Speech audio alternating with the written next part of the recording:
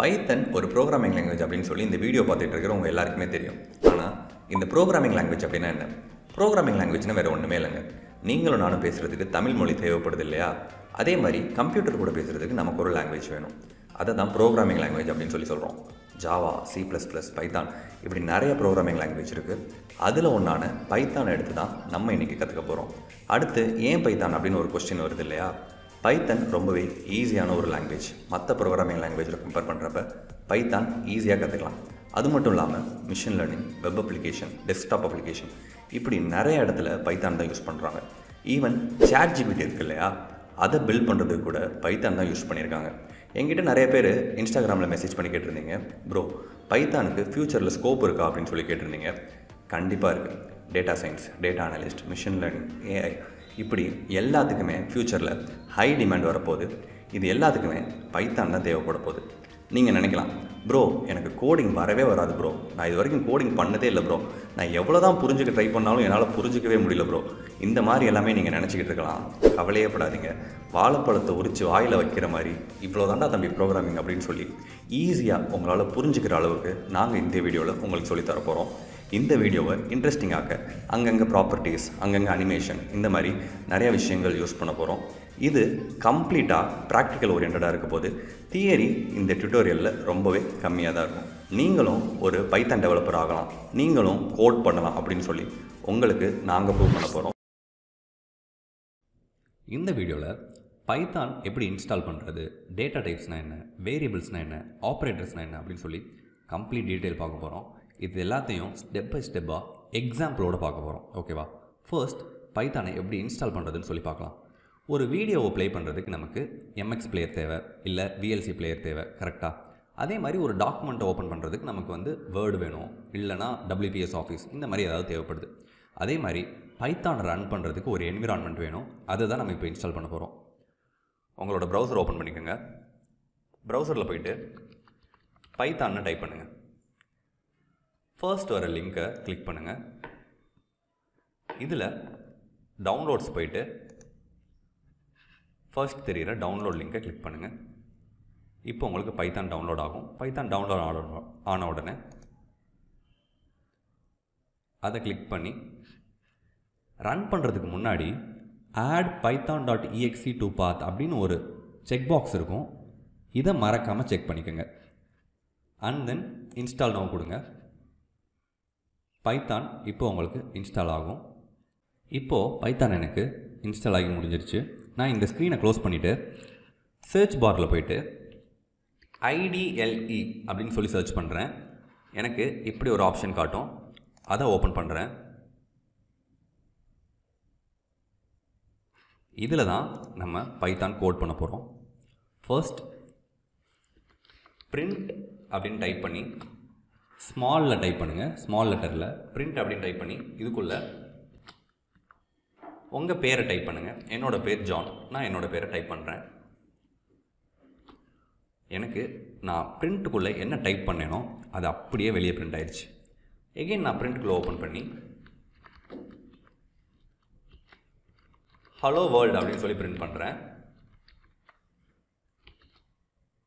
இதுவும் அப்படியே எனக்கு வெளியே வந்து பிரிண்ட் ஆயிடுச்சு இப்போது வேரியபிள்ஸ்னால் என்னென்னு சொல்லி பார்க்கலாம்.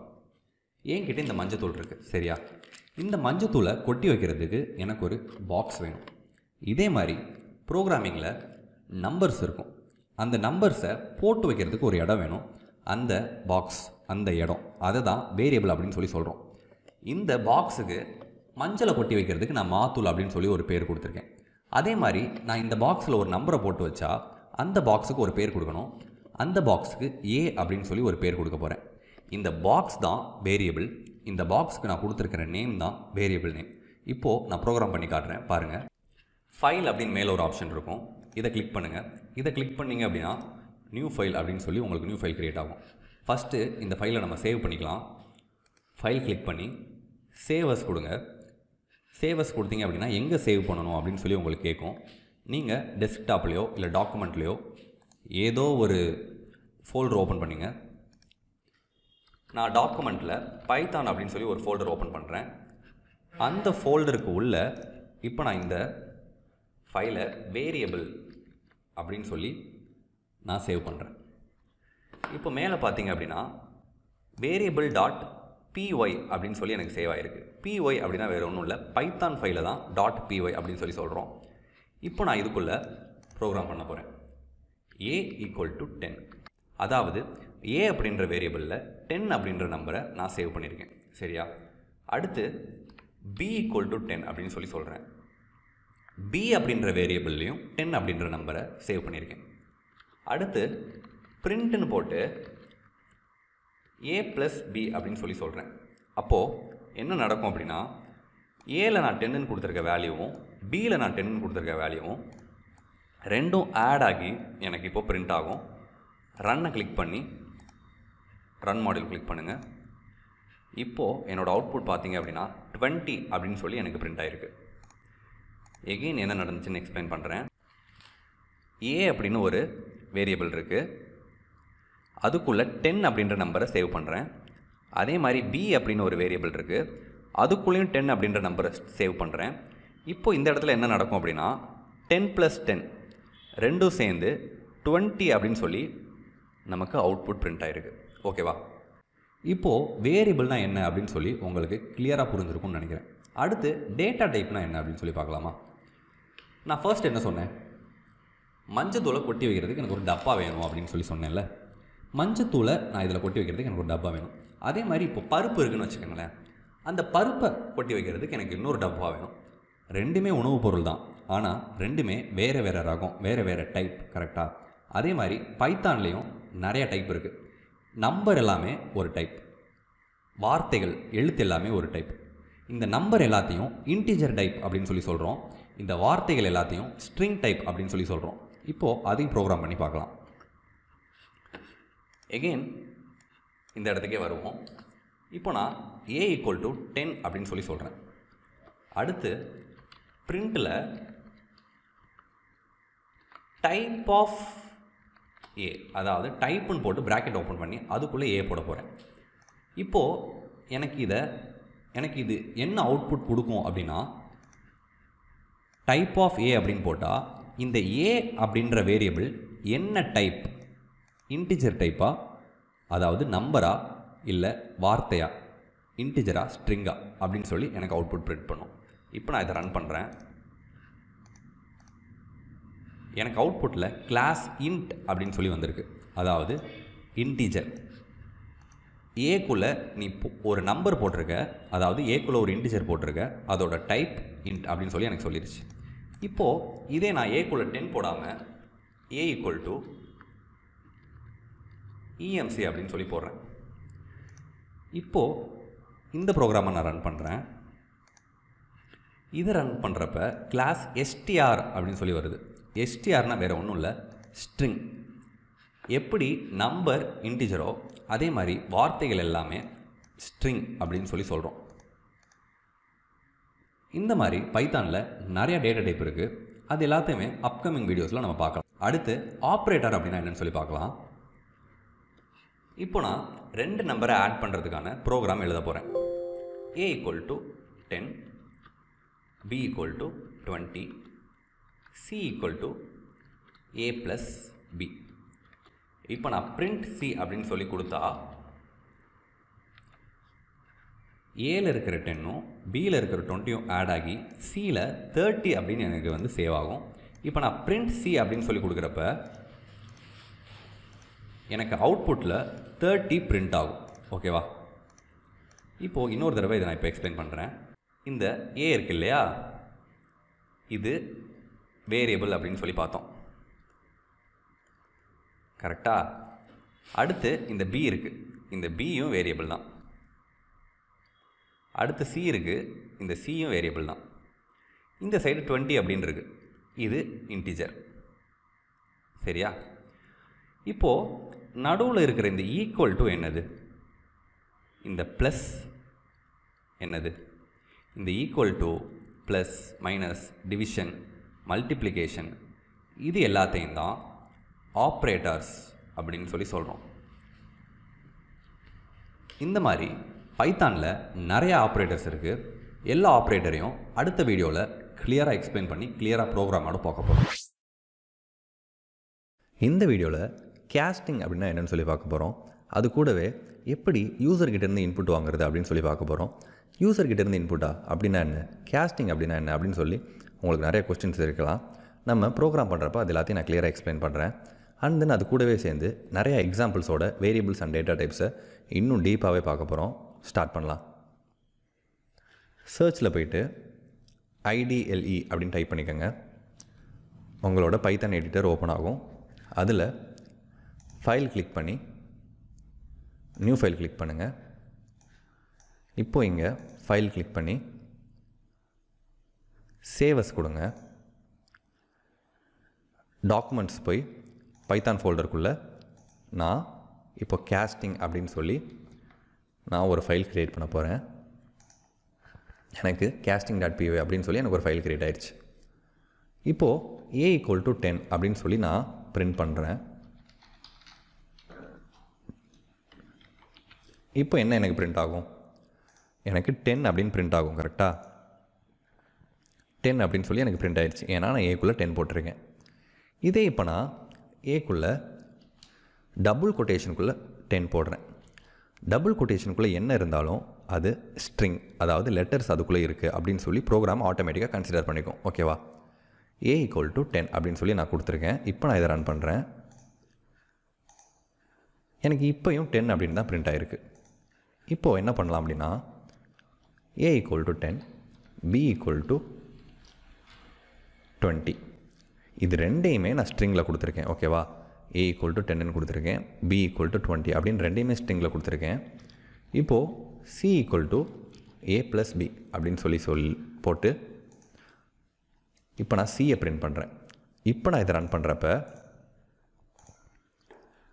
டென் டுவெண்ட்டி அப்படின்னு எனக்கு பிரிண்ட் ஆகிருக்கு ஏன் அப்படின்னா இந்த டென் அப்படின்றதும் ஒரு ஸ்ட்ரிங் அதாவது ஒரு லெட்டர் இந்த டுவெண்ட்டி அப்படின்றதும் ஒரு லெட்டர் ஏன்னா நம்ம அது ரெண்டையுமே டபுள் கொட்டேஷனுக்குள்ளே போட்டிருக்கோம். இப்போது இது ரெண்டையுமே நம்ம ப்ளஸ் பண்ணு அப்படின்னு நம்ம சொல்கிறப்ப டென் டுவெண்ட்டி அப்படின்னு நம்பராக ப்ளஸ் பண்ணாது. டென்னையும் டுவெண்ட்டியையும் ஒரு வார்த்தையாக கன்சிடர் பண்ணி அது ரெண்டையும் மேர்ச் பண்ணி நமக்கு அவுட்புட் டென் டுவெண்ட்டி அப்படின்னு சொல்லி வந்திருக்கு. இதுக்கு என்ன சொல்யூஷன் இப்போ நான் டென்னுன்னு ஸ்ட்ரிங்கில் நான் கொடுப்பேன். ஆனால் எனக்கு அவுட்புட் இன்டிஜரில் வரணும். இந்த இடத்துல தான் நம்ம கேஸ்டிங் யூஸ் பண்ண போகிறோம் இப்போது டென் அப்படின்ற ஸ்ட்ரிங்கை நம்ம இன்டிஜராக மாற்ற போகிறோம் ஏ ஈக்குவல் டு டென் அப்படின்னு சொல்லி ஸ்ட்ரிங்காக இருக்குது பி ஈக்குவல் டு டென் அப்படின்னு சொல்லி ஸ்ட்ரிங்காக இருக்குது இப்போது இது ரெண்டையுமே நம்ம எப்படி இன்டிஜராக மாற்றலாம் அப்படின்னா இதுக்கு முன்னாடி இன்ட் அப்படின்னு சொல்லி ப்ராக்கெட்டை ஓப்பன் பண்ணி நீங்கள் உள்ளே போட்டிங்க அப்படின்னா இப்போது டென் அப்படின்னு ஸ்ட்ரிங்காக இருக்கிற இந்த ஸ்ட்ரிங் இன்டிஜராக மாறிடும் அதே மாதிரி இங்கேயும் இன்ட் அப்படின்னு சொல்லி டுவெண்ட்டி அப்படின்னு சொல்லி நான் போட்டு இப்போ நான் இந்த ப்ரோக்ராமை ரன் பண்ணுறேன் இப்போ இந்த ப்ரோக்ராமை ரன் பண்ணுறப்ப எனக்கு தேர்ட்டி அப்படின்னு சொல்லி பிரிண்ட் ஆகிருக்கு டென் அப்படின்ற ஸ்ட்ரிங்கை இன்டிஜராக மாற்றிருக்கேன் அதே மாதிரி டுவெண்ட்டி அப்படின்ற ஸ்ட்ரிங்கை இன்டிஜராக மாற்றிருக்கேன் இப்போ எனக்கு எனக்கு தேவையான அவுட்புட் எனக்கு கிடச்சிருச்சு. ஓகேவா இப்போ அடுத்து யூசர்கிட்ட இருந்து எப்படி இன்புட் வாங்குறது அப்படின்னு சொல்லி பார்க்கலாம். இது எல்லாத்தையும் நான் கிளியர் பண்ணிவிட்டு A equal to ten print A அப்படின்னு நான் நார்மலாக கொடுத்தா எனக்கு ஏ வெளியே பிரிண்ட் ஆகும். கரெக்டாக இப்போ நான் ஏ ஈக்குவல் டு டென்னு நான் இங்கே கொடுக்காம ஏ ஈக்குவல் டு இன்புட் அப்படின்னு சொல்லி நான் சொல்ல போகிறேன் இப்போ நான் இந்த ப்ரோக்ராமை ரன் பண்ணுறப்ப எனக்கு எதுவுமே பிரிண்ட் ஆகலை. இன்னும் என்னோடய ப்ரோக்ராம் ஃபஸ்ட் லைனில் தான் இருக்குது இன்னும் செகண்ட் லைனுக்கு போகவே இல்லை. ஏன் அப்படின்னா ஏ ஈக்குவல் டு இன்புட் அப்படின்னு சொல்லி சொல்லியிருக்க. சரி எனக்கு ஒரு இன்புட் கொடுப்பா அப்படின்னு சொல்லி இந்த இடத்துல என்கிட்ட இன்புட் கேட்குது இப்போ நான் இந்த இடத்துல தேர்ட்டி அப்படின்னு சொல்லி டைப் பண்ணால் நான் டைப் பண்ண தேர்ட்டி ஏல சேவ் ஆகி எனக்கு வெளியே பிரிண்ட் ஆகிருக்கு தேர்ட்டி அப்படின்னு சொல்லி. இப்போ நான் இந்த இடத்துல பி ஈக்குவல் டு இன்புட் அப்படின்னு போட்டு இது ரெண்டு நம்பரையும் ஆட் பண்ண போகிறேன் பிரிண்டில் சி கொடுக்குறேன். இப்போ இதை நான் ரன் பண்ணுறேன் ஃபர்ஸ்ட் நான் தேர்ட் டென் அப்படின்னு சொல்லி கொடுக்குறேன். இந்த டென் என்ன ஆயிருக்கும் அப்படின்னா ஏல ஸ்டோர் ஆகிருக்கும் அடுத்து பிக்கு எனக்கு இன்புட் கொடு அப்படின்னு சொல்லி கேட்குது ப்ரோக்ராம் இப்போ நான் பிக்கு டுவெண்ட்டி அப்படின்னு சொல்லி கொடுக்குறேன். இப்போ இந்த டென்னு டுவெண்ட்டியும் ஆட் ஆகி எனக்கு தேர்ட்டி அப்படின்னு வரணும் இல்லையா? ஆனால் எனக்கு டென் டுவெண்ட்டி அப்படின்னு சொல்லி வந்திருக்கு. ஏன் அப்படி வந்திருக்கு? ஏற்கனவே கேஸ்டிங் நம்ம பார்க்குறப்ப டென் டுவெண்ட்டி அப்படின்னு நம்ம ஸ்ட்ரிங்கில் இன்புட் கொடுத்தோம். அப்போது டென் டுவெண்ட்டி அப்படின்னு இதே மாதிரி பிரிண்ட் ஆச்சு. இந்த இடத்துல என்ன நடக்குது? இப்போ நான் இதை கிளியராக எக்ஸ்பிளைன் பண்ணுறேன் இப்போது இந்த இடத்துல என்ன நடக்குது அப்படின்னா ஏ ஈக்குவல் டு இன்புட் அப்படின்னு சொல்லி சொல்கிறோம் நான் இங்கே டென் அப்படின்னு சொல்லி தான் டைப் பண்ணுறேன் ஆனால் இந்த டென் இந்த இன்புட்டுக்குள்ளே போகிறப்ப என்ன நடக்குது அப்படின்னா டென்னாக சேவ் ஆகாமல் இப்படி சேவ் ஆகுது. அதாவது டென் அப்படின்ற ஒரு ஸ்ட்ரிங்காக சேவ் ஆகுது. அதே மாதிரி இந்த டுவெண்ட்டி டுவெண்ட்டியாக சேவ் ஆகாமல் டுவெண்ட்டி அப்படின்ற ஒரு ஸ்ட்ரிங்காக சேவ் ஆகுது. அதனால் இது ரெண்டும் இந்த சீல எப்படி போய் சேவ் ஆகுது? டென் டுவெண்ட்டி அப்படின்னு போய் சேவ் ஆகுது. அதனால் எனக்கு அவுட்புட் இப்படி வருது. ப்ரோ இப்போ நான் என்ன பண்ணுறது அப்படின்னு சொல்லி நீங்கள் கேட்கலாம். நீங்களே ட்ரை பண்ணி பாருங்கள் எப்படி கேஸ்டிங் பண்ணுறது அப்படின்னு சொல்லி பார்த்தோம். கரெக்டாக அந்த கேஸ்டிங்கை இதில் யூஸ் பண்ணி பாருங்கள் இப்போ நான் போயிட்டு என்ன பண்ண போகிறேன் ஏ ஈக்குவல் டு இன்புட்டுன்னு வாங்குகிறோம்ல இதுக்கு முன்னாடி A equal to int input அப்படின்னு சொல்லி நான் மாற்றுறேன் அதே மாதிரி பிக்கு முன்னாடி இன்ட் இன்புட் அப்படின்னு சொல்லி நான் மாற்றுறேன் இப்போது என்ன நடக்கும் அப்படின்னா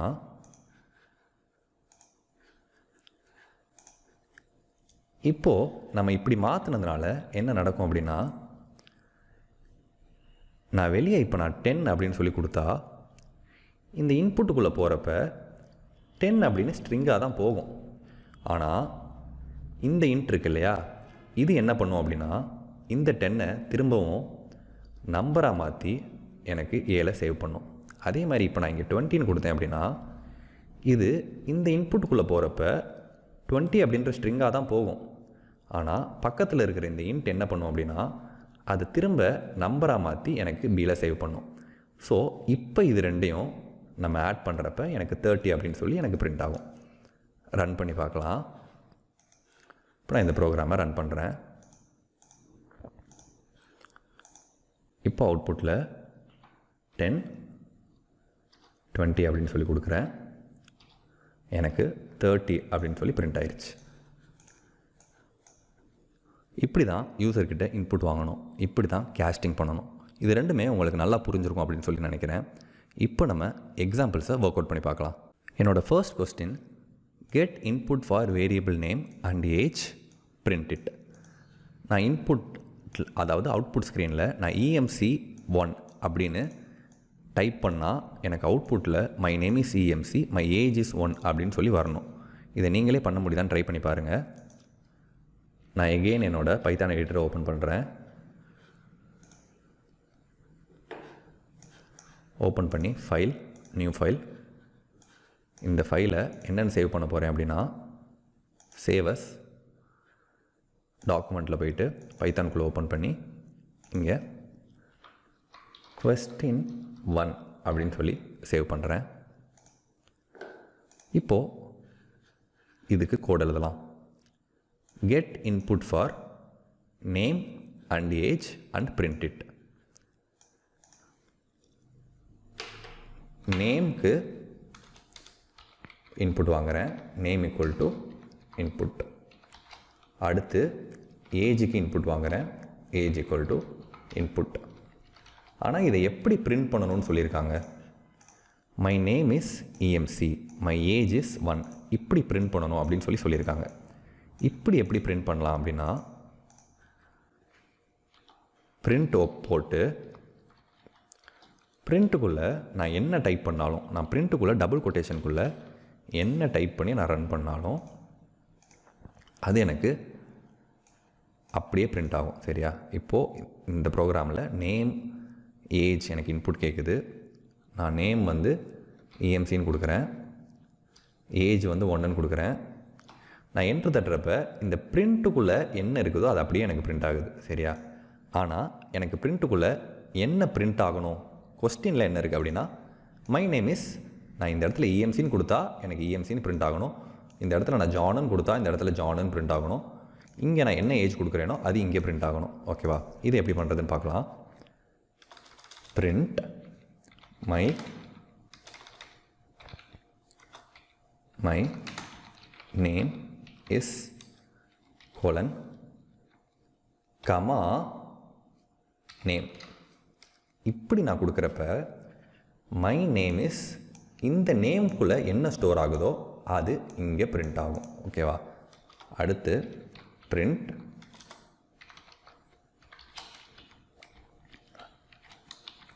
மை ஏஜ் இஸ் இப்படி போடுறப்ப இந்த ஏஜ்குள்ளே என்ன இன்புட் போகுதோ அது இங்கே ஸ்டோர் ஆகும். இப்போ இதை ரன் பண்ணி பார்க்கலாம்.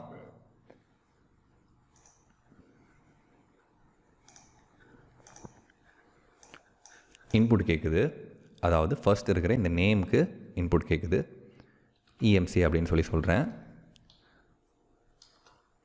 அடுத்து ஏஜுக்கு இன்புட் கேட்குது ஒன்றுன்னு சொல்லி சொல்கிறேன் இப்போ எனக்கு அவுட்புட்டில் my name is EMC my age is one அப்படின்னு சொல்லி வந்திருக்கு. அதாவது நான் இங்கே இஎம்சின்னு போட்டது இந்த நேமில் ஸ்டோர் ஆகிருக்கு ஒன்றுன்னு போட்டது இந்த ஏஜில் ஸ்டோர் ஆகிருக்கு பிரிண்ட் ஆகிறப்ப என்ன பிரிண்ட் ஆகிருக்கு அப்படின்னா மை நேம் இஸ் அப்படின்னு பிரிண்ட் ஆகி நேமுக்குள்ளே இருக்கிற EMC my name is EMC அப்படின்னு பிரிண்ட் ஆகிருக்கு அதே மாதிரி மை ஏஜ் இஸ்ன்னு போட்டு இங்கே நான் கொடுத்த ஒன் இங்கே பிரிண்ட் ஆகிருக்கு ஓகேவா ஃபர்ஸ்ட் ப்ரோக்ராம் பண்ணியாச்சு. அடுத்து செகண்ட் ப்ரோக்ராம் என்னன்னு சொல்லி பார்க்கலாம்.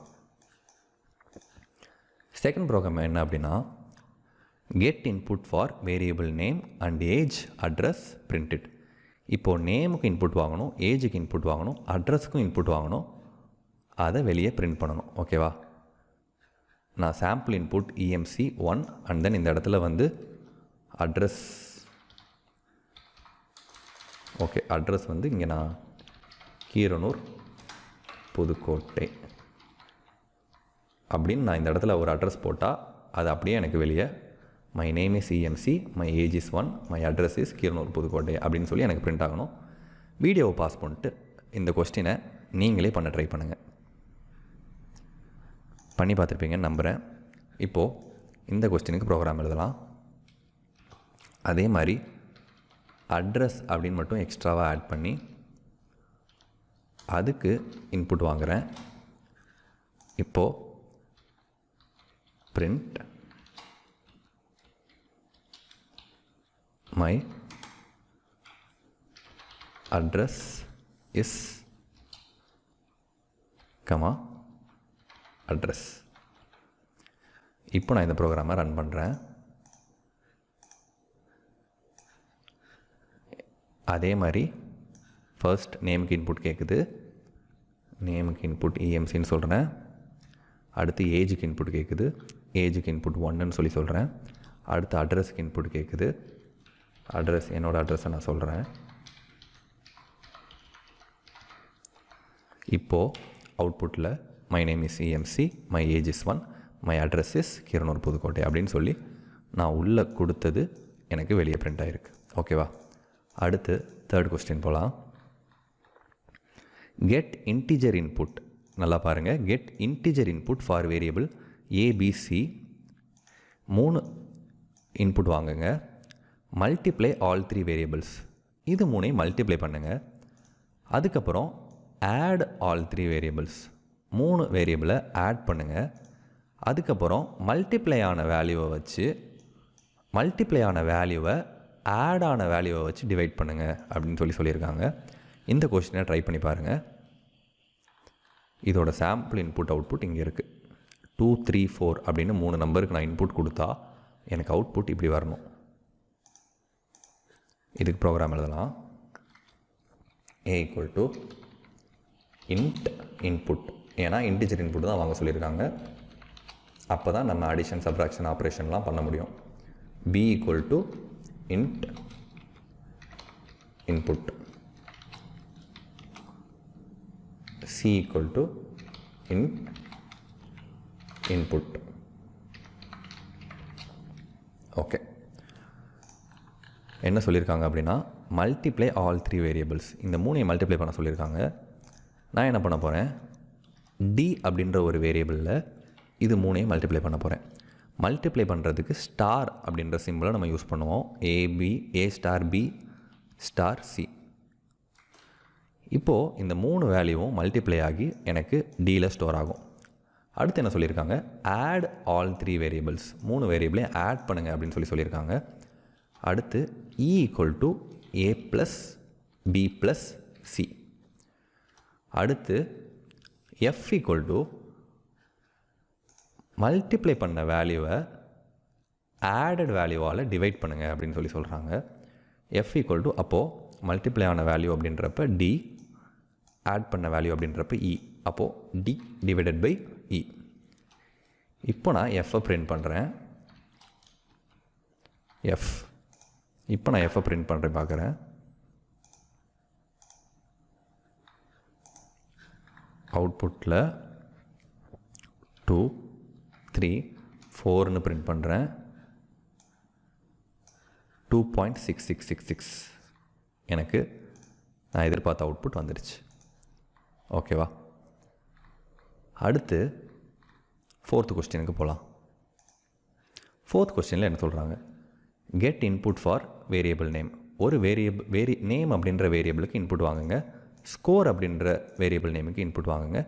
டிபார்ட்மெண்ட் அப்படின்ற வேரியபிள் நேமுக்கு இன்புட் வாங்குங்க. பண்ணலாம். நேம் அப்படின்ற வேரியபிளுக்கு இன்புட் வாங்குகிறேன் அடுத்து ஸ்கோர் அப்படின்ற வேரியபிளுக்கு இன்புட் வாங்குகிறேன் அடுத்து டிபார்ட்மெண்ட் அப்படின்ற வேரியபிளுக்கு இன்புட் வாங்குகிறேன்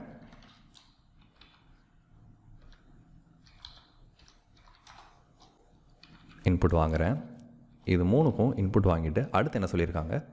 Get score for hundred input வந்து ஹண்ட்ரடுக்காக ஹண்ட்ரடுக்கு நம்ம கொடுக்க போகிறோம் அடுத்து அந்த ஸ்கோரை வாங்குகிற இன்புட்டை அதாவது வாங்குகிற ஸ்கோரை டென்னால் டிவைட் பண்ணி அவுட்புட்டில் பிரிண்ட் பண்ணணும் நம்ம. இப்போ பாருங்கள் என்ன சொல்லியிருக்காங்க அப்படின்னா இந்த இடத்துல அரவிந்த் அப்படின்னு பேர் பிரிண்ட் பண்ணால் எனக்கு அரவிந்த் அப்படின்னு பிரிண்ட் ஆகணும். செவன்ட்டி எயிட் அப்படின்னு அவரோட ஸ்கோரை பிரிண்ட் பண்ணால் இதை டிவைட் பண்ணி இந்த இடத்துல seven point eight for ten அப்படின்னு சொல்லி நான் போடணும். And then my department is இந்த இடத்துல நான் கம்ப்யூட்டர்னு கொடுத்தா இங்கே கம்ப்யூட்டர் நான் பிரிண்ட் பண்ணணும். இந்த ஸ்கோரை நம்ம டிவைட் பண்ண போகிறோம் கரெக்டாக அதனால் ஸ்கோருக்கு இன்ட் இன்புட் அப்படின்னு நம்ம இன்புட் வாங்கிப்போம். அடுத்து இப்போது பிரிண்ட் என்ன பிரிண்ட் ஆகணும்? My name is comma name அப்போது நான் நேமுக்கு என்ன இன்புட் கொடுக்குறேனோ அது இந்த இடத்துல எனக்கு பிரிண்ட் ஆகும்.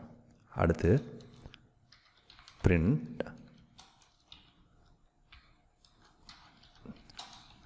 my score is comma இந்த இடத்துல ஸ்கோர் டிவைடட் பை டென் அப்படின்னு சொல்லி போடுறேன். அடுத்து print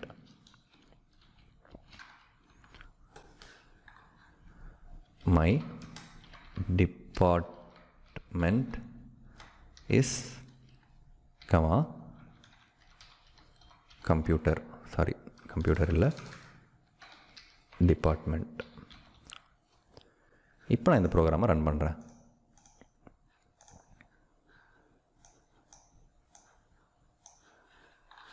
இப்போ நான் இந்த ப்ரோக்ராமை ரன் பண்ணுறப்ப என்ன நடக்குது அப்படின்னா ஃபர்ஸ்ட் எனக்கு இன்புட் கேட்குது நேமுக்கு எனக்கு இன்புட் கேட்குது அரவிந்த் அப்படின்னு சொல்லி சொல்கிறேன் அடுத்து ஸ்கோர் கேட்குது செவன்ட்டி எயிட் அப்படின்னு சொல்லி சொல்கிறேன் டிபார்ட்மெண்ட் என்னென்னு கேட்குது கம்ப்யூட்டர்னு சொல்லி சொல்கிறேன் அடுத்து அவுட்புட்டில் எனக்கு என்ன வந்திருக்கு?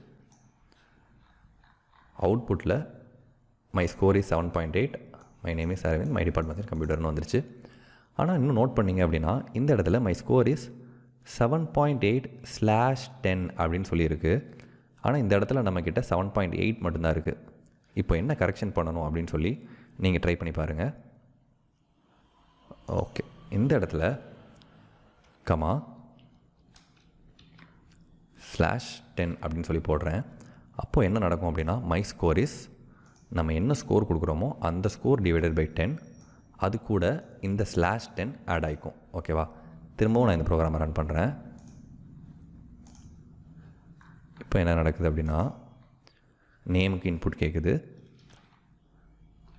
அரவிந்தன் சொல்கிறேன் அடுத்து ஸ்கோர் என்னன்னு சொல்லி கேட்குது 78 எயிட் அப்படின்னு சொல்லி சொல்கிறேன் அடுத்து டிபார்ட்மெண்ட் என்னன்னு சொல்லி கேட்குது கம்ப்யூட்டர் அப்படின்னு சொல்லி சொல்கிறேன் இப்போது நான் எதிர்பார்த்த output my score is seven point eight slash ten அப்படின்னு சொல்லி எனக்கு வந்துருச்சு. இப்போது கேஸ்டிங்னா என்ன? எப்படி யூசர்கிட்டேருந்து இன்புட் வாங்குறது? எப்படி ஸ்ட்ரிங்கை இன்டிஜராக மாற்றுறது எப்படி பிரிண்ட் பண்ணுறது அப்படின்னு சொல்லி எல்லாமே உங்களுக்கு கிளியராக புரிஞ்சிருக்கும் அப்படின்னு சொல்லி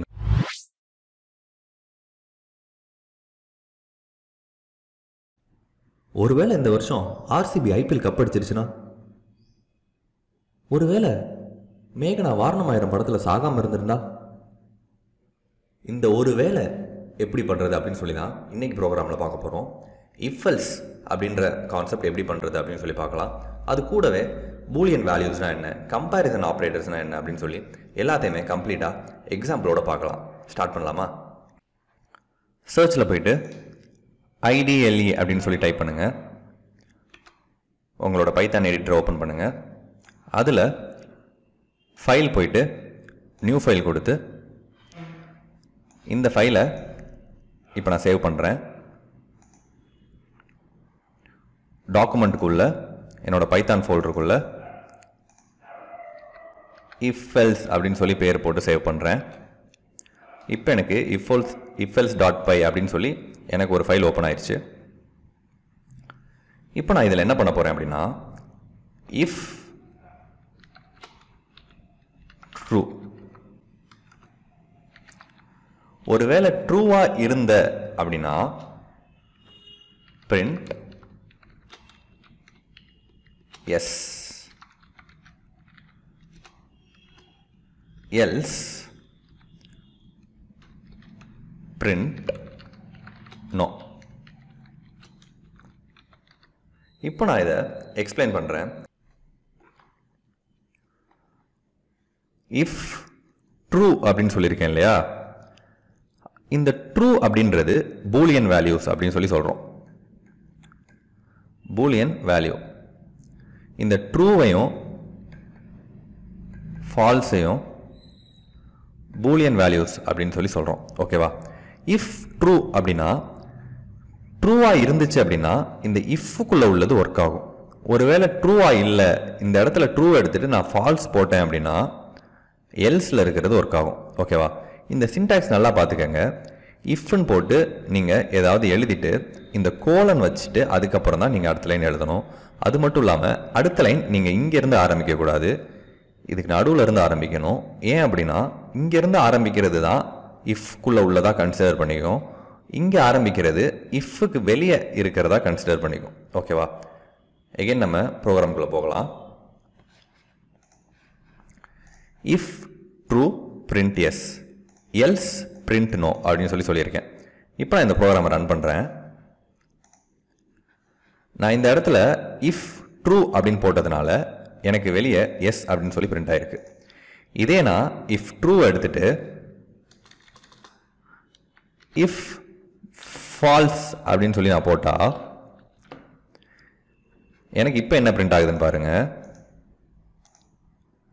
எனக்கு இப்போது நோன்னு பிரிண்ட் ஆகுது.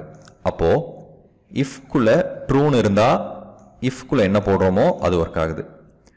இஃப்குள்ளே ஃபால்ஸ்னு இருந்தால் எல்ஸில் என்ன போடுறோமோ அது ஒர்க் ஆகுது. ஓகேவா அடுத்து கம்பேரிசன் ஆப்ரேட்டர்னா என்னென்னு பார்க்கலாம். Print win equal to equal to win அப்படின்னு சொல்லி நான் சொல்கிறேன் அதாவது இப்போ நான் இதில் என்ன சொல்ல ட்ரை பண்ணுறேன் அப்படின்னா win equal to equal to win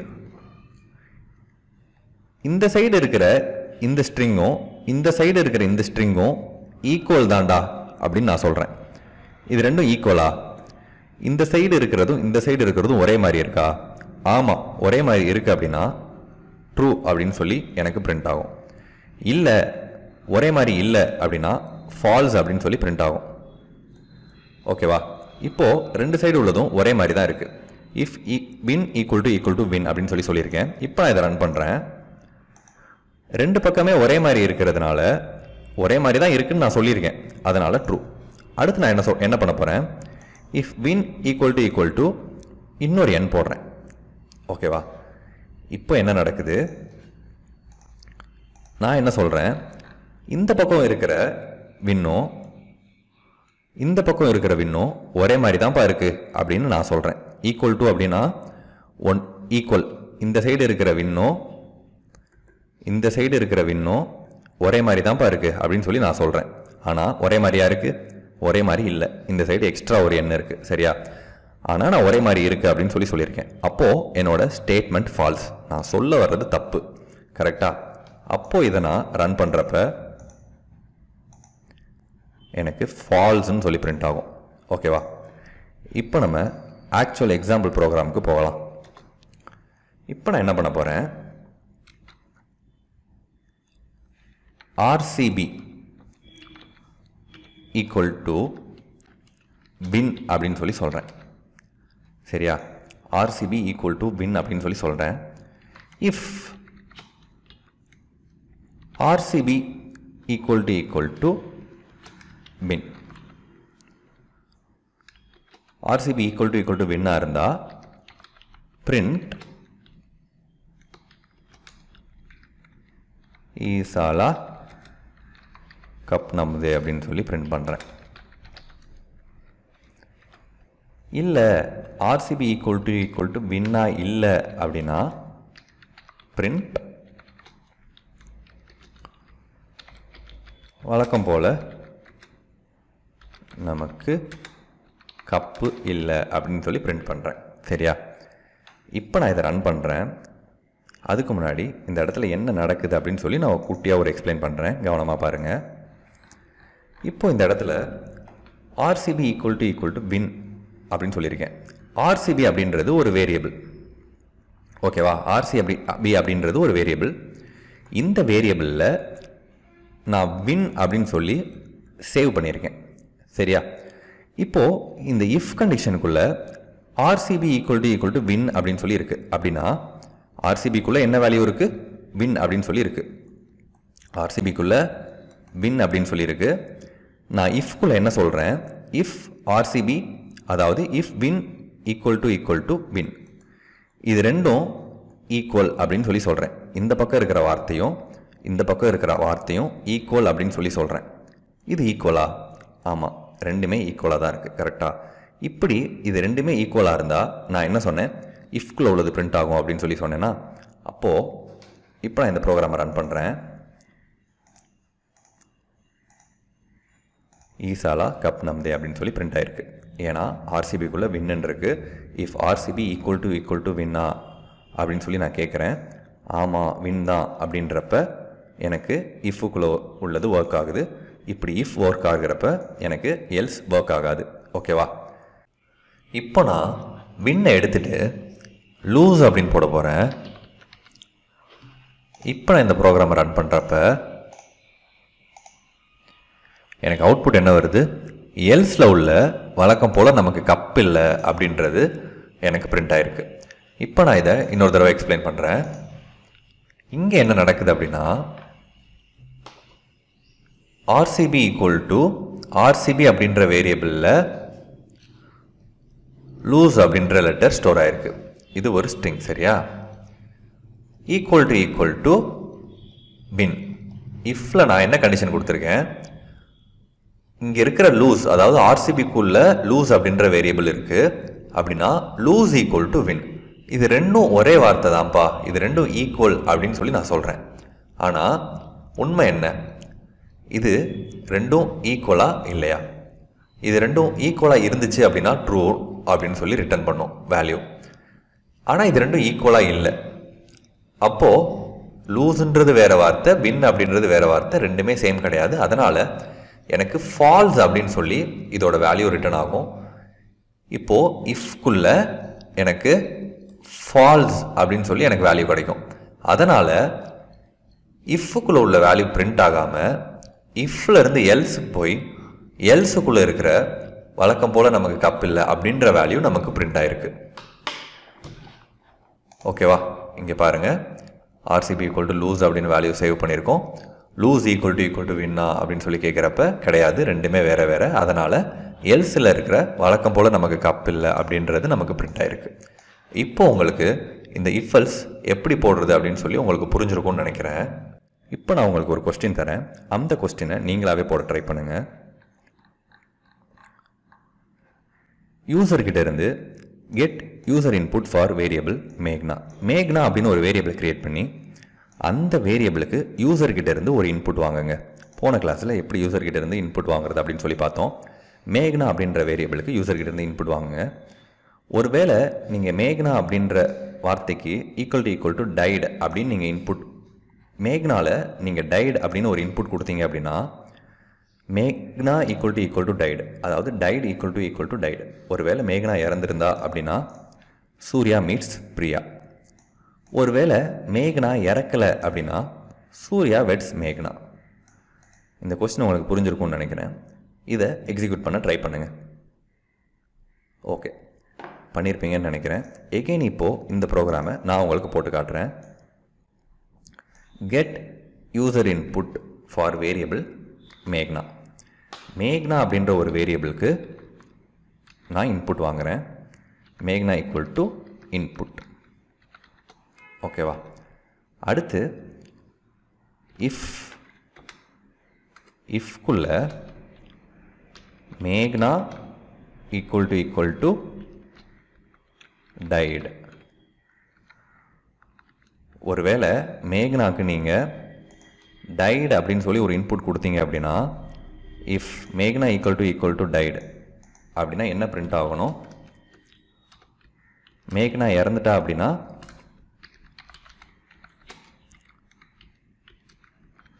Surya meets Priya. ஓகேவா இல்லை மேகனா இறக்கலை அப்படின்னா எல்ஸ் print.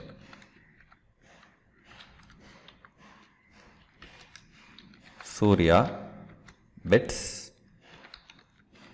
மேக்னா மேக்னா இறக்கல அப்படின்னா சூர்யா வந்து மேக்னாவே கல்யாணம் பண்ணிக்கிறாரு. இப்போ இந்த ப்ரோக்ராமை ரன் பண்ணி பார்க்கலாம். இப்போ எனக்கு எதுவுமே பிரிண்ட் ஆகலை. எனக்கு இன்புட் கேட்குது ஏன் அப்படின்னா மேக்னா ஈக்குவல் டு இன்புட் அப்படின்னு சொல்லி நம்ம போட்டிருக்கோம். ப்ரோக்ராம் ஃபஸ்ட் லைன்லேயே இருக்குது மேக்னா அப்படின்ற வேரியபிளுக்கு இன்புட் கொடுப்பா அப்படின்னு சொல்லி எனக்கு கேட்குது இப்போ நான் இந்த இடத்துல மேக்னா ஈக்குவல் டு டைடு அப்படின்னு சொல்லி நான் இன்புட் கொடுத்தா சூர்யா மீட்ஸ் பிரியா அப்படின்னு சொல்லி வருது. ஏன் அப்படின்னா திரும்ப நான் இதை எக்ஸ்பிளைன் பண்ணுறேன் இங்கே என்ன நடக்குது? மேக்னா ஈக்குவல் டு டைட் அப்படின்னு சொல்லி நான் இன்புட் கொடுத்துருக்கேன். ஓகேவா இப்போது இந்த மேக்னாக்குள்ள இந்த மேக்னாக்குள்ள டைட் அப்படின்னு சொல்லி சேவ் ஆகிருக்கும் சரியா? நான் if magna equal to equal to டைடா அப்படின்னு சொல்லி நான் கொஸ்டின் கேட்குறேன். If magna equal to equal to tide magna equal to equal to tide அப்படின்னா டைட் ஈக்குவல் டு டைட் அப்படின்னு நான் சொல்கிறேன் ரெண்டுமே சேம் தான்ப்பா அப்படின்னு நான் சொல்கிறேன் ரெண்டுமே சேமாக இருக்கா? ஆமாம் ரெண்டுமே சேமாக இருக்குது அப்படின்னா ட்ரூ அப்படின்னு சொல்லி ரிசல்ட் வரும். கரெக்டாக இஃப் ட்ரூ அப்படின்னா இஃப்க்குள்ளே உள்ளது பிரிண்ட் ஆகும்னு சொன்னேன்னா இஃப்க்குள்ளே சூர்யா மீட்ஸ் பிரியான்னு இருக்குது எனக்கு சூர்யா மீட்ஸ் பிரியா அப்படின்னு சொல்லி பிரிண்ட் ஆகிருக்கு இஃப் இப்போது வேறு இன்புட் கொடுத்து பார்க்கலாம். திரும்ப நான் இந்த ப்ரோக்ராமை ரன் பண்ணுறேன் இந்த ப்ரோக்ராமை நான் திரும்ப ரன் பண்ணுறப்ப திரும்பவும் எனக்கு இன்புட் கேட்குது மேக்னா ஈக்குவல் டு இன்புட் எனக்கு வந்து இன்புட் கொடுப்பா அப்படின்னு சொல்லி கேட்குது ஜஸ்ட் நான் நோன் மட்டும் இன்புட் கொடுக்குறேன். இப்போ என்ன நடக்குது? இந்த இடத்துக்குள்ள மேக்னா ஈக்குவல் டு இன்புட் அப்படின்ற இடத்துல நான் நோ அப்படின்னு சொல்லி இன்புட் கொடுத்துருக்கேன். ஓகேவா அப்போது மேக்னால் நோ அப்படின்னு சொல்லி ஸ்டோர் ஆகிருக்கும் இப்போ இந்த இஃபெல்ஸ் வர்றப்ப என்ன நடக்கும் அப்படின்னா no equal to equal to டைடா அப்படின்னு சொல்லி அப்படின்னு சொல்லி நம்ம கேட்கும். அதாவது நோவும் டைடும் சேம் தான்ப்பா அப்படின்னு நான் சொல்கிறேன் நோவும் டைடும் ஒன்றா ரெண்டும் ஒன்று கிடையாது. அப்போது இது எனக்கு என்ன கொடுக்கும்? ஃபால்ஸ் அப்படின்னு சொல்லி கொடுக்கும். இஃப்பில் ஃபால்ஸ் வந்தால் என்ன ஒர்க் ஆகும்? எல்ஸ் ஒர்க் ஆகும் கரெக்டாக அப்போது எனக்கு அவுட்புட் சூர்யா வெட்ஸ் மேகனா அப்படின்னு சொல்லி எல்ஸில் உள்ளது எனக்கு பிரிண்ட் ஆகிருக்கு ஓகேவா இப்போது இந்த இடத்துல இன்னொரு ஒரு விஷயம் நான் இப்போ உங்களுக்கு சொல்லித்தர போகிறேன் கவனமாக கேளுங்க. இப்போ நான் இதை ரன் பண்ணுறப்ப எனக்கு ஜஸ்ட் சும்மா பிளிங்க் ஆகுது. எது ஒருவேளை நான் இந்த ப்ரோக்ராமை பற்றி எனக்கு எதுவுமே தெரியலை அப்படின்னா எனக்கு இது வந்து என் என்னன்னே புரியாது கரெக்டாக எதுக்கு பிளிங்க் ஆகுது அப்படின்னே எனக்கு தெரியாது. இப்போ இந்த இடத்துல நம்ம என்ன பண்ணலாம் அப்படின்னா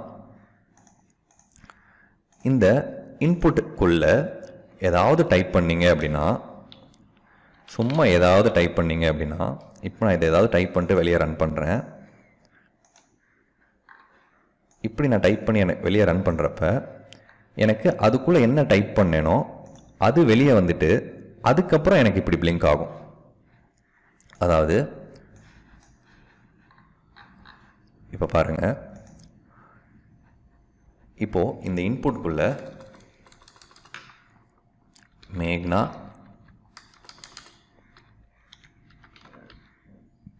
magna tide or not அப்படின்னு சொல்லி நான் ஒரு லெட்டர் எழுதுகிறேன் ஓகேவா இப்போ நான் இதை ரன் பண்ணுறப்ப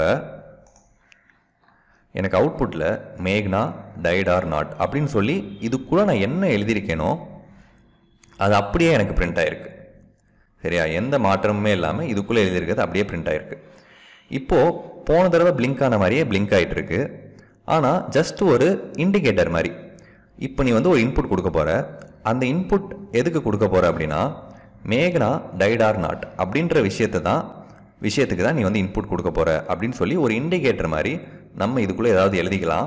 அப்படி நம்ம இதுக்குள்ளே எழுதுறது இங்கே வெளியே வரும். சரியா? இப்போ நான் இதில் திரும்ப என்ன என்ன கொடுக்கலாம் அப்படின்னா டைட் அப்படின்னு கொடுத்தேன் அப்படின்னா இப்போ நான் இங்கே டைடுன்னு கொடுக்கறது இந்த மேக்னா வேரியபிளில் ஸ்டோர் ஆகும். அப்போ என்ன பிரிண்ட் ஆகும்? கெஸ் பண்ணுங்கள் சூர்யா மீட்ஸ் பிரியா அப்படின்றது பிரிண்ட் ஆகும். கரெக்டாக இப்போ நான் இதை ரன் பண்ணுறேன் சூர்யா மீட்ஸ் பிரியா. இந்த ஈக்குவல் டு ஈக்குவல் டு அப்படின்னு இருக்கு இல்லையா? இதுதான் கம்பேரிசன் ஆப்ரேட்டர் அப்படின்னு சொல்லி சொல்கிறோம் இப்படி நிறைய கம்பேரிசன் ஆப்ரேட்டர் இருக்குது ஒரு விஷயத்தோட இன்னொரு விஷயத்தை கம்பேர் பண்ணுறப்ப அதை கம்பேரிசன் அப்படின்னு சொல்லி சொல்கிறோம் இதோட ரிசல்ட் எப்போவுமே ட்ரூ இல்லைனா ஃபால்ஸ் இது ரெண்டில் ஏதாவது ஒரு பூலியன் வேல்யூவாக தான் இருக்கும். இன்னும் நிறைய ஆப்ரேட்டர்ஸ் இருக்குது அது எல்லாத்தையுமே அப்கமிங் வீடியோஸில் எக்ஸாம்பிள்ஸோட பார்க்கலாம்.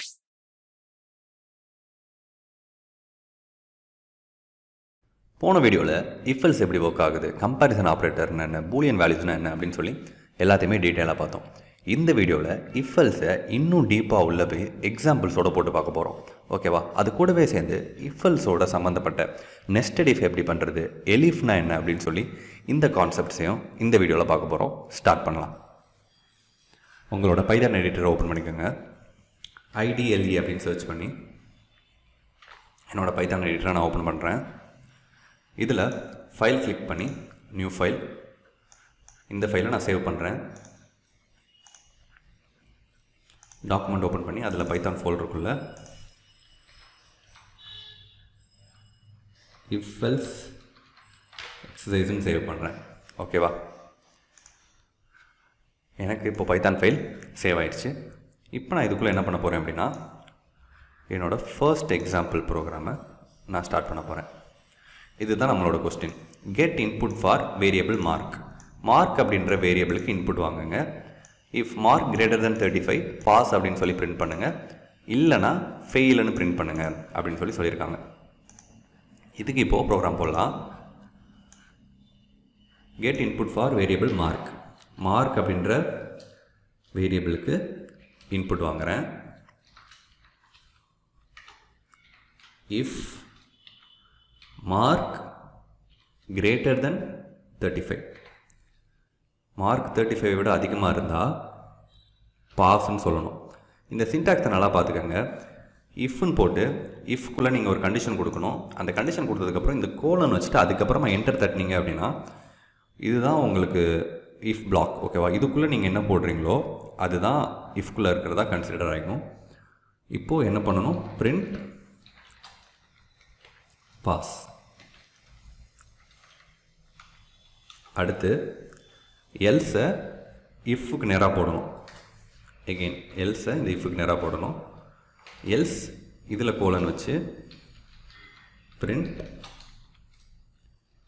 ஃபெயில் இந்த சின்டாக்ஸை நல்லா பார்த்துக்கோங்க. இஃபல் சின்டாக்ஸ் எப்படி ஒர்க் ஆகுது அப்படின்னு சொல்லி பார்த்துக்கோங்க. இப்போ நான் இதை ரன் பண்ண போகிறேன்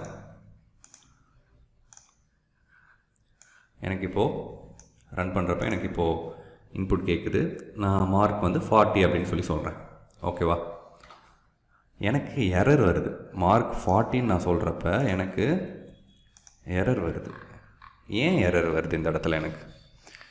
நல்லா பாருங்கள் இந்த இடத்துல என்ன சொல்லியிருக்காங்க அப்படின்னா instances of STR and int அதாவது ஒரு ஸ்ட்ரிங்கையும் ஒரு இன்டீஜர் நம்பரையும் நீங்கள் ஒரு இன்டீஜர் நம்பரையும் நீங்கள் கம்பேர் பண்ணுறீங்க அப்படி கம்பேர் பண்ண முடியாது அப்படின்னு சொல்லி எரர் வருது. ஆனால் நம்ம ஸ்ட்ரிங்கே போடலையே. இந்த இடத்துல என்ன தப்பு நடந்திருக்கு அப்படின்னு சொல்லி உங்களால் கண்டுபிடிக்க முடியுதா? இப்போ என்ன நடக்குது அப்படின்னா இந்த இடத்துல நான் ஃபார்ட்டின்னு சொல்லி சொல்லியிருக்கேன். இந்த ஃபார்ட்டி மார்க்கில் என்னவா ஸ்டோர் ஆகிருக்கு ஃபார்ட்டியாக ஸ்டோர் ஆகாமல் ஃபார்ட்டி அப்படின்ற ஸ்ட்ரிங்காக ஸ்டோர் ஆகிருக்கு ஓகேவா இதை எப்படி டேக்கிள் பண்ணுறது இந்த எரரை நம்ம எப்படி சால்வ் பண்ணுறது இந்த இடத்துல தான் நம்ம கேஸ்டிங் யூஸ் பண்ண போகிறோம் ஏற்கனவே நம்ம எப்படி கேஸ்டிங் பண்ணுறது அப்படின்னு சொல்லி பார்த்தோம். உங்களுக்கு இப்போது இந்த வீடியோ பாஸ் பண்ணிட்டு நீங்களே பண்ண ட்ரை பண்ணுங்கள் இப்போ நான் என்ன பண்ண போகிறேன் இந்த இன்புட்டை சுற்றி இன்ட் அப்படின்னு போட்டு அதுக்குள்ளே இந்த இன்புட்டை போட போகிறேன் இப்போ என்ன நடக்கும் அப்படின்னா ஃபார்ட்டி அப்படின்ற ஸ்ட்ரிங் இன்ட் இருக்கிறதுனால ஃபார்ட்டி அப்படின்ற நம்பராக கன்வெர்ட் ஆகி மார்க்குக்குள்ளே ஃபார்ட்டி அப்படின்ற நம்பராக ஸ்டோர் ஆகும். இப்போ இதை ரன் பண்ணலாம். இப்போ இதை ரன் பண்ணுறப்ப ஃபார்ட்டி அப்படின்னு சொல்கிறேன் எனக்கு பாஸ் அப்படின்னு சொல்லி அவுட்புட் வந்துருச்சு. எகெயின் நான் வந்து இப்போது திரும்ப ரன் பண்ணி இந்த இடத்துல தேர்ட்டி அப்படின்னு சொல்கிறேன் எனக்கு ஃபெயில் அப்படின்னு சொல்லி வந்திருக்கு. இந்த ப்ரோக்ராம் எப்படி ஒர்க் ஆகுதுன்னு உங்களுக்கு புரியும் நம்புகிறேன் இன்னொரு தடவை எக்ஸ்பிளைன் பண்ணிடுறேன். மார்க் அப்படின்ற வேரியபிளில் மார்க் அப்படின்ற வேரியபிளில் ஃபார்ட்டி அப்படின்ற நம்பர் ஸ்டோர் ஆகிருக்கு நம்ம கண்டிஷன் என்ன சொல்லியிருக்கோம்? If mark greater than thirty five அதாவது forty greater than thirty five அப்படின்னு சொல்லி நான் சொல்லியிருக்கேன். அதாவது ஃபார்ட்டி தேர்ட்டி ஃபைவ் விட கிரேட்டர் தான். அப்படின்னு நான் சொல்லியிருக்கேன். Forty greater than thirty five இந்த ஸ்டேட்மெண்ட் ட்ரூவா ஃபால்ஸா ஃபார்ட்டி தேர்ட்டி ஃபைவை விட அதிகம் தான் அப்போது இந்த ஸ்டேட்மெண்ட் ட்ரூ அப்போது இஃப் ட்ரூன்னு வர்றப்ப என்னாகும்? பாஸ் அப்படின்னு சொல்லி எனக்கு பிரிண்ட் ஆகும். ஃபஸ்ட் ஃபார்ட்டின்னு வர்றப்ப பாஸ் அடுத்து நான் தேர்ட்டின்னு சொல்லியிருக்கேன். Thirty greater than thirty five அப்படின்னு நான் சொல்லியிருக்கேன். தேர்ட்டி தேர்ட்டி ஃபைவ் விட அதிகமாக கிடையாது. தேர்ட்டி தேர்ட்டி ஃபைவ் விட கம்மி. ஓகேவா நான் என்ன சொல்லியிருக்கேன்? தேர்ட்டி கிரேட்டர் தென் தேர்ட்டி ஃபைவ்னு சொல்லியிருக்கேன். இந்த ஸ்டேட்மெண்ட் தப்பு. அப்போது எனக்கு ஃபால்ஸ் அப்படின்னு சொல்லி இந்த இஃபுக்குள்ளே எனக்கு ஃபால்ஸ்னு வரும். அப்போது எனக்கு இஃப் ஒர்க் ஆகாது எல்ஸ் ஒர்க் ஆகும். ஃபெயில் அப்படின்னு சொல்லி எனக்கு அவுட்புட் ஃபெயில் அப்படின்னு சொல்லி வந்திருக்கு. ஓகேவா அடுத்த கொஸ்டினுக்கு போகலாம் அடுத்த question get input for variable income if income is greater than seven thousand scholarship is available else not eligible scholarship. Scholarship அதே ப்ரோக்ராம் தான் எப்படி இந்த இடத்துல நம்ம மார்க்கை வச்சு மார்க்கை வச்சு பண்ணோமோ அதே மாதிரி இன்கம் வச்சு பண்ண போகிறோம் இதை ஒரு தடவை நீங்களே போட்டு பாருங்கள் உங்களால் போட முடியலை அப்படின்னா என் கூட சேர்ந்து கண்டினியூ பண்ணுங்கள் இப்போ நம்ம ப்ரோக்ராமுக்கு போகலாம் இன்கமுக்கு இன்புட் வாங்குகிறேன் இன்டிஜர் இன்புட் வாங்குகிறேன் இன்புட் வாங்கிட்டு அடுத்து என்ன பண்ணுறேன் if income greater than seven thousand print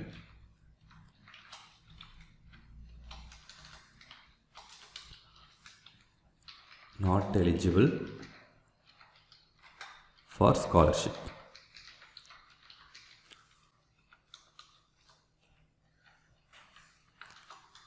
else colon print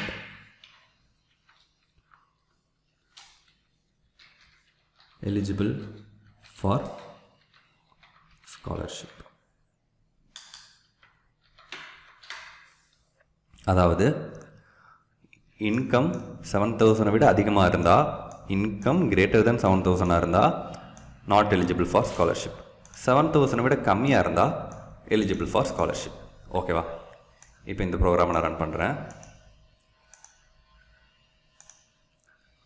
run பண்ணி இப்போ இந்த இடத்துல பாருங்கள் இந்த இடத்துல எனக்கு என்ன வரணும்? இன்கம் அப்படின்னு சொல்லி வந்தால் எனக்கு வந்து பார்க்குறதுக்கு நல்லாயிருக்கும் ஆனால் இங்கே எதுவுமே வரல. எனக்கு பிளிங்க் ஆகிட்டே இருக்குது எனக்கு இன்கம் கோலன் அப்படின்னு சொல்லி எனக்கு இந்த இடத்துல பிளிங்க் ஆகணும். அதுக்கு என்ன பண்ணலாம் அப்படின்னு சொல்லி லாஸ்ட் ப்ரோக்ராமில் சொன்னேன். பாஸ் பண்ணிட்டு அதை பண்ண முடியுதான்னு பாருங்கள் இல்லைனா இப்போ நான் சொல்கிறேன் கேளுங்க. இப்போ இந்த இன்புட்டுக்கு உள்ள நீங்கள் என்ன டைப் பண்ணாலும் அது அப்படியே வெளியே பிரிண்ட் ஆகும். இப்போ நான் இந்த இன்புட்டுக்குள்ளே இன்கம் கோலன் அப்படின்னு சொல்லி டைப் பண்ணுறேன் இது கண்டிப்பாக டைப் பண்ணி தான் ஆகணும் அப்படின்னு சொல்லி அவசியம் கிடையாது. இது டைப் பண்ணாட்டினாலும் ஒர்க் ஆகும். ஆனால் இதை டைப் பண்ணுறது மூலமாக நமக்கு என்ன டைப் பண்ணணும் அப்படின்னு சொல்லி ஒரு ஒரு கிளாரிட்டி கிடைக்கும். ஓகேவா இப்போ நான் உள்ள இன்கம் கோலன்னு டபுள் கொட்டேஷனில் போடுறேன். போட்டுட்டு இப்போ நான் இதை ரன் பண்ணுறேன் இப்போ எனக்கு அவுட்புட் என்ன வருதுன்னு பாருங்கள் இன்கம் அப்படின்னு ஆல்ரெடி வந்துடுச்சு அதுக்கப்புறம் பிளிங்க் ஆகுது. இப்போ எனக்கு ஓகே ப்ரோக்ராம் இன்கம் தான் கேட்குது அப்படின்னு ஒரு ஐடியா கிடைக்கும். இப்போ இதுக்குள்ளே செவன் தௌசண்ட் டூ ஹண்ட்ரட்னு போடுறேன். நாட் எலிஜிபிள் ஃபார் ஸ்காலர்ஷிப் ஓகேவா ஓகே அடுத்த ப்ரோக்ராம் போகலாம் ப்ரோக்ராம் நம்பர் த்ரீ அடுத்து இந்த தேர்ட் ப்ரோக்ராம் போகிறதுக்கு முன்னாடி இன்னொரு கான்செப்டை நான் எக்ஸ்பிளைன் பண்ணுறேன் கவனமாக பாருங்கள் இப்போது டென் அப்படி இருக்குன்ற நம்பர் இருக்குன்னு வச்சுக்கோங்க. இந்த டென்னை நான் டூவால் டிவைட் பண்ணுறப்ப டென்னை நான் டூவால் டிவைட் பண்ணுறேன் ஃபைவ் டூ சார் டென் அப்போது ரிமைண்டர் எனக்கு என்ன வருது? ஜீரோன்னு வருது. இதே நான் லெவனை டூவால் டிவைட் பண்ணால் எனக்கு ரிமைண்டர் ஒன் வருது. ஓகேவா இதே த்ரீ டேபிள் எடுத்துக்கலாம். ஃபிஃப்டீன் அப்படின்ற நம்பர் எடுத்துக்கோங்க. இப்போது ஃபிஃப்டீனை நான் த்ரீ டேபிளாக டிவைட் பண்ணுறேன் அப்போது five threes are fifteen remainder எனக்கு ஜீரோ வருது. இதே நான் ஃபோர்டீனை நான் த்ரீ டேபிளால் டிவைட் பண்ணால் ஃபோர்டீன் த்ரீ டேபிளாக டிவைட் பண்ணால் ஃபோர் த்ரீ சார் டுவெல் எனக்கு ரிமைண்டர் டூ வருது. இப்போது நல்லா கவனிச்சிங்க அப்படின்னா ரிமைண்டர் ஜீரோன்னு வந்தால் அந்த நம்பர் டிவிசிபிள் ஆகுது அப்படின்னு அர்த்தம். ஓகேவா ரிமைண்டர் ஜீரோ வரல அப்படின்னா அந்த நம்பர் டிவைட் ஆகலை அப்படின்னு அர்த்தம் கரெக்டாக அதாவது டென்னை டூவால் டிவைட் பண்ண முடியுமா அப்படின்னு பார்க்குறப்ப ஃபைவ் டூ சார் டென் ஆமாம் டிவைட் பண்ண முடியும் அப்போ ரிமைண்டர் ஜீரோ லெவனை டூவால் டிவைட் பண்ண முடியுமா அப்படின்னு பார்க்குறப்ப டிவைட் பண்ண முடியாது. ஃபைவ் டூ சார் டென்னு தான் வரும். ஃபைவ் டூ சார் அடுத்து ஃபைவ் டூ சார் டென் வரும். அடுத்து சிக்ஸ் டூ சார் டுவெல் வரும். லெவன் வராது. அதனால் இதோட ரிமைண்டர் ஒன்று லெவன் வந்து டூவில் டிவைட் ஆகாது. அதே மாதிரி இங்கே பார்த்தீங்க அப்படின்னா ஃபிஃப்டீன் இருக்குது fifteen five threes are fifteen zero remainder zero அதனால் இது வந்து டிவிசிபிள் ஆகும். ஃபோர்டீன் எடுத்துக்கிட்டிங்க அப்படின்னா ஃபோர் த்ரீ சார் டுவெல் தான் வரும். அடுத்து ஃபைவ் த்ரீ சார் ஃபிஃப்டீன் வரும். ஓகேவா அதனால் ஃபோர்டீனும் த்ரீ டேபிளில் டிவைட் ஆகாது. இப்போது இது அப்படியே ப்ரோக்ராமில் பார்க்கலாம். இப்போ நான் என்ன பண்ண போகிறேன் அப்படின்னா ஒரு நம்பர் எடுத்துக்கலாம். ஓகேவா இப்போது ஏ ஈக்குவல் டு டென் அப்படின்னு சொல்லி எடுத்துக்கலாம். பிரிண்ட்டுக்குள்ளே ஏ டிவைடட் பை டூ அப்படின்னு சொல்லி போடுறேன். அதாவது டென் டிவைடட் பை டூ இப்போ எனக்கு அவுட்புட் என்ன வரணும்? டென் டிவைடட் பை டூன்னு போட்டால் எனக்கு ten divided by two five அப்படின்னு சொல்லி எனக்கு அவுட்புட் பிரிண்ட் ஆகிருக்கு கரெக்டு தானே?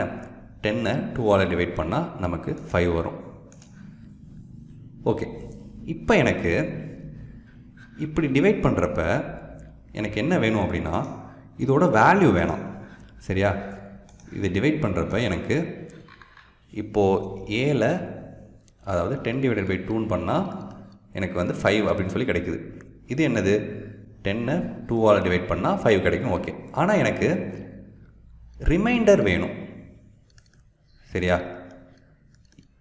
டென்னை டூவால் டிவைட் பண்ணுறப்ப அதோட ரிமைண்டர் என்ன? டென்னை டூவால் டிவைட் பண்ணுறப்ப ஃபைவ் டூ சார் டென் இதோட ரிமைண்டர் ஜீரோ ஓகேவா ப்ரோக்ராமில் நான் அதோட ரிமைண்டரை கொண்டு வரணும். அதாவது இப்போ நான் லெவன் டிவைடட் பை டூ அப்படின்னு போட்டேன்னா எனக்கு அவுட்புட் ஒன்றுன்னு வரணும். ஏன்னா இதோட ரிமைண்டர் ஒன்று தான். ஓகேவா ஒன் அதாவது eleven two five twos are ten இதோட ரிமைண்டர் என்ன? ஒன் எனக்கு இது அவுட்புட்டில் வேணும். ரிமைண்டர் என்ன அப்படின்றது எனக்கு இந்த இடத்துல பிரிண்ட் ஆகணும். அப்போ நம்ம என்ன பண்ணலாம்? அப்படின்னு பார்த்தீங்க அப்படின்னா இப்போது நான் ப்ரோக்ராம்குள்ளே போகிறேன் திரும்ப. ப்ரோக்ராமில் இப்போ நம்ம ஏ டிவைடட் பை டூன்னு போடுறதுக்கு பதிலாக ஏ மாடுலஸ் இப்படி பர்சன்டேஜ் சிம்பிள் உங்கள் கீபோர்டில் இருக்கும். அந்த பர்சன்டேஜ் சிம்பிளை மாடுலஸ்ன்னு சொல்லுவோம். ஓகேவா ஏ மாட் டூ இப்படி போட்டால் எனக்கு ரிமைண்டர் அவுட்புட்டில் வரும். இப்போ நான் இதை ரன் பண்ணுறேன் ஏ மாட் டூ அப்படின்றப்ப எனக்கு ரிமைண்டர் ஜீரோ வருது. இப்போது ஏ ஈக்குவல் டு ஏவே வேணாம். இப்போது பிரிண்டில் போயிட்டு இப்போது ஃபிஃப்டீன் மாட் த்ரீ அப்படின்னு சொல்லி போடுறேன். இதோட ரிமைண்டர் என்ன? ஃபிஃப்டீன் த்ரீயால் டிவைட் ஆகுமா? ஆகும் கரெக்டாக அப்போது இதோட ரிமைண்டர் எனக்கு ஜீரோ அப்படின்னு சொல்லி வரும். ஜீரோ ஓகேவா இப்போ நான் இந்த இடத்துல சிக்ஸ்டீன் போடுறேன். எனக்கு அவுட்புட் என்ன வரும் அப்படின்னு சொல்லி சொல்லுங்கள் சிக்ஸ்டீன் போட்டால் இந்த இடத்துல எனக்கு அவுட்புட் என்ன வரும்? இப்போ நான் இந்த இடத்துல சிக்ஸ்டீன் போட்டேன் அப்படின்னா இங்கே என்ன நடக்கும்னா சிக்ஸ்டீன் அப்படின்ற நம்பர் இருக்குது த்ரீயால் டிவைட் பண்ணுறேன் four threes are twelve five threes are fifteen six threes are eighteen ஓகேவா ஃபைவ் த்ரீ சார் ஃபிஃப்டீன் அப்படின்னு சொல்லி சொல்கிறேன் இது ரெண்டுக்கும் நடுவில் தான் சிக்ஸ்டீன் இருக்குது ஓகேவா இந்த இடத்துல இப்போது ஃபைவ் த்ரீ சார் ஃபிஃப்டீன் அப்போது இதோட ரிமைண்டர் என்ன? ஒன் அப்போது இந்த ப்ரோக்ராமை நான் ரன் பண்ணுறப்ப சிக்ஸ்டீன் மாட் த்ரீ அப்படின்னு நான் ரன் பண்ணுறப்ப எனக்கு அவுட்புட் ஒன்றுன்னு சொல்லி வரணும். ஓகேவா? இப்போ நம்ம இதை ரன் பண்ணி பார்க்கலாம். சிக்ஸ்டீன் மாட் த்ரீ அப்படின்னு நான் இதை ரன் பண்ணுறேன் எனக்கு அவுட்புட் என்ன வரணும்? ஒன் அப்படின்னு சொல்லி வந்துருச்சு. ஓகேவா? இந்த மாடுலஸ் எதுக்கு யூஸ் பண்ணுறோம் அப்படின்னு சொல்லி புரிஞ்சிருச்சா? சரி ஓகே இப்போ நம்ம நம்மளோட தேர்ட் ப்ரோக்ராமுக்கு போகலாம் get input for a number and check whether it is divisible by both three and five or not If yes, print the number is divisible by 3 and 5, else not divisible by 3 and 5. ஒரு நம்பருக்கு input வாங்குங்க. அந்த number த்ரீயாலையும் ஃபைவாலையும் divide ஆகுதான்னு பாருங்கள் அப்படி ரெண்டு நம்பராலையுமே divide ஆச்சு அப்படின்னா ஆமாம் divisible by three and five அப்படின்னு சொல்லி பிரிண்ட் பண்ணுங்க அப்படின்னு சொல்லி சொல்கிறாங்க ஓகேவா ஃபர்ஸ்ட்டு ஒரு நம்பர் த்ரீயால் டிவைட் ஆகுதா இல்லையா அப்படின்றத எப்படி செக் பண்ணலாம் அப்படின்னு சொல்லி நம்ம பார்க்கலாம். ஃபஸ்ட்டு ஒரு நம்பருக்கு இன்புட் வாங்குவோம். சரியா? A equal to int input first ஒரு நம்பருக்கு இன்புட் வாங்கிட்டோம். இப்போது இந்த இடத்துல நம்ம கண்டிஷன் எழுதணும். ஏ அப்படின்ற நம்பர் த்ரீயால் டிவைட் ஆகுமா ஆகாதா? அப்படின்னு சொல்லி நம்ம எழுதணும். இப்போ நான் இந்த இடத்துல என்ன பண்ண போகிறேன் அப்படின்னா if A mod three equal to equal to zero print explain பண்ணுறேன் இன்னும் கொஞ்சம் நேரத்தில் நான் என்ன பண்ணுறேன் அப்படின்னு சொல்லி. Print divisible by three else print not divisible by three ஓகேவா இப்போ நான் இந்த இடத்துல என்ன பண்ணியிருக்கேன் அப்படின்னு சொல்லி இப்போ நான் எக்ஸ்பிளைன் பண்ண போகிறேன் நம்ம ஆல்ரெடி என்ன பார்த்தோம்? ஒரு நம்பர் சரியா? எக்ஸாம்பிள் 15 எடுத்துக்கோங்க. ஓகேவா இப்போ ஃபிஃப்டீனை த்ரீயால் நான் டிவைட் பண்ணால் ஃபைவ் த்ரீ ஆர் ஃபிஃப்டீன் இதோட ரிமைண்டர் ஜீரோ அப்போது ஒரு நம்பரை இன்னொரு நம்பரால் டிவைட் பண்ணுறப்ப இதோட ரிமைண்டர் ஜீரோவாக இருந்துச்சு அப்படின்னா அந்த நம்பர் இந்த நம்பரால் டிவைட் பண்ணலாம் டிவைட் பண்ண முடியும் அப்படின்னு அர்த்தம். அதாவது ஃபிஃப்டீனை த்ரீயால் டிவைட் பண்ணுறப்ப அதோட ரிமைண்டர் ஜீரோவாக இருந்துச்சு அப்படின்னா ஃபிஃப்டீன் த்ரீயால் டிவைட் ஆகும் அப்படின்னு அர்த்தம். ஓகேவா இப்போது நான் இந்த இடத்துல என்ன பண்ணியிருக்கேன் அப்படின்னா a mod three equal to equal to zero அப்படின்னு சொல்லி சொல்லியிருக்கேன். ஒருவேளை ஏக்கு ஃபிஃப்டீன் அப்படின்னு இன்புட் கொடுக்குறேன்னு வைங்க. என்ன நடக்கும் அப்படின்னா ஃபிஃப்டீன் மாட் த்ரீ இந்த A mod three fifteen mod three அப்படின்னு சொல்லி மாறும் மாறும். ஓகேவா ஃபிஃப்டீன் மாட் த்ரீனா இதோட அவுட்புட் என்ன வரும் எனக்கு? அதை மட்டும் சொல்லுங்கள் ஃபிஃப்டீன் திரும்ப அதே மாதிரி தான் த்ரீயாக டிவைட் பண்ணுறேன் ஃபைவ் த்ரீ சார் ஃபிஃப்டீன் அப்போ இதோட ரிமைண்டர் ஜீரோ கரெக்டாக இந்த மாடுலஸ் ஆப்ரேட்டர் எனக்கு ரிமைண்டரை தான் கொடுக்கும். அப்போ ஃபிஃப்டீன் மாட் த்ரீ அப்படின்றப்ப எனக்கு இதோட அவுட்புட் என்ன வரும்? ஜீரோ அப்படின்னு சொல்லி வரும். இஃபில் என்ன கொடுத்துருக்கோம்? A mod three equal to equal to ஜீரோன்னு சொல்லி சொல்லியிருக்கோம். அப்போது fifteen mod three equal to equal to ஜீரோவா அப்படின்னு சொல்லி தான் கொஸ்டின் இப்போது ஃபிஃப்டீன் மாட் த்ரீயோட அவுட்புட் ஜீரோன்னு வந்துருச்சு. Equal to equal to zero இந்த சைடு இருக்கிறதும் இந்த சைடு இருக்கிறதும் ஈக்குவலாக இல்லையா?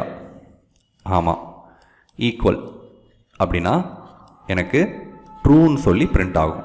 அப்போ இந்த இஃப்குள்ளே எனக்கு ட்ரூ அப்படின்னு சொல்லி எனக்கு பிரிண்ட் ஆகும். அப்போது இதோட அவுட்புட் எனக்கு என்ன வரும்? டிவிசிபிள் பை த்ரீ அப்படின்னு சொல்லி இஃப்புக்குள்ளே உள்ளது பிரிண்ட் ஆகும். ரன் பண்ணி பார்க்கலாம். இப்போ நான் இதை ரன் பண்ணுறேன் ரன் பண்ணுறப்ப ஃபிஃப்டீன் அப்படின்னு டைப் பண்ணுறேன் டிவிசிபிள் பை த்ரீ அப்படின்னு சொல்லி எனக்கு வந்துருச்சு. இப்போ இதே இந்த இடத்துல நான் ஃபிஃப்டீன்னு போடாமல் இப்போ நான் என்ன பண்ண போகிறேன் வேறு ஒரு நம்பரை போட போகிறேன் இப்போ நான் இந்த ப்ரோக்ராமை ரன் பண்ணி இந்த இடத்துல ஃபிஃப்டீன் போடாமல் ஃபோர்டீன் போடுறேன்னு வைங்க. ஓகேவா நாட் டிவிசிபிள் பை த்ரீ ஏன் இந்த இடத்துல நாட் டிவிசிபிள் பை த்ரீன்னு வந்திருக்கு? இப்போது எகெயின் திரும்பவும் இந்த ப்ரோக்ராமை நான் எக்ஸ்பிளைன் பண்ணுறேன் இப்போ என்ன நடக்குது அப்படின்னு சொல்லி இப்போது ஏக்குள்ளே என்ன இருக்குது ஃபோர்டீன் இருக்குது ஓகேவா ஏக்குள்ளே ஃபோர்டீன் இருக்குது இஃப்பில் ஏக்குள்ளே ஃபோர்டீன் இருக்குன்னு சொன்னேன்னா அப்போது fourteen mod three equal to equal to zero அப்படின்னு சொல்லி சொல்கிறேன் ஃபோர்டீன் மாட் த்ரீயோட அவுட்புட் என்ன வரும்? ஃபோர்டீனை த்ரீயால் டிவைட் பண்ணுறேன் ஓகேவா one three are three two three are one three are three two three are six three three are nine four three are twelve five three are fifteen அப்போ நமக்கு ஃபோர்டீன் இருக்குது fifteen போக முடியாது. அப்போது இதை தான் நம்ம யூஸ் பண்ண முடியும். இப்போ நான் இதை யூஸ் பண்ணேன் அப்படின்னா ஃபோர் த்ரீ சார் டுவெல் தான். என்னோடய ரிமைண்டர் என்ன வரும்? ரிமைண்டர் டூ வரும். அப்போது இதோட ரிசல்ட் டூன்னு எனக்கு வரும். இதோட அவுட்புட் எனக்கு டூன்னு வரும். அப்போது ஆல்ரெடி என்ன ஆயிடுச்சு? இதோட ரிசல்ட் டூன்னு வந்தாச்சு. இப்போது நமக்கு கிடைச்ச result equal to equal to ஜீரோவா அப்படின்னு சொல்லி பார்க்குறோம். ஏன் அப்படின்னா இந்த இடத்துல எனக்கு ரிசல்ட் ஜீரோன்னு கிடச்சிருந்துச்சு அப்படின்னா எனக்கு இப்போ ரிசல்ட் டூ கிடச்சிருக்கு. ஆனால் ஒருவேளை டூ கிடைக்காம எனக்கு ஜீரோ ரிசல்ட் கிடச்சிருந்துச்சு அப்படின்னா அந்த நம்பர் த்ரீயால் டிவைட் ஆகும்னு அர்த்தம். ஆனால் எனக்கு டூ கிடச்சிருக்கு. ஓகேவா இப்போது two equal to equal to ஜீரோவா அப்படின்னு சொல்லி பார்க்குறேன் டூ வேற ஜீரோ வேற. அதனால் எனக்கு இது ஃபால்ஸ் அப்படின்னு சொல்லி இஃப்புக்குள்ளே எனக்கு ரிட்டர்ன் பண்ணும். அப்போது எனக்கு இந்த இஃப் ஸ்டேட்மெண்ட் ஒர்க் ஆகாமல் எல்ஸில் உள்ளது ஒர்க் ஆகும். இது உங்களுக்கு புரிஞ்சிருக்கும்னு நினைக்கிறேன். ஒருவேளை உங்களுக்கு புரியலை அப்படின்னா நீங்கள் again again again and again இதை வந்து போட்டு பாருங்கள் அப்போ உங்களுக்கு புரிய வரும். கண்டினியூவாக அடுத்த டென் ப்ராப்ளம்ஸ் என் கூட சேர்ந்து சால்வ் பண்ணுங்கள் இதை இந்த செஷன் முடிகிறப்போ உங்களுக்கு இது கண்டிப்பாகவே புரிய வரும். இப்போது ஓகே த்ரீ த்ரீயால் டிவைட் ஆகுமா ஆகாதான்னு சொல்லி பார்த்துட்டோம். நமக்கு கொஸ்டின் என்ன? Get input for number and check with it is divisible by both three and five three ஆலையும் divide ஆகணும் ஃபைவ் ஆலையும் டிவைட் ஆகணும். இப்போ த்ரீ த்ரீயால் டிவைட் பண்ணுறதுக்கு என்ன பண்ணலாம் அப்படின்னு சொல்லி பார்த்தோம். கரெக்டாக இப்போ அதே ப்ரோக்ராமை ஃபைவால் டிவைட் பண்ணணும் அப்படின்னா இந்த இடத்துல நான் ஃபைவ் போட்டேன் அப்படின்னா ஃபைவால் டிவைட் ஆகிற நம்பர் நம்பர் வந்து ஃபைவால் டிவைட் ஆகுதா இல்லையா அப்படின்னு சொல்லி நமக்கு தெரிஞ்சிடும் ஆனால் எனக்கு த்ரீயாலையும் டிவைட் ஆகணும் ஃபைவாலையும் டிவைட் ஆகணும். அப்போது இந்த இடத்துக்குள்ள பைனரி ஆப்ரேட்டர் நம்ம யூஸ் பண்ண போகிறோம் இந்த பைனரி ஆப்ரேட்டர் அப்படின்னா என்ன? பைனரி ஆப்ரேட்டர் அப்படின்னா என்ன அப்படின்னா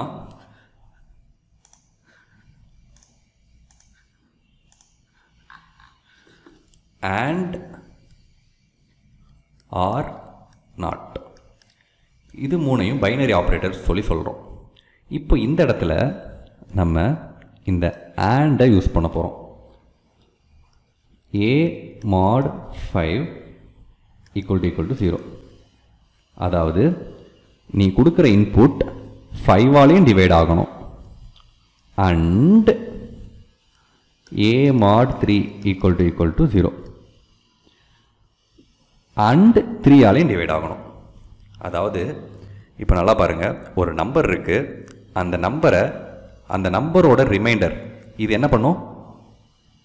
ஒரு வேளை இங்கே டென் இருந்துச்சு அப்படின்னா அதை ஃபைவால் டிவைட் பண்ணுறப்ப அதோட ரிமைண்டர் என்னவோ அதை இது கொடுக்கும். கிடைக்கிற ரிமைண்டர் ஜீரோவாக இருந்துச்சு அப்படின்னா ஃபைவால் டிவைட் ஆகும் அப்படின்னு சொல்லி நம்ம சொல்கிறோம் இங்கேயும் அதே மாதிரி தான் ஒரு நம்பரை த்ரீயால் டிவைட் பண்ணுறப்ப என்ன ரிமைண்டர் கிடைக்குமோ அந்த ரிமைண்டரை இது நமக்கு கொடுக்கும். கிடைக்கிற ரிமைண்டர் ஜீரோவாக இருந்துச்சு அப்படின்னா அந்த நம்பர் த்ரீயால் டிவைட் ஆகுது அப்படின்னு சொல்லி அர்த்தம். இப்போ நம்ம நடுவில் அண்டு போட்டிருக்கோம். ஓகேவா அண்டு போட்டிருக்கோம். அப்போது ஒரு நம்பர் இந்த இடத்துல எனக்கு வந்து ஃபைவாலையும் டிவைட் ஆகணும். அண்டு த்ரீயாலையும் டிவைட் ஆகணும்.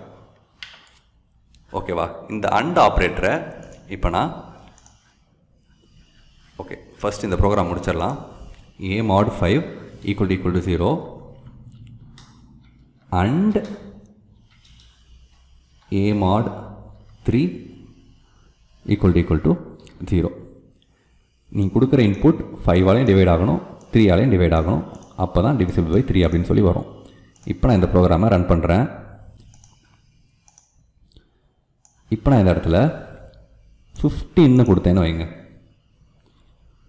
எனக்கு டிவிசிபிள் பை ஓகே இது டிவிசிபிள் பை த்ரீ அண்ட் ஃபைவ்னு போட்டுக்கலாம். Three and five divis not divisible by three and five இப்போ நான் இதை ரன் பண்ணுறேன் இப்போ நான் ஃபிஃப்டீன் கொடுத்தா divisible by three and five அப்படின்னு சொல்லி வந்துருச்சு. இதே இப்போ நான் இந்த ப்ரோக்ராமை ரன் பண்ணுறப்ப ஓகே இந்த ப்ரோக்ராம் இப்போ நான் ரன் பண்ணுறப்ப டுவெல்னு கொடுத்தா not divisible by three and ஃபைவ்னு வருது. இப்போது இது எப்படி ஒர்க் ஆகுது அப்படின்னு சொல்லி நான் சொல்கிறேன் இங்கே என்ன நடக்குது அப்படின்னா நம்ம என்ன பண்ணியிருக்கோம்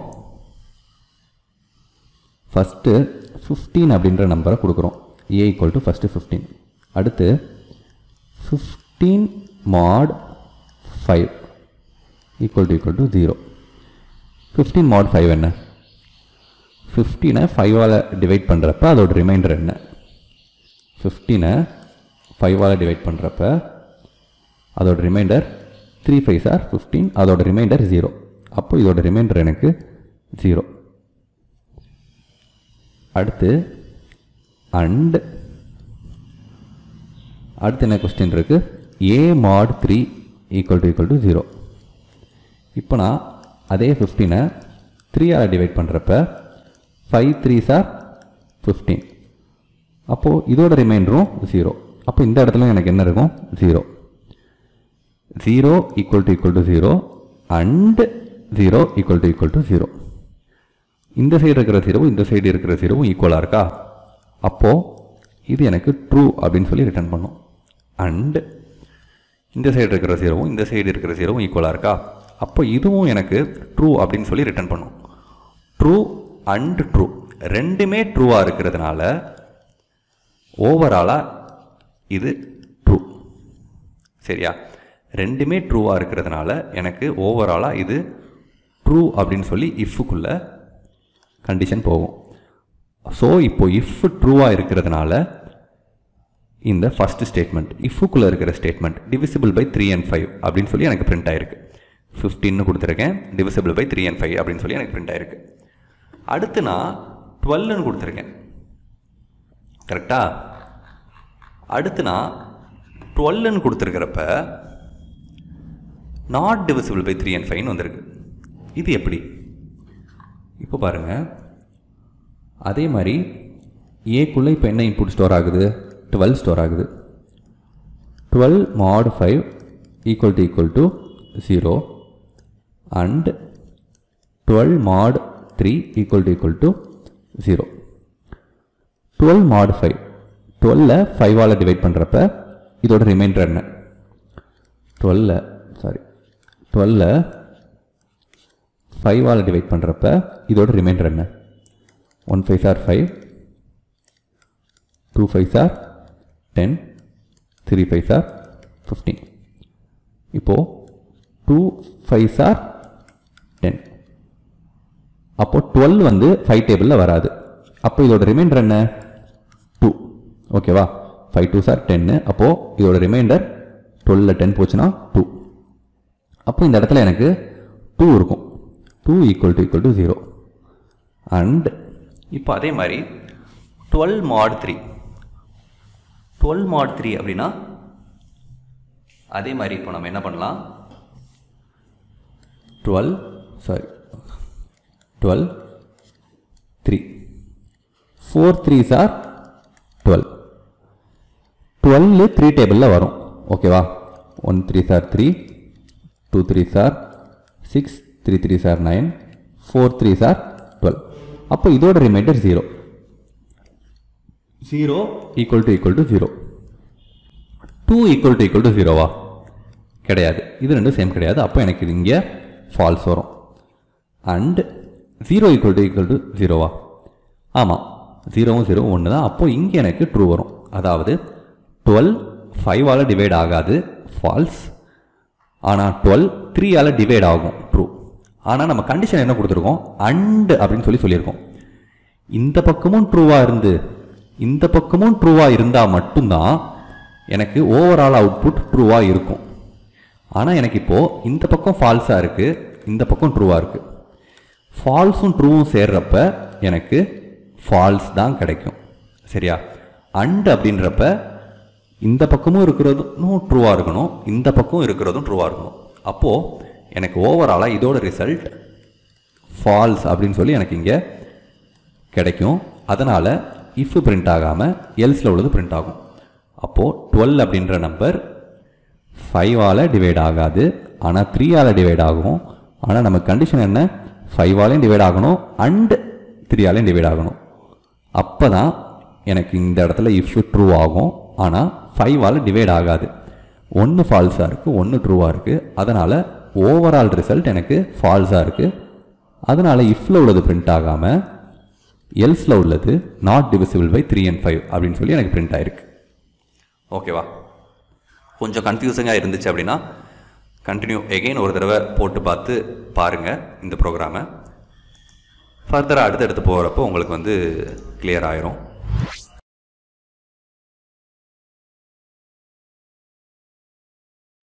அடுத்த ப்ரோக்ராம் போகலாம் இப்போது get input for a number and find it is even or odd திரும்ப அதே கான்செப்டை தான் இந்த இடத்துல யூஸ் பண்ண போகிறோம் சரியா?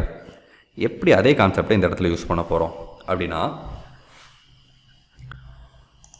இப்போ பாருங்கள் எக்ஸ்பிளைன் பண்ணுறேன் எப்படி ஃபோர்த் ப்ரோக்ராம் போடலாம் அப்படின்னு சொல்லி. இப்போது ஒரு நம்பர் இருக்குன்னு வைங்க. ஏதோ ஒரு நம்பர் ஒரு நம்பர் ஈவனா இல்லையான்னு எப்படி கண்டுபிடிப்பீங்க? ஒரு நம்பர் ஏதோ ஒரு நம்பர் டூவால் டிவைட் ஆனால் ஈவன் டூவால் டிவைட் ஆகலைன்னா ஆட் நம்பர் ஓகேவா இதுதான் ரூல் எந்த நம்பராக இருந்தாலுமே டூவால் டிவைட் ஆனால் ஈவன் நம்பர் டூவால் டிவைட் ஆகலை அப்படின்னா ஆட் நம்பர் ஒரு நம்பர் டூவால் டிவைட் ஆகுது ஆகலை அப்படின்றத எப்படி கண்டுபிடிப்போம்? இப்போ நம்ம ஏற்கனவே போட்ட ப்ரோக்ராம் மாதிரியே தான் இதையும் போட போகிறோம் அதாவது ஒரு நம்பர் மாட் டூ ஒரு நம்பர் டூவால் டிவைட் பண்ணுறப்ப அதோட ரிமைண்டர் ஜீரோவாக இருந்துச்சு அப்படின்னா அந்த நம்பர் டூவால் டிவைட் ஆகுது அப்படின்னு சொல்லி அர்த்தம். ஓகேவா அப்படி டூவால் டிவைட் ஆணுச்சு அப்படின்னா அது ஈவன் நம்பர் இல்லைன்னா அது ஆட் நம்பர் இப்போ நான் ப்ரோக்ராமில் போய் போட்டு எக்ஸ்பிளைன் பண்ணுறேன்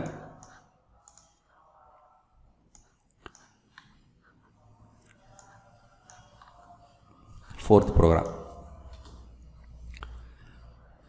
ஏதோ ஒரு நம்பருக்கு இன்புட் வாங்குகிறோம் ஓகே ஏக்கு இன்புட் வாங்குகிறேன் a equal to int input இப்போது if a mod two equal to equal to ஜீரோவாக இருந்துச்சு அப்படின்னா print even else print odd இப்போ இந்த ப்ரோக்ராமை ரன் பண்ணலாம்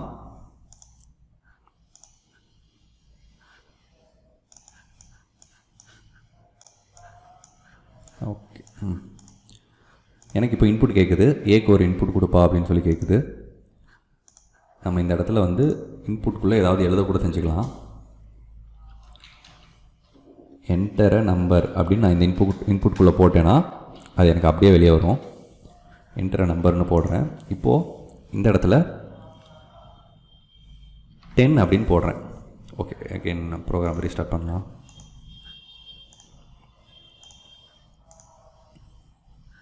என்டர நம்பர் அப்படின்னு சொல்லி எனக்கு கேட்குது இப்போ நான் இங்கே டென் அப்படின்னு சொல்லி கொடுத்தா டென் ஈவன் நம்பர் அப்படின்னு சொல்லி எனக்கு சொல்லுது.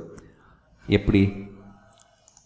திரும்ப பழைய ப்ரோக்ராம் மாதிரி தான் நான் எக்ஸ்பிளைன் பண்ணுறேன் கவனமாக பாருங்கள் இப்போது இந்த இடத்துல என்ன நடக்குது அப்படின்னா ஏ ஈக்குவல் டு டென் அப்படின்னு சொல்லி இன்புட் வாங்குகிறோம் சரியா? இஃப்புக்குள்ளே என்ன நடக்குது? If ten mod two equal to equal to zero ten mod two அப்படின்னா இதோட ரிசல்ட் எனக்கு என்ன இருக்கும்? டென் டென்னை டூவால் டிவைட் பண்ணுறோம் ஃபைவ் டூ சார் டென் அப்போ இதோட ரிமைண்டர் டென்னால் டென்னை மைனஸ் பண்ணுறப்ப ஜீரோ ஓகேவா அப்போது இதோட ரிமைண்டர் எனக்கு இங்கே என்ன இருக்குது ஜீரோன்னு இருக்குது இப்போது zero equal to equal to ஜீரோவா ரெண்டும் சேமா ஆமாம் அப்படின்றப்ப இஃப்புக்குள்ளே ட்ரூ அப்படின்னு சொல்லி போகும். அப்போது எனக்கு இஃப் ஸ்டேட்மெண்ட் ஒர்க் ஆகும். சரியா? இப்போ நான் அதே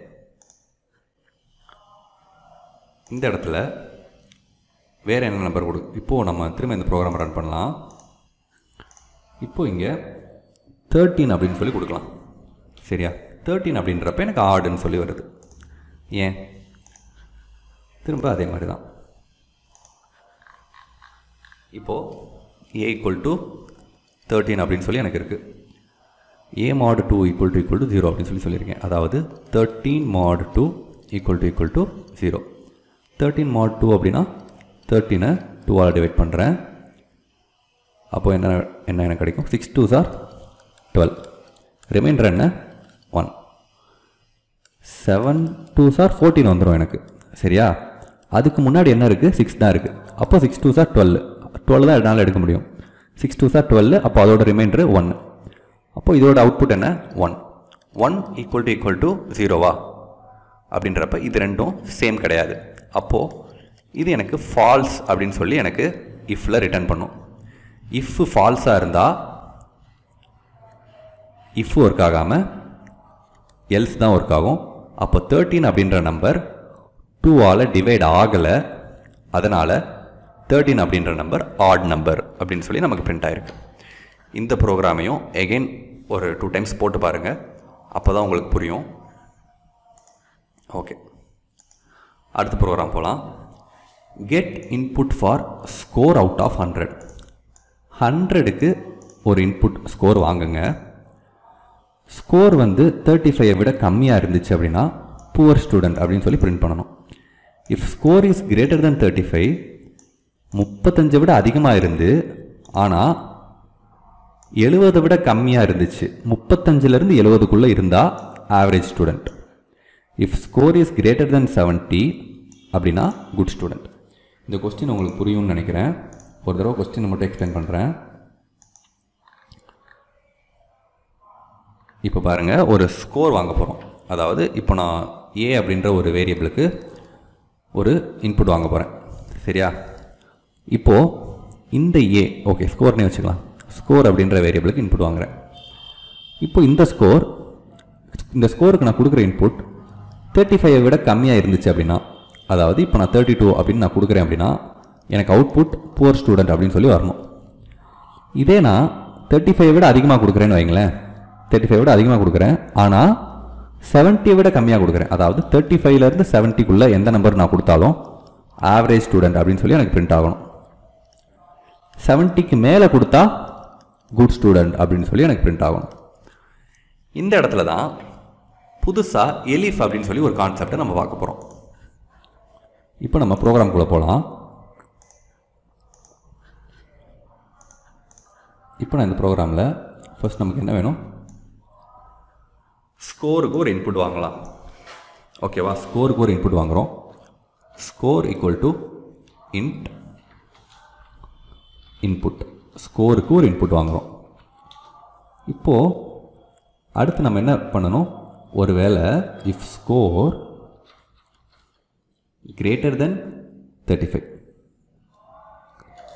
score முப்பத்தஞ்சை விட அதிகமாக இருந்துச்சு அப்படின்னா score greater than sorry sorry score less than thirty five score முப்பத்தஞ்சை விட கம்மியாக இருந்துச்சு அப்படின்னா print poor student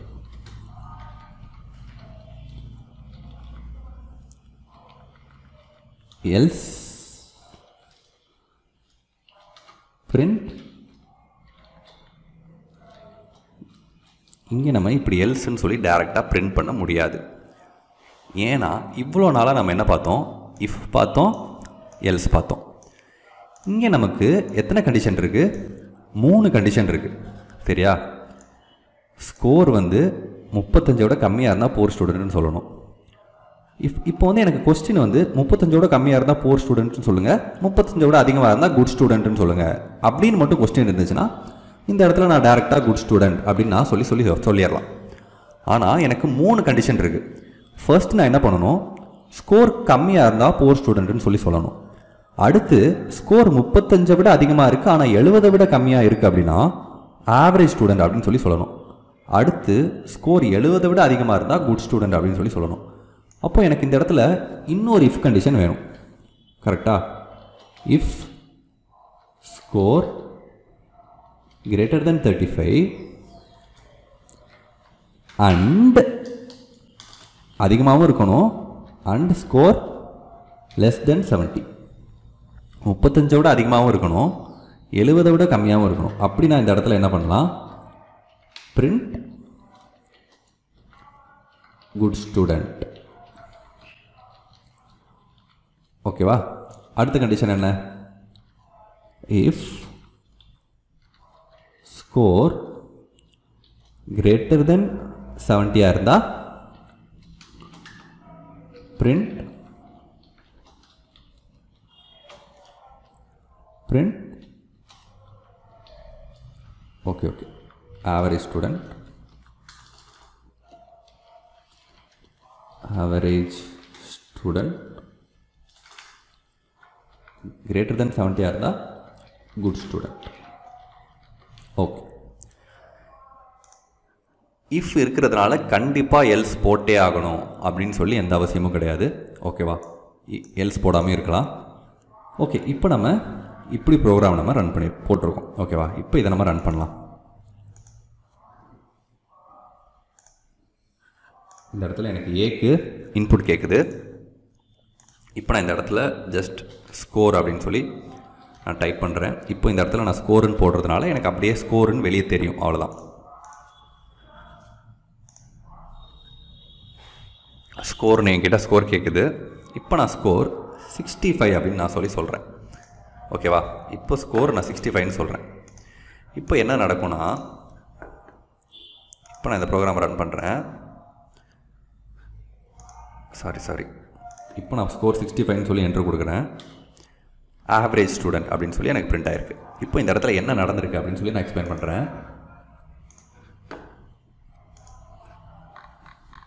first first முதல் லைன் ரன் ஆகுது ப்ரோக்ராமில் முதல் லைனில் என்ன நடக்குது? Score equal to sixty five இங்கே நம்ம கொடுத்த சிக்ஸ்டி ஃபைவ் இங்கே சேவ் ஆயிருக்கு. அடுத்து if score less than thirty five இந்த லைன் ஒர்க் ஆகுது அடுத்து ஸ்கோர் லெஸ் தென் தேர்ட்டி ஃபைவா அப்படின்னு சொல்லி பார்க்குது. ஸ்கோரில் என்ன வேல்யூ இருக்குது ஸ்கோரில் சிக்ஸ்டி ஃபைவ் இருக்குது sixty five less than thirty ஃபைவான்னு பார்க்குது. Sixty five less than thirty ஃபைவா கிடையாது. சிக்ஸ்டி ஃபைவ் தேர்ட்டி ஃபைவ் விட அதிகம். Sixty five less than thirty ஃபைவான்னு கேட்குறாங்க கிடையாது. சிக்ஸ்டி ஃபைவ் தேர்ட்டி ஃபைவை விட அதிகம். அதனால் இந்த இஃப் ஒர்க் ஆகாது. அடுத்து if score greater than thirty five and score less than seventy இப்போது if score greater than thirty five if score greater than 35 and score less than 70 score greater than 35 அப்படி greater than 35 வா? அப்படின்னு பார்க்குறோம். நம்மளோட score sixty five இங்கே நம்ம input கொடுத்த value sixty five greater than thirty ஃபைவா sixty five greater than thirty ஃபைவா ஆமாம் தானே? இது ட்ரூ அப்போ இந்த இடத்துல எனக்கு ட்ரூ அப்படின்னு சொல்லி வரும். அண்ட் அடுத்து என்ன சொல்லியிருக்கோம்? சிக்ஸ்டி ஃபைவ் லெஸ் தென் செவன்ட்டின்னு சொல்லியிருக்கோம். சிக்ஸ்டி ஃபைவ் செவன்ட்டியை விட கம்மியா? ஆமாம் இதுவும் ட்ரூ இந்த பக்கம் உள்ள கண்டிஷனும் ட்ரூ அண்டு இந்த பக்கம் உள்ள கண்டிஷனும் ட்ரூ இப்படி இது ரெண்டுமே ட்ரூவாக இருக்கிறதுனால இந்த இஃப் எனக்கு ஒர்க் ஆகும். பிரிண்ட் ஆவரேஜ் ஸ்டூடெண்ட் அப்படின்னு எனக்கு ஒர்க் ஆகும். ஆனால் ப்ரோக்ராம் இதோட ஸ்டாப் ஆகாது. ப்ரோக்ராம் இப்போ என்ன பண்ணும்? அடுத்து இருக்கிற இந்த இஃபையும் செக் பண்ணும் சரியா? ப்ரோக்ராம் மொதல் இஃபை செக் பண்ணிருச்சு ஒர்க் ஆகலை.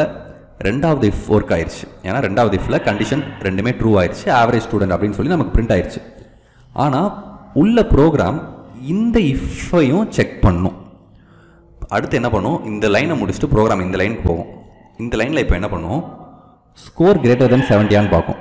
Sixty five greater than seventy அப்படின்னு சொல்லி சொல்லியிருக்கோம். சிக்ஸ்டி ஃபைவ் கிரேட்டர் தென் செவன்ட்டியா ஆமாவா இல்லையா? இல்லை. சிக்ஸ்டி ஃபைவ் கிரேட்டர் தென் செவன்ட்டின்னு சொல்லியிருக்கோம். ஆனால் அது தப்பு. சிக்ஸ்டி ஃபைவ் செவன்ட்டியை விட கம்மி தான். அதனால் இந்த இடத்துல ஃபால்ஸ் அப்படின்னு சொல்லி வரும். இந்த இடத்துல ஃபால்ஸ் அப்படின்னு சொல்லி இஃப்பில் வரும். அதனால் இது பிரிண்ட் ஆகாது. இப்போ நமக்கு இந்த ஆவரேஜ் ஸ்டூடெண்ட் மட்டும் இங்கே பிரிண்ட் ஆகிருக்கு ஓகேவா இதே ப்ரோக்ராமை வேறு மெத்தடில் இப்போ நம்ம எப்படி போடலாம்? அதாவது இன்னும் எஃபிஷியண்ட்டாக எப்படி போடலாம்? இப்போது இந்த இடத்துல ப்ரோக்ராம் எனக்கு தேவையான அவுட்புட் எனக்கு இந்த இடத்துல கிடச்சிருச்சு. கரெக்டாக இந்த இடத்துலையே எனக்கு ஆவரேஜ் ஸ்டூடெண்ட் அப்படின்னு சொல்லி எனக்கு தேவையான அவுட்புட் கிடச்சிருச்சு. ஆனால் ப்ரோக்ராம் என்ன பண்ணும்? அடுத்த லைனையும் செக் பண்ணும். ஓகேவா இப்போ என்கிட்ட நிறையா இஃப் இருக்குன்னு வச்சுக்கோங்களேன். ஓகே என்கிட்ட ஒரு பத்து பதினஞ்சு இஃப் இருக்குன்னு வச்சுக்கோங்களேன். ப்ரோக்ராம் இந்த லைனையும் செக் பண்ணிவிட்டு அடுத்து இருக்கிற அந்த பத்து பதினஞ்சு லைனையும் செக் பண்ணும். ஆனால் எனக்கு ஆன்சர் இங்கேயே கிடச்சிருச்சு. எனக்கு இதோட ப்ரோக்ராம் ஸ்டாப் ஆனால் ஓகே ஆனால் ப்ரோக்ராம் ஸ்டாப் ஆகாமல் இன்னும் அடுத்து இருக்கிற பத்து பதினஞ்சு லைனும் செக் பண்ணும். நம்மக்கிட்ட பத்து பதினஞ்சு லைன் கோட் இருந்தால் பிரச்சனை இல்லை.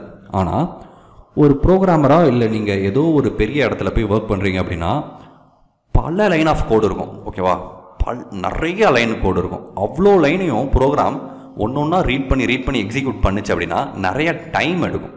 ஓகேவா அந்த டைமை நம்ம சேவ் பண்ணணும். இப்போது புதுசாக பைத்தானில் ஒரு புது கான்செப்ட் ஒன்று பார்க்க போகிறோம் அந்த கான்செப்டுக்கு பேர் எலிஃப் அப்படின்னு சொல்லி சொல்கிறோம் ஓகேவா இந்த இடத்துல எல்ஸ் அப்படின்னு சொல்லி சொல்ல போகிறேன் இப்போது இப்போ இந்த ப்ரோக்ராம் எப்படி ரன் ஆகுது என்ன அப்படின்னு சொல்லி நான் சொல்கிறேன் எலிஃப் பார்த்துக்கோங்க. இஃப் எலிஃப் எல்ஸ் இப்போது இந்த ப்ரோக்ராமில் என்ன நடக்கும் அப்படின்னா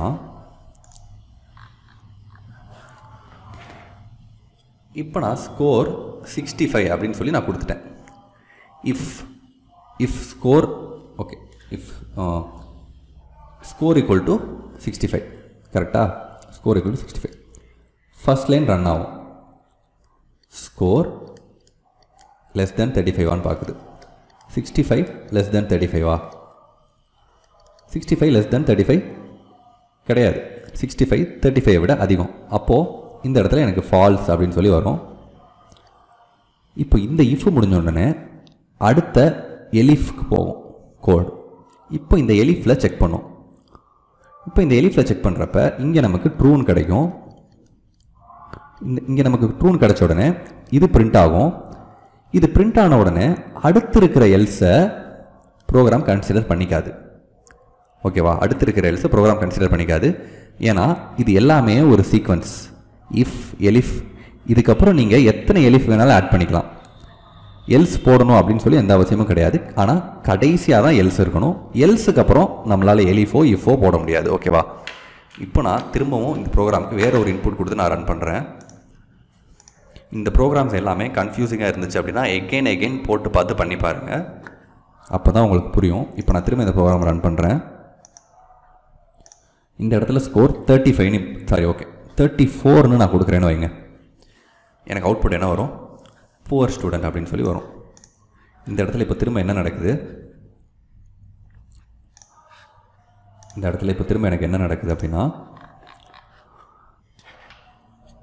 இன்புட்டில் இன்புட்டில் தேர்ட்டி ஃபோர் இருக்குது thirty four less than thirty ஃபைவா அப்படின்னு சொல்லி ஃபஸ்ட் இந்த லைன் கேட்குது thirty four less than thirty ஃபைவா ட்ரூவா ஃபால்ஸா thirty four less than thirty five true அப்போது இந்த இடத்துல இஃப்பில் ட்ரூ வரும். இஃப்பில் ட்ரூ வந்தால் இந்த இஃப்பில் இருக்கிற இந்த புவர் ஸ்டூடெண்ட் பிரிண்ட் ஆகும். அப்படி இந்த இஃப் ஒர்க் ஆயிடுச்சு அப்படின்னா அடுத்து இருக்கிறது எதுவுமே ஒர்க் ஆகாது. ஓகேவா அடுத்து திரும்ப இப்போது அடுத்து ஒரு இன்புட் கொடுத்து பார்க்கலாம். இப்போ நான் ப்ரோக்ராமில் செவன்ட்டிக்கு மேலே ஏதோ ஒரு நம்பர் கொடுக்க போகிறேன் இப்போ நான் இந்த ப்ரோக்ராம் ரன் பண்ணி இந்த ப்ரோக்ராமில் எயிட்டின்னு சொல்லி சொல்கிறேன் இப்போ நான் இதை ரன் பண்ணுறப்ப குட் ஸ்டூடெண்ட் அப்படின்னு சொல்லி எனக்கு அவுட்புட் பிரிண்ட் ஆகுது. இப்போது இது எப்படின்னா நல்லா பாருங்கள் ஸ்கோரில் இப்போ என்ன ஸ்டோர் ஆகுது? எயிட்டீன் போட்டிருக்கேன். ஓகேவா ஸ்கோரில் நான் எயிட்டீன் போட்டிருக்கேன். First eighty less than thirty ஃபைவா eighty முப்பத்தஞ்சை விட கம்மியான நம்பரா இல்லை. ட்ரூவா ஃபால்ஸான்னு பார்க்குறப்ப ஃபால்ஸ் ஓகேவா ஃபால்ஸ்னு வரும். அப்போது இந்த எஃப் ஒர்க் ஆகாது அடுத்து அடுத்த இஃப் அடுத்த இஃப்பில் eighty greater than thirty five and eighty less than seventy இப்போ இந்த இடத்துல என்ன நடக்குதுன்னு பாருங்கள் eighty greater than thirty five இது ட்ரூவா ஃபால்ஸா எயிட்டி தேர்ட்டி ஃபைவ் விட அதிகமான நம்பரா இல்லையா? ஆமாம் கரெக்ட் எயிட்டி தேர்ட்டி ஃபைவ் விட அதிகம். அப்போ இங்கே ட்ரூன்னு வரும். அண்டு எயிட்டி எழுவதை விட சின்ன நம்பரா எயிட்டி எழுவதை விட சின்ன நம்பர் கிடையாது. ஓகேவா அப்போ இங்கே ஃபால்ஸ்னு வரும்.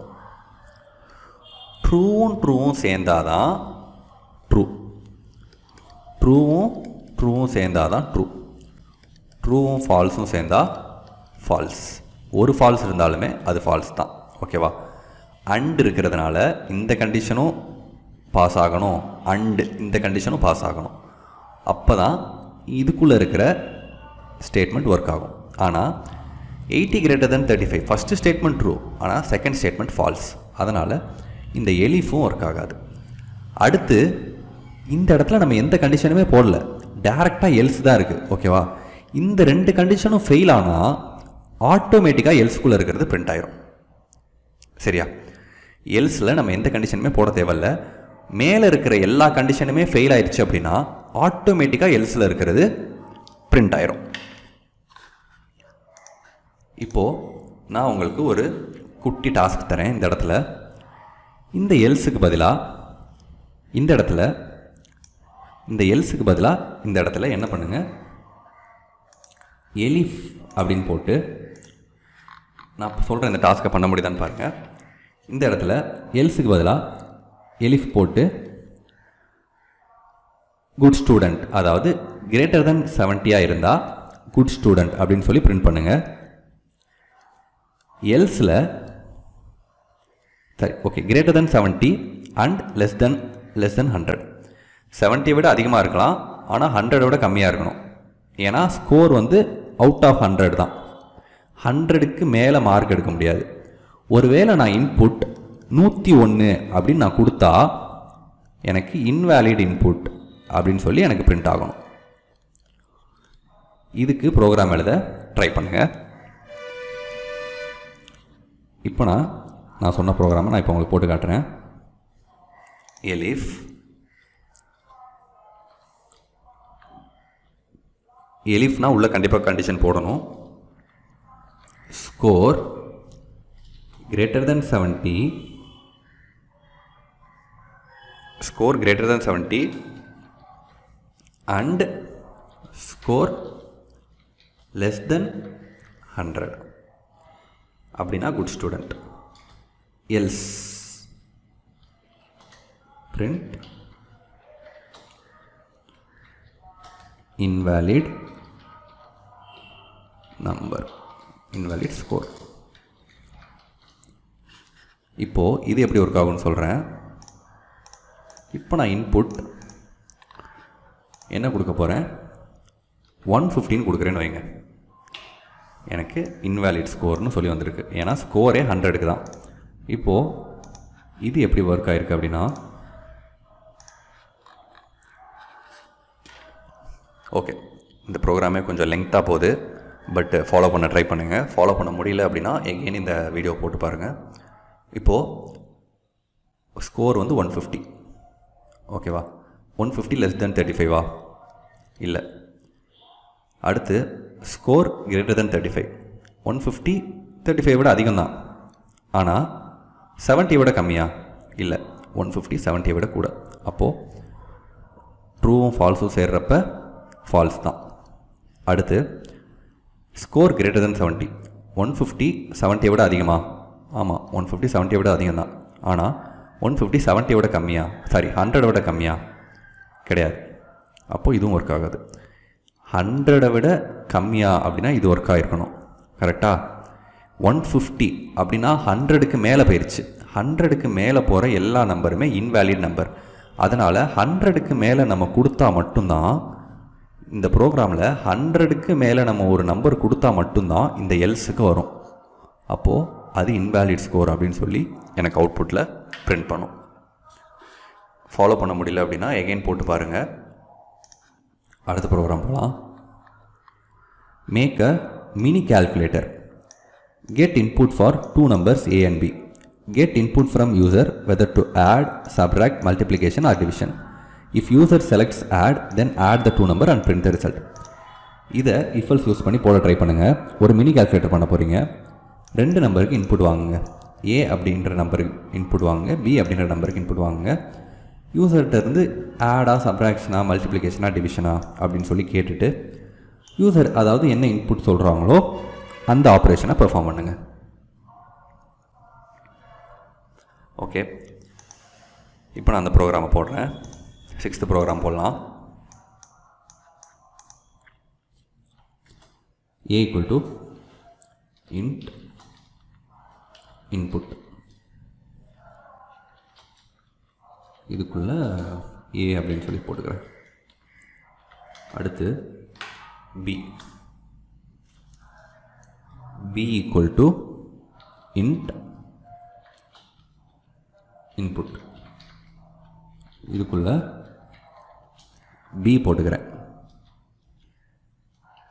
ஓகேவா இதுக்குள்ளே பி போட்டுக்கிறேன். இப்போ ஏக்கும் பிக்கும் இன்புட் வாங்கிடுவேன் அடுத்து யூசர்கிட்ட இருந்து நான் ஒரு இன்புட் வாங்கணும். ஓகேவா இப்போ நான் இதுக்கு என்ன பண்ண போகிறேன் அப்படின்னா operation operation equal to input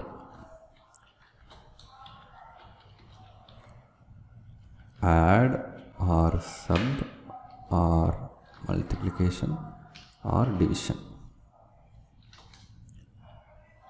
இப்படி இன்புட் வாங்கிட்டு இப்போ if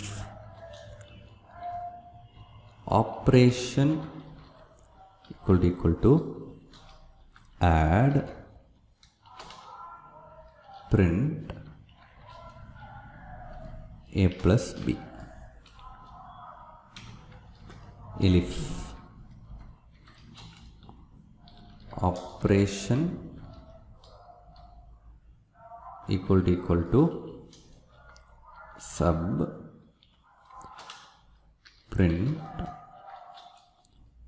a minus b elif operation equal to equal to multiplication. Print a star b. Elif. Operation equal to equal to division. Print a divided by b இந்த நாலு ஆப்ரேஷனுமே இல்லை அப்படின்னா print invalid operate operation okay இப்போ நான் இந்த ப்ரோக்ராமை run பண்ணுறேன்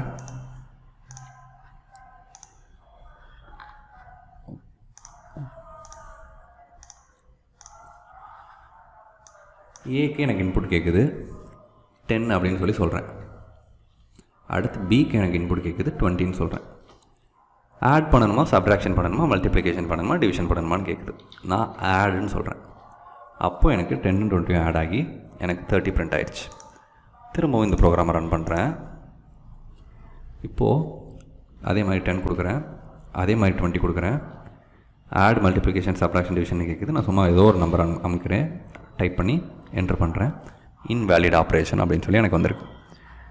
இப்போது இந்த ப்ரோக்ராமை நான் எக்ஸ்பிளைன் பண்ணுறேன் கவனமாக பாருங்கள்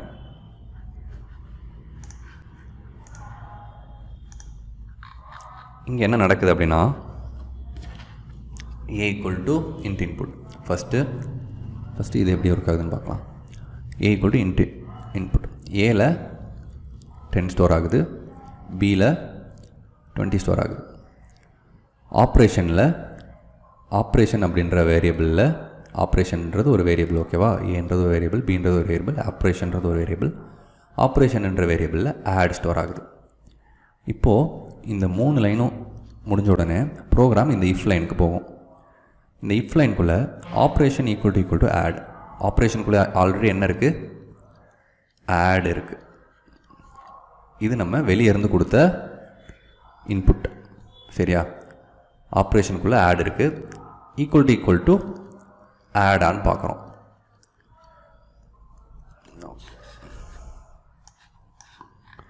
ஆப்ரேஷனுக்குள்ளே ஆட் இருக்குது equal to equal to add on பார்க்குறோம். ரெண்டும் ஈக்குவலா ட்ரூவா ஃபால்ஸா ஆமாம் ரெண்டும் ஈக்குவல் அப்படின்றப்ப இந்த இஃப் நமக்கு ஒர்க் ஆகும்.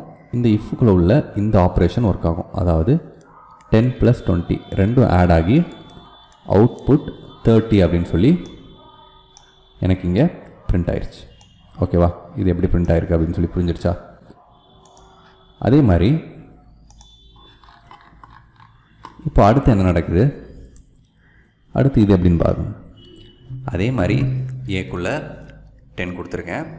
பிக்குள்ளே டுவெண்ட்டி கொடுத்துருக்கேன். ஆனால் ஆப்ரேஷனில் ஏதோ ஒன்று கொடுத்துருக்கேன். எஃப்எஃப்ஜிஜி அப்படின்னு சொல்லி என்னமோ ஒன்று கொடுத்துருக்கேன். நம்ம என்னென்ன கண்டிஷன் செக் பண்ணுறோம் ஃபஸ்ட்டு ஆப்ரேஷனுக்குள்ளே ஆட் இருக்கான்னு சொல்லி செக் பண்ணுறோம் நம்ம ஆப்ரேஷனுக்குள்ளே கண்ணா பின்னான்னு எஃப்எஃப்ஜிஜி என்னமோ இருக்குது ஆப்ரேஷனுக்கு அப்போது இந்த எஃப் ஒர்க் ஆகாது. இப்போது ஆப்ரேஷன் ஈக்குவல் டு சப்பான்னு செக் பண்ணுறோம் கிடையாது. Operation equal to equal to multiply அப்படின்னு செக் பண்ணுறோம் கிடையாது. Operation equal to equal to டிவிஷனான்னு check பண்ணுறோம் கிடையாது. இது நாலுமே சாட்டிஸ்ஃபை ஆகாததுனால எனக்கு இப்போது எல்ஸ்குள்ளே இருக்கிற பிரிண்ட் ஒர்க் ஆகும். இன்வேலிட் ஆப்ரேஷன் அப்படின்னு சொல்லி ஒர்க் ஆகும். இதே மாதிரி சப்ட்ராக்ஷன் மல்டிப்ளிகேஷன் டிவிஷனுக்கு போட்டு நீங்களே எப்படி ஒர்க் ஆகுது அப்படின்னு சொல்லி செக் பண்ணி பாருங்கள் அடுத்த ப்ரோக்ராம் போகலாம் seventh program get a input for score percentage score பர்சன்டேஜுக்கு ஒரு இன்புட் வாங்குங்க. Only if the percentage is greater than seventy நீங்கள் கொடுக்குற இன்புட் பர்சன்டேஜ் செவன்ட்டியை விட அதிகமாக இருந்தால் மட்டும் அவனோட பேரையும் டிபார்ட்மெண்ட்டையும் லொக்கேஷனையும் வாங்குங்க. இல்லை அப்படின்னா யூ ஆர் ஓகே செவன்ட்டிக்கு uh, மேலே இருந்தால் யூ ஆர் எலிஜிபிள் இல்லை அப்படின்னா யூ ஆர் நாட் எலிஜிபிள் ஓகேவா first you are eligible you are not eligible இந்த இந்த இதை விட்டுருங்க. ஃபஸ்ட்டு ஸ்கோருக்கு ஸ்கோர் பர்சன்டேஜுக்கு இன்புட் வாங்குங்க. ஸ்கோர் பர்சன்டேஜ் செவன்ட்டியை விட அதிகமாக இருந்தால் செவன்ட்டியை விட அதிகமாக இருந்தால் யூ ஆர் எலிஜிபிள் அப்படின்னு சொல்லி பிரிண்ட் பண்ணுங்கள் செவன்ட்டியை விட கம்மியாக இருந்தால் யூ ஆர் நாட் எலிஜிபிள் அப்படின்னு சொல்லி பிரிண்ட் பண்ணுங்கள் இப்போ இந்த ப்ரோக்ராமை போடலாம்.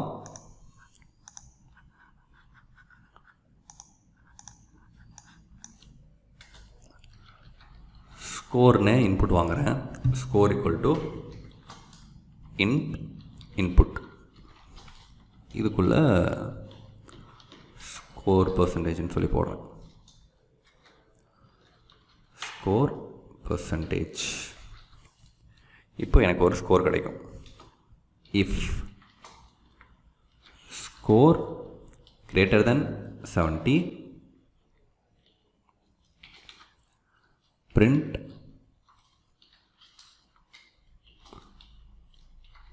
You are eligible. Else print. You are not eligible ஓகேவா இது உங்களுக்கு எப்படின்னு புரியும்னு நினைக்கிறேன். கொடுக்குற இன்புட் எழுபதை விட அதிகமாக இருந்தால் யூ ஆர் எலிஜிபிள் எழுபதை விட கம்மியாக இருந்தால் யூ ஆர் நாட் எலிஜிபிள் ஆனால் நமக்கு ப்ரோக்ராம் என்ன சொல்லியிருக்காங்க? கிரேட்டர் தென் செவன்ட்டியாக இருந்தால் அவனோட பேர் டிபார்ட்மெண்ட் லொக்கேஷன் எல்லாமே வாங்க அப்படின்னு சொல்லி சொல்லியிருக்காங்க. அதுக்கு முன்னாடி ஒரு கான்செப்டை இந்த இடத்துல நான் இப்போ எக்ஸ்பிளைன் பண்ண போகிறேன் இப்போ பாருங்கள் இந்த ப்ரோக்ராம் நான் ரன் பண்ணுறேன் நான் ரன் பண்ணி ஸ்கோர் பர்சன்டேஜ்னு எனக்கு கேட்குது நான் செவன்டீன் சொல்லி கொடுக்குறேன். யூ ஆர் நாட் எலிஜிபிள்னு வருது.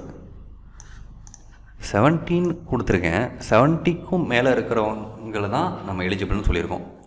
இப்போது என்ன நடக்குது அப்படின்னா ஸ்கோர் கிரேட்டர் தென் செவன்ட்டி அதாவது செவன்ட்டியை விட அதிகமாக இருந்தால் மட்டும்தான் இந்த கண்டிஷன் ஒர்க் ஆகும். இப்போ பாருங்கள் நான் செவன்ட்டி அப்படின்னு சொல்லி ஸ்கோரில் கொடுத்துருக்கேன். ஸ்கோரில் செவன்ட்டின்னு கொடுத்துருக்கேன். ஸ்கோர் கிரேட்டர் தென் செவன்ட்டி அதாவது செவன்ட்டி கிரேட்டர் தென் செவன்ட்டியா எழுபது எழுபதை விட அதிகமானு செக் பண்ணோம். ட்ரூவா ஃபால்ஸா எழுபது எழுபதை விட அதிகமாக கிடையாது.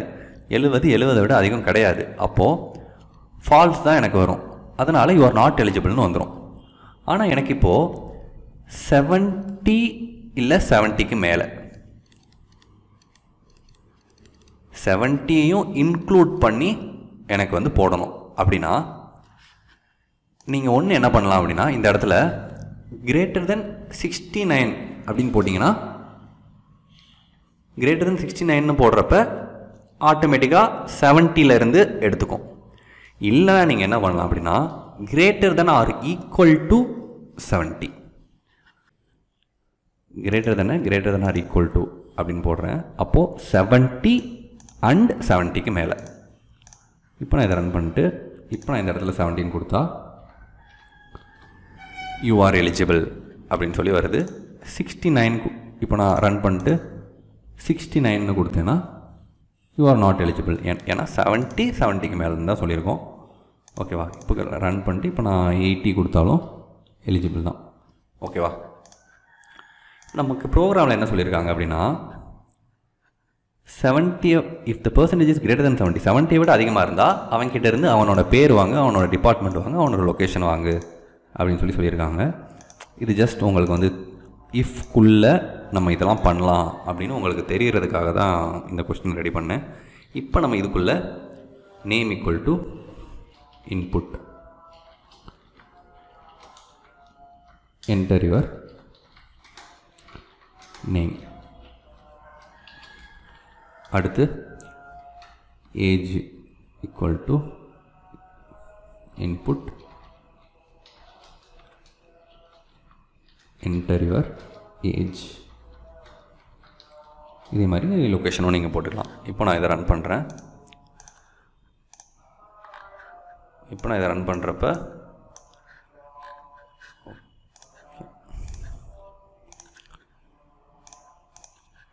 இப்போ நான் இதை ரன் பண்ணுறப்ப ஸ்கோர் செவன்ட்டி ஒன்றுன்னு கொடுக்குறேன். அப்போ எனக்கு என்டர் யுவர் நேம் அப்படின்னு சொல்லி நேம் கேட்குது அப்போ நான் இஎம்சின்னு சொல்கிறேன் ஏஜ் கேட்குது one you are eligible just name age மட்டும் கேட்குற மாதிரி ப்ரோக்ராம் செட் பண்ணியிருக்கேன் இது எதுக்காகனா இஃப்குள்ளே நீங்கள் இந்த மாதிரி நேம் இன்புட் வாங்கலாம் அப்படின்னு உங்களுக்கு தெரியறதுக்காக பண்ணியிருக்கேன்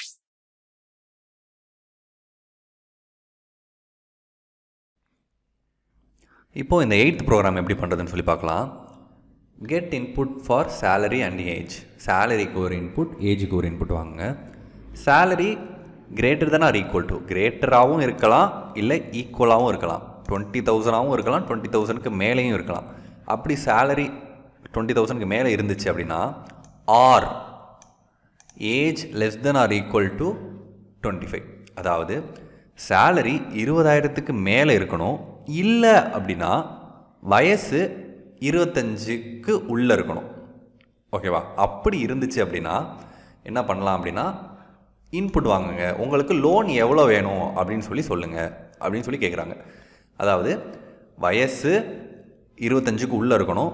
இல்லை அப்படின்னா சம்பளம் இருபதாயிரத்துக்கு மேலே வாங்கணும். இப்படி இருந்தாங்க. இந்த ரெண்டு கண்டிஷனில் ஏதாவது ஒரு கண்டிஷன் சாட்டிஸ்ஃபை ஆனாலே அவங்க லோனுக்கு எலிஜிபிள் இல்லை அப்படின்னா அவங்க லோனுக்கு எலிஜிபிள் கிடையாது.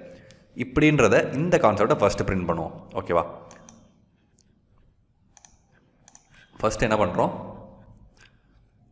சேலரிக்கு இன்புட் வாங்குகிறோம் சரியா? சேலரிக்கு இன்புட் வாங்குகிறோம் salary equal to int input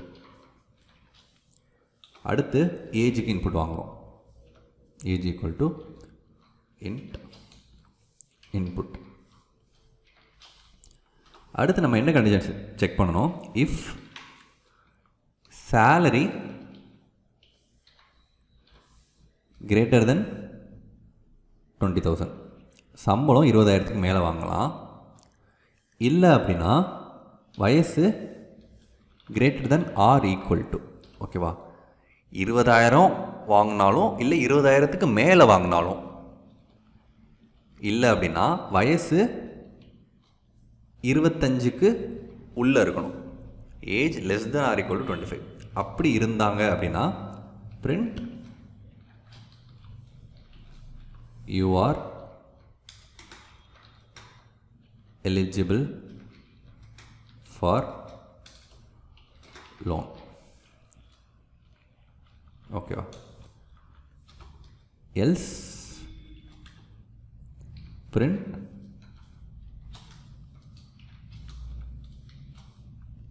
you are not eligible ஓகேவா இப்போது இந்த ப்ரோக்ராமை ரன் ஓகே ரன் பண்ணுறதுக்கு முன்னாடி நமக்கு கொஸ்டின் என்ன அப்படின்றத நீங்கள் வந்து நல்லா கவனமாக பார்க்கணும்.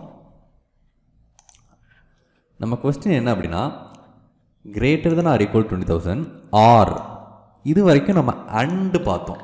ஓகேவா பாருங்கள் இப்போது இந்த ப்ரோக்ராம்லலாம் த்ரீ ஆலையும் டிவைட் டிவைட் ஆகணும் அண்டு ஃபைவ் ஆலையும் டிவைட் ஆகணும் அப்படின்னு சொல்லி பார்த்தோம். ஆனால் இங்கே என்ன சொல்லியிருக்காங்க அப்படின்னா டுவெண்ட்டி தௌசண்ட்க்கு மேலே இருக்கலாம் சேலரி இல்லை அப்படின்னா ஆர் வயசு இருபத்தஞ்சு கம்மியாக இருக்கலாம்.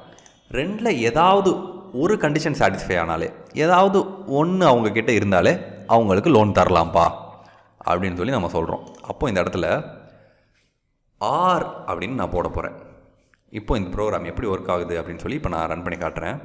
இப்போ இந்த ப்ரோக்ராம் ரன் பண்ணுறப்ப ஓகே ரன் பண்ணுறதுக்கு முன்னாடி இந்த இடத்துல இப்போ நான் உள்ள சேலரின்னு சொல்லி போடுறேன். சேலரி கீழே ஏஜ் ஓகேவா சேலரி ஏஜ் இப்போது இப்போ இந்த ப்ரோக்ராமை ரன் பண்ணுறேன்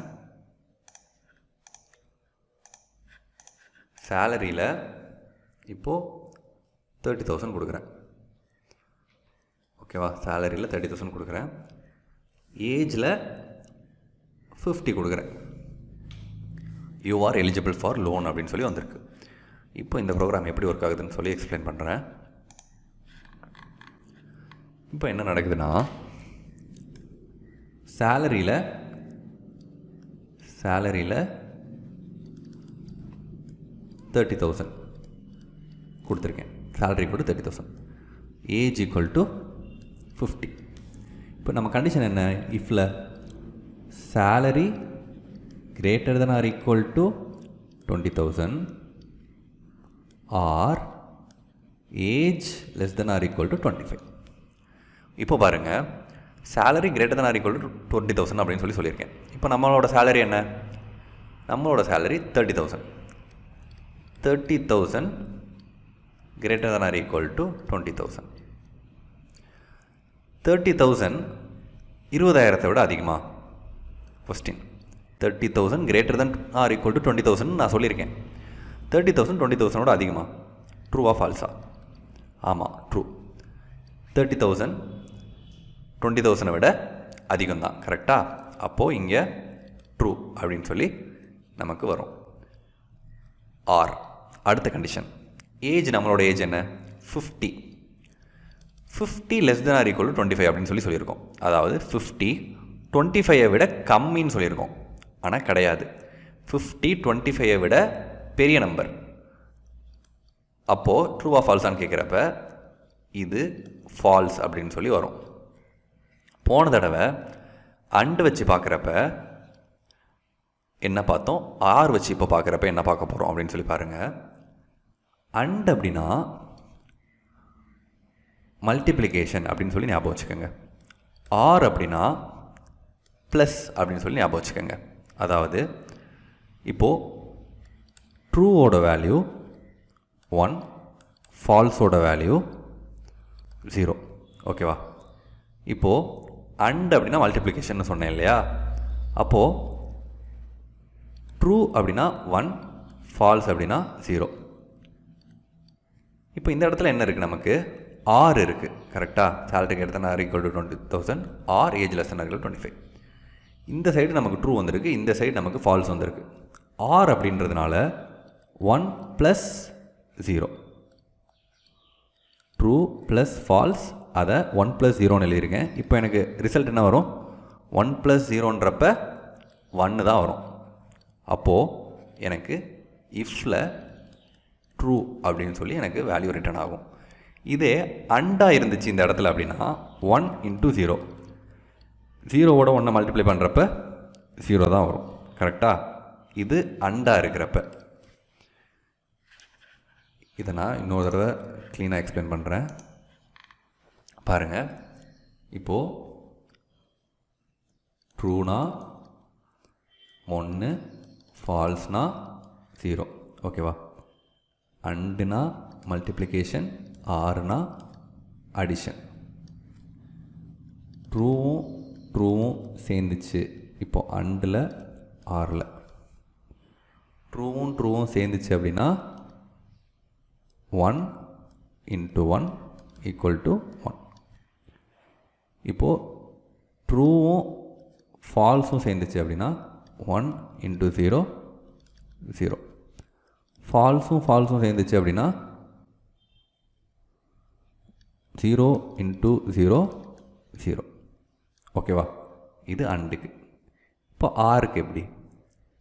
True true one plus one அப்படின்னா டூ ஓகே எந்த நம்பர் வந்தாலுமே அது ட்ரூ தான். சரியா? அடுத்து ட்ரூ ஃபால்ஸ் இப்போது ஒன் ப்ளஸ் ஜீரோ ஒன்று ட்ரூவாக இருந்தாலே ட்ரூ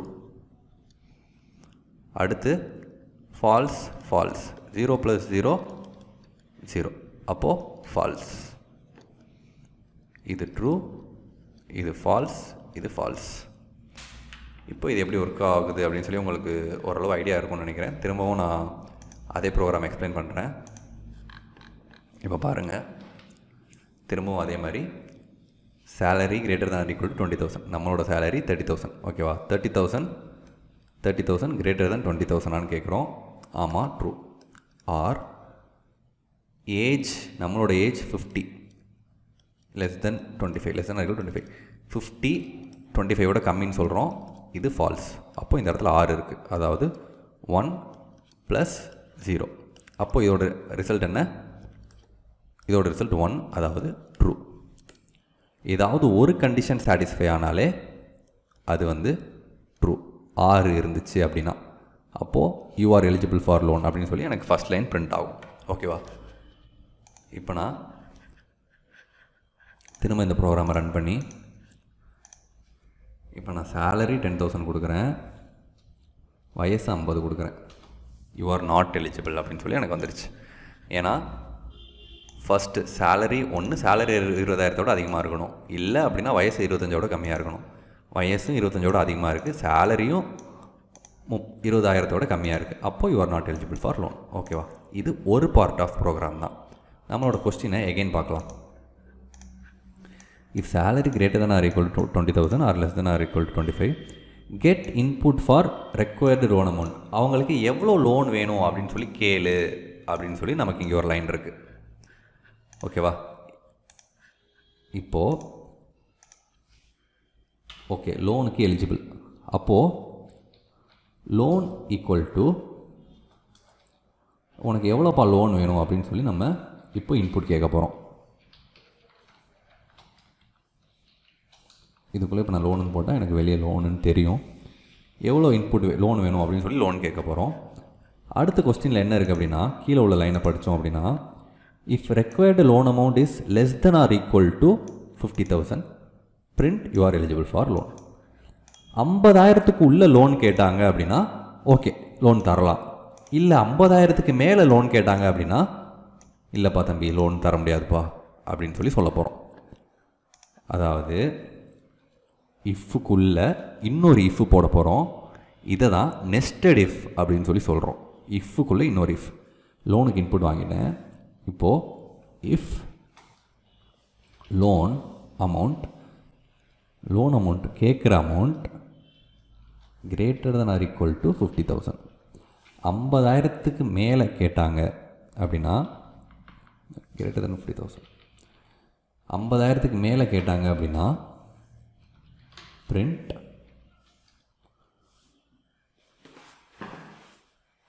ஐம்பதாயிரத்துக்கு மேலே கேட்டால் you are not eligible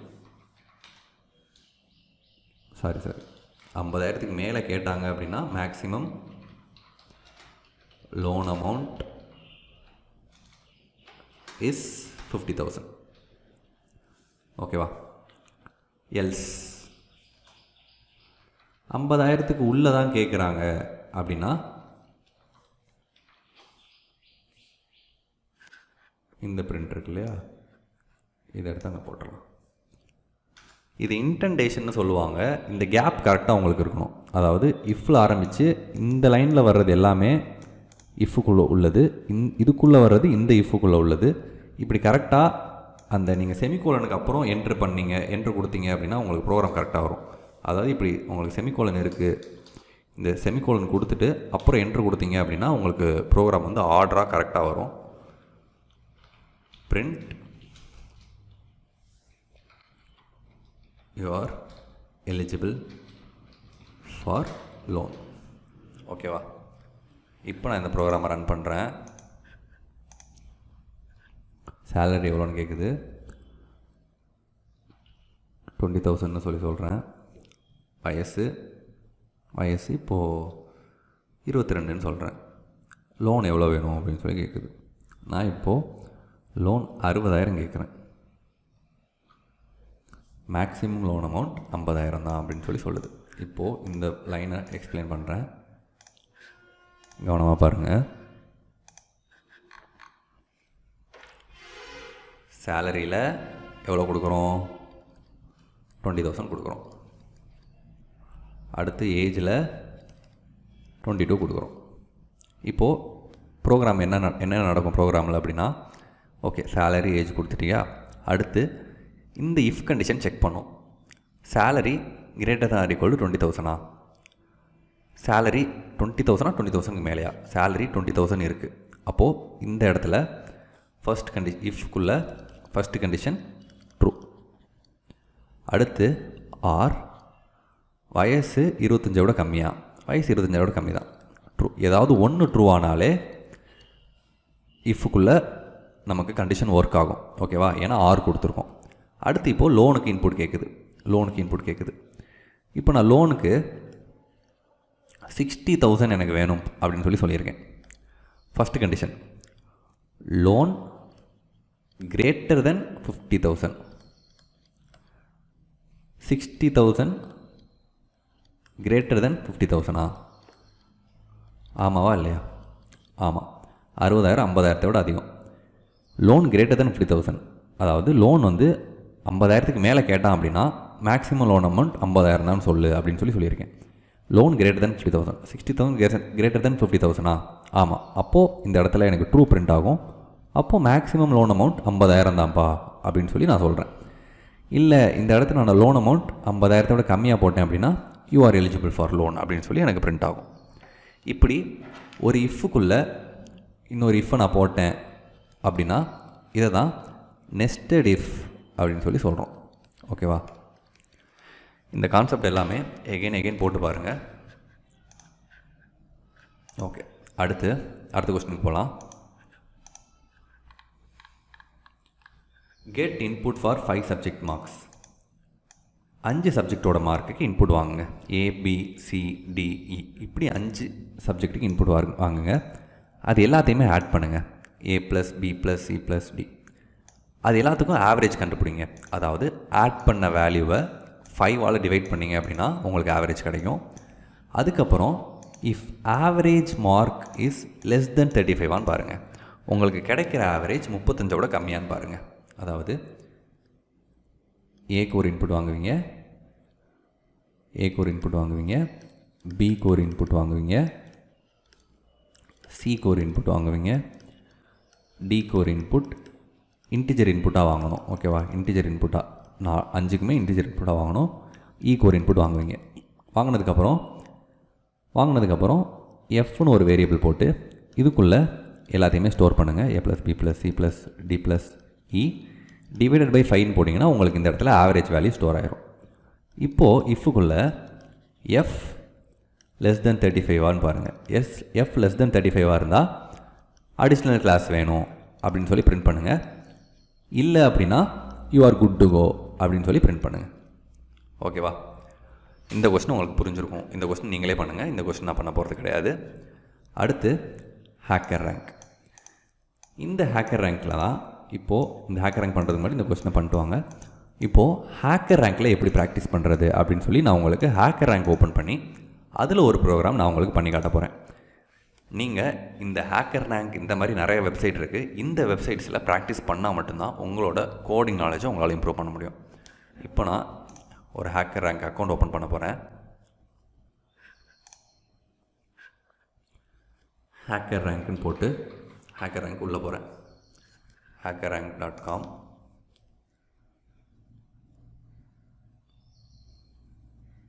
இதுக்குள்ளே சைனப் கொடுக்குறேன். சைனப்பில் எதுக்காக வந்திருக்கோம்? ரெண்டு ஆப்ஷன் கேட்குது I am here to practice and prepare create account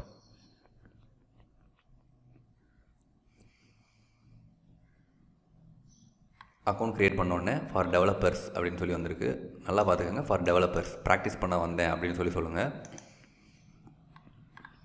இந்த இடத்துல நீங்கள் உங்களோட கூகுள் அக்கௌண்ட் வச்சு லாகின் பண்ணிக்கலாம் ஃபேஸ்புக் வச்சு பண்ணிக்கலாம் லிங்க்டின் வச்சு பண்ணிக்கலாம். இதில் உங்களுக்கு ஒரு அக்கௌண்ட்டை க்ரியேட் பண்ணி உள்ளே போங்க.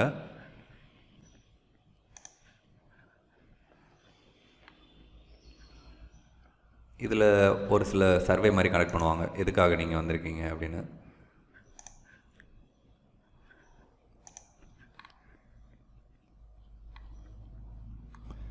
இதை கிளிக் பண்ணிக்கோங்க.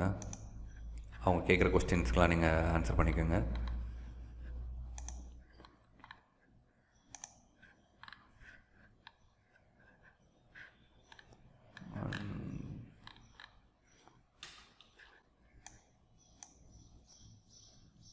எல்லாத்துக்கும் ஆன்சர் பண்ணி என்டர் பண்ணிங்க அப்படின்னா உங்களுக்கு ப்ரொஃபைல் ஓப்பன் ஆகும். இதுக்குள்ளே பைத்தான்னு உங்களுக்கு ஒரு ஆப்ஷன் இருக்கும். ஓகேவா இந்த பைத்தானை செலக்ட் பண்ணுங்கள் இதை செலக்ட் பண்ணி ஃபர்ஸ்ட் ஃபர்ஸ்ட் சேலஞ்ச் உங்களுக்கு இருக்கும். சால்வ் சேலஞ்ச் அப்படின்னு சொல்லி ஃபஸ்ட் சேலஞ்ச் ஓப்பன் பண்ணுறேன் லாங்குவேஜை பைத்தான் த்ரீன்னு மாற்றிக்கோங்க இதில் அவங்க என்ன கே என்ன சொல்லியிருக்காங்க அப்படின்னு ரீட் பண்ணுங்கள் here is a sample line of code that can be executed in Python print hello world you can easily store string as a variable and then print it அவங்களே என்ன பண்ணணும் அப்படின்னு சொல்லி சொல்லியிருக்காங்க. இந்த மாதிரி ஒரு வேரியபிளில் ஹலோ வேர்ல்டுன்னு சொல்லி ஸ்டோர் பண்ணுங்கள் ஸ்டோர் பண்ணி அதை பிரிண்ட் பண்ணுங்கள் அப்படின்னு சொல்லி சொல்லியிருக்காங்க. அவங்க சொல்லியிருக்கிற மாதிரி அப்படியே சும்மா பிரிண்ட் பண்ண போகிறோம் அப்படியே அங்கே எழுதியிருக்கிறத இங்கே நான் காப்பி பண்ணுறேன் அப்படி பண்ணணும்னு அவசியம் இல்லை. இப்போ நான் என்ன வேரியபிளில் வேணும் அவங்களுக்கு தேவை? அவுட்புட்டில் அவங்களுக்கு தேவை இப்படி ஹலோ வேர்ல்டு அப்படின்னு சொல்லி இப்படி ஒரு அவுட்புட் அவங்களுக்கு வேணும் அவ்வளோதான் இப்போ நான் ஏ ஈக்குவல் டு ஹலோ வேர்ல்டுன்னு போட்டு print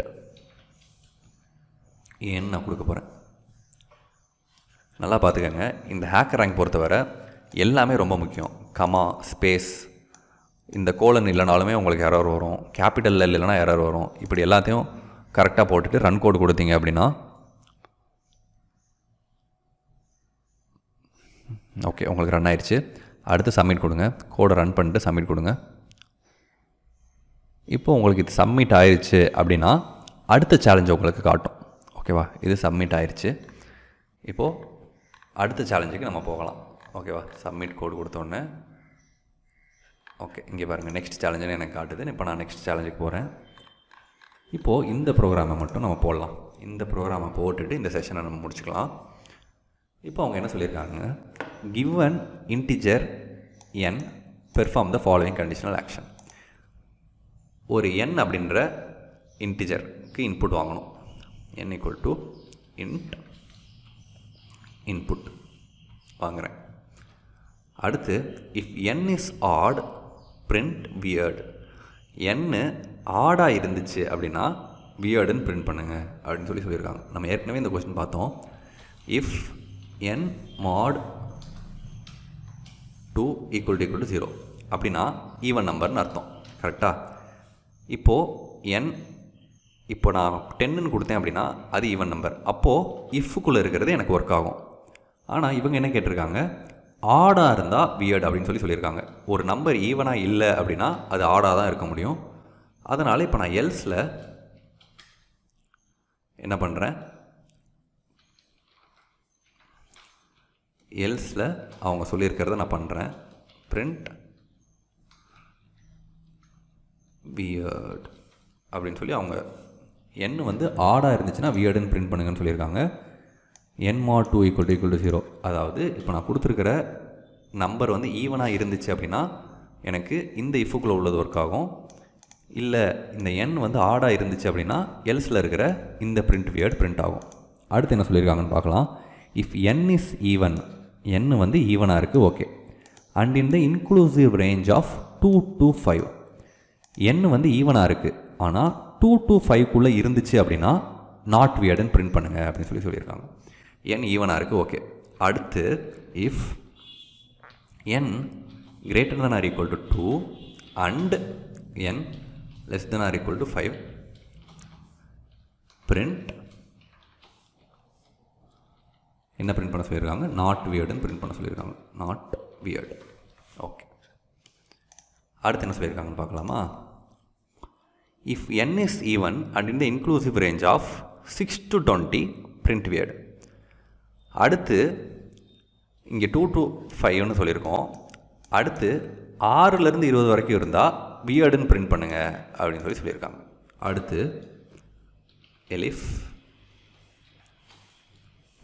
n greater than or equal to 6 and N less than or equal to twenty அப்படின்னா என்ன பிரிண்ட் பண்ணணும்? பிரிண்ட் வியர்டு வியர்டுன்னு பிரிண்ட் பிரிண்ட் ஆகணும். வியர்டு ஓகே அடுத்து என்ன சொல்லியிருக்காங்க? If N is even and greater than டுவெண்ட்டியாக இருந்தால் இருபதுக்கு மேலே இருந்தால் நாட் வியர்டுன்னு சொல்லுங்கள் அப்படின்னு சொல்லி சொல்லியிருக்காங்க. Elif N greater than twenty print not weird அப்படின்னு சொல்லி சொல்லியிருக்காங்க. ஓகே இப்போது இப்போ இந்த ப்ரோக்ராமை ரன் பண்ணி பார்க்கலாம்.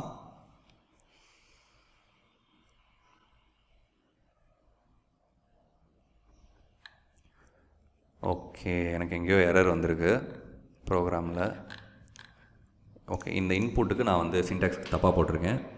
இந்த ப்ராக்கெட் போடாமல் விட்ருக்கேன் அதனால் எனக்கு எரர் வந்திருக்கு. திரும்பவும் இந்த ப்ரோக்ராம் ரன் பண்ணுறேன்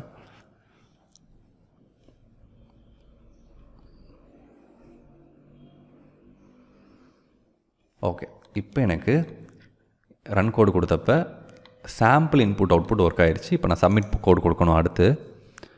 இந்த சப்மிட் கோடில் எல்லா டெஸ்ட் கேஸும் பாஸ் ஆனால் மட்டும்தான் நான் போட்டிருக்கிற கோடு கரெக்டுன்னு அர்த்தம்.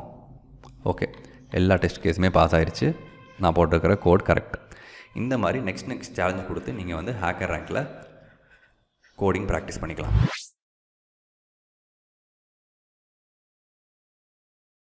இன்னைக்கு வீடியோவில் ஃபார் லூப்பை கிளியராக ஃபர்ஸ்ட்லேருந்து நான் உங்களுக்கு எக்ஸ்பிளைன் பண்ண போகிறேன் நிறைய பேர் ஃபார் லூப் எக்ஸ்பிளைன் பண்ணுங்க போகிற ஃபார் லூப் புரியவே மாட்டேங்குதுன்னு சொல்கிறீங்க ரொம்ப சிம்பிளாக இவ்வளோ தான்டா தம்பி ஃபார் லூப் அப்படின்னு சொல்லி இந்த வீடியோவில் நாங்கள் உங்களுக்கு எக்ஸ்பிளைன் பண்ண போகிறோம் ஸ்டார்ட் பண்ணலாம். ஸோ இப்போது இந்த டயக்ராமை பார்த்துக்கிட்டீங்க அப்படின்னா இந்த டயக்ராமை நான் ஃபர்ஸ்ட் உங்களுக்கு எக்ஸ்பிளைன் பண்ணுறேன் இந்த டயக்ராமில் ஒரு கிரவுண்ட் ஒன்று இருக்குது ஓகேவா இந்த கிரவுண்டில் ஒரு ஸ்டார்டிங் பாயிண்ட் இருக்கு. இதான் நீங்கன்னு வச்சுக்கோங்க. உங்கள் கையில் ஒரு குட்டி பாக்ஸ் இருக்கு. இங்கே உங்களுக்கு ஃபோர் ஆப்பிள்ஸ் இருக்கு.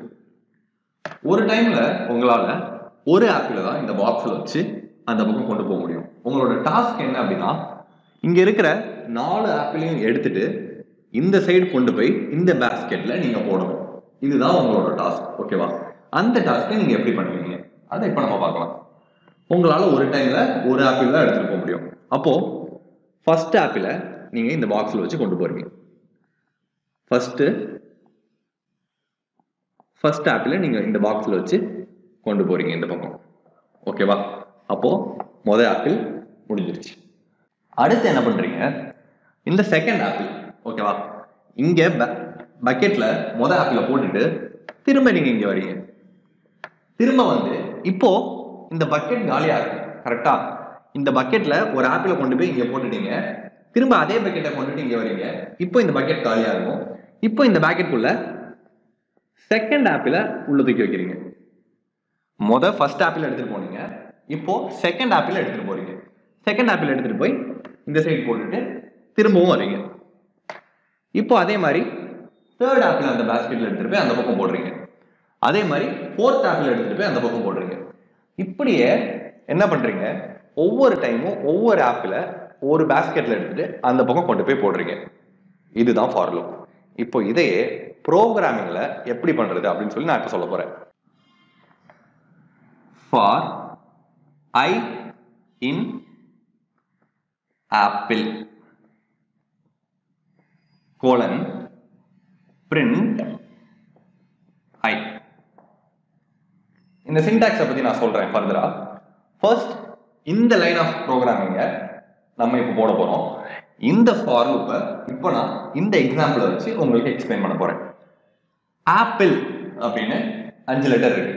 ஓகேவா இந்த அஞ்சு லெட்டரையும் நான் முத ஆப்பிள்னு சொன்னேன் இல்லையா? நாலு ஆப்பிள் இருந்துச்சு இல்லையா? அதே மாதிரி இந்த ஆப்பிள் இப்போ அஞ்சு லெட்டரா பிரிய போகுது. A P P L E one two three four five சரியா? ஆப்பிள் அப்படின்ற வேர்டு அஞ்சு லெட்டரா இப்போ பிரிஞ்சிருக்கு. இப்போ நம்மளோட டாஸ்க் என்ன? அதே மாதிரி தான் ஒவ்வொரு இந்த இந்த பக்கெட்டுக்குள்ள நம்மளால ஒரு நேரத்துல ஒரு லெட்டர் எடுத்துட்டு போய் அந்த பக்கம் போட முடியும். ஓகேவா இந்த பக்கெட் இருக்கு இல்லையா? இந்த குட்டி பக்கெட் இந்த பக்கெட்டை தான் இந்த ப்ரோக்ராமிங் லைன்ல ஐ அப்படின்னு சொல்லி சொல்லியிருக்கோம். அதாவது இந்த பக்கெட் பேரு ஐ ஒவ்வொரு தடவையும் நம்ம கிரவுண்டை சுத்தி ஓடுறப்ப அதாவது ஒவ்வொரு தடவையும் லூப் ரன் ஆகுறப்ப நம்ம அந்த ஐ பக்கெட்டை தூக்கிட்டு தான் ஓட போறோம். ஃபர்ஸ்ட் டைம் இந்த ஐ பக்கெட்டுக்குள்ள மொத வார்த்தை ஏவை வச்சுட்டு இந்த சைடு போய் ஏவை வெளியே போனோம் ஓகேவா அடுத்து ரெண்டாவது தடவை. ஏ அங்கிட்டு போட்டாச்சு. ஏ முடிஞ்சிச்சு. அடுத்து ரெண்டாவது தடவை இந்த பக்கம் வர்றப்ப ஏ முடிஞ்சிச்சு. அடுத்து ரெண்டாவது லெட்டர் என்ன? பி கரெக்டா அடுத்து இந்த ரெண்டாவது லெட்டர் இதுக்குள்ள ஐ அப்படின்ற பாக்ஸுக்குள்ள அடுத்து ரெண்டாவது லெட்டரை உள்ள தூக்கிட்டு போய் போடுறோம். இதே மாதிரி ஒவ்வொரு தடவையும் ஒவ்வொரு லெட்டரை உள்ள தூக்கிட்டு போய் தூக்கிட்டு போய் அந்த சைடை வெளியே பக்கெட்டுக்குள்ள கொட்டுறோம். ஓகேவா இது உங்களுக்கு புரிஞ்சிருக்கும்னு நினைக்கிறேன். இப்போ அதை அப்படியே கோடிங்கில் பார்க்கலாம். இப்போது நம்மளோட பைத்தான் எடிட்டரை ஓப்பன் பண்ணிக்கலாம். சர்ச்சில் போயிட்டு எலியன் டைப் பண்ணி என்னோடய பைத்தான் எடிட்டரை நான் ஓப்பன் பண்ணிக்கிறேன். இதில் ஃபைல் கிளிக் பண்ணி நியூ ஃபைல் இந்த ஃபைலை இப்போ நான் சேவ் பண்ணுறேன் சேவஸ் டாக்குமெண்ட்ஸ்குள்ளே பைத்தான் ஃபோல்டருக்குள்ளே ஃபார் லூப் எக்ஸ்ன்னு சேவ் பண்ணுறேன் இப்போ இதுக்குள்ளே நான் ப்ரோக்ராமை டைப் பண்ண போகிறேன் for I in for I in apple colon print I okay இந்த ப்ரோக்ராமை நான் திரும்ப ஒரு தடவை. இப்போ நான் உங்களுக்கு இதில் எக்ஸ்பிளைன் பண்ண போகிறேன் இப்போ நான் இதை எக்ஸ்பிளைன் பண்ணுறேன் கவனமாக கேளுங்க. இப்போ இந்த ப்ரோக்ராமில் இந்த ஐன்றது என்னது? இந்த ஐன்றது வேரியபிள் ஓகேவா இந்த ஐ அப்படின்ற வேரியபிளில் தான் நம்ம நான் சொன்னேன் இல்லையா? ஆப்பிள்லேருந்து ஒவ்வொரு ஆப்பிளாக அந்த பக்கம் நான் தூக்கிட்டு நம்ம தூக்கிட்டு போகணும் அப்படின்னு சொல்லி. இப்போது A P P L E okay இது எல்லாமே ஒவ்வொரு apple one two three four five இப்போது என்னோடய டாஸ்க் என்ன? இது எல்லாத்தையும் நான் இந்த பக்கம் கொண்டு போய் போடணும். ஃபஸ்ட்டு இந்த ஐ அப்படின்ற பாக்ஸில் ஏ அப்படின்ற ஏ அப்படின்ற வேல்யூவை எடுத்துகிட்டு போய் இந்த பக்கம் நான் வெளியே கொட்ட போகிறேன் அடுத்து திரும்ப இந்த பக்கம் வர்றப்ப இந்த ஐ காலியாக இருக்கும். ஓகேவா இப்போ இந்த ஐக்குள்ளே ஏவை எடுத்துகிட்டு போயாச்சு. இப்போ இந்த ஐக்குள்ளே பி அப்படின்ற வேல்யூவை போட்டு இப்போ நான் இந்த பியை இந்த பக்கம் கொண்டு போய் வெளியே கொட்ட போகிறேன் அடுத்து பியையும் வெளியே கொட்டியாச்சு. திரும்ப இந்த பக்கம் வர்றப்ப ஐ அப்படின்ற பாக்ஸ் எல்லாம் எந்த வேலையுமே இருக்காது. இப்போது அடுத்து திரும்ப அடுத்த பியை இந்த ஐயில் போட்டு அதையும் வெளியே எடுத்துகிட்டு போகிறேன் திரும்ப இந்த பக்கம் வர்றப்ப ஐ காலியாக இருக்கும். திரும்ப இப்போது இந்த எல்லை தூக்கி ஐக்குள்ளே போடுறேன். அதையும் வெளியே கொண்டு போகிறேன் அடுத்து திரும்ப எல் காலியாக இருக்கும். அடுத்து இந்த e ஈயை தூக்கி ஐக்குள்ளே போட்டு அதையும் வெளியே கொண்டு போகிறேன் ஒவ்வொரு தடவையும் லூப் ரன் ஆகிறப்ப என்ன நடக்கும்? இப்படி ஐயில் இந்த ஸ்ட்ரிங்குக்குள்ளே இருக்கிற ஒவ்வொரு வேல்யூவும் தனித்தனியாக போய் ஐயில் ஸ்டோர் ஆகும். இப்போ நான் இதை ரன் பண்ணி காட்டுறேன். என்ன நடக்குதுன்னு பாருங்கள் இப்போ நான் இந்த ப்ரோக்ராம் ரன் பண்ணுறேன் எனக்கு ஏபிபிஎல்இ அப்படின்னு சொல்லி வெளியே பிரிண்ட் ஆகிருக்கு எப்படின்னு உங்களுக்கு புரியும் நம்புகிறேன் இன்னொரு தடவை கூட எக்ஸ்பிளைன் பண்ணுறேன் கவனமாக பாருங்கள் லூப் கான்செப்ட் ரொம்பவே முக்கியம். நான் ஏற்கனவே சொன்ன மாதிரி ஃபஸ்ட்டு ஏ இந்த ஐக்குள்ளே ஸ்டோர் ஆகிருக்கு அப்போது இந்த ஃபார் லூப் ரன் ஆகிறப்ப இந்த ஐயோட வேல்யூ ஏவாக இருக்குது அந்த ஏ எனக்கு வெளியே பிரிண்ட் ஆகிருக்கு ஓகேவா அடுத்து இந்த பி ஓகேவா இப்போது ஐயோட வேல்யூ ஏவாக இருந்தது. அடுத்து ஐயோட வேல்யூ பியாக மாறுது. அந்த பி வெளியே பிரிண்ட் ஆகுது. அடுத்து இன்னொரு பி இப்போது ஐயோட வேல்யூ அடுத்த பியாக இருக்குது அது வெளியே பிரிண்ட் ஆகுது. இதே மாதிரி ஒவ்வொரு வேல்யூவாக வெளியே வந்து இப்படி நமக்கு தனித்தனியாக பிரிண்ட் ஆகிருக்கு ஓகேவா இவ்வளோ தாங்க ஃபார் லூப் இப்போ இந்த ஃபார் லூப் சின்டாக்ஸை லைட்டாக எக்ஸ்பிளைன் பண்ணுறேன் ஃபார் ஐ இன் ஆப்பிள் இப்படி தான் நம்ம ஃபார் லூப் சின்டாக்ஸ் எழுதணும். அதாவது எந்தெந்த இந்த ஸ்ட்ரிங்குக்குள்ளே இருந்து ஒவ்வொரு வேல்யூவாக எடுத்துகிட்டு போய் லூப் பண்ணு அப்படின்னு சொல்லி நம்ம சொல்கிறோம் அதுக்கு ஐ அப்படின்ற வேரியபிளை யூஸ் பண்ணிக்கோ. இந்த இடத்துல ஐ மட்டும்தான் நான் போடணும் அப்படின்னு அவசியம் கிடையாது. இந்த இடத்துல நான் என்ன வேணாலும் போட்டுக்கலாம். இந்த இடத்துல நான் சும்மா இஎம்சின்னு போட்டேன் அப்படின்னா இதுவும் ஒரு வேரியபிள் தான். எந்த வேரியபிள் வேணாலும் இந்த இடத்துல நம்ம போட்டுக்கலாம். இப்போ நான் அந்த இடத்துல அந்த வேரியபிள் கொடுத்ததுனால இதுக்குள்ளே நான் இஎம்சின்னு தான் கொடுக்கணும். ஏன்னா இப்போ நான் இந்த ரன் பண்ணுறேன் இப்போ இஎம்சின்னு கொடுக்குறப்ப ஐக்குள்ளே எப்படி ஒரு ஒரு வேல் லெட்டராக ஸ்டோர் ஆச்சோ இப்போ இஎம்சி அப்படின்ற வேரியபிளுக்குள்ளே ஒவ்வொரு லெட்டராக ஸ்டோர் ஆகும். இப்போ நான் இந்த இடத்துல ஐ போட்டால் என்ன நடக்கும்? இப்போ நான் இந்த இடத்துல ஐ போட்டால் எனக்கு எரர் வரும். ஏன் அப்படின்னா name I is not defined I அப்படின்ற வேல்யூ டிஃபைனே பண்ணல. ப்ரோக்ராம் இப்போது நம்ம லூப்புக்கு இஎம்சி அப்படின்ற வே வேரியபிள் மட்டும்தான் சொல்லியிருக்கோம். ஐ அப்படின்ற வேரியபிள் ப்ரோக்ராம்குள்ளே எங்கேயுமே இல்லை. அதனால் சம்மந்தமே இல்லாமல் ஐன்னு கொடுக்குறடா. ஐ எடுத்துகிட்டு என்ன போடணுமோ அதை போடுறா அப்படின்னு சொல்லி நமக்கு ஏரர் த்ரோ பண்ணுது. சரியா? அடுத்து ஃபார் லூப்பில் ரேஞ்ச் ஃபங்க்ஷன் ஒன்று இருக்குது சரியா? அந்த ரேஞ்ச் ஃபங்க்ஷன் என்னன்னு சொல்லி பார்க்கலாம். ஃபார் இஎம்சி எடுத்துட்டு திரும்ப ஐஏ போட்டுக்கிறேன். For I in range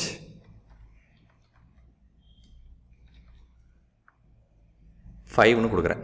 For I in range five இப்போது இப்போ எனக்கு இது என்ன அவுட்புட் கொடுக்குதுன்னு சொல்லி பார்க்கலாம். ஃபார் ஐ இன் ரேஞ்ச் ஃபைவ்னு கொடுக்குறேன். ஃபார் ஐ இன் ரேஞ்ச் ஃபைவ்னு கொடுக்குறப்ப இந்த ப்ரோக்ராமை ரன் பண்ணால் ஓகே அவுட்புட் வந்துருச்சு எனக்கு. Zero one two three four இப்படி எனக்கு பிரிண்ட் ஆகிருக்கு ஃபார் ஐன் ரேஞ்ச் ஃபைவ்னு போட்டால் ஜீரோ ஒன் டூ த்ரீ ஃபோர்னு பிரிண்ட் ஆகிருக்கு இங்கே என்ன நடக்குது? இப்போது இந்த ப்ரோக்ராம் நான் எக்ஸ்பிளைன் பண்ணுறேன் கவனமாக பாருங்கள் நான் எகெயின் சொன்ன மாதிரி இப்போது ரேஞ்ச் ஃபைவ் அப்படின்னு சொல்லி சொல்லியிருக்கோம். போன தடவை ஏ பி பி எல்இ இப்படி இருந்துச்சு இல்லையா? இதே மாதிரி இந்த தடவை எப்படி இருக்குது அப்படின்னா zero one two three four நம்ம ரேஞ்ச் ஃபைவ்னு சொல்லியிருக்கிறதுனால ஜீரோவிலிருந்து நம்ம எந்த நம்பர் சொல்லியிருக்கிறோமோ அந்த நம்பருக்கு முன்னாடி உள்ள நம்பர் வரைக்கும் நமக்கு அதுக்குள்ளே ஸ்டோர் ஆகிருக்கும் அதாவது மொத்தம் எத்தனை நம்பர் இருக்குது இப்போது one two three four five டோட்டலாக அஞ்சு நம்பர் இருக்குது ஆனால் ஜீரோலேருந்து ஸ்டார்ட் ஆகிருக்கு இதை ஞாபகம் வச்சுக்கோங்க. எந்த ப்ரோக்ராமிங் லாங்குவேஜ் நீங்கள் போனாலுமே இந்த லூப் கான்செப்ட் வந்து ஜீரோலேருந்து தான் ஆரம்பிக்கும். சரியா? இப்போ நான் இப்போ எனக்கு ஜீரோலேருந்து பத்து வரைக்கும் பிரிண்ட் ஆகணும்னு வைங்க. நான் இந்த ரேஞ்சுக்குள்ளே என்ன போடணும்? ஜீரோலேருந்து அதாவது ஜீரோலேருந்து அஞ்சுன்னு போட்டால் ஜீரோலேருந்து நாலு வரைக்கும் பிரிண்ட் ஆகுது. இப்போ எனக்கு பத்து வரைக்கும் வேணும்னா நான் என்ன போடணும்? ஜீரோ கமா பதினொன்றுன்னு போட்டேன்னா எனக்கு சாரி பதினொன்றுன்னு போட்டேன்னா இந்த இடத்துல ஜீரோவிலேருந்து பதினொன்று வரைக்கும் பிரிண்ட் ஆகும். சரியா? இப்போ நான் போட்டு காட்டுறேன். ரேஞ்சில் ஃபைவ் எடுத்துகிட்டு இப்போ நான் லெவன் போடுறேன். இப்போ என்ன நடக்குது? ஜீரோவிலேருந்து டென் வரைக்கும் எனக்கு பிரிண்ட் ஆகுது. இது எப்படின்னு உங்களுக்கு புரியும்னு நினைக்கிறேன். இப்போ நான் ஓகே ஃபைவ் போ ஓகே இப்போ எனக்கு ஜீரோ பிரிண்ட் ஆக வேணாம். எனக்கு ஒரு குறிப்பிட்ட ரேஞ்சிலேருந்து குறிப்பிட்ட ரேஞ்ச் வரைக்கும் பிரிண்ட் ஆகணும். அப்படின்னா என்ன பண்ணலாம்? அப்படின்னா இப்போ நான் ஒன் கமா ஃபைவ் இப்படி நான் கொடுத்தேன் அப்படின்னா எனக்கு என்ன நடக்குதுன்னு பாருங்கள் one comma okay one comma ஃபைவ்னு நான் கொடுத்துருக்கேன். அப்போ எனக்கு ஒன்லேருந்து ஃபோர் வரைக்கும் பிரிண்ட் ஆகுது. இங்கே என்ன நடக்குது? ஒன் கமா ஃபைவ்னு கொடுத்துருக்கேன். இப்போ இங்கே எனக்கு என்ன நடக்குது? One comma two comma three comma four one comma ஃபைவ்னு கொடுத்ததுனால ஒன்லேருந்து நம் நீ நம்ம எந்த ரேஞ்ச் கொடுத்துருக்கோமோ அதுக்கு முன்னாடி உள்ள நம்பர் வரைக்கும் அதுக்குள்ளே இருக்கும். சரியா? இப்போ நான் இதை பிரிண்ட் பண்ணுறப்ப ஃபஸ்ட்டு ஐக்குள்ளே ஒன் போகும். இப்போ இந்த ஒன் லூப்புக்குள்ளே வந்து பிரிண்ட் ஃபங்க்ஷனுக்குள்ளே போகும். அப்போ எனக்கு அவுட்புட் என்ன வருது? ஃபஸ்ட்டு ஒன்றுன்னு வருது. அடுத்து ஐக்குள்ளே டூ போகும்.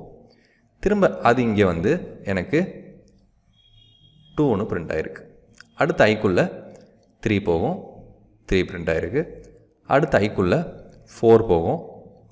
இப்போ அந்த ஃபோர் எனக்கு இங்கே பிரிண்ட் ஆகிருக்கு இப்படி தான் நம்ம ஒரு செட் ஆஃப் நம்பரோ செட் ஆஃப் லெட்டர்ஸோ கொடுத்தா அது எல்லாமே ஒன்று ஒன்றா ஐக்குள்ளே ஸ்டோர் ஆகி அது அந்த வேல்யூ லூப்புக்குள்ளே ஃபாலோ ஆகும். ஓகேவா இதுதான் ஃபால் லூப்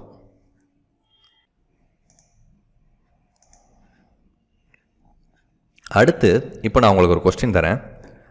டூ டேபிள் அதாவது நான் லூப் ரன் பண்ணுறப்ப எனக்கு இப்படி டூ டேபிள் பிரிண்ட் ஆகணும். அதுக்கு நீங்கள் ப்ரோக்ராம் போட ட்ரை பண்ணுங்கள் இப்போ நான் இந்த ப்ரோக்ராமை போட்டு காட்டுறேன். ஓகே ஃபர்ஸ்ட் நமக்கு என்ன வேணும்? இந்த இடத்துல எது மாறாமல் கண்டினியூஸாக வந்துக்கிட்டே இருக்குன்னு பாருங்கள் one two three four five six seven eight nine டென்னு சொல்லி இந்த ஃபர்ஸ்ட் இருக்கிற letters one two three four five six seven eight nine டென்னு சொல்லி வந்துக்கிட்டே இருக்குது அப்போது மொதல் நமக்கு லூப் என்ன ஆகணும்? ஒன்றுலேருந்து பத்து வரைக்கும் பிரிண்ட் பண்ணணும். ஓகேவா ஃபார் ஐ இன் ரேஞ்ச் நமக்கு ரேஞ்ச் என்ன வேணும்? ஒன்றுலேருந்து பத்து வரைக்கும் வேணும்.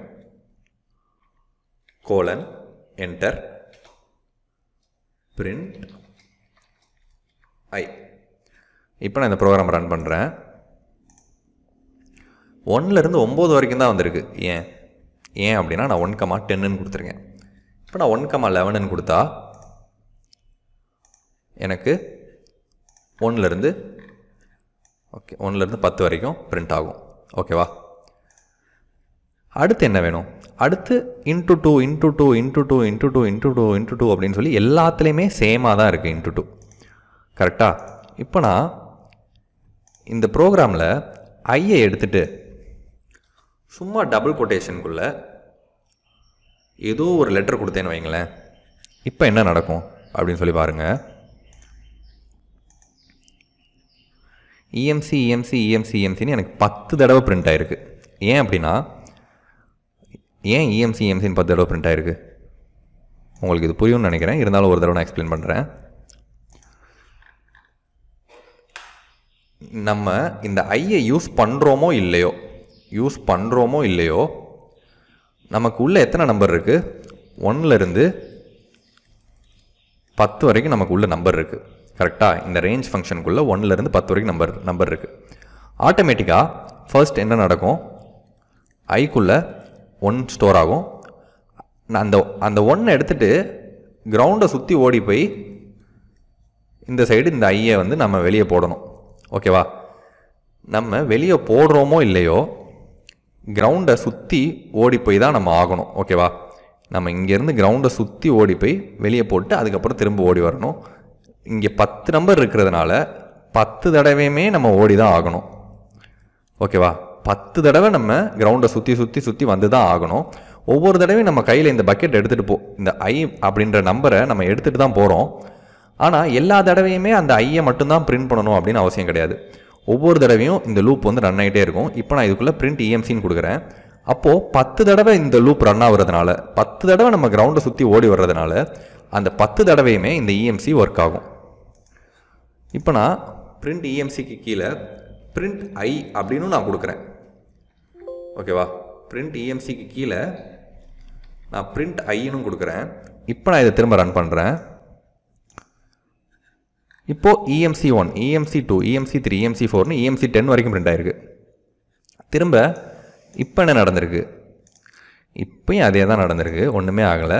அதாவது உள்ளே ஒன்லேருந்து ஒன் டூ த்ரீ ஃபோர்னு உள்ள பத்து வரைக்கும் நம்பர் இருக்குது இப்போது ஐக்குள்ளே ஒன் ஸ்டோர் ஆகுது. சுற்றி நடந்து சுற்றி கிரவுண்டை சுற்றி ஓடி வருது. ஓடி வர டைமில் பிரிண்ட் இஎம்சின்னு இருக்குது அதனால் அந்த இஎம்சியை வெளியே நமக்கு பிரிண்ட் பண்ணிடுது ஓகேவா அந்த இஎம்சியை வெளியே நமக்கு பிரிண்ட் பண்ணிடுது அடுத்து என்ன இருக்குது அடுத்து பிரிண்ட் ஐன்னு இருக்குது பிரிண்ட் ஐக்குள்ளே என்ன வேல்யூ இருக்குது ஐ ஈக்குவல் டு ஒன்றுன்னு இருக்குது அதனால் அடுத்து அந்த ஒன்றை பிரிண்ட் பண்ணுது. பிரிண்ட் பண்ணிட்டு திரும்ப சுற்றி வருது. திரும்ப சுற்றி வர்றப்ப இப்போ ஐ ஈக்குவல் டு டூ ஆயிரும். அப்போ திரும்ப ஃபஸ்ட்டு திரும்பவும் ஃபஸ்ட்டு என்ன இருக்குது பிரிண்ட் இஎம்சின்னு தான் இருக்குது அப்போ பிரிண்ட் இஎம்சியை பிரிண்ட் பண்ணிவிட்டு இப்போ ஐக்குள்ளே என்ன வேல்யூ இருக்குது இப்போ ஐக்குள்ளே டூ இருக்குது இது அப்படியே கண்டினியூ ஆகி கண்டினியூ ஆகி இஎம்சி டென் வரைக்கும் இது கண்டினியூ ஆகுது. சரியா? திரும்ப நம்மளோட ப்ரோக்ராமுக்கு வருவோம். நம்மளோட ப்ரோக்ராமில் ஃபஸ்ட்டு நமக்கு என்ன வேணும்? பிரிண்ட் ஐ அப்படின்னு நான் இதை மட்டும் பிரிண்ட் பண்ணால் okay one two three one two three four five six seven eight nine டென்னு எனக்கு பிரிண்ட் ஆகுது. ஆனால் one into two two into two அப்படின்னு சொல்லி எனக்கு பிரிண்ட் ஆகணும். இப்போ நான் இதுக்குள்ளே டபுள் கொட்டேஷனுக்குள்ளே கிராஸ் சிம்பிள் அதாவது எக்ஸ் போட்டுட்டு டூ போடுறேன். இப்போ என்ன நடக்கும்? இப்போ நான் இதை ரன் பண்ணுறப்ப போன தடவை நான் எப்படி இஎம்சின்னு கொடுத்தப்ப இஎம்சின்னு மட்டும் பிரிண்ட் ஆனிச்சோ இப்போ நான் கிராஸ் டூன்னு கொடுத்தப்ப அந்த கிராஸ் டூ மட்டும் பத்து தடவை பிரிண்ட் ஆகும். ஏன்னா பத்து நம்பர் இருக்கிறதுனால கட்டாயமாக லூப் பத்து தடவை சுற்றி சுற்றி வரும். இப்போ நான் இதுக்கு கூட என்ன வேணும்? One two three four five six seven eight நமக்கு சொல்லி வேணும் கரெக்டாக அதாவது one two three four five six இந்த எக்ஸ் டூக்கு முன்னாடி one two three four five six seven eight nine டூன்னு வேணும். இப்போ நான் பிரிண்ட் ஐன்னு கொடுத்தா இப்போ என்ன நடக்குதுன்னு பாருங்கள் ஐக்குள்ளே one two three four five six seven eight nine ten அந்த நம்பர் நமக்கு இந்த ஐக்குள்ளே ஸ்டோர் ஆகும். அப்போ நான் இதை ரன் பண்ணுறப்ப ஒன் இன்ட்டு டூன்னு கீழே பிரிண்ட் ஆகுது. டூ இன்ட்டு டூ அப்படின்னு சொல்லி கீழே பிரிண்ட் ஆகுது. த்ரீ இன்ட்டு டூ அப்படின்னு சொல்லி கீழே பிரிண்ட் ஆகுது. ஃபோர் இன்ட்டு டூ அப்படின்னு சொல்லி பிரிண்ட் ஆகுது. எல்லாமே இப்படி கீழே கீழே பிரிண்ட் ஆகுது. இப்போ நான் இந்த ஐயை இந்த பிரிண்ட்டுக்குள்ளே போட போகிறேன் ஐ கமா இன்ட்டு டூ இப்போ என்ன நடக்குதுன்னு பாருங்கள் இப்போ இந்த ப்ரோக்ராமை ரன் பண்ணுறப்ப one into two two into two three into two four into two five into டூன்னு சொல்லி எனக்கு இப்போது அழகாக இது பிரிண்ட் ஆகுது வெளியே. டென் வரைக்கும் பிரிண்ட் ஆகுது. ஓகேவா இப்போது இது எப்படி ஒர்க் ஆகுது அப்படின்னு சொல்லி நான் திரும்ப இன்னொரு தடவை எக்ஸ்பிளைன் பண்ணுறேன் உங்களுக்கு. One into two into two ten into two வரைக்கும் பிரிண்ட் ஆகுது. இப்போ பாருங்கள் ஓகே.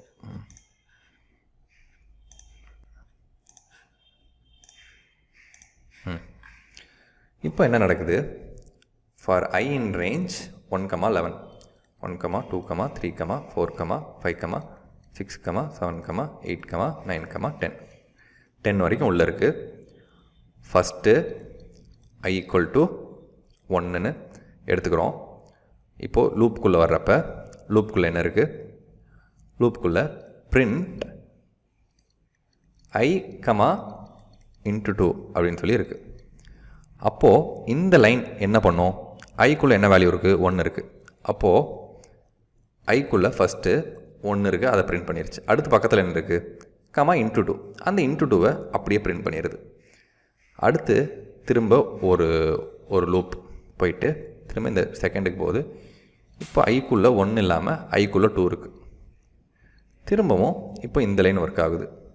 இப்போ ஐக்குள்ளே என்ன வேல்யூ இருக்குது டூ இருக்குது கரெக்டாக அப்போது அந்த டூவை வெளியே பிரிண்ட் பண்ணுது கமா இன்ட்டு டூ இப்போ திரும்ப லூப் ரன் ஆகும்.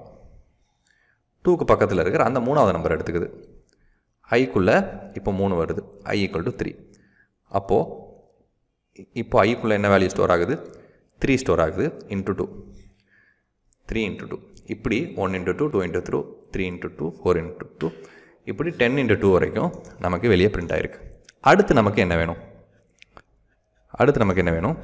ஈக்குவல் டு ஓகே ஈக்குவல் டூவும் எல்லாத்துலேயுமே சேம் தான் கரெக்டாக அதனால் நம்ம இங்கே என்ன பண்ணலாம்? I into two equal to அப்படின்னு சொல்லி போட்டுடலாம். இப்போது இந்த ப்ரோக்ராமை ரன் பண்ணுறப்ப ஓகே ஈக்குவல் டூட வந்துருச்சு. One into two two into two three into two four into two ten into two வரைக்கும் வந்துருச்சு. அடுத்து நமக்கு என்ன வேணும்? டென் இன்ட்டு டூ வரைக்கும் வந்துருச்சு. அடுத்து டூ ஃபோர் இப்படி மல்டிபிள்ஸாக நமக்கு வரணும். ஓகேவா இப்போ நமக்கு இப்படி பிரிண்ட் ஆயிடுச்சு ஆனால் நமக்கு என்ன வேணும்? டூவோட மல்டிபிள்ஸ் வேணும். கரெக்டாக இப்போ டூவோட மல்டிபிள்ஸ் வேணும். அதாவது இந்த இடத்துல டூ வரணும். அடுத்து ஃபோர் வரணும். Six eight ten twelve fourteen sixteen eighteen twenty. இப்போ தான் நீங்கள் லாஜிக்கலாக யோசிக்கணும். இந்த லாஜிக்கல் திங்கிங் உங்களுக்கு ப்ரோக்ராம் பண்ண பண்ண தான் வரும். இந்த இடத்துல two four six eight ten twelve fourteen sixteen eighteen twenty எப்படி இந்த நம்பரை நம்ம இந்த இடத்துல வர வைக்கிறது அப்படின்னு சொல்லி நம்ம யோசிக்கணும். சரியா? இப்போது எப்படி வர வைக்கலாம் அப்படின்னா இங்கே ஆல்ரெடி ஒன்று இருக்குது இந்த ஒன்னோட நான் டூவை மல்டிப்ளை பண்ணால் எனக்கு இந்த டூ கிடைக்கும். அதே மாதிரி ஆல்ரெடி இங்கே டூ இருக்குது இந்த டூவோட திரும்ப நான் டூவை மல்டிப்ளை பண்ணால் எனக்கு ஃபோர் கிடைக்கும். இங்கே த்ரீ இருக்குது இந்த த்ரீயோட திரும்ப நான் டூவை மல்டிப்ளை பண்ணால் எனக்கு சிக்ஸ் கிடைக்கும். ஃபோரோட டூவை மல்டிப்ளை பண்ணால் எயிட் கிடைக்கும். இந்த one two three four five six அப்படின்ற வேல்யூ எனக்கு ஐயில் இருக்குது கரெக்டாக அப்போது ஐயோட நான் டூவை மல்டிப்ளை பண்ணுறப்ப எனக்கு தேவையான ரிசல்ட் கிடைக்கும். எப்படி சொல்கிறேன்னு இப்போ நான் போட்டு காட்டுறேன்.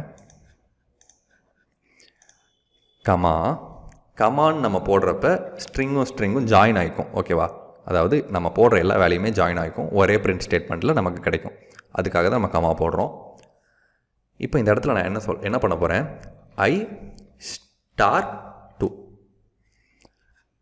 I star டூன்னு போட்டு இப்போ நான் இதை ரன் பண்ண போகிறேன் ஓகே இப்போ எனக்கு தேவையான அவுட்புட் வெளியே பிரிண்ட் ஆயிடுச்சு இப்போ நான் இதை இன்னொரு தடவை எக்ஸ்பிளைன் பண்ணுறேன் கவனமாக பாருங்கள் இங்கே என்ன நடக்குது அப்படின்னா அதே மாதிரி ஃபார் ஐ இன் ரேஞ்சுன்றப்ப உள்ள one comma two comma three comma four comma five comma six comma ten வரைக்கும் இருக்குது ஃபர்ஸ்ட் என்ன நடக்குது? ஐ equal to one பிரிண்ட்குள்ளே I comma into two comma I into two இதுதான் பிரிண்ட்டுக்குள்ளே இருக்குது கரெக்டாக ஐயோட வேல்யூ என்ன? ஒன் அடுத்து என்ன இருக்குது into two equal to two print ஆயிடுச்சு அடுத்து என்ன இருக்குது ஐ இன்ட்டு டூ அதாவது ஒன் இன்ட்டு டூ ஐக்குள்ளே ஒன்று இருக்குது இன்ட்டு டூ அப்போ இதோட வேல்யூ என்ன வரும்? டூ வரும். ஒன் டூ சார் டூ இது ஃபஸ்ட் லைனில் பிரிண்ட் ஆகிருக்கு அடுத்து திரும்ப லூப் ரன் ஆகிறப்ப இப்போது ஐயோட வேல்யூ என்ன? இப்போ வேல்யூ டூ கரெக்டாக அப்போது இப்போ என்ன நடக்கும்? ஐயோட வேல்யூ டூ ஐயோட value two into two equal to two i into டூன்னு அந்த இந்த லைன் ஐ இன்ட்டு டூனா இப்போ ஐயோட வேல்யூ என்ன? டூ டூ இன்ட்டு டூனா இதோட வேல்யூ என்ன? ஃபோர் அப்போது two into two equal to four அப்படின்னு சொல்லி நமக்கு அடுத்த லைன் அவுட்புட்டில் பிரிண்ட் ஆகும். இதே மாதிரி அடுத்த ஐ ஈக்குவல் டு த்ரீ ஆகும். Into two equal to i equal to த்ரீயாக இருக்கா? அப்போது த்ரீ இன்ட்டு டூ சிக்ஸ் இந்த மாதிரி ப்ரோக்ராம் அப்படியே கண்டினியூவாக ரன் ஆகிக்கிட்டே இருக்கும். இப்போது அடுத்து நான் ஒன்று சொல்கிறேன் யோசிச்சு பாருங்கள் இப்போது இந்த மாதிரி நான் டூ டேபிளை மேக் பண்ணிட்டேன்.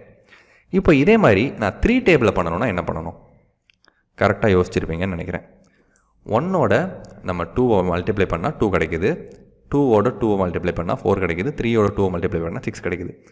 அப்போது இந்த இடத்துல ஒன்னோட டூவை தான் கண்டினியூஸாக மல்டிப்ளை பண்ணிக்கிட்டே இருக்கும். ஏன் அப்படின்னா இந்த இடத்துல ஒன் ஸ்டார் டூ அப்படின்னு சொல்லி போட்டிருக்கோம். இப்போது இதே இந்த இடத்துல டூவை எடுத்துகிட்டு நான் த்ரீ போட்டேன் அப்படின்னா அதே மாதிரி இந்த இன்ட்டு டூவை எடுத்துகிட்டு நான் த்ரீ போடுறேன். இப்போ எனக்கு த்ரீ டேபிள் கிடச்சிரும். One three sir three two three sir six three three sir nine four three sir twelve. எப்படி உங்களுக்கு இந்த டேபிள்ஸ் ஃபார்ம் பண்ணுறது லூப்பை வச்சு அப்படின்னு சொல்லி உங்களுக்கு புரிஞ்சிருக்கும்னு நினைக்கிறேன். இந்த லூப்பை ஒரு தடவை போட்டு பாருங்கள் அதாவது இந்த லூப்பை ரன் பண்ணி பார்த்து ப்ரோக்ராமில் போடாமல் உங்களோட நோட் எடுத்து எப்படி ஒர்க் ஆகுது அப்படின்னு சொல்லி நீங்கள் எழுதி பாருங்கள் இப்போ நான் உங்களுக்கு இந்த மாதிரி எழுதி காட்டினேன் இல்லையா? அந்த மாதிரி எழுதி பாருங்கள் அதாவது நீங்களே எழுதி பாருங்கள் ஐ இருக்குது அப்போது ஐயில் ஃபஸ்ட்டு ஒன் அப்படின்ற வேல்யூ இருக்கும். அடுத்து இன்டூ த்ரீ இருக்குது ஈக்குவல் டு அடுத்து ஐயில் ஃபஸ்ட்டு ஒன் அப்படின்ற. ஃபஸ்ட் ஐ ஈக்குவல் டு ஒன்னாக இருக்குது அப்போது இது நடக்குது. அப்போது ஐ இன்ட்டு த்ரீ அப்படின்றப்ப ஒன் ஒன் இன்ட்டு த்ரீ அப்போ இந்த இடத்துல த்ரீ வரும். அடுத்து ஐயோட வேல்யூ டூவாக இருக்குது அப்போ என்ன நடக்கும்? டூ இன்ட்டு த்ரீ இந்த i into three equal to i into த்ரீயா அப்போது ஐயோட வேல்யூ டூவாக இருக்குது டூ இன்ட்டு த்ரீ அப்போது த்ரீ டூ சார் சிக்ஸ் இப்படி டென் வரைக்கும் நீங்கள் எழுதி பாருங்கள் அதுக்கப்புறமா இப்படி எழுதி பார்த்து எழுதி பார்த்து இந்த ப்ரோக்ராமிங்கை போடு இந்த ப்ரோக்ராமை போடுங்க. ஃபார் லூப்பை கம்ப்ளீட்டாக அண்டர்ஸ்டாண்ட் பண்ணிக்கோங்க. நம்ம இப்போ தான் ஃபார் லூப் தொடங்கியிருக்கோம் ஃபார் லூப்பில் இன்னும் நிறையா கான்செப்ட்ஸ் இருக்குது. போக போக அது எல்லாத்தையுமே பார்ப்போம். எப்படி நம்ம இஃபெல்ஸ் எக்ஸாம்பிளோட பார்த்தோமோ அதே மாதிரி ஃபார் லூப்பை அடுத்த வர வீடியோஸில் எக்ஸாம்பிளோட பார்க்கலாம்.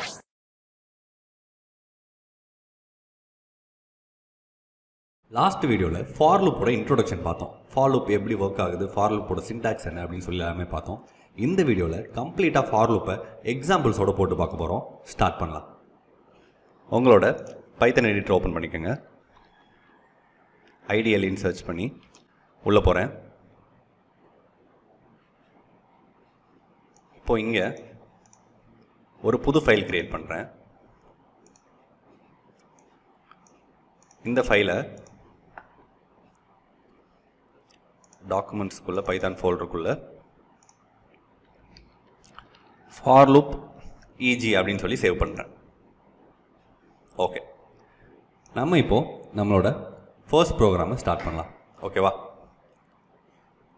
ஃபர்ஸ்ட் கொஸ்டின் என்ன அப்படின்னா get input for number a and b print the number between a and b a and b அப்படி அப்படின்ற இன்டிஜர் நம்பருக்கு இன்புட் வாங்குங்க.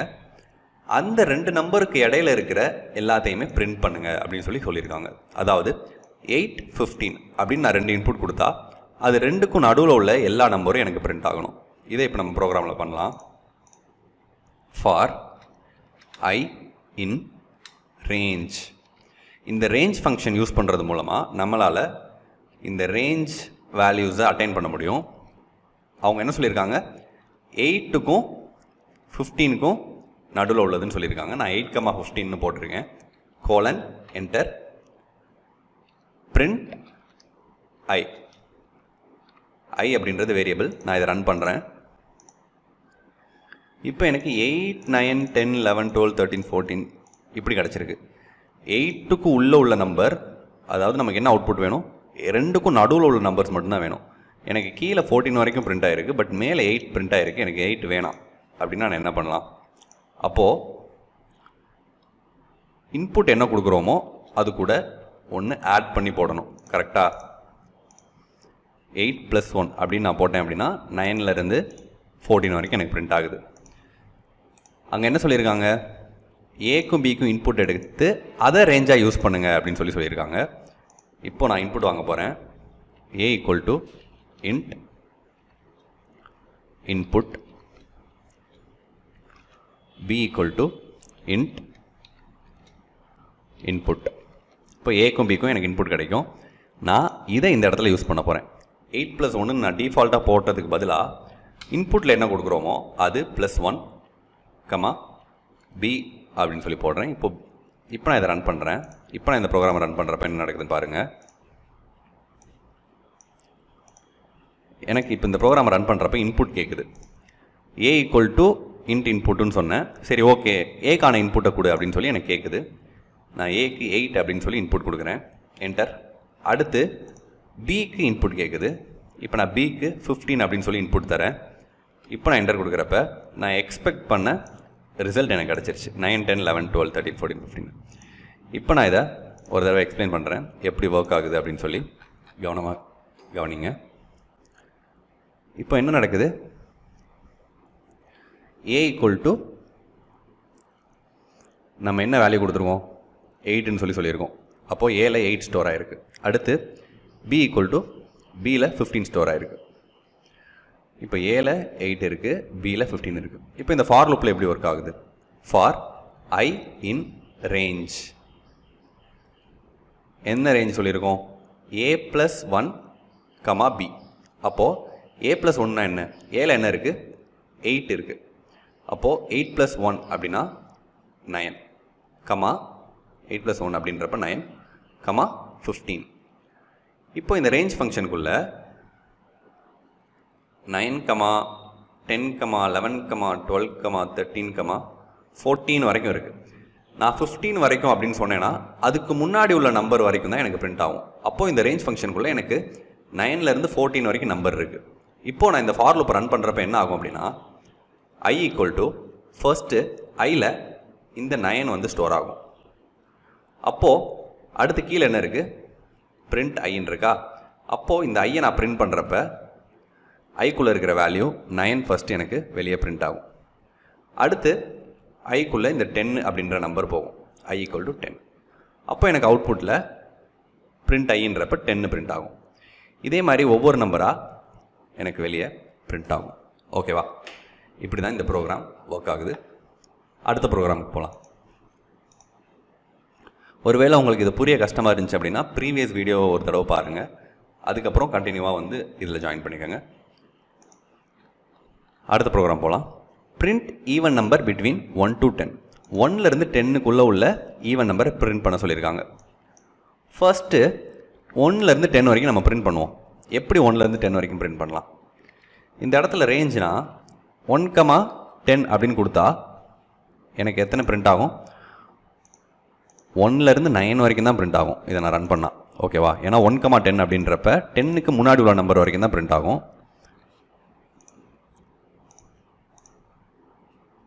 ஒன்லேருந்து நைன் வரைக்கும் எனக்கு பிரிண்ட் ஆயிருக்கு. ஒன்லேருந்து டென் வரைக்கும் எனக்கு பிரிண்ட் ஆகணும் அப்படின்னா இந்த இடத்துல நான் லெவன் அப்படின்னு கொடுத்தேன் அப்படின்னா ஒன்லேருந்து டென் வரைக்கும் எனக்கு பிரிண்ட் ஆகும்.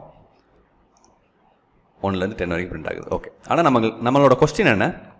Print even number between one to ten ஒன்லேருந்து டென்னுக்கு வரைக்கும் டென்னுக்கு நடுவில் உள்ள ஈவன் நம்பர் எல்லாத்தையும் பிரிண்ட் பண்ணுங்க அப்படின்னு சொல்லி சொல்லியிருக்காங்க. இப்போது இந்த ப்ரோக்ராம் இருக்கட்டும் ஓகேவா ஈவன் நம்பருக்கு எப்படி ப்ரோக்ராம் எழுதுவீங்க? For example a equal to two அப்படின்னு இருக்குன்னு வச்சுக்கோங்க. இப்போது இந்த ஏ ஈவன் நம்பராக இல்லையான்னு பார்க்குறதுக்கு நம்ம என்ன ப்ரோக்ராம் எழுதுவோம்? If a mod two equal to equal to zero இது ட்ரூவாக இருந்துச்சு அப்படின்னா பிரிண்ட் ஈவன் அப்படின்னு சொல்லி நம்ம வந்து பிரிண்ட் பண்ணலாம். இ- இப்போ இப்போ நான் இந்த ப்ரோக்ராம் மட்டும் ரன் பண்ணுறேன் ஏற்கனவே பிரிண்ட் பண்ண ஃபார் லூப்பை மட்டும் கேன்சல் பண்ணிக்கிறேன். இப்போ நான் இந்த ப்ரோக்ராம் ரன் பண்ணுறேன் ஒரு தடவை இது எப்படி ஒர்க் ஆகுதுன்னு சொல்லிடுறேன். ஈவன் எனக்கு பிரிண்ட் ஆகிருக்கு இங்கே என்ன நடக்குது அப்படின்னா ஏற்கனவே நீங்கள் ஃபார்லுப் கான்செப்ட் எல்லாத்தையுமே கிளியராக பார்த்துருந்தீங்க அப்படின்னா இப்போ நான் என்ன சொல்கிறேன் அப்படின்றது உங்களுக்கு புரியும். ஏ ஈக்குவல் டு டூ அப்படின்னு சொல்லி சொல்லிட்டேன். ஒரு நம்பரோட ரிமைண்டர் செக் பண்ணணும் அப்படின்னா இப்போது ஏ ஈக்குவல் டு டூ இருக்குது இப்போ இந்த டூவை நான் டூவால் டிவைட் பண்ணுறேன் அப்போது ஒன் டூ சார் டூ எனக்கு ரிமைண்டர் ஜீரோ இருக்குது எந்த நம்பருக்குமே ரிமைண்டர் ஜீரோ வந்துச்சு அப்படின்னா அந்த நம்பர் அந்த பர்டிகுலர் நம்பரால் டிவைட் ஆகுது அப்படின்னு சொல்லி அர்த்தம். ஓகேவா? இங்கே என்ன நடக்குது அப்படின்னா இந்த இஃப்பில் இந்த இஃப்பில் இப்போ என்ன நடக்குது?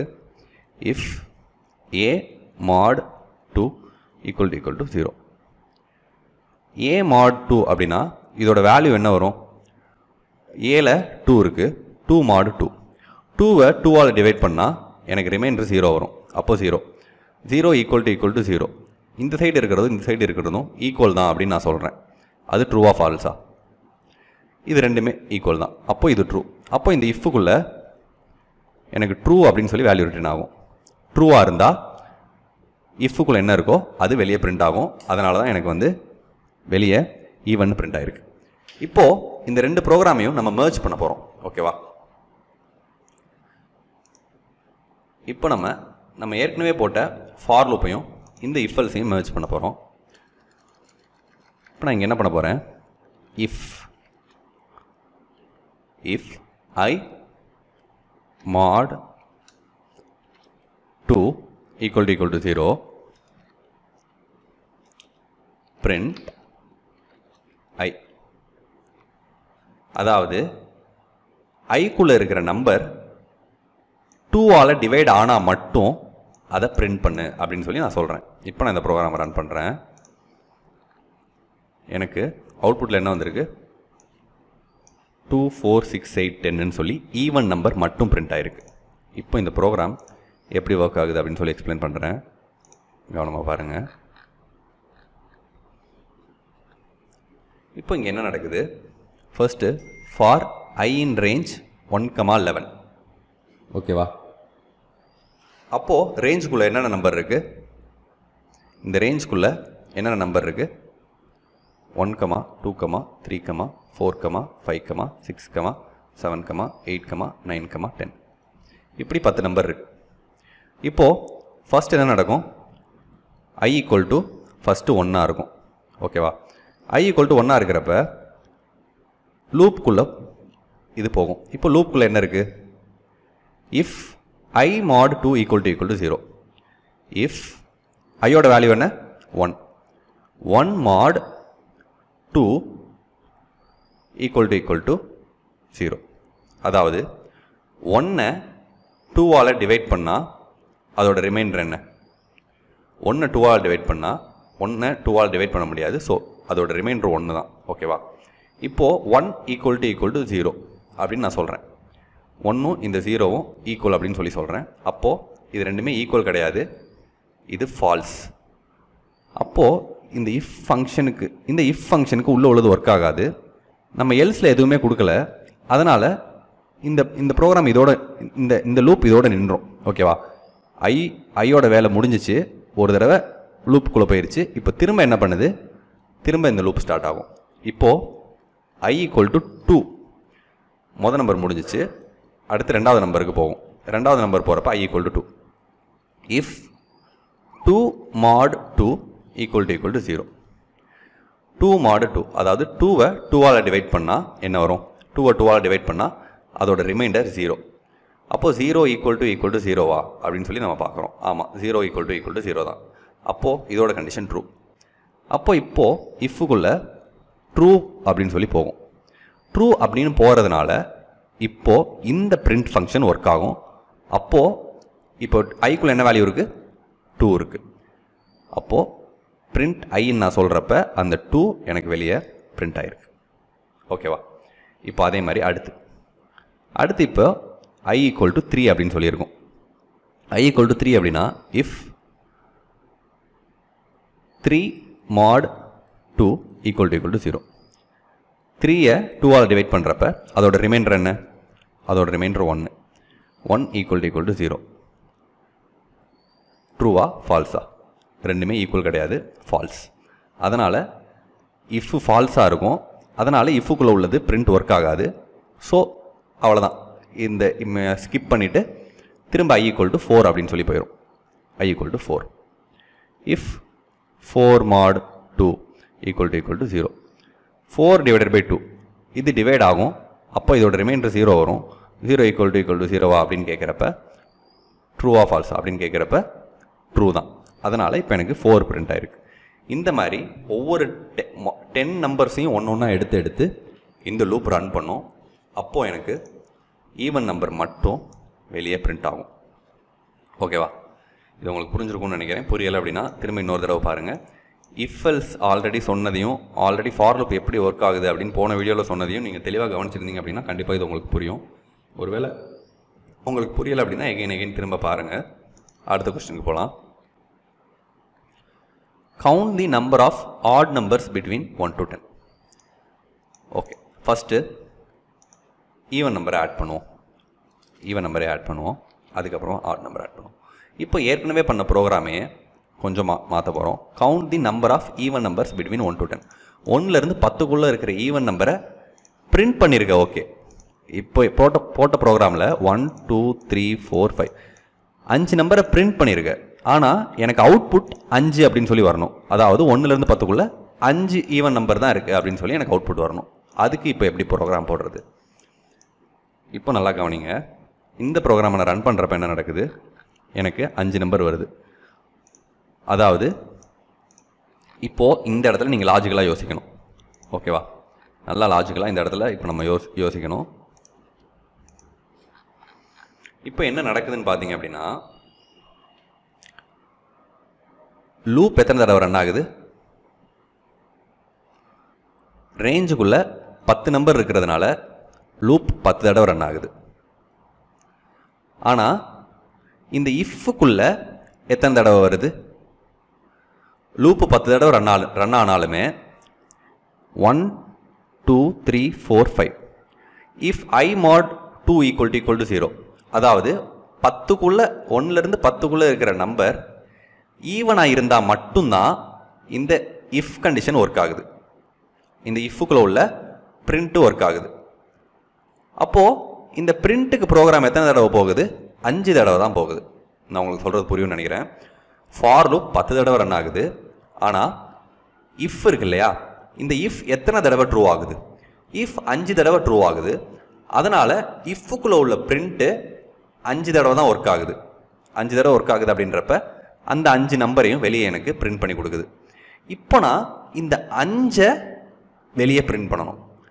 கவுண்ட்டு தான் எனக்கு கொஸ்டின் கவுண்ட் என்ன அப்படின்னு தான் கேட்குறாங்க இப்போ இந்த பிரிண்ட்டுக்குள்ள ஐ அப்படின்னு ஐ ஐ அப்படின்னு சொல்லி பிரிண்ட் பண்ணாமல் ஒன்று ஒன்றா பிரிண்ட் பண்ணாமல் எனக்கு அஞ்சு அதாவது இந்த டோட்டல் நம்பரோட கவுண்ட் அஞ்சுன்னு சொல்லி எனக்கு பிரிண்ட் பண்ணணும். இப்போ அதை எப்படி பண்ணலாம்? யோசிங்க என்ன பண்ணலாம் அப்படின்னு சொல்லி. அஞ்சு தடவை இது ஒர்க் ஆகுது. எனக்கு கவுண்ட் அஞ்சுன்னு சொல்லி வரணும். இப்போ நான் இதுக்கு ஒரு லாஜிக் சொல்ல போகிறேன் இந்த லாஜிக்கை நீங்கள் எல்லா ப்ரோக்ராம்லேயுமே யூஸ் பண்ணுவீங்க. நிறையா ப்ரோக்ராமிங் லாங்குவேஜில் இது வரும். லைக் நிறையா ப்ரோக்ராம்ஸில் நீங்கள் யூஸ் பண்ணுற மாதிரி இருக்கும். கவனமாக பாருங்கள் இப்போ நான் சொல்ல போகிற லாஜிக்கை பாருங்கள் இப்போ நான் என்ன பண்ண போகிறேன் இந்த இடத்துல இந்த இடம் தான் ஒர்க் ஆகுது கரெக்டாக பிரிண்ட் ஐ அப்படின்னு சொல்லி இது ஒர்க் ஆகுது. இங்கே ஒரு வேளை எனக்கு ஏதோ ஒரு வேரியபிள் இருக்குன்னு வச்சுக்கோங்க. கவுண்ட் அப்படின்னு சொல்லி ஒரு வேரியபிள் இருக்குது இப்போது இந்த வேரியபிளோட வேல்யூ ஜீரோவாக இருக்குன்னு வச்சுக்கோங்க. கவுண்ட் அப்படின்ற வேரியபிளோட வேல்யூ ஜீரோவாக இருக்குன்னு வச்சுக்கோங்க. இப்போது லூப் ரன் ஆகுது. இஃப் கண்டிஷன் ட்ரூ ஆகுது. ஒருவேளை இந்த இஃப் கண்டிஷன் ட்ரூ ஆகி இந்த இஃப்புக்குள்ளே ப்ரோக்ராம் வந்தால் இந்த கவுண்டோட வேல்யூவை நான் இன்க்ரீஸ் பண்ணணும். ஒரு தடவை இந்த இஃப் இந்த இஃப்புக்குள்ளே ப்ரோக்ராம் லூப் ரன் ஒர்க் ஆகுது அப்படின்னா ஜீரோவாக இருக்கிற கவுண்ட் எனக்கு ப்ளஸ் ஒன் அதாவது ஒன்றா மாறணும். அடுத்து திரும்பவும் இந்த லூப் ரெண்டாவது தடவை ரன் ஆகுது இஃப்புக்குள்ளே வருது அப்படின்னா ஜீரோவாக இருக்கிற இந்த கவுண்ட் அதாவது ஏற்கனவே ஒன்றாயிருச்சு ஓகேவா அப்போது திரும்ப இன்னொரு ஒன் ஆட் ஆகணும். அப்போது கவுண்ட் எனக்கு டூன்னு வந்துடும் இப்போ திரும்பவும் இன்னொரு தடவை இந்த இஃப்புக்குள்ளே வர்றப்ப கவுண்ட் டூ ப்ளஸ் ஒன் எனக்கு த்ரீன்னு வந்துடும் இப்போ நான் இதை ப்ரோக்ராமோட எக்ஸ்பிளைன் பண்ணுறேன் உங்களுக்கு மேபி இப்போ கன்ஃபியூஷனாக இருக்கும். இப்போ நான் இதை இதை நான் ப்ரோக்ராமோட எக்ஸ்பிளைன் பண்ணுறேன் எப்படின்னு பாருங்கள் இப்போ நான் என்ன பண்ண போகிறேன் count equal to count plus one இப்படி நான் சொல்கிறேன் இப்போ நான் இந்த ப்ரோக்ராமை ரன் பண்ணுறப்ப என்ன நடக்குதுன்னு பாருங்கள் இப்போ இந்த ப்ரோக்ராம் ரன் பண்ணுறப்ப என்ன நடக்குதுன்னு பாருங்கள் எனக்கு எரர் வருது. Count is not defined count அப்படின்ற வேரியபிள் டிஃபைனே பண்ணல. நம்ம எல்லா தடவையுமே ப்ரோக்ராம் பண்ணுறப்ப ஏ ஈக்குவல் டு டென்னு பி ஈக்குவல் டு இல்லை ஒரு இன்புட்டு இப்படி போட்டு தான் ப்ரோக்ராமை ரன் பண்ணுவோம். ஈக்குவல் டு அப்படின்னு சொல்லி நான் டிஃபைனே பண்ணல. இந்த கவுண்ட் வேரியபிளை நான் இதுக்கு முன்னாடி அப்படி ஈக்குவல் டு போட்டு டிஃபைனே பண்ணல. அதனால் எனக்கு எரர் வருது.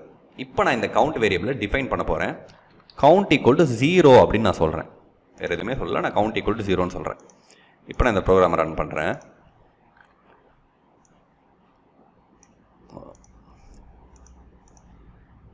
இப்போ நான் இந்த ப்ரோக்ராமை ரன் பண்ணுறப்ப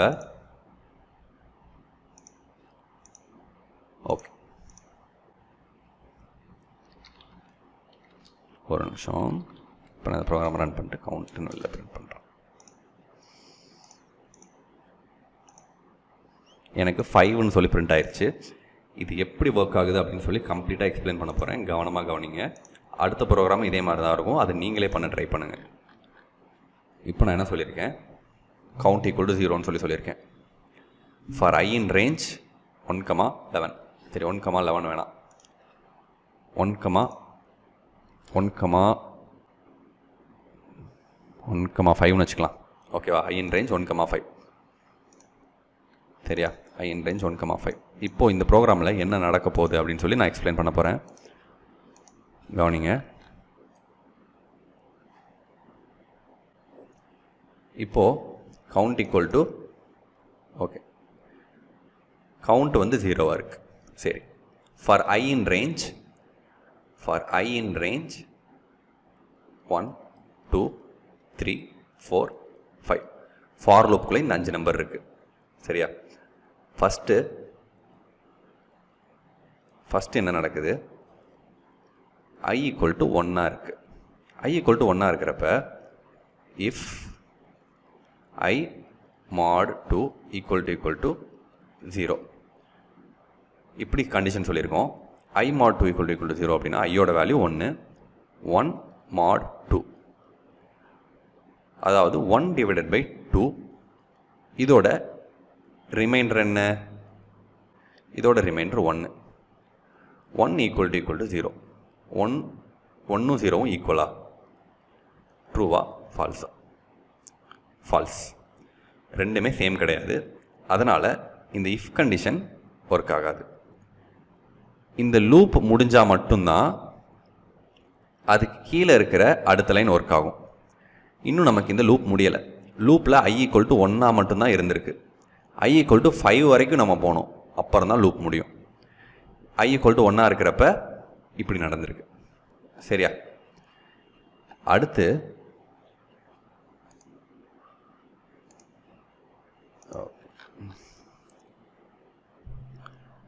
ஐ ஈக்குவல் டு அடுத்து step two i equal to அடுத்து டூவாக இருக்கும் இப்போ என்ன நடக்கும்?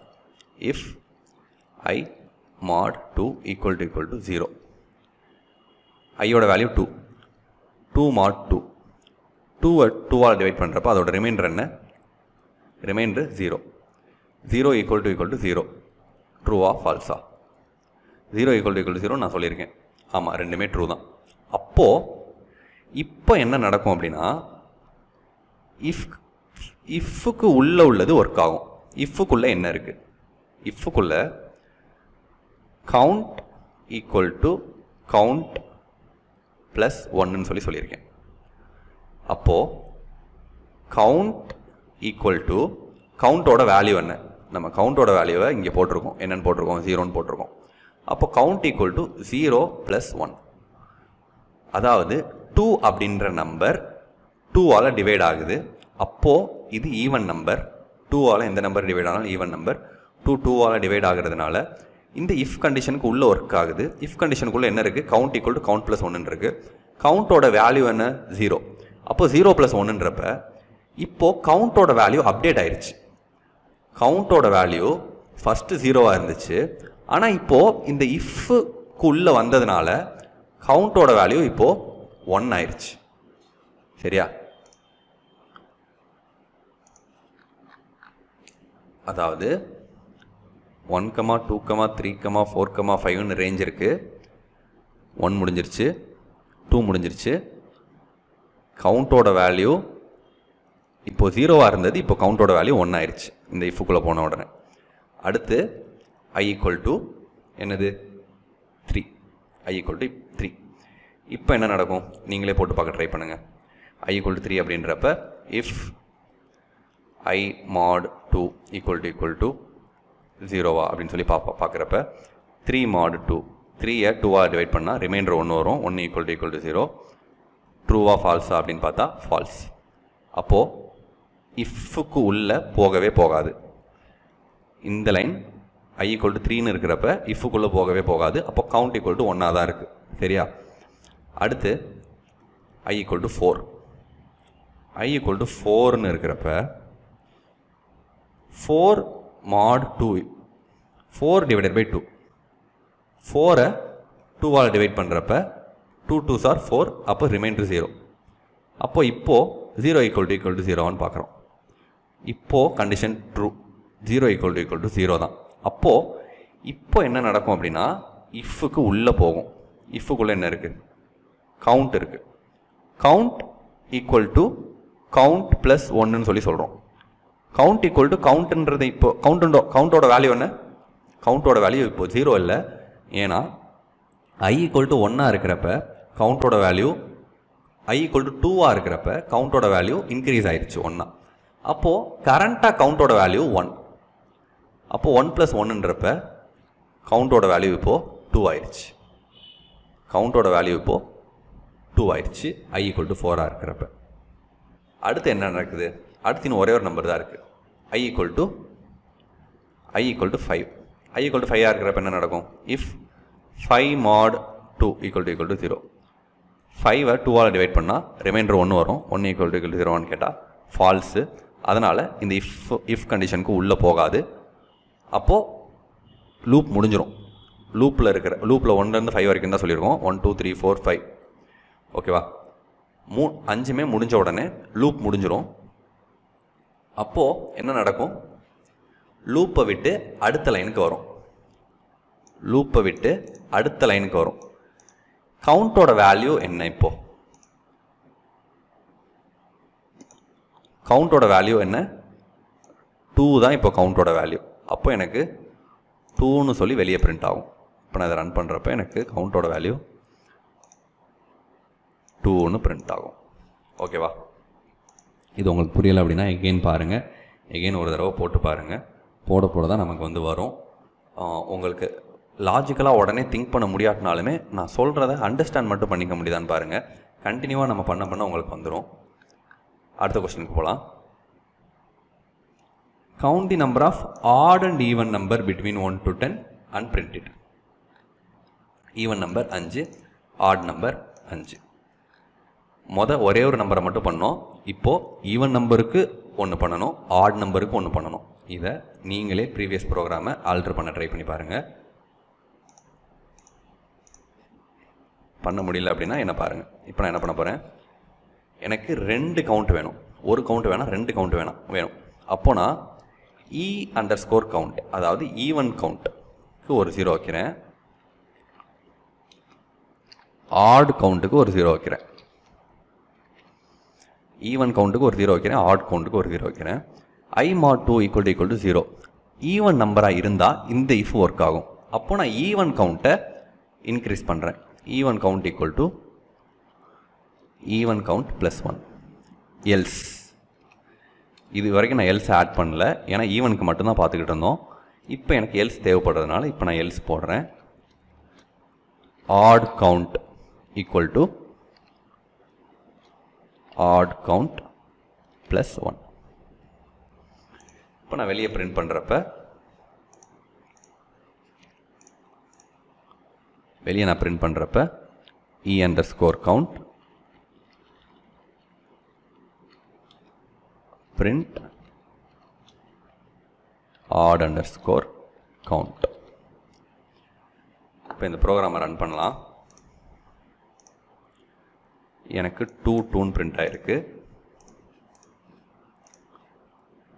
ரேஞ்ச் வந்து ஒன் கமா டென்னு கொடுக்கலாம். இல்லை லெவனுன்னு கொடுக்கலாம். அப்போ தான் ஒன்லேருந்து டென் வரைக்கும் வரும்.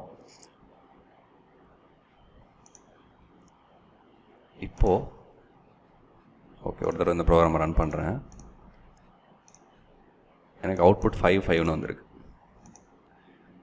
இப்போது என்ன நடந்திருக்கு? ஒரு தடவை ஷார்ட்டாக எக்ஸ்பிளைன் பண்ணுறேன் கவனமாக பாருங்கள் என்ன நடந்திருக்கு அப்படின்னா even count zero odd count zero number one two three four five six seven eight nine ten i equal to ஒன்றா இருக்கிறப்ப ஐ ஈக்குவல் டு ஒன்றா இருந்துச்சு அப்படின்னா இது ஈவன் கிடையாது. ஆட் அதனால் இந்த இஃப் கண்டிஷன் ஒர்க் ஆகாது. எல்ஸ் ஒர்க் ஆகும். அப்போது எல்ஸில் என்ன போட்டிருக்கோம்? Odd count equal to odd count plus one அப்போது ஆட் கவுண்டோட value என்ன? ஃபஸ்ட்டு ஆட் கவுண்டோட வேல்யூ ஜீரோவாக இருக்குது அப்போது ஜீரோ ப்ளஸ் ஒன் இப்போது ஆட் கவுண்டோட வேல்யூ ஒன்று அடுத்து i equal டு டூவாக இருக்குது i equal to டூவாக இருக்கிறப்ப இந்த இஃப் கண்டிஷன் ட்ரூ ஆகும். அப்போது இதுக்குள்ள e underscore score count equal to e underscore score count plus one அப்போது e underscore score count equal to e underscore score கவுண்டோட value என்ன ஃபஸ்ட்டு ஜீரோவாக இருக்குது அப்போது ஜீரோ ப்ளஸ் ஒன் அப்படின்றப்ப இ அண்டர் ஸ்கோர் கவுண்டோட வேல்யூ இப்போது ஒன் ஆயிடுச்சு.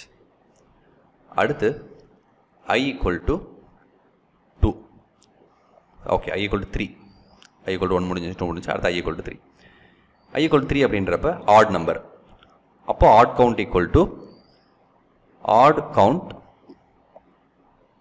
என்ன நடக்குதுங்க? ப்ளஸ் ஒன் அப்போ ஆட் கவுண்டோட வேல்யூ என்ன?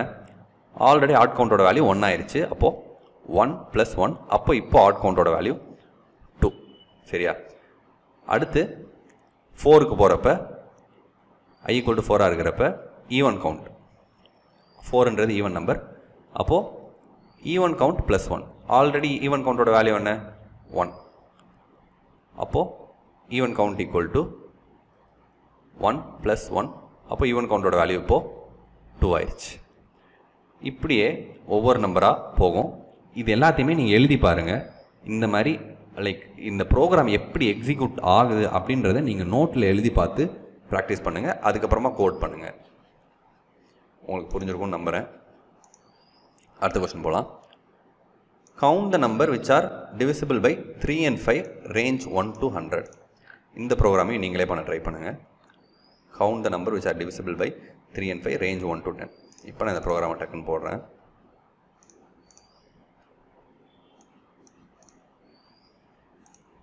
ரேஞ்ச் என்ன சொல்லியிருக்காங்க?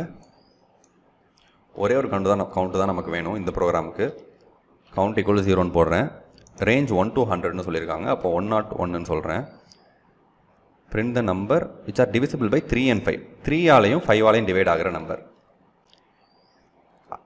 i mod 3 equal to equal to 0 இந்த ப்ரோக்ராம் ஏற்கனவே நம்ம இஃபல்ஸில் பண்ணியிருப்போம். And i mod 5 equal to equal to 0 அதாவது i 3 ஆல் டிவைட் ஆகுதா இல்லையான்னு பார்க்குறோம். 5 ஆல் டிவைட் ஆகுதா இல்லையான்னு பார்க்குறோம். இது ட்ரூவாக இருந்து அண்ட் இதுவும் ட்ரூவாக இருந்து த்ரீயாலையும் டிவைட் ஆகுது ஃபைவாலையும் டிவைட் ஆகுது அப்படின்னா அப்படின்னா மட்டும் கவுண்ட்டை இன்க்ரீஸ் பண்ண போகிறோம் count equal to count plus one else தேவையில்லை எனக்கு.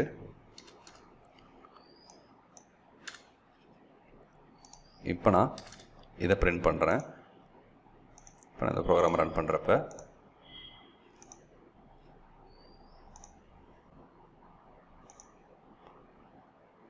i mod. ஓகே. சிக்ஸ் ஒன்லேருந்து ஹண்ட்ரட்குள்ளே த்ரீ ஆலையும் ஃபைவ் ஆலையும் ரெண்டு நம்பராலையும் டிவைட் ஆகிற நம்பர்ஸ் மொத்தமே சிக்ஸ் தான். ஓகே இந்த ப்ரோக்ராமை இன்னொரு தடவை எக்ஸ்பிளைன் பண்ணுறேன் இது எப்படி ஒர்க் ஆகுதுன்னு உங்களுக்கு தெரியும்னு நினைக்கிறேன். ஏற்கனவே நம்ம இதை வந்து இஃபல்ஸில் போட்டோம்.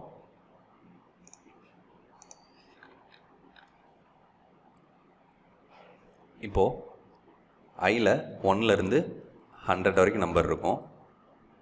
For example i equal to இப்போ ஃபிஃப்டின்னு இருக்குன்னு வைங்க. இப்போது if fifteen mod three equal to equal to zero and fifteen mod five equal to equal to zero first fifteen mod three எடுத்துக்கலாம். ஃபிஃப்டீன் மாட் த்ரீ எடுத்துக்கிட்டோம் அப்படின்னா ஃபிஃப்டீன் மாட் த்ரீ அப்படின்னா ஃபிஃப்டீனை த்ரீயால் டிவைட் பண்ணுறப்ப அதோட ரிமைண்டர் என்ன ஃபிஃப்டீன் த்ரீயால் டிவைட் ஆகும். இதோட remainder zero zero equal to equal to zero and fifteen ஃபைவால் divide ஆகுமா? ஆமாம் ஃபிஃப்டீன் ஃபைவால் டிவைட் ஆகும். அப்போ zero equal to equal to zero again அப்போது ரெண்டுமே ஜீரோ இதுவும் ட்ரூ இதுவும் ட்ரூ அதனால் இந்த இஃப் ஒர்க் ஆகும். இஃப்குள்ளே கவுண்ட் வேல்யூ இருக்குது கவுண்ட் ஆல்ரெடி ஜீரோவாக இருந்துச்சு அப்படின்னா count equal to count plus one அப்படின்றப்ப ஜீரோ ப்ளஸ் ஒன் அப்படின்னு ஆகும். இதுக்குமே ஒவ்வொரு ஐ ஈக்குவல் டு ஒன்னாக இருக்கிறப்ப என்ன நடக்கும்? டூவாக இருக்கிறப்ப என்ன நடக்கும்? த்ரீயாக இருக்கிறப்ப என்ன நடக்கும்? ஃபோராக இருக்கிறப்ப என்ன நடக்கும்? ஃபைவாக இருக்கிறப்ப என்ன நடக்கும்? அப்படின்னு சொல்லி நீங்கள் எழுதி பாருங்கள் நோட்டில் எழுதி பார்த்து இதை ப்ராக்டிஸ் பண்ணுங்கள்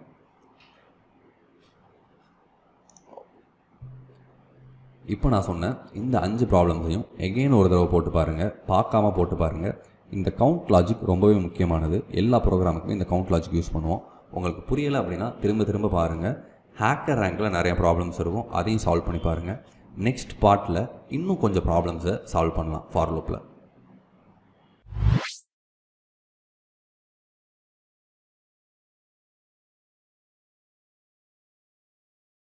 உங்கள் பைத்தன் எடிட்டர் ஓப்பன் பண்ணிக்கோங்க. ஐடிஎல்இ அப்படின்னு சர்ச் பண்ணிங்க அப்படின்னா உங்களோட பைத்தான் எடிட்டர் ஓப்பன் பண்ணி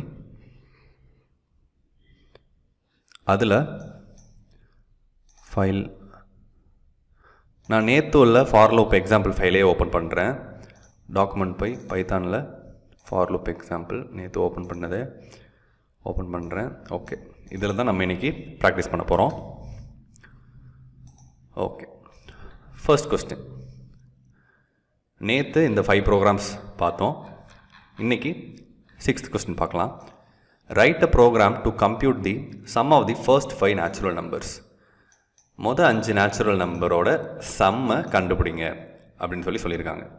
சம் அப்படின்னா addition of first five natural numbers ஓகேவா one plus two plus three plus four plus five sum of additional first five natural நம்பர்ஸை லூப்பை யூஸ் பண்ணி நம்ம பண்ணணும். சாதாரணமாக இப்போது a equal to one plus two plus three plus three plus four plus five இப்படி போட்டு பிரிண்ட் கொடுத்தேன் அப்படின்னா எனக்கு இதோட அவுட்புட் வந்துடும் ஃபிஃப்டீன் அப்படின்னு சொல்லி வந்துடுச்சு. ஆனால் இதையே நான் லூப்பில் பண்ணணும். எப்படி பண்ணலாம்? ஒன்லேருந்து ஃபைவ் வரைக்கும். கரெக்டாக அப்போ நான் இப்போது ரேஞ்ச் ஃபங்க்ஷன் யூஸ் பண்ணணும். For i in range one comma five அப்படின்னு போட்டால் ஒன்லேருந்து ஃபோர் வரைக்கும் தான் எனக்கு எலிமெண்ட் பிரிண்ட் ஆகும். ஸோ நான் ஒன்ல ஒன் கமா சிக்ஸ் அப்படின்னு போட்டேன்னா ஒன்லேருந்து ஃபைவ் வரைக்கும் எனக்கு எலிமெண்ட்ஸ் பிரிண்ட் ஆகும். ஃபஸ்ட் ஒரு தடவை பிரிண்ட் பண்ணி பார்க்கலாம். பிரிண்ட் ஐ அப்படின்னு சொல்லி கொடுத்து நான் ரன் பண்ணுறேன் one two three four five அப்படின்னு சொல்லி ஃபஸ்ட்டு ஃபைவ் வெளியே வந்து பிரிண்ட் ஆயிடுச்சு இப்போது அந்த ஃபைவையும் நான் ஆட் பண்ணணும். நேற்று கவுண்ட்டை வச்சு எப்படி நம்ம கவுண்ட்டை ஆட் பண்ணுறது அப்படின்னு சொல்லி பார்த்தோம்ல அதே மாதிரி தான் இங்கே ஒரு லாஜிக் யூஸ் பண்ண போகிறோம் சம் ஈக்குவல் டு ஜீரோ அப்படின்னு நான் சொல்லிவிட்டு இதுக்குள்ளே இப்போ நான் என்ன பண்ண போகிறேன் sum equal to sum plus i இப்போது பிரிண்ட் சம் இப்போ இதை ரன் பண்ணிட்டு எப்படி ஒர்க் ஆகுது அப்படின்னு சொல்லிட்டு நான் உங்களுக்கு எக்ஸ்பிளைன் பண்ணுறேன் எனக்கு 15 அப்படின்னு சொல்லி அவுட்புட் வெளியே பிரிண்ட் ஆயிடுச்சு இந்த ப்ரோக்ராமை நான் ரன் பண்ணுறப்ப ஆனால் எப்படி வந்துச்சு? ஓகே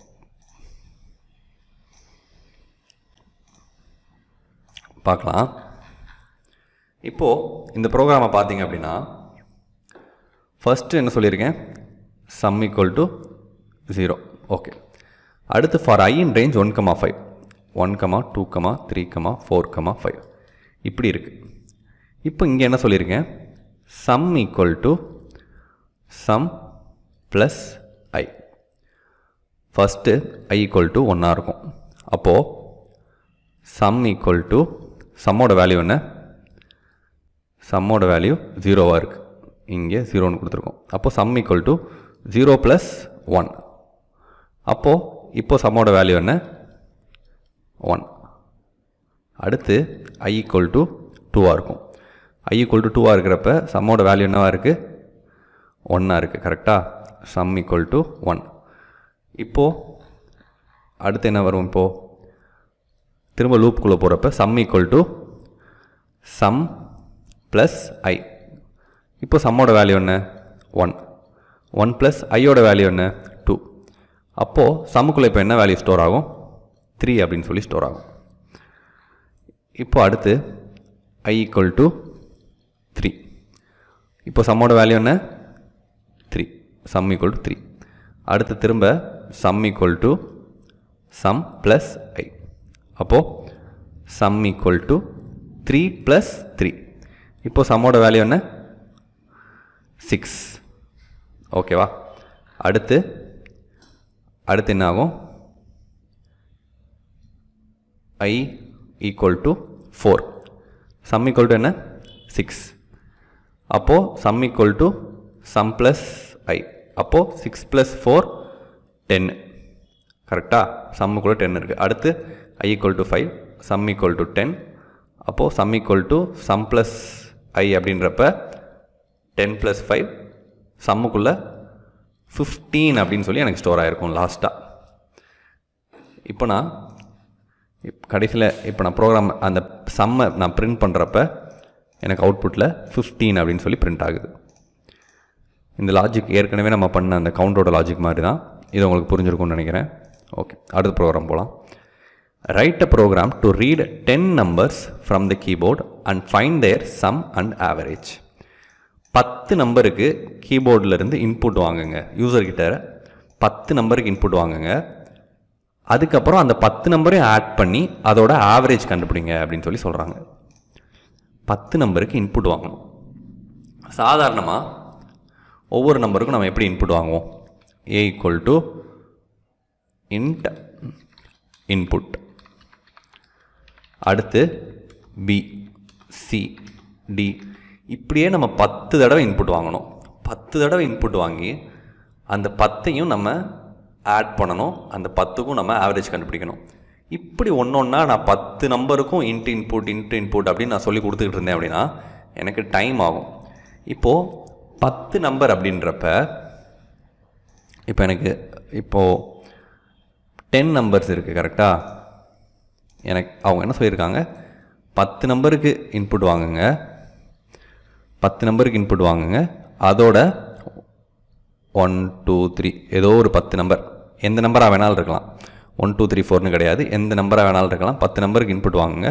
அந்த பத்து நம்பரோட சம் அந்த பத்து நம்பரையும் ஆட் பண்ணுங்கள் அந்த பத்து நம்பருக்கும் ஆவரேஜ் கண்டுபிடிங்க அப்படின்னு சொல்லி சொல்கிறாங்க இப்போது இந்த பத்து நம்பரையும் ஒன்று ஒன்றா ஏபிசிடிஇ அப்படின்னு நான் போட்டுக்கிட்டு இருந்தேன் அப்படின்னா எனக்கு டைம் ஆகும். இது ஒரு கலெக்ஷன் ஆஃப் டேட்டா பத்து நம்பர் அப்படின்றது பத்து டேட்டா கரெக்டாக இப்படி மொத்தமாக இருக்கிற கலெக்ஷன்ஸை ஸ்டோர் பண்ணுறதுக்கு தான் நம்ம லிஸ்ட்டை யூஸ் பண்ண போகிறோம் என்ன யூஸ் பண்ண போகிறோம் லிஸ்ட் ஓகேவா லிஸ்ட் லிஸ்ட்டோட சின்டாக்ஸ் இதுதான். இப்படி ஸ்கொயர் ப்ராக்கெட்குள்ளே நீங்கள் போட்டிங்க அப்படின்னா அது லிஸ்ட்னு அர்த்தம். இப்போது ஏ அப்படின்றது நார்மலாக ஒரு வேரியபிள் இப்போ நான் ஏ ஈக்குவல் டு இப்படி ஸ்கொயர் ப்ராக்கெட் கொடுத்தேன் அப்படின்னா இந்த ஏன்ற வேரியபிள் லிஸ்ட்டாக ஆக்ட் பண்ண ஸ்டார்ட் பண்ணிடும் எப்படின்னு நான் சொல்கிறேன் இப்போ நான் a equal to square bracket open பண்ணுறேன் அப்போது இது லிஸ்ட் ஆயிடுச்சு one comma two comma three comma four comma five comma five okay one comma two comma three comma four five இப்போது ஏக்குள்ளே எத்தனை டேட்டா இருக்குது அஞ்சு டேட்டா இருக்குது ஓகேவா இப்போது ஏக்குள்ளே அஞ்சு டேட்டா இருக்குது இப்போ நான் ஃபார் லூப்பை யூஸ் பண்ணி ஃபார் ஐ இன் ஏன்னு சொல்லி சொல்கிறேன் ஃபார் ஐ இன் ரேஞ்ச் கொடுக்கல. ஃபார் ஐ இன் ஏ அப்படின்னு சொல்லி பிரிண்ட் ஐ அப்படின்னு சொல்லி நான் கொடுக்குறேன். இப்போ என்ன நடக்குதுன்னு பாருங்கள் அந்த லிஸ்ட்டுக்குள்ளே உள்ள அஞ்சு நம்பரும் வெளியே அப்படியே எனக்கு பிரிண்ட் ஆயிடுச்சு ஃபார் ஐ இன் ஏன்னு சொல்லியிருக்கேன். லிஸ்ட்டுக்குள்ளே ஃபார் ஐ இன் ஏ அப்படின்னா இந்த ஏக்குள்ளே என்ன இருக்குது one comma two comma three comma four comma five இந்த அஞ்சு நம்பர் இருக்குது இப்போ நான் பிரிண்ட் ஏன்னு சொல்கிறப்ப பிரிண்ட் ஐன்னு சொல்கிறப்ப ஒவ்வொரு நம்பராக ஐக்குள்ளே வந்து அது எனக்கு வெளியே பிரிண்ட் ஆகும். அப்படி தான் எனக்கு இந்த இடத்துல one two three four five அப்படின்னு சொல்லி பிரிண்ட் ஆயிருக்கு. ஓகேவா இதுதான் லிஸ்ட் இப்படி ஏ ஈக்குவல் டு ஒரு கலெக்ஷன் ஆஃப் டேட்டா ஓ இது எல்லாமே ஒவ்வொரு டேட்டா அந்த டேட்டாவை ஒரு கலெக்ஷனாக ஏக்குள்ளே நம்ம ஸ்டோர் பண்ணியிருக்கோம். அப்போது இதை தான் நம்ம லிஸ்ட் அப்படின்னு சொல்லி சொல்கிறோம் இப்போது நம்மளோட கொஸ்டின் என்ன? நம்மளோட question write a program to read ten numbers பத்து நம்பர் யூசர்கிட்ட இருந்து வாங்குங்க. அதுக்கப்புறம் அதோட செம்மையும் ஆவரேஜும் கண்டுபிடிங்க அப்படின்னு சொல்லி சொல்கிறாங்க இதுக்கு நம்ம லிஸ்ட்டை யூஸ் பண்ண போகிறோம் ஏ ஈக்குவல் டு ஏக்குள்ளே ஒன்றுமே இல்லை. இப்போ நான் ஏக்குள்ளே ஏதாவது வேல்யூ ஆட் பண்ணணும்னு வைங்களேன். நான் ஏ டாட் அப்பண்ட் அப்படின்னு போட்டு ஏ டாட் அப்பண்டுன்னு போட்டு இதுக்குள்ளே ஒரு வேல்யூ கொடுத்தேன் அப்படின்னா அந்த வேல்யூ ஏக்குள்ளே ஸ்டோர் ஆயிரும். இப்போ நான் இதை பிரிண்ட் பண்ணுறேன் என்ன நடக்குதுன்னு பாருங்கள் லிஸ்ட்டு அந்த ப்ராக்கெட் வந்திருக்கு. அதுக்குள்ளே டென் மட்டும் இருக்குது இப்போ நான் திரும்ப ஏ டாட் அப்பண்ட் அப்படின்னு போட்டு அப்பண்ட் அப்படின்னா லிஸ்ட்டோட லாஸ்ட்டில் நம்ம போடுற எலிமெண்ட் ஸ்டோர் ஆகும். இப்போ நான் டுவெண்ட்டின்னு போடுறேன். இப்போ நான் இதை ரன் பண்ணுறேன் இப்போ எனக்கு டென் கமா டுவெண்ட்டி அப்படின்னு சொல்லி வருது. அதே மாதிரி இப்போ நான் அப்பண்டுன்னு போட்டு இப்போ நான் எத்தனை வேணாலும் கொடுக்கலாம். இப்போ நான் தேர்ட்டீன் கொடுக்கலாம் ஃபார்ட்டீன் கொடுக்குறேன். இப்போது எனக்கு லிஸ்ட்டுக்குள்ளே எத்தனை நம்பர் இருக்கும்? நாலு நம்பர் இருக்கும். இப்போ இப்படி போடுறதுக்கு பதிலாக நான் எப்படியும் போடலாம் அப்படின்னா இப்போ நான் பிக்கு இன்புட் வாங்குறேன்னு வைங்க. B equal to int input சரியா? அதுக்கப்புறம் a dot up and b இப்போது என்ன நடக்குதுன்னு நான் எக்ஸ்பிளைன் பண்ணுறேன் எனக்கு இந்த கர்சர் வந்து பிளிங்க் ஆகுது. ஏன் பிளிங்க் ஆகுது? இப்போ இங்கே என்ன நடக்குதுன்னு பார்த்தீங்கன்னா ப்ரோக்ராமில் ஃபர்ஸ்ட்டு முதல் லைன் எக்ஸிக்யூட் ஆயிருச்சு. ஏ ஈக்குவல் டு ஒரு லிஸ்ட்டு அப்படின்னு சொல்லி டிஃபைன் பண்ணியாச்சு. அடுத்து ஏ டாட் அப்பன் டென்னு அப்போ ஏக்குள்ளே இப்போ டென் இருக்குது அடுத்து ரெண்டாவது லைன் ரன் ஆகுது. ஏக்குள்ளே அப்போது டென் கமா டுவெண்ட்டி இருக்குது அடுத்து மூணாவது லைன் ரன் ஆகுது. ஏக்குள்ளே ten comma twenty comma thirty இருக்குது அடுத்து இந்த நாலாவது line ஏக்குள்ளே ten comma twenty comma thirty comma forty இருக்குது அடுத்து இந்த லைனில் என்ன சொல்லியிருக்கேன்? ஏ ஈக்குவல் பி ஈக்குவல் இன்புட்னு சொல்லியிருக்கேன். அப்போது எனக்கு ஒரு இன்புட் கொடு அப்படின்னு சொல்லி இந்த இடத்துல எனக்கு பிளிங்க் ஆகி கேட்குது இப்போ நான் இந்த இன்புட்டில் ஃபிஃப்டி அப்படின்னு சொல்லி சொல்கிறேன் ஃபிஃப்டீன் கொடுத்த உடனே இப்போ பிக்குள்ளே ஃபிஃப்டீன் இருக்குது நான் B dot A dot append பின்னு சொல்கிறப்ப நான் ஃபிஃப்டீன் கொடுத்த வேல்யூ நான் ஃபிஃப்டீன் கொடுத்த வேல்யூ ஏக்குள்ளே ஸ்டோர் ஆயிடுது இப்போ இந்த இடத்துல பி ஈக்குவல் டு ஃபிஃப்டி அப்படின்னு சொல்லி நான் இன்புட் கொடுத்தது ஸ்டோர் ஆயிடுச்சு பியில் ஏ டாட் அப் அண்ட் பி அப்படின்னு நான் சொல்கிறப்ப பிக்குள்ளே இருக்கிற ஃபிஃப்டி அப்படின்ற வேல்யூ ஏக்குள்ளே ஸ்டோர் ஆயிடுச்சு அப்போது ஏக்குள்ளே ten comma twenty comma thirty comma forty comma fifty இந்த அஞ்சு வேல்யூவும் இருக்கும். எனக்கு அதுதான் வெளியே பிரிண்ட் ஆகிருக்கு இப்போது நம்ம கொஸ்டினில் இருக்கிற மாதிரி பத்து நம்பருக்கும் ஃபார் லூப்பை யூஸ் பண்ணி இன்புட் வாங்க போகிறோம் ஏ ஈக்குவல் டு ஒரு லிஸ்ட்டு டிஃபைன் பண்ணிட்டேன். For I in range okay for okay ஒரு நிமிஷம் கொஸ்டின் என்ன ஒருத்தர் ரீட் பண்ணிக்கலாம். Write a program to display n terms of natural number and their தான். இப்போ நான் செவன் அப்படின்னு கொடுத்தா ஒன்லேருந்து செவன் வரை okay okay not this seventh கொஸ்டினில் write a program to read ten numbers from the keyboard and find their sum and average okay ஏதாவது பத்து நம்பர் இன்புட் வாங்கணும் யூசர்கிட்ட இருந்து. ஃபார் ஐ இன் ரேஞ்ச் எத்தனை எத்தனை நம்பர் பத்து நம்பர் கரெக்டாக இப்போது ஒன் கமா இப்போ நான் பத்துன்னு மட்டும் போட்டேன்னு வைங்க என்ன நடக்கும்? இந்த லூப் எத்தனை தடவை ரன் ஆகும்? இப்போ நான் பத்துன்னு மட்டும் போட்டேன்னா இந்த லூப் எத்தனை தடவை ரன் ஆகும்? இப்போ நான் பிரிண்ட் ஐன்னு சொல்லி மட்டும் கொடுக்குறேன். எதுவுமே பண்ணல. இப்போ இந்த லூப் எத்தனை தடவை ரன் ஆகுதுன்னு பாருங்கள் இந்த லூப் ஜீரோலேருந்து நைன் வரைக்கும் எனக்கு பிரிண்ட் ஆயிருக்கு. அப்போது one two three four five six seven eight nine ten பத்து தடவை இந்த லூப் ரன் ஆகுது. ஜீரோலேருந்து ஸ்டார்ட் ஆகி ஜீரோவிலிருந்து ஸ்டார்ட் ஆகி ஒன் டூ த்ரீ இப்படி பத்து நைன் வரைக்கும் பிரிண்ட் பண்ணுது. பட் டோட்டலாக கவுண்ட் என்ன? ஜீரோலேருந்து ஸ்டார்ட் ஆகி நைன் வரைக்கும். அப்போ பத்து தடவை இந்த லூப் எனக்கு ரன் ஆகுது. சரி. இப்போ நான் என்ன பண்ண போகிறேன் ஒவ்வொரு தடவையும் லூப் ரன் ஆகிறப்பையும் ஒவ்வொரு தடவை லூப் ரன் ஆகிறப்பையும் இப்போ நான் இன்புட் வாங்க போகிறேன் ஏ அப்படின்னு இங்கே ஒரு வேரியபிள் வச்சுக்கலாம். A equal to int input okay A வேணாம். ஏ ஆல்ரெடி நமக்கு மேலே இருக்குது இங்கே சும்மா ஏதோ ஒரு நம் அப்படின்னு சொல்லி நான் வே வேரியபிள் வச்சுக்கிறேன். இப்போ நான் ஒவ்வொரு தடவையும் லூப் ரன் ஆகிறப்ப நம்முக்கு இன்புட் வாங்கி ஏ டாட் அப் அண்ட் நம் இப்படி நான் உள்ளே போட போகிறேன் அண்ட் தென் ஏவை பிரிண்ட் பண்ணலாம்.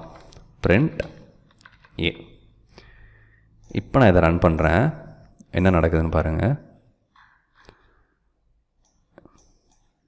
இப்போ நான் இதை ரன் பண்ணுறப்ப எனக்கு ஓகே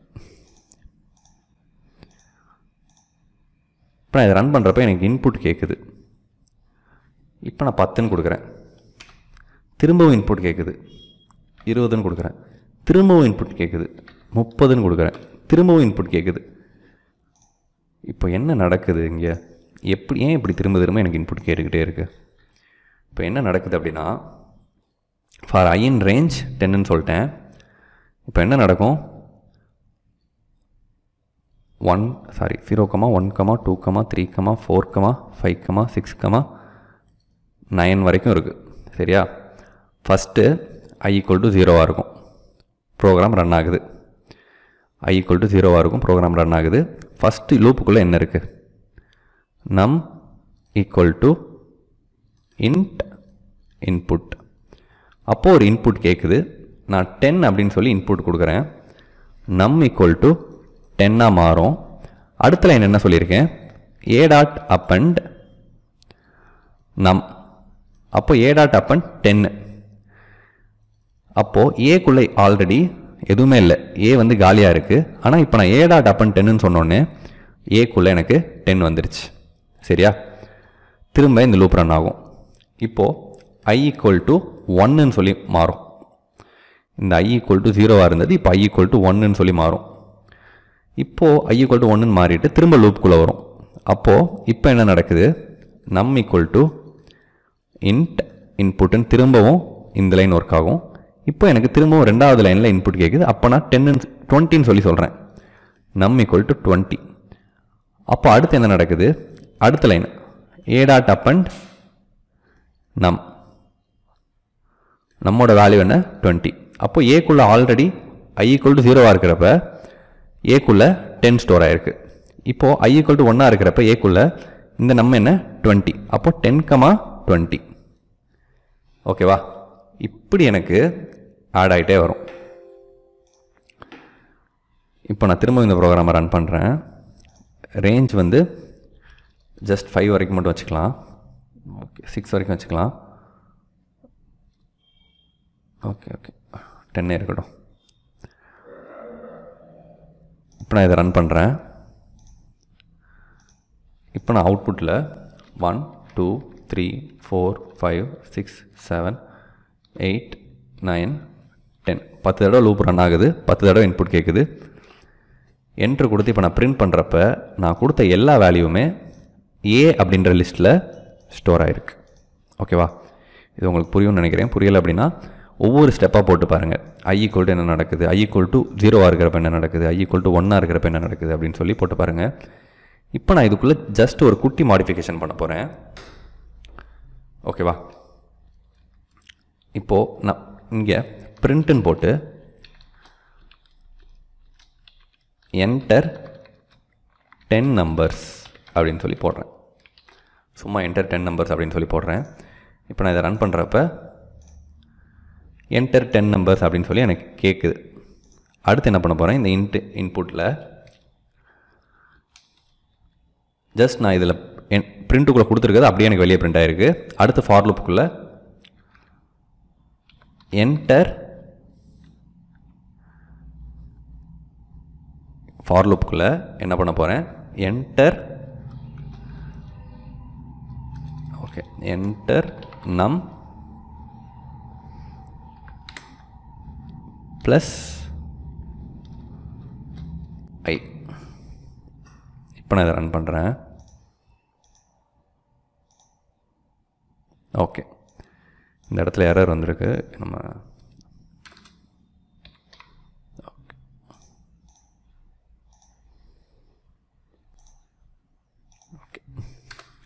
இப்போது இந்த இடத்துல நான் என்ன என்ன பண்ணணும்னு நினைக்கிறேன் அப்படின்னா இப்போ பாருங்கள் இப்போ நான் ஜஸ்ட் என்டர் நம்மன்னு மட்டும் கொடுக்குறேன்.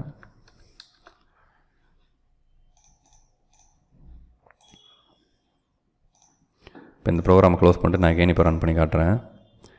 என்டர் டென் நம்பர்ஸ் அப்படின்னு சொல்லி நான் பிரிண்ட்டில் கொடுத்தது எனக்கு வெளியே பிரிண்ட் ஆயிடுச்சு அடுத்து இந்த லைன் ஒர்க் ஆகுது. லூப்புக்குள்ளே உள்ள இந்த லைன் ஒர்க் ஆகுது. இந்த லூப்புக்குள்ளே இந்த இன்புட்டுக்குள்ளே என்டர் நம்முன்னு நான் கொடுத்துருக்கிறதுனால நான் என்ன கொடுத்துருக்கேனோ அப்படியே அது வெளியே பிரிண்ட் ஆகுது. இப்போ இது பிளிங்க் ஆகிட்டு இருக்கு. இப்போ நான் ஏதாவது ஒரு டென் அப்படின்னு சொல்லி இப்போ நான் இதுக்கு ஒரு இன்புட் கொடுத்தேன் அப்படின்னா எனக்கு நான் கொடுத்த டென்னு ஏ டாட் அப்பண்ட் நம் அப்போது ஏ அப்படின்ற லிஸ்ட்டுக்குள்ளே நான் கொடுத்த டென்னு ஸ்டோர் ஆயிரும். அடுத்து திரும்ப இந்த லூப் ரன் ஆகிறப்ப திரும்பவும் இந்த லைன் ஒர்க் ஆகுது. எனக்கு என்டர் நம்பர்னு வருது. நான் எத்தனாவது நம்பர் டைப் பண்ணுறேன் எத்தனாவது நம்பர் பிரிண்ட் பண்ணணும்னு சொல்கிறேன் அப்படின்னு சொல்லி எனக்கு தெரியணும். ஓகேவா இப்போ நான் இந்த இடத்துல என்ன பண்ண போகிறேன் என்டர் நம் ப்ளஸ் ஐ அப்படி போட்டால் நான் இந்த இடத்துல என்ன வேல்யூ என்ன எக்ஸ்பெக்ட் பண்ணுறேன் அப்படின்னா இப்போ நான் இப்படி போட்டால் என்டர் நம்முன்னு சும்மா போட்டால் என்டர் நம்முன்னு பிரிண்ட் ஆகுது. ஆனால் இப்போ நான் என்டர் நம் ப்ளஸ் ஐன்னு போடுறேன். அப்போது எனக்கு enter number one enter number two enter number three எனக்கு இப்படி பிரிண்ட் ஆகணும் அப்படின்னு சொல்லி நான் எதிர்பார்க்குறேன். சரியா? அதுக்காக தான் இந்த இடத்துல நான் ஐ போடுறேன். ஆனால் இப்போ நான் இந்த ப்ரோக்ராமை ரன் பண்ணுறப்ப எனக்கு எரர் வருது. ஸ்ட்ரிங்கையும் இன்டிஜரையும் ஆட் பண்ண முடியாது அப்படின்னு சொல்லி எனக்கு எரர் வருது. அப்போ இப்போ நான் இந்த இடத்துல கேஸ்டிங் யூஸ் பண்ண போகிறேன் நம்ம எப்படி இதுக்கு முன்னாடி பண்ண ப்ரோக்ராம்ஸில் நம்ம என்ன பண்ணியிருப்போம் அப்படின்னா கேஸ்டிங் அவங்க எல்லாருக்கும் ஞாபகம் இருக்கும்னு நினைக்கிறேன். அதாவது இப்படி ஸ்ட்ரிங்காக இருக்கிறத இப்படி இன்டிஜராக மாற்றணும் அப்படின்னா இன்ட் டென் இப்படி போட்டால் இந்த டென் அப்படின்ற ஸ்ட்ரிங் எனக்கு டென் அப்படின்ற இன்டிஜராக மாறிடும் இப்போ இந்த இடத்துல நான் என்ன பண்ணணும் அப்படின்னா ஐ வந்து இன்டிஜராக இருக்குது இந்த ஐயை நான் ஸ்ட்ரிங்காக மாற்றணும் அப்போ நான் என்ன பண்ண போகிறேன் அப்படின்னா இந்த இடத்துல ஐயை கேஸ்ட் பண்ண போகிறேன் ஐயை ஸ்ட்ரிங்காக மாற்றுறேன் ஓகேவா இப்போ நான் என்ன நடக்குதுன்னு சொல்கிறேன் உங்களுக்கு புரியலை அப்படின்னா கேர்ஃபுல்லாக கவனமாக பாருங்கள் எக்ஸிக்யூட் பண்ணுறேன் இப்போது நம் ஜீரோ அப்படின்னு சொல்லி எனக்கு வந்திருக்கு. ஓகேவா என் நம் ஜீரோ அப்படின்னு சொல்லி வந்திருக்கு. இப்போ நான் ஒரு நம்பரை கொடுக்குறேன். அடுத்து நம் ஒன் டூ ஏன்னா இந்த ஃபார் லூப் ஜீரோலேருந்து டென் வரைக்கும் ரன் ஆகும்.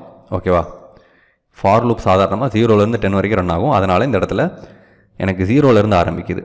இப்போ நான் இங்கே என்ன பண்ண போகிறேன் ஐ ப்ளஸ் ஒன் அப்படின்னு சொல்லி நான் போட போகிறேன் அப்போ எனக்கு கரெக்டாக என்ன ஆகும்? ஒன்லேருந்து வெளியே பிரிண்ட் ஆகும். இப்போ உங்களுக்கு புரியலை அப்படின்னா கேர்ஃபுல்லாக கவனிச்சிக்கிட்டே இருங்க. இப்போ நான் ப்ரோக்ராம் கம்ப்ளீட்டாக பண்ணிவிட்டு இப்போ நான் உங்களுக்கு எக்ஸ்பிளைன் பண்ணுறேன் இப்போ நான் இந்த இடத்துல ரேஞ்ச் வந்து ஃபைவ் மட்டும் கொடுத்துக்கிறேன். இப்போ நான் இந்த ப்ரோக்ராமை ரன் பண்ணுறேன்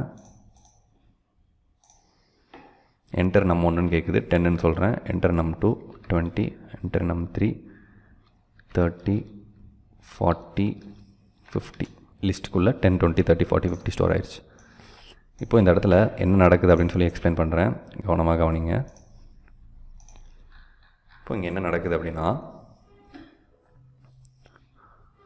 okay first A equal to ஒரு லிஸ்ட்டு சரியா?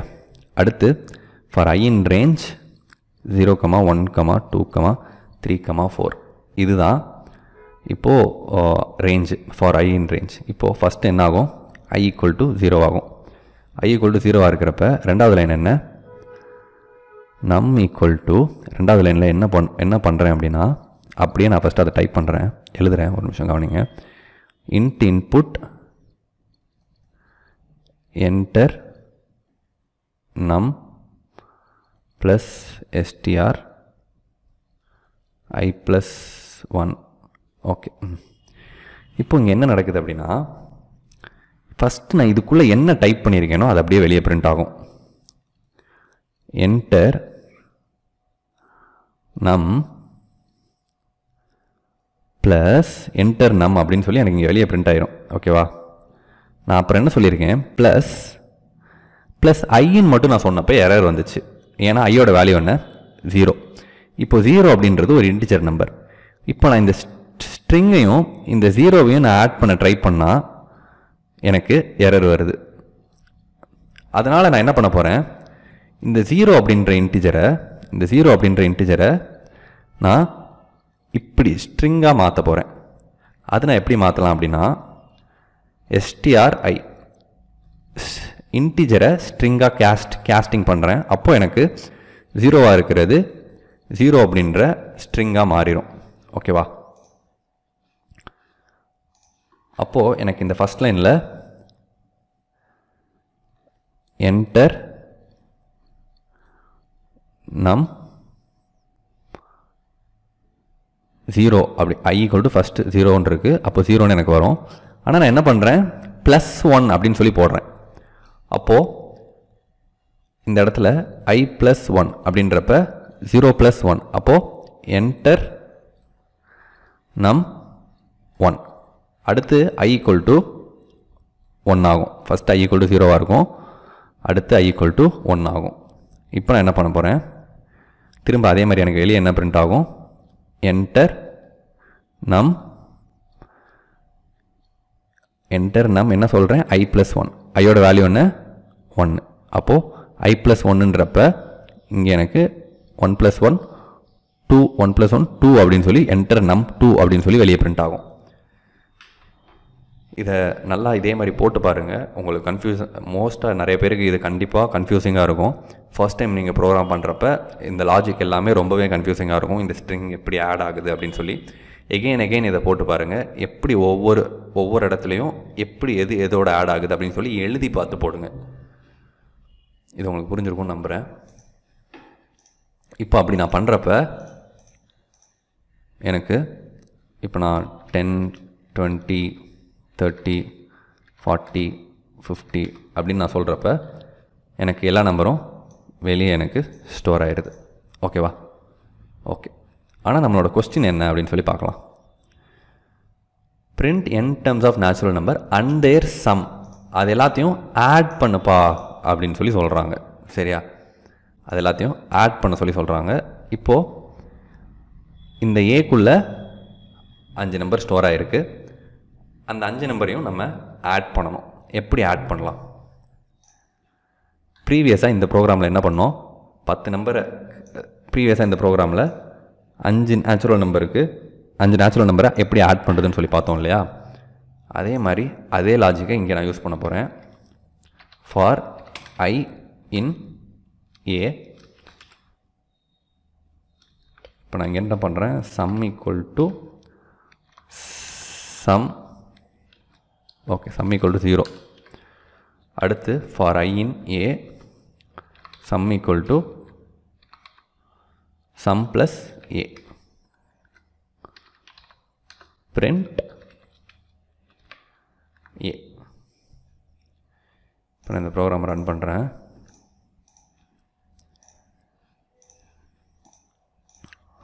ப்ரோக்ராம் போக போக இந்த மாதிரி கஷ்டமாக தான் போகும் கொஞ்சம். அண்டர்ஸ்டாண்ட் பண்ணிக்க. என்டர் நம்ம ஒன்றுன்னு கேட்குது ஒன் நம் டூ டூ த்ரீன்னு கொடுக்குறேன். ஃபோர்னு கொடுக்குறேன். ஃபைவ்னு கொடுக்குறேன். ஓகே எங்கே எரர் வந்திருக்கு? Sum equal to sum plus A okay okay okay இப்போது இங்கே என்ன எரர் நடந்திருக்கு அப்படின்னு சொல்லி பாருங்கள் ஃபார் ஐ இன் ஏ அப்படின்னு சொல்லி சொல்லியிருக்கேன். அப்படின்னா ஓகே இந்த இடத்துல சம் ப்ளஸ் ஐன்னு நான் சொல்லி கொடுக்கணும். தெரியாமல் சம் ப்ளஸ் ஏன்னு சொல்லி கொடுத்துட்டேன். ஏன்னா ஏல இருக்கிற எல்லா வேல்யூவும் இந்த ஐயில் ஸ்டோர் ஆகும். அப்போது சம் ப்ளஸ் ஐன்னு தான் நம்ம கொடுக்கணும். இப்போ நான் இந்த ப்ரோக்ராமை திரும்ப ரன் பண்ணுறேன் நம்ம ஒன் ஒன் டென்னு கொடுக்கலாம். Ten twenty thirty forty fifty okay print sum sorry print sum இதை போட்டுட்டு இப்போ நான் எக்ஸ்பிளைன் பண்ணுறேன் எப்படி ஒர்க் ஆகுதுன்னு. Run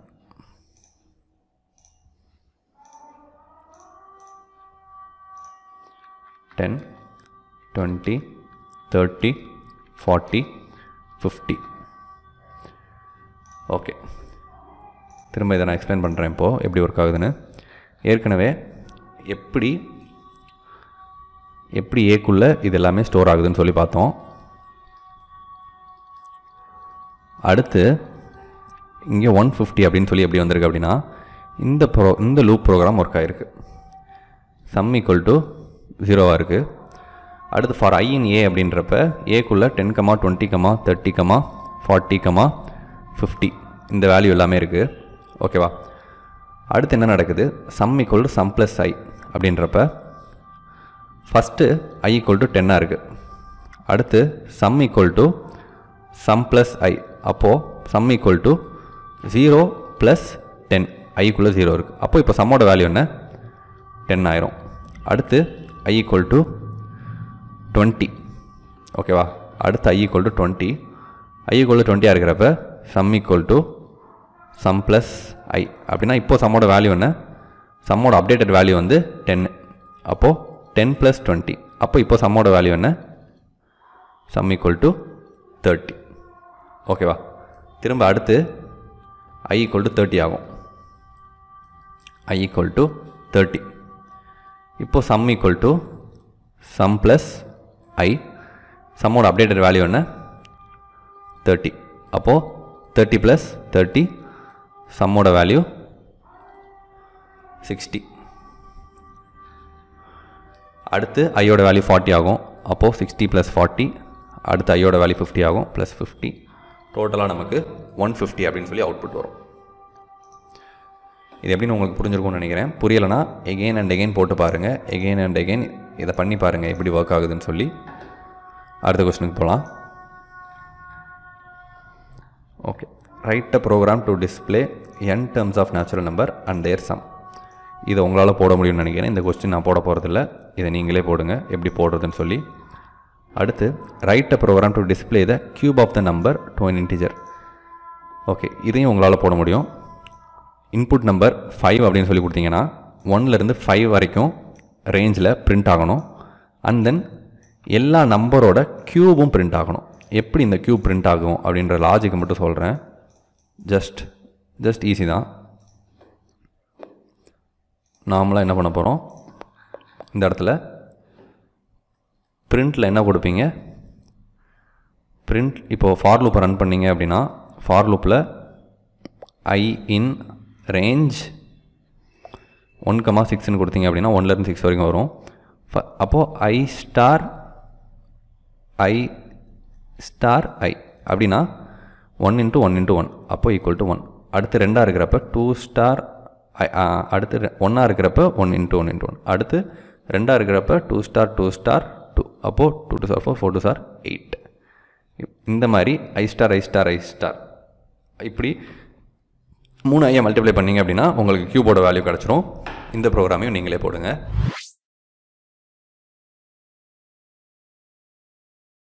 இன்றைக்கி வீடியோவில் நெஸ்டட் ஃபார் லுப்ஸை பற்றி பார்க்க போகிறோம் லாஸ்ட் வீடியோலேயே நம்ம என்ன பண்ண போகிறோம்னு சொல்லி ஒரு குட்டி ஹிண்ட் கொடுத்துருப்பேன். நெஸ்டட் ஃபார் லுப்னா ஒன்றும் இல்லை. ஒரு லூப்புக்குள்ளே இன்னொரு லூப் இருந்துச்சு அப்படின்னா அதுதான் நெஸ்டட் ஃபார் லுப்ஸ் நம்ம ஏற்கனவே இஃப் பண்ணுறப்ப நம்ம நெஸ்டட் இஃப் அப்படின்னு சொல்லி ஒரு கான்செப்ட் பார்த்தோம். அதே மாதிரி இங்கேயும் நெஸ்டட் லூப் அப்படின்னு சொல்லி பார்க்க போகிறோம் அதை எப்படி பண்ணுறதுன்னு சொல்லி இன்னைக்கு வீடியோவில் பார்க்கலாம். ஸ்டார்ட் பண்ணலாம். இப்போ நான் சொல்ல போகிறத கவனமாக கேளுங்க. இது உங்களோட வீடு. சரியா? இது உங்களோட வீடு. இது உங்களோட பாட்டியோட வீடு. உங்கள் வீட்டில் டெய்லியுமே ஆப்பிள் விளையுது. அஞ்சு நாளுமே உங்கள் அம்மா என்ன சொல்கிறாங்க அப்படின்னா ஆப்பிளை எடுத்துகிட்டு போய் உங்கள் பாட்டி வீட்டில் கொடுப்பா அப்படின்னு சொல்லி சொல்கிறாங்க மண்டே மொதல் நாள் என்ன பண்ணுறீங்க ஆப்பிள் எடுத்துகிட்டு போய் உங்கள் பாட்டிக்கிட்ட கொடுக்குறீங்க. ஆனால் உங்கள் பாட்டி என்ன சொல்கிறாங்க அப்படின்னா நீங்கள் ஒவ்வொரு தடவையுமே பாட்டியோட வீட்டுக்கு போகிறப்ப பாட்டி ரெண்டு செடி வாங்கி வச்சுருக்காங்க. சரியா? தம்பி இந்த செடியை போய் தோட்டத்தில் நட்டுட்டு வாப்பா அப்படின்னு சொல்லி சொல்கிறாங்க நீங்கள் ஆப்பிள் எடுத்துகிட்டு பாட்டி வீட்டுக்கு வரீங்க. பாட்டி வீட்டுக்கு வந்ததுக்கப்புறம் மொதல் ஒரு செடியை போய் நட்டுட்டு வரீங்க. அதுக்கப்புறம் திரும்ப போய் பார்க்குறீங்க இன்னொரு செடி இருக்குது திரும்ப அந்த செடியையும் வந்து நடுறீங்க. ரெண்டு செடி இருக்கிறதுனால ரெண்டு செடியும் நட்டுட்டு திரும்பவும் என்ன பண்ணுறீங்க திரும்பவும் உங்கள் வீட்டுக்கு போயிடுறீங்க. ஓகேவா அடுத்து என்ன நடக்குது? மொதல் நாள் முடிஞ்சிச்சு. ரெண்டாவது நாள். ரெண்டாவது நாளும் அதே மாதிரி ஆப்பிள் எடுத்துகிட்டு திரும்ப பாட்டி வீட்டுக்கு போகிறீங்க பாட்டி வீட்டில் திரும்பவும் அதே மாதிரி ரெண்டு செடி இருக்குது ரெண்டு செடி இருக்கிறதுனால அந்த ரெண்டு செடியை திரும்பவும் போய் நடுறீங்க. ரெண்டு செடியை நட்டு முடிச்சுட்டு திரும்பவும் வீட்டுக்கு போயிடுறீங்க. ஓகேவா திரும்ப திரும்ப இதுதான் நடக்குது. அடுத்து என்ன பண்ணுறீங்க திரும்ப புதன்கிழமை வருது. புதன்கிழமையும் பாட்டி வீட்டுக்கு போகிறீங்க பாட்டி வீட்டுக்கு போகிறப்ப ரெண்டு செடி இருக்குது ஒரு செடியை போய் நட்டுட்டு வரீங்க. திரும்பவும் போகிறீங்க இன்னொரு செடி இருக்குது திரும்பவும் அந்த செடியை நடுறீங்க திரும்பவும் உங்கள் வீட்டுக்கு போகிறீங்க ஓகேவா? இதுதான் நெஸ்டட் ஃபார்லூப் இப்போ நான் ப்ரோக்ராமை வச்சு நெஸ்டட் ஃபார்லூப் எப்படி ஒர்க் ஆகுதுன்னு சொல்லி அடுத்து உங்களுக்கு எக்ஸ்பிளைன் பண்ண போகிறேன் கவனிங்க. இப்போ ப்ரோக்ராமுக்கு போகலாம் ஓகேவா? இப்போது இங்கே ப்ரோக்ராம் தெரியுது இல்லையா இதுதான் for லுப்புக்கான program for I in range one comma six நமக்கு சாதாரணமாக for I in range one comma six அப்படின்னா என்னன்னு தெரியும். For I in range one comma சிக்ஸ்னால் ஒன்லேருந்து இப்படி அஞ்சு நம்பர் உள்ளே இருக்கிறதுன்னு அர்த்தம். One two three four five one comma six அப்படின்றப்ப சிக்ஸுக்கு முன்னாடி என்ன நம்பர் இருக்கோ அத்தனை நம்பர் தான் அந்த ரேஞ்சுக்குள்ளே இருக்கும். For I in range one comma six அப்படின்றப்ப one comma two comma three comma four comma five இந்த அஞ்சு நம்பர் உள்ளே இருக்குது அப்போது ஒவ்வொரு தடவையும் இந்த ஃபர்ஸ்ட் லூப் ரன் ஆகிறப்ப என்ன நடக்கும்? ஐ ஈக்குவல் டு ஒன்னாக இருக்கும் ஐ ஈக்குவல் டு டூவாக இருக்கும் ஐ ஈக்குவல் டு த்ரீயாக இருக்கும் ஐ ஈக்குவல் டு ஃபோராக இருக்கும் ஐ ஈக்குவல் டு ஃபைவாக இருக்கும். ஓகே அடுத்து இந்த லூப்பை விட்டுருங்க. இந்த லூப்பை நம்ம பார்த்துட்டோம். அடுத்து இந்த லூப்பை பாருங்கள் for J in range one comma three அப்படின்னா அந்த ரேஞ்சில் ஒன்றும் டூ மட்டும்தான் இருக்கும். ஃபார் ஜே இன் ரேஞ்சுன்னு சொல்லியிருக்கோம். ஐன்றது ஒரு வேரியபிள் ஜே அப்படின்றது ஒரு வேரியபிள் ஓகேவா ஐன்றது ஒரு வேரியபிள் ஜே அப்படின்றது ஒரு வேரியபிள் இப்போ நான் J in range one comma த்ரீன்னு சொல்லியிருக்கேன். அப்போ ஃபஸ்ட்டு ஜே ஈக்குவல் டு ஒன்னாக இருக்கும் அடுத்து ஜே ஈக்குவல் டு டூவாக இருக்கும். ஓகேவா இப்போது என்ன நடக்குதுன்னு இப்போ நான் இந்த ப்ரோக்ராமை எக்ஸ்பிளைன் பண்ணுறேன் கவனமாக பாருங்கள் for I in range one comma six first I equal to ஒன்னாக இருக்கும். ஐ ஈக்குவல் டு ஒன்னாக இருக்கிறப்ப ப்ரோக்ராம் என்ன நடக்குது? ஃபஸ்ட் ஃபார் லூப்பிலேருந்து செகண்ட் ஃபார் லூப்புக்கு போகுது.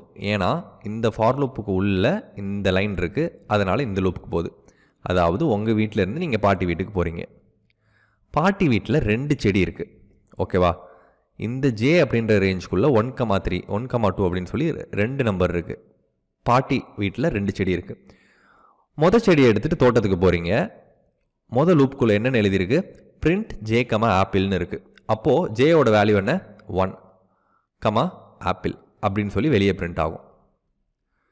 ஒரு செடியை நட்டு முடிச்சுட்டு திரும்ப வரீங்க ஜே ஈக்குவல் டு டூ அப்படின்னு சொல்லி இன்னொரு செடி இருக்குது திரும்பவும் போகிறீங்க இப்போது இந்த பிரிண்ட் லைனுக்கு போகிறப்ப என்ன பிரிண்ட் ஆகும்? டூ கமா ஆப்பிள் அப்படின்னு சொல்லி பிரிண்ட் ஆகும்.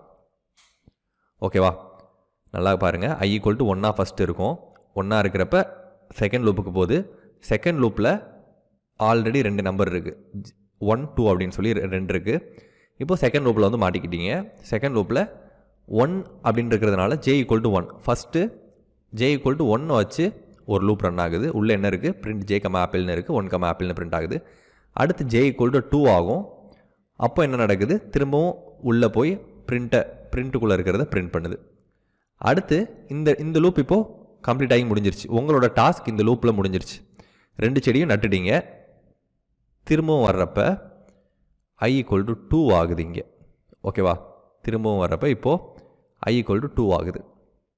இப்போ ஐ ஈக்குவல் டு டூ ஆகிறப்ப திரும்பவும் லூப்புக்குள்ளே வரீங்க இப்போ திரும்பவும் பாட்டி வீட்டுக்கு வரீங்க ரெண்டு செடி இருக்குது ஜே ஈக்குவல் டு ஒன்றுன்னு இருக்கிறப்ப போய் பிரிண்ட் பண்ணுறீங்க திரும்பவும் ஒன் கமா ஆப்பிள்னு பிரிண்ட் ஆகும். திரும்பவும் வரீங்க இன்னொரு செடி இருக்குது திரும்ப போகிறப்ப டூ கமா ஆப்பிள் அப்படின்னு சொல்லி பிரிண்ட் ஆகும். ஓகேவா இதுதான் நெஸ்டட் ஃபார் லூப்னு சொல்கிறோம் இது உங்களுக்கு புரிஞ்சிருக்கும்னு நினைக்கிறேன். ஒரு தடவை.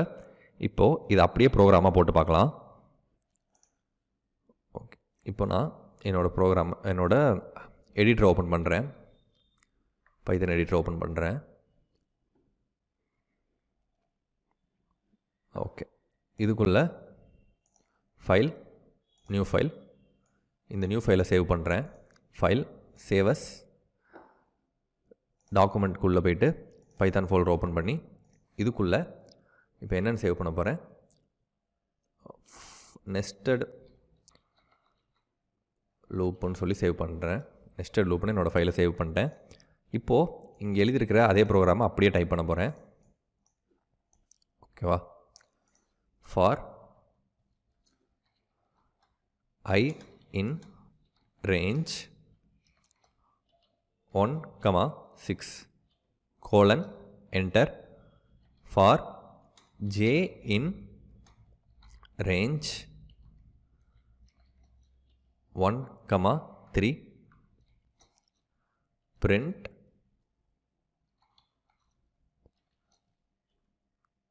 j comma apple. இப்போ இந்த ப்ரோக்ராமை ரன் பண்ணுறேன் எனக்கு இப்போ பார்த்தீங்க அப்படின்னா எத்தனை தடவை பிரிண்ட் ஆகிருக்கு அப்படின்னு சொல்லி பாருங்கள் மொத்தம் மொத்தம் என்ன நடக்குது? அஞ்சு தடவை கரெக்டாக அதாவது ஐ ஈக்குவல் டு ஒன் ஒன்னாக இருக்கிறப்ப ஜேக்குள்ளே J equal to one comma two I equal to ஒன்றா இருக்கிறப்ப ஜே ஈக்குவல் டு ஒன்றா இருக்குது அப்போது முதலைன் லைன் பிரிண்ட் ஆகுது. ஜே ஈக்குவல் டு ஒன்னாக இருக்குது முதல் லைன் பிரிண்ட் ஆகுது. அடுத்து ஜே ஈக்குவல் டு டூவாக இருக்குது ரெண்டாவது லைன் பிரிண்ட் ஆகுது. அடுத்து இது ஐ ஈக்குவல் டு டூ இது ஐ ஈக்குவல் டு த்ரீ இது ஐ ஈக்குவல் டு ஃபோர் இது I equal to five loop run ஆகி முடிஞ்சிருச்சு. ஓகேவா உங்களுக்கு புரிஞ்சிருக்கும்னு நினைக்கிறேன். புரியலை அப்படின்னா அடுத்தடுத்த எக்ஸாம்பிளில் ஃபாலோ பண்ண ட்ரை பண்ணுங்கள் அடுத்தடுத்த எக்ஸாம்பிள் போடுறப்போ உங்களுக்கு புரியும். இப்போது இந்த அவுட்புட் எனக்கு வேணும். இந்த அவுட்புட் எனக்கு வேணும். என்ன பண்ணலாம்? இது உங்களால் போட முடியுதான்னு ட்ரை பண்ணுங்கள் இப்போ நான் இந்த ப்ரோக்ராமை போட போகிறேன் ஃபஸ்ட்டு இதுக்கு உள்ளே உள்ளதை பிரிண்ட் பண்ணலாம். சரியா? இந்த day one day two day three அப்படின்னு சொல்லி நம்ம வர வைக்கணும். அது எப்படி வர வர வைக்கலாம்? ஃபார் ஜே இன் ரேஞ்ச் ஒன்லேருந்து த்ரீ வரைக்கும் வரணும்னா ஒன்லேருந்து ஃபோர் வரைக்கும் போட்டால் ஒன்லேருந்து த்ரீ வரைக்கும் வரும். கரெக்டாக பிரிண்ட் ஜேன்னு நான் போட்டால் இப்போ நான் இதை போட்டு ரன் பண்ணேன் அப்படின்னா ஒன் டூ த்ரீன்னு சொல்லி எனக்கு பிரிண்ட் ஆகிருக்கு கரெக்டாக எனக்கு இப்போ என்ன பிரிண்ட் ஆகணும்? டே ஒன் டே டூ டே த்ரீன்னு பிரிண்ட் ஆகணும். அப்போ இப்போ நான் என்ன பண்ண போகிறேன் இதுக்கு முன்னாடி டே கமா இப்போ எனக்கு day one day two day three அப்படின்னு சொல்லி எனக்கு பிரிண்ட் ஆகுது வெளியே. ஓகேவா ஏன் அப்படின்னா ரேஞ்சுக்குள்ளே ஒன்லேருந்து ஃபோர் வரைக்கும் இருக்குது அதாவது ஒன்லேருந்து ஃபோர் வரைக்கும் அப்படின்னா one comma two comma three இது மூணு தான் உள்ளே இருக்குது ஃபஸ்ட்டு ஜே ஈக்குவல் டு ஒன்றா ஆகுது. அப்போது இந்த முதல் லைன் பிரிண்ட் ஆகுது. அடுத்து ஜே ஈக்குவல் டு டூவாக மாறுது. அப்போது இந்த ரெண்டாவது லைன் பிரிண்ட் ஆகுது. ஜே ஈக்குவல் டு த்ரீயாக மாறுறப்ப இந்த மூணாவது லைன் பிரிண்ட் ஆகுது. Okay day one two three அப்படின்னு சொல்லி வந்தாச்சு.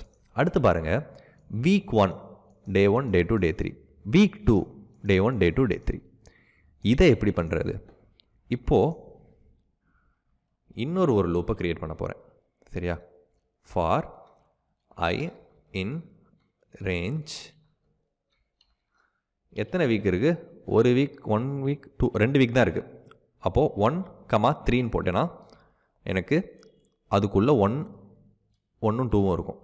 இப்போது இதுக்குள்ளே பிரிண்ட் வீக் கமா ஒன் ஓகேவா இந்த ஃபார் லூப்பை எடுத்து இந்த லூப்புக்குள்ளே போட போகிறேன்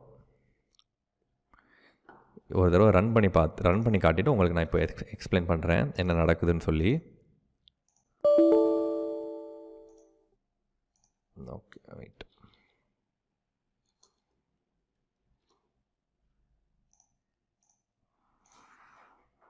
இப்போது week one day one day two day three week ஓகேங்க ஐ போடணும். Week one day one day two day three week two day one day two day three நம்ம எக்ஸ்பெக்ட் பண்ண ரிசல்ட் நமக்கு வந்துடுச்சு ஆனால் எப்படி வந்துச்சு? என்ன நடக்குது பின்னாடி? நான் மொதல் சொன்ன அதே பாட்டி வீட்டு கதை தான் சரியா? இப்போது என்னன்னு சொல்லி எக்ஸ்பிளைன் பண்ணுறேன் கவனமாக பாருங்கள்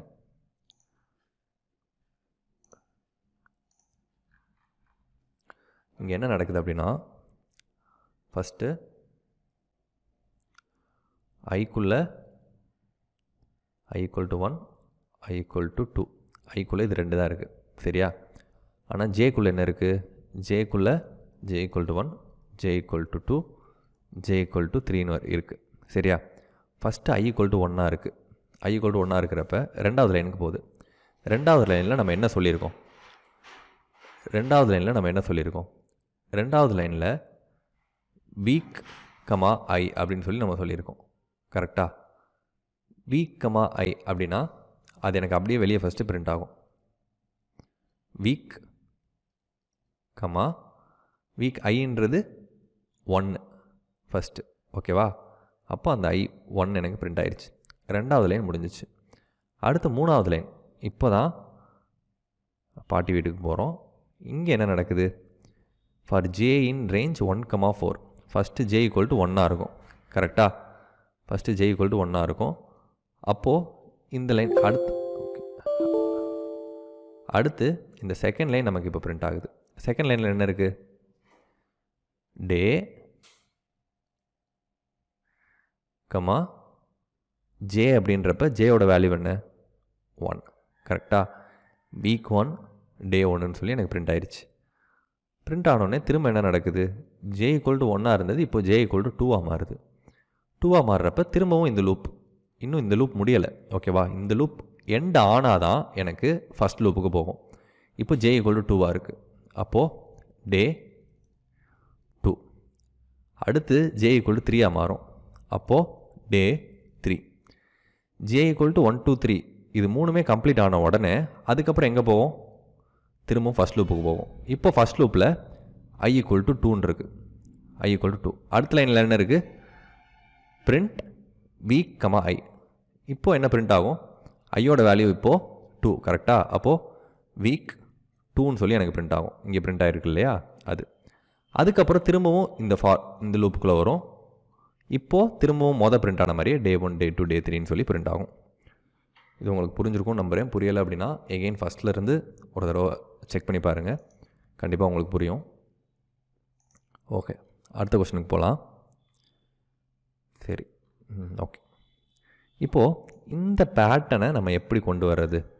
Star star star star star star star star star இந்த பேட்டனை நம்ம எப்படி கொண்டு வர்றது அப்படின்னு சொல்லி பார்க்கலாம். ஃபஸ்ட்டு அதுக்கு முன்னாடி ஒரு விஷயம் சொல்கிறேன் கவனமாக பாருங்கள் ஓகே இன் ரேஞ்ச் ஃபைவ்னு சொல்கிறேன்னு வச்சுக்கோங்களேன். இன் ரேஞ்ச் ஃபைவ்னா லூப் அஞ்சு தடவை ரன் ஆகும். ஓகேவா இப்போ நான் பிரிண்ட் ஸ்டார்னு மட்டும் நான் உள்ளே கொடுக்குறேன் அப்படின்னா லூப் அஞ்சு தடவை ரன் ஆகும். அப்போ எனக்கு ஸ்டார் ஸ்டார் ஸ்டார் ஸ்டார்னு அஞ்சு தடவை வருது. ஒவ்வொரு தடவையுமே இந்த ஸ்டார் எனக்கு அடுத்த அடுத்த லைனில் போகுது. நல்லா கவனிங்க. மொதல் ஸ்டார் ஒரு லைனில் இருக்குது அடுத்த ஸ்டார் அடுத்த லைனில் இருக்குது அடுத்த ஸ்டார் அதுக்கு அடுத்த லைனில் இருக்குது இப்படி அடுத்தடுத்த லைனில் போகுது. எனக்கு அடுத்தடுத்த லைனில் போக வேணாம். எனக்கு ஒரே லைனில் வேணும். அப்படின்னா நீங்கள் என்ன பண்ணலாம் அப்படின்னா கமா எண்ட் ஈக்குவல் டு இப்படி டபுள் கொட்டேஷன் போட்டிங்க அப்படின்னா என்ன நடக்கும்னா ஒரே லைனில் எனக்கு எல்லாமே பிரிண்ட் ஆகும். இதே இந்த டபுள் கொட்டேஷனுக்குள்ளே நீங்கள் கமா போட்டிங்கன்னு வச்சுக்கோங்களேன். ஒன்று விட்டு ஒன்று கமா கமான்னு வரும். ஓகேவா இதுக்குள்ளே நீங்கள் என்ன போட்டாலுமே இந்த இந்த நடுவில் அது வந்து ஜாயின் ஆகிக்கும் ஓகேவா இப்போ நான் இதுக்குள்ளே இப்போ நான் இதை எடுத்துகிட்டு இந்த ஒரு கோடு போட்டேன் அப்படின்னா இப்போ எனக்கு இப்படி வருது. ஓகேவா சரி. இப்போ நம்ம ஆக்சுவல் ப்ரோக்ராமுக்கு போகலாம் இந்த ப்ரோக்ராமை நீங்களே போட ட்ரை பண்ணுங்கள் ஃபஸ்ட்டு ஒரு ஸ்டார் அடுத்து ரெண்டு ஸ்டார் அடுத்து மூணு ஸ்டார் அடுத்து நாலு ஸ்டார். எப்படி இதை பண்ணுறாங்க எப்படி பண்ணுறாங்க ஓகே. முத ஸ்டாருக்கு பதிலாக நம்பரை பிரிண்ட் பண்ணுவோம். சரியா? முத ஃபஸ்ட்டு எத்தனை லைன் இருக்குது நமக்கு கொஸ்டினில் ஒன் டூ த்ரீ ஃபோர். முத நாலு மொத்தம் நாலு லைன் இருக்குது சரியா? இப்போ அந்த நாலு லைன் அப்படின்னா one in range one comma five இப்படி நான் போட்டேன் அப்படின்னா இதுக்குள்ளே ஒன்லேருந்து ஃபோர் வரைக்கும் இருக்கும். கரெக்டாக இப்போ நான் இதை பிரிண்ட் பண்ணேன் அப்படின்னா இப்போ நான் இதை பிரிண்ட் பண்ணேன் அப்படின்னா பிரிண்ட் ஐ அப்படின்னு நான் கொடுத்தா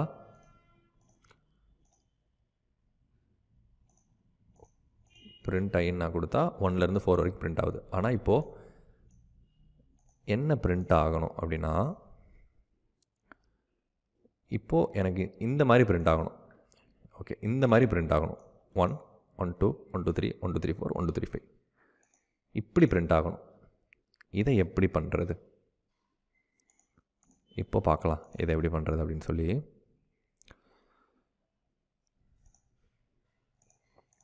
ஓகே இப்போ நான் இதுக்குள்ளே இன்னொரு லூப் போட போகிறேன் போட போகிறேன் ஃபார் ஜே இன் ரேஞ்ச் இங்கே நான் ரேஞ்ச் என்ன கொடுக்க போகிறேன் அப்படின்னா ஐ அப்படின்னு சொல்லி சொல்கிறேன் இப்போ நான் இதை பிரிண்ட் பண்ணுறேன்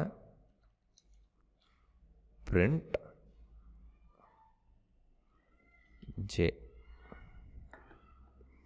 இப்போ நான் இதை ரன் பண்ணுறப்ப என்ன நடக்குதுன்னு பார்க்கலாம். Zero zero one zero one zero zero zero one two three okay இப்போது இங்கே என்ன நடக்குதுன்னு பாரு பார்த்தீங்க அப்படின்னா ஓகே இந்த இடத்துல நான் மொதல் சொன்ன மாதிரி ஒன்று பண்ணுறேன் எண்ட் ஈக்குவல் டு கோலன் இங்கே பிரிண்ட்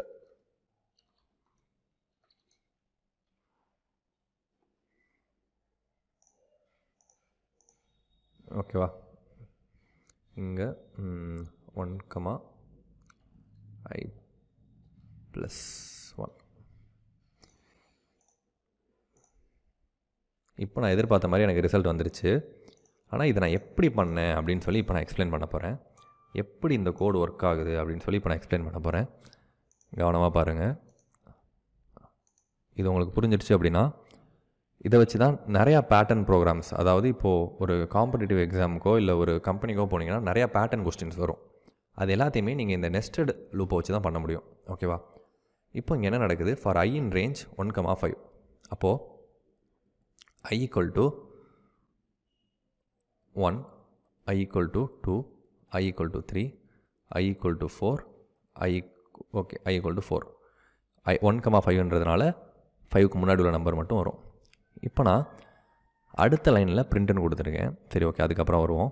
ஜேயில் என்ன இருக்குன்னு பாருங்கள் ஓகே ஒவ்வொரு ஒவ்வொரு ஸ்டெப்பாக போகலாம் இப்போது ஐ ஈக்குவல் டு ஒன்றுன்னு சொல்லி சொல்லியிருக்கேன் இல்லையா? செகண்ட் லைனுக்கு ப்ரோக்ராம் போகுது.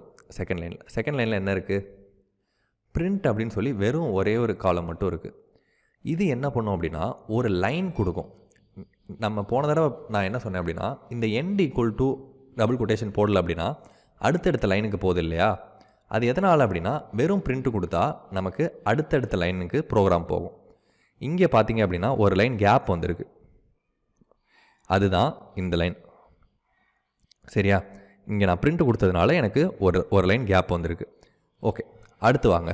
For j in range one comma i plus one இப்போது ஐ ஈக்குவல் டு ஒன்னாக இருக்குது ஜேவோட வேல்யூ என்ன? ஜே ஜே ஈக்குவல் டு இங்கே நான் என்ன சொல்லியிருக்கேன்? ஒன் கமா ஐ ப்ளஸ் ஒன்றுன்னு சொல்லியிருக்கேன். அப்போது j equal to one comma two range என்னது? ஒன் கமா டூ அப்போது ஜேக்குள்ளே என்ன இருக்கும்? ஒன் மட்டும்தான் இருக்கும். புரியுதா? இந்த ரேஞ்ச் ரேஞ்சில் என்ன சொல்லியிருக்கேன்? One comma i plus two one comma டூன்னு சொல்லியிருக்கேன். அப்போது ஒன் கமா டூ அப்படின்னா ஒன் மட்டும்தான் இருக்கும். இதில். இப்போ நான் ஒன் கமா த்ரீன்னு சொன்னேன்னா இதுக்குள்ளே ஒன் கமா டூ இருக்குன்னு அர்த்தம். ஒன் கமா ஃபோர்னு சொன்னேன்னா இதுக்குள்ளே one comma two comma three இருக்குன்னு அர்த்தம். இங்கே நான் ஒன் கமா டூன்னு மட்டும் தான் சொல்லியிருக்கேன் அப்போது ஜே ஈக்குவல் டு ஒன்னாக மட்டும்தான் இருக்குது அப்போது இந்த லூப் ஒரு தடவை தான் ரன் ஆகும். ஜே ஈக்குவல் டு ஒன்னாக இருக்கிறப்ப அடுத்த லைனுக்கு வருது. அடுத்த லைனில் என்ன சொல்லியிருக்கேன்? Print one comma end equal to இப்படி சொல்லியிருக்கேன். இ- அப்போ என்ன நடக்கும்? ஒன் மட்டும் பிரிண்ட் ஆகும். அடுத்து எனக்கு இப்போ ஒன் பிரிண்ட் ஆனதுக்கப்புறம் என்ன நடக்குது? லூப் முடிஞ்சிருச்சு. திரும்ப ஐக்கு வருது. இந்த லூப் முடிஞ்சு திரும்பவும் இந்த லூப்புக்கு வருது. ஓகேவா இப்போது இந்த லூப்பில் என்ன நடக்குது? ஐ ஈக்குவல் டு டூவாக மாறுது. ஐ ஈக்குவல் டு டூவாக மாறுறப்ப ஐ ஈக்குவல் டு டூவாக மாறுறப்ப இப்போது ஜேவோட வேல்யூ என்ன? லூப்பில் என்ன இருக்குது லூப்பில் என்ன இருக்குது range one comma i plus one ஓகேவா ஐயோட வேல்யூ இப்போ என்ன? டூ டூ ப்ளஸ் ஒன்றுன்றப்ப த்ரீ அப்போது ரேஞ்சு ஒன் கமா த்ரீன்னு சொல்லியிருக்கோம். அப்போது ஜேக்குள்ளே என்னென்ன வேல்யூ ஸ்டோர் ஆக போகுது? ஒன் கமா டூ இப்படி ரெண்டு வேல்யூ ஸ்டோர் ஆக போகுது. ஜேக்குள்ளே நம்ம என்ன எழுதியிருக்கோம்? Print j comma end equal to double quotation இப்படி சொல்லியிருக்கோம் இல்லையா? ஃபஸ்ட்டு ஜே ஈக்குவல் டு ஒன்னாக மாறும். ஜே ஈக்குவல் டு ஒன்னாக இருக்கிறப்ப இந்த லைனில் என்ன பிரிண்ட் ஆகும்? ஜே ஈக்குவல் டு ஒன்னாக இருக்கிறப்ப ஒன்றுன்னு பிரிண்ட் ஆகும். கரெக்டாக ஒன்றுன்னு பிரிண்ட் ஆகும். அடுத்து comma end equal to double quotation கொடுத்துருக்கோம். இப்போ திரும்ப இந்த இந்த லைன் பிரிண்ட் ஆகி முடிஞ்ச உடனே என்ன நடக்கும்? ஜே ஈக்குவல் டு டூவாக மாறும். அப்போது திரும்பவும் இந்த பிரிண்ட் லைனுக்கு வர்றப்ப comma end equal to double quotation கொடுத்ததுனால அடுத்த லைனில் டூ பிரிண்ட் ஆகாமல் அடுத்த லைனில் டூ பிரிண்ட் ஆகும் அதே லைனில் எனக்கு டூ பிரிண்ட் ஆகும். இப்போது ஜே ஒன் டூ ரெண்டுமே முடிஞ்சிருச்சு. ஃபஸ்ட்டு ஒன்று பிரிண்ட் ஆச்சு. அடுத்து ஒன் டூவும் பிரிண்ட் ஆயிடுச்சு ஓகேவா அதுக்கடுத்து இப்போது என்ன நடக்கும்? திரும்பவும் ப்ரோக்ராம் ஐ ஈக்குவல் டு த்ரீக்கு போகும். சரியா? இது உங்களுக்கு புரியும் நம்புகிறேன் புரியலை அப்படின்னா திரும்ப ஒரு தடவை பாருங்கள் நான் ஏற்கனவே சொன்ன மாதிரி தான். இந்த இடத்துல எக்ஸ்ட்ராவாக நம்ம என்ன பண்ணுறோம் j in range one comma i plus ஒன்றுன்ற புது லாஜிக்கை மட்டும் யூஸ் பண்ணுறோம் ஓகேவா? இதை திரும்ப ஒரு தடவை பண்ணி பாருங்கள் இதை வச்சே இதே லாஜிக் தான். பட் இந்த ஸ்டார் ஸ்டார் ப்ரோக்ராமை எப்படி போடுறதுன்னு பாருங்கள் நம்பர் இல்லாமல் எனக்கு ஸ்டார் ஸ்டார் மட்டும் பிரிண்ட் ஆகணும். இதை நீங்களே பண்ணி பாருங்கள் ஓகேவா? இந்த கான்செப்டை எகைன் ஒரு தடவை போட்டு பாருங்கள் எப்படி ஒர்க் ஆகுது? உங்களுக்கெல்லாம் புரியுதான்னு பாருங்கள் புரியலை அப்படின்றப்ப எகைன் எகைன் ட்ரை பண்ணி பாருங்கள் ஃபஸ்ட்டு நான் சொன்னேன் இல்லையா ஒரு எக்ஸாம்பிள் எப்படி இந்த வீட்டில் இருந்து இதை கொண்டு வராங்க அப்படின்னு சொல்லி. அதை ஒரு தடவை செக் பண்ணி பாருங்கள் கண்டிப்பாக உங்களுக்கு புரியும். நெக்ஸ்ட் வீடியோவில் பார்க்கலாம்.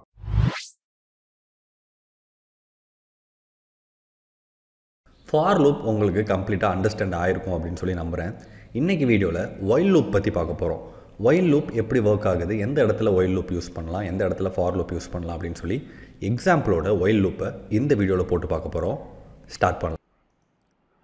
ஒயில் லூப் அப்படின்னா என்னன்னா வேற எதுவுமே இல்லை. இப்போது இந்த ஒரு வாளி இருக்குன்னு வச்சுக்கோங்க. இந்த சைடு ஒரு குளம் இருக்குது இந்த வாளியை நான் நிரப்பணும். இந்த ஒரு குடத்தை வச்சு தான் என்னால் இந்த வாளியை நிரப்ப முடியும். நான் என்ன பண்ணுவேன்? ஒவ்வொரு தடவையும் போயிட்டு இந்த குளத்துல தண்ணி எடுத்துகிட்டு வந்து அதை இந்த வாளியில் ஊற்றுவேன் ஓகேவா இந்த வாளி எப்போ நிரம்பும்னு சொல்லி எனக்கு தெரியவே தெரியாது. முத தடவை வாளி எடுத்துகிட்டு போய் தண்ணி எடுப்பேன். வந்து ஊற்றுவேன் வாளி நிரம்பிருச்சான்னு பார்ப்பேன். வாளி நிரம்பிருச்சா இல்லையா? வாளி நிரம்பலை. அப்போது திரும்பவும் குளத்துக்கு போ. திரும்பவும் தண்ணி எடுத்துகிட்டு வா. திரும்பவும் தண்ணியை ஊற்று அப்போ வாளியை பாரு. வாளி நிரம்பிடுச்சா இல்லையா? இல்லை. அப்போ திரும்பவும் குளத்துக்கு எடுத்துகிட்டு போ வாளி நிரம்பிடுச்சு அப்படின்னா சரி ஓகே. லூப்பை முடிச்சுக்கலாம். அதாவது வாளி நிரம்பிடுச்சு நமக்கு தேவையானது கிடச்சிருச்சு அப்படின்னு அர்த்தம். சரியா? இதுதான் ஒயில் லூப் அதாவது இப்போது ஒயில் லூப் அப்படின்றது என்ன அப்படின்னா while loop is usually used when the number of iteration is unknown எத்தனை தடவை லூப் ரன் ஆகணும் அப்படின்னு சொல்லி நமக்கு தெரியலை அப்படின்ற பட்சத்தில் நம்ம ஒயில் லூப் யூஸ் பண்ணுவோம். இப்போது ஃபார் லூப் அப்படின்னா ஒரு ரேஞ்ச் கொடுப்போம் கரெக்டாக one two ten one two twelve இந்த மாதிரி ஒரு ரேஞ்ச் கொடுப்போம். எவ்வளோ நேரத்துலேருந்து எவ்வளோ நேரம் வரைக்கும் ரன் ஆகணும் அப்படின்னு சொல்லி நமக்கு தெரியும். ஆனால் ஃபார் லூப்பை பொறுத்த வரைக்கும் எதுலேருந்து எவ்வளோ நேரம் ரன் ஆகணும் அப்படின்னு சொல்லி நமக்கு தெரியாது சரியா? அப்படி தெரியாத பட்சத்தில் தான் நம்ம ஒயில் லூப்பை யூஸ் பண்ணுறோம் நம்ம ப்ரோக்ராம் போட போட இன்னுமே உங்களுக்கு பெட்டர் அண்டர்ஸ்டாண்டிங் கிடைக்கும். சில ப்ரோக்ராம்ஸ் ஃபார் லூப் போட முடியும் ஒயில் லூப் வச்சுமே போட முடியும். ஓகேவா எது கம்ஃபர்டபுளாக இருக்கோ உங்களுக்கு இல்லை எது ப்ரோக்ராமுக்கு சூட் ஆகுமோ அப்படின்னு பார்த்து நீங்கள் அதை யூஸ் பண்ணணும். இப்போது ஒயில் லூப் எக்ஸாம்பிளோட பார்க்கலாம். இப்போ பாருங்க. இதை எடுத்துக்கோங்க. ஓகேவா இந்த லைன் ஆஃப் கோட் எடுத்துக்கோங்க. இந்த கோடில் என்ன நடக்கும் அப்படின்னு சொல்லி இப்போ நான் உங்களுக்கு எக்ஸ்பிளைன் பண்ண போகிறேன் கவனமாக பாருங்கள் ஃபஸ்ட்டு நான் என்ன சொல்லிட்டேன்? ஐ ஈக்குவல் டு ஜீரோன்னு சொல்லிட்டேன். சரி. While i equal to equal to zero while i equal to equal to ஜீரோன்னு சொல்லியிருக்கேன் i equal to equal to zero ஐயோட வேல்யூ என்ன zero zero equal to equal to ஜீரோவா நான் zero equal to equal to ஜீரோன்னு சொல்லியிருக்கேன் இது ட்ரூவா ஃபால்ஸா இது ட்ரூ கரெக்டா அப்போது ஒயில் ட்ரூவாக இருந்தால் மட்டும்தான் ஒயிலுக்குள்ளே உள்ளது ஒர்க் ஆகும் சரியா ஒயில் ஃபால்ஸாக இருந்துச்சு அப்படின்னா ஒயிலுக்கு வெளியே வந்துடும் சரியா இப்போ ஜீ zero equal to equal to zero அப்போ ட்ரூ தான். அப்போ ஒயிலுக்குள்ளே ஒர்க் ஆகுது. ஒயிலுக்குள்ளே என்ன இருக்குது பிரிண்ட் ஐன்னு இருக்குது ஐயோட வேல்யூ என்ன? ஜீரோ அப்போ வெளியே எனக்கு ஜீரோ பிரிண்ட் ஆகும். அடுத்து நான் என்ன சொல்லியிருக்கேன்? ஐ ஈக்குவல் டு ஒன்றுன்னு சொல்லி சொல்லியிருக்கேன். இப்போ ஐ ஈக்குவல் டு ஒன்றுன்னு சொல்லிட்டேன். சரி ஓகே ஐயோட வேல்யூ ஒன்றா மாறிடுச்சு. இப்போது இந்த லூப் திரும்பவும் இந்த கண்டிஷனுக்கு வரும். அதாவது குளத்துல போய் தண்ணியை எடுத்துட்டு திரும்பவும் வந்து தண்ணியை த குளத்துலேருந்து தண்ணியை எடுத்து பக்கெட்டில் ஊற்றிட்டு நம்ம பக்கெட் நிரம்பிருச்சா இல்லையான்னு சொல்லி பார்க்குறோம். ஓகேவா அப்படி பார்க்குற மாதிரி தான் இதுவும். இப்போ i equal to equal to ஜீரோவான்னு check பண்ணுறேன் இப்போ i equal to equal to ஜீரோவா நம்ம ஐயை ஒன்றா மாற்றிட்டோம் இந்த இடத்துல. சரியா? அப்போது one equal to equal to ஜீரோன்னு ஆயிரும். இது ட்ரூவா ஃபால்ஸா இது ஃபால்ஸ் அப்போது ஒயில் லூப் எண்ட் ஆகி ஒயில் லூப்புக்கு வெளியே வந்துடும் சரியா? இது ப்ரோக்ராமில் போட்டு பார்க்கலாம். உங்களோட பைத்தான் எடிட்டர் ஓப்பன் பண்ணிக்கோங்க.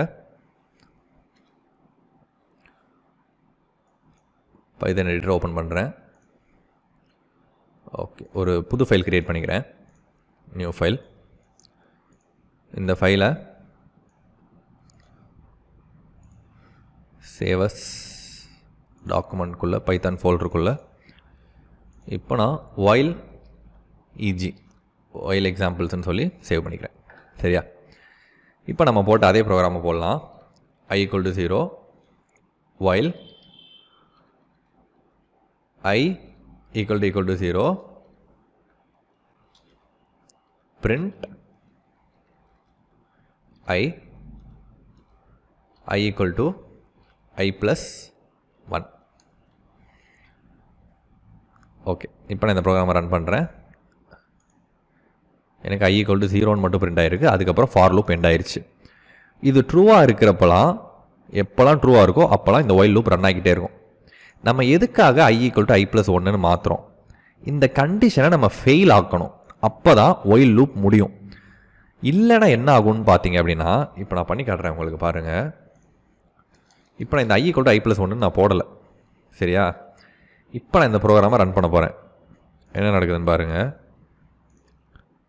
zero zero zero zero zero zero zero zero zero ஜீரோன்னு போய்கிட்டே இருக்குது கீழே. நிற்கவே இல்லை. இன்னுமே போய்கிட்டே தான் இருக்குது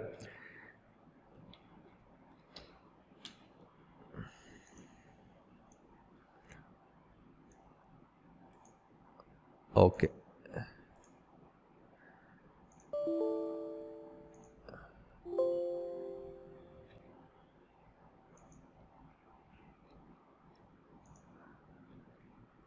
ஓகே போய்கிட்டே இருக்குது இப்போ நான் இதை க்ளோஸ் பண்ண போகிறேன் ஓகே இப்போ நான் அதை க்ளோஸ் பண்ணதுக்கப்புறம் தான் அது ஸ்டாப் ஆச்சு. அது வரைக்கும் அது நிற்பாட்ட நிற்கவே இல்லை. ஓகேவா?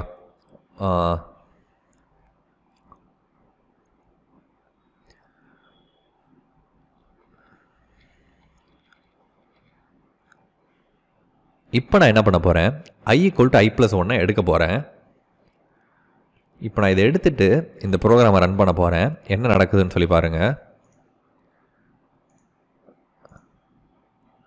zero zero zero zero zero ஜீரோன்னு போய்கிட்டே இருக்குது நிற்கவே மாட்டேங்குது. போய்க்கிட்டே இருக்குது இன்னுமே கீழே. இதை என்னால் நிறுத்த முடியல. அதனால் இப்போ நான் இதை க்ளோஸ் பண்ண போகிறேன் இதை க்ளோஸ் பண்ணுறப்ப எனக்கு இப்போ ப்ரோக்ராம் ஸ்டாப் ஆயிரும். என்ன நடந்துச்சு? ஏன் ஜீரோ ஜீரோ ஜீரோ ஜீரோன்னு பிரிண்ட் ஆகிக்கிட்டே இருக்குது அப்படின்னா ஒன்றும் இல்லை. சிம்பிள் தான். நான் ஏற்கனவே என்ன சொன்னேன்? ஐ வந்து சாரி ஐ இல்லை. ஒயில் லூப்புக்குள்ள கண்டிஷன் ட்ரூவாக இருந்தால் ப்ரோக்ராம் ரன் ஆகிக்கிட்டே இருக்கும். சரியா? இப்போ நம்ம இந்த இடத்துல என்ன சொல்லியிருக்கோம்? I equal to equal to ஜீரோவாக இருந்தால் பிரிண்ட் பிரிண்ட் ஐ அப்படின்னு சொல்லி சொல்லியிருக்கோம். ஐ ஈக்குவல் டு ஜீரோன்னு சொல்லியாச்சு. I equal to zero while கண்டிஷனுக்குள்ளே zero equal to equal to ஜீரோவான்னு check பண்ணும். ஆமாம் ட்ரூ தான். இப்போது பிரிண்ட் ஐன்னு இருக்கு இல்லையா? அப்போது ஜீரோவை எனக்கு வெளியே பிரிண்ட் பண்ணும். ஃபார் லூப் திரும்பவும் போய் செக் பண்ணும். I equal to equal to zero இப்போயும் i equal to equal to zero தான். அப்போ திரும்பவும் உள்ளே வரும். திரும்பவும் ஜீரோ வரும். திரும்பவும் உள்ளே வரும். திரும்பவும் ஜீரோ வரும். ஜீரோ வரும். ஜீரோ வரும். ஜீரோ வரும். இப்படி ரன் ஆகிக்கிட்டே இருக்கும். ஒயில் லூப்பில் நம்ம ப்ராப்ளமில் நம்ம ப்ரோக்ராம் ஏதாவது எரராக தப்பாக போட்டோம் அப்படின்னா இந்த மாதிரி நிறைய நேரம் நடக்கிறதுக்கு வாய்ப்பு இருக்குது அதாவது இன்ஃபைனைட் லூப்பாக ஒயில் லூப் மாறுறதுக்கு நிறையவே வாய்ப்பு இருக்குது இப்போ நான் இது எல்லாத்தையுமே எடுத்துகிட்டு இதுக்குள்ளே ஜஸ்ட் இப்போ நான் ட்ரூன் மட்டும் போட்டேன்னா திரும்பவும் அதே தான் நடக்கும் ஒயில் ட்ரூன் நான் போட்டேன்னா சும்மா பிரிண்ட்குள்ளே சம்திங் ட்ரூன் போடுறேன் இப்போ நான் இதை ரன் பண்ணேன்னா இந்த திரு வேணாம் திரும்பவும் அதே மாதிரி எனக்கு இன்ஃபைனைட் லூப் வரும் சரியா திரும்பவும் அதே மாதிரி எனக்கு இன்ஃபைனைட் லூப் வரும் true true true true true true true true பின்ன பிரிண்ட் ஆகிட்டே இருக்குது இப்போ நான் இதை ட்ரூ எடுத்துகிட்டு இது லைக் இங்கே ட்ரூ எடுத்துகிட்டு இப்போ நான் இங்கே ஃபால்ஸ் போடுறேன்னு வைங்க. எனக்கு இந்த லூப் ரன்னாகவே ஆகாது. எதுவுமே எனக்கு அவுட்புட் வராது. ஒயில் லூப் ரன்னே ஆகலை. ஓகேவா இதுதான் ஒயில் லூப் உங்களுக்கு புரியும்னு நினைக்கிறேன். இப்போது இந்த ஃபஸ்ட் ப்ரோக்ராமை போடலாம். Print number from one to five using while loop நம்ம இதை ஃபார் லூப்பை யூஸ் பண்ணியும் போட முடியும். நான் ஏற்கனவே சொன்ன மாதிரி சில லூப் சில ப்ரோக்ராமுக்கு நம்மளாம் பார்த்து எதுக்கு ஒயில் லூப் யூஸ் பண்ணலாம்? எதுக்கு ஃபார் லூப் யூஸ் பண்ணலான்னு பார்த்து நம்ம யூஸ் பண்ணணும். அது உங்களுக்கு ப்ரோக்ராம் போட போட தெரியும். ஓகே இப்போது இந்த ஃபஸ்ட் ப்ரோக்ராமை போடலாம். என்ன சொல்லியிருக்காங்க? ரைட்ட okay print number from one to five using while loop print number from one to five using while loop okay one to ஃபைவ்னு சொல்லியிருக்காங்க. இப்போ நான் ஐ ஈக்குவல் டு ஒன்றுன்னு சொல்ல போகிறேன் while i less than 5 print i. While i less than 5 print i. இப்போ நான் இந்த ப்ரோக்ராமை ரன் பண்ணுறதுக்கு முன்னாடி இந்த ப்ரோக்ராமில் என்ன நடக்குது அப்படின்னு சொல்லி இப்போ நான் எக்ஸ்பிளைன் பண்ணுறேன் கவனமாக பாருங்கள் இந்த ப்ரோக்ராமில் நான் என்ன சொல்லியிருக்கேன்?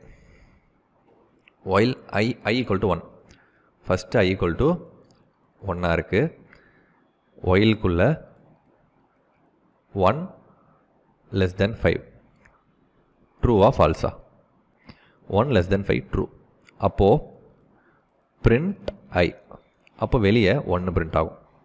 அடுத்து i equal to two while okay இது இன்ஃபைனைட் லூப்பாக மாறிடும் நம்ம இந்த இடத்துல என்ன பண்ணணும் அப்படின்னா இப்போது இப்போ திரும்ப திரும்ப இப்போது இதை நான் ரன் பண்ணிக்கிட்டே இருந்தேன் அப்படின்னா ஐ ஈக்குவல் டு ஒன்றா தான் இருக்கும். திரும்ப திரும்ப ரன் பண்ணிக்கிட்டே இருந்தேன் அப்படின்னா இது எகெயின் இன்ஃபைனைட் லூப்பாக மாறிடும் ட்ரூ ட்ரூ ட்ரூ ட்ரூன்னு வந்துக்கிட்டே இருக்கும். நான் ப்ரோக்ராமை என் பண்ணணும் ஒரு சர்டன் பாயிண்டில் எனக்கு ஐ ஒன்னாக மட்டும் இருக்கக்கூடாது. அவங்க கொஸ்டின் என்ன கேட்டிருக்காங்க? Print number from one to ஃபைவ்னு சொல்லியிருக்காங்க. அப்போது ஒன் டூ த்ரீ ஃபோர் ஃபைவ்னு எனக்கு பிரிண்ட் ஆகணும்.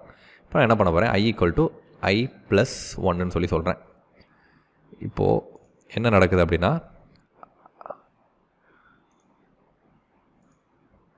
ஐ ஈக்குவல் டு ஒன் ஏற்கனவே சொன்ன மாதிரி. இப்போ ஐ ஈக்குவல் டு ஒன் அப்படின்னா ஐ ஈக்குவல் டு ஒன் அப்படின்னா while one less than five true print ஐன்றப்ப வெளியே வந்து எனக்கு ஒன்று பிரிண்ட் ஆகும். அடுத்து என்ன சொல்லியிருக்கேன்? I equal to i plus one i equal to i plus one already already ஐயோட வேல்யூ என்ன? ஒன்று ஒன் ப்ளஸ் ஒன் ஐயோட வேல்யூ இப்போது டூ ஆயிரும். இப்போது ஐ ஈக்குவல் டு டூவாக இருக்குது சரியா? இப்போது ஐ ஈக்குவல் டு டூவாக இருக்குது அடுத்து என்ன நடக்குது? While i less than five அப்படின்னா ஒயில் டூ லெஸ் தென் ஃபைவான்னு பார்க்குது. ட்ரூவா ஃபால்ஸா ட்ரூ தான். அப்போது பிரிண்ட் ஐ அப்போ வெளியே என்ன எனக்கு பிரிண்ட் ஆகும்? டூ பிரிண்ட் ஆகும். அடுத்து i equal to i plus ஒன்று ஐயோட வேல்யூ என்ன? ஆல்ரெடி டூ அப்போது டூ ப்ளஸ் ஒன்றுனா இப்போ ஐயோட வேல்யூ த்ரீ ஆயிரும். கரெக்டா இப்போது ஐ ஈக்குவல் டு இப்போது ஐ ஈக்குவல் டு த்ரீ ஓகேவா இப்போ திரும்பவும் ஒயில் லூப்புக்குள்ளே வருது. த்ரீ லெஸ் தென் ஃபைவா ட்ரூவா ஃபால்ஸா ட்ரூ தான். இப்போ திரும்ப என்ன ஆகும் பிரிண்ட் ஐன்னு நம்ம கொடுத்தோம் அப்படின்னா வெளியே த்ரீ பிரிண்ட் ஆகும். அடுத்து i equal to i plus one i equal to இப்போது ஃபோர் ஆயிரும். த்ரீ ப்ளஸ் ஒன் ஃபோர் இப்போ அடுத்து என்னது? ஐ ஈக்குவல் டு ஃபோர் கரெக்டாக திரும்ப அதே மாதிரி. While i less than five ஐயோட வேல்யூ என்ன? ஃபோர் லெஸ் தென் ஃபைவ் ட்ரூவா ஃபால்ஸா ட்ரூ தான். அப்போது உள்ளே என்ன நடக்கும்? பிரிண்ட் ஐ அப்படின்றப்ப வெளியே எனக்கு ஐயோட வேல்யூ என்ன? ஃபோர் பிரிண்ட் ஆகும். திரும்ப i equal to i plus five இப்போது சாரி ஐ ப்ளஸ் ஒன் இப்போ ஐயோட வேல்யூ என்ன? ஃபோர் ஃபோர் ப்ளஸ் ஒன்றுன்றப்ப இப்போ ஐயோட வேல்யூ ஃபைவ் இப்போ என்ன நடக்கும்னா ஒயில் இப்போ ஐயோட value five i less than ஃபைவ்ன்றப்ப five less than ஃபைவான்னு சொல்லி பார்க்கும். அஞ்சு அஞ்சை விட கம்மியாக இந்த ஸ்டேட்மெண்ட்டே வந்து கன்ஃபியூசிங்காக இருக்குது அஞ்சை விட அஞ்சு கம்மி கிடையாது. அஞ்சை விட நாலு தான் கம்மி. அஞ்சும் அஞ்சும் ஈக்குவல் தான். அஞ்சு அஞ்சை விட கம்மி கிடையாது. ஓகேவா அப்போது இதோட ரிசல்ட் என்னது? ட்ரூவா ஃபால்ஸான்னு பார்க்குறப்ப இதோட ரிசல்ட் ஃபால்ஸ் இப்போ ஒயில்குள்ளே ஃபால்ஸ்ன்னு சொல்லி எனக்கு அவுட்புட் கிடைக்கும். அப்போது இந்த ஒயில் லூப் ஸ்டாப் ஆயிரும். எனக்கு வெளியே ஒன்லேருந்து ஃபோர் மட்டும் ஃபோர் வரைக்கும் மட்டும் பிரிண்ட் ஆகும். ஓகேவா இந்த மாதிரி எழுதி பாருங்கள் இந்த மாதிரி உங்கள் நோட்டில் நீங்கள் எழுதி பார்த்து ப்ராக்டிஸ் பண்ணால் தான் உங்களுக்கு வந்து லூப் நிறையா புரிய வரும். இப்போ நான் இந்த ப்ரோக்ராம் ரன் பண்ணுறேன் ஒன் டூ த்ரீ ஃபோர்னு எனக்கு பிரிண்ட் ஆயிடுச்சு ஆனால் எனக்கு ஃபைவ் வரைக்கும் பிரிண்ட் ஆகணும் அப்படின்னா இந்த இடத்துல நான் சிக்ஸ் கொடுத்தேன் அப்படின்னா எனக்கு ஃபைவ் வரைக்கும் பிரிண்ட் ஆகும். ஓகேவா இது உங்களுக்கு புரிஞ்சிருக்கும்னு நம்புகிறேன் அடுத்த ப்ரோக்ராம் போகலாம் write a loop statement to print the following series ten twenty thirty forty அப்படின்னு அப்படின்னு சொல்லி டூ ஹண்ட்ரட் வரைக்கும் எனக்கு பிரிண்ட் ஆகணும். இந்த டூ ஹண்ட்ரடை கண்டிஷனாக வச்சு ட்ரை பண்ணி பாருங்கள் இந்த ப்ரோக்ராம் எப்படி போடுறதுன்னு பத்து பத்தா ஆட் பண்ணணும். உங்களால் போட முடியலனா மட்டும் இந்த ப்ரோக்ராம் பார்த்து ஃபாலோ பண்ணுங்கள் இப்போ நான் ஐ ஈக்குவல் டு டென்னு சொல்ல போகிறேன் ஐ ஈக்குவல் டென்னு சொல்ல போகிறேன் while i less than or equal to two hundred two hundred இல்லை டூ ஹண்ட்ரடுக்கு கீழே இருந்துச்சுன்னா இந்த லூப்பர் ரன் பண்ணுன்னு சொல்கிறேன் இப்போ i equal to i plus டென்னுன்னு சொல்ல போகிறேன் ஓகே சாரி சாரி ஆமாம் i equal to i plus டென்னு சொல்லி சொல்ல போகிறேன் print i comma end equal to இப்படி டபுள் ஸ்ட்ரிங் uh, போட்டுக்கிறேன். இப்போ நான் இந்த ப்ரோக்ராம் ரன் பண்ணுறப்ப பத்துலேருந்து இரநூறு வரைக்கும் எனக்கு பிரிண்ட் ஆகுது. இதே இந்த டபுள் கொட்டேஷனுக்குள்ளே நான் கமா போட்டேன் அப்படின்னா எனக்கு கமாவோட பிரிண்ட் ஆகும்.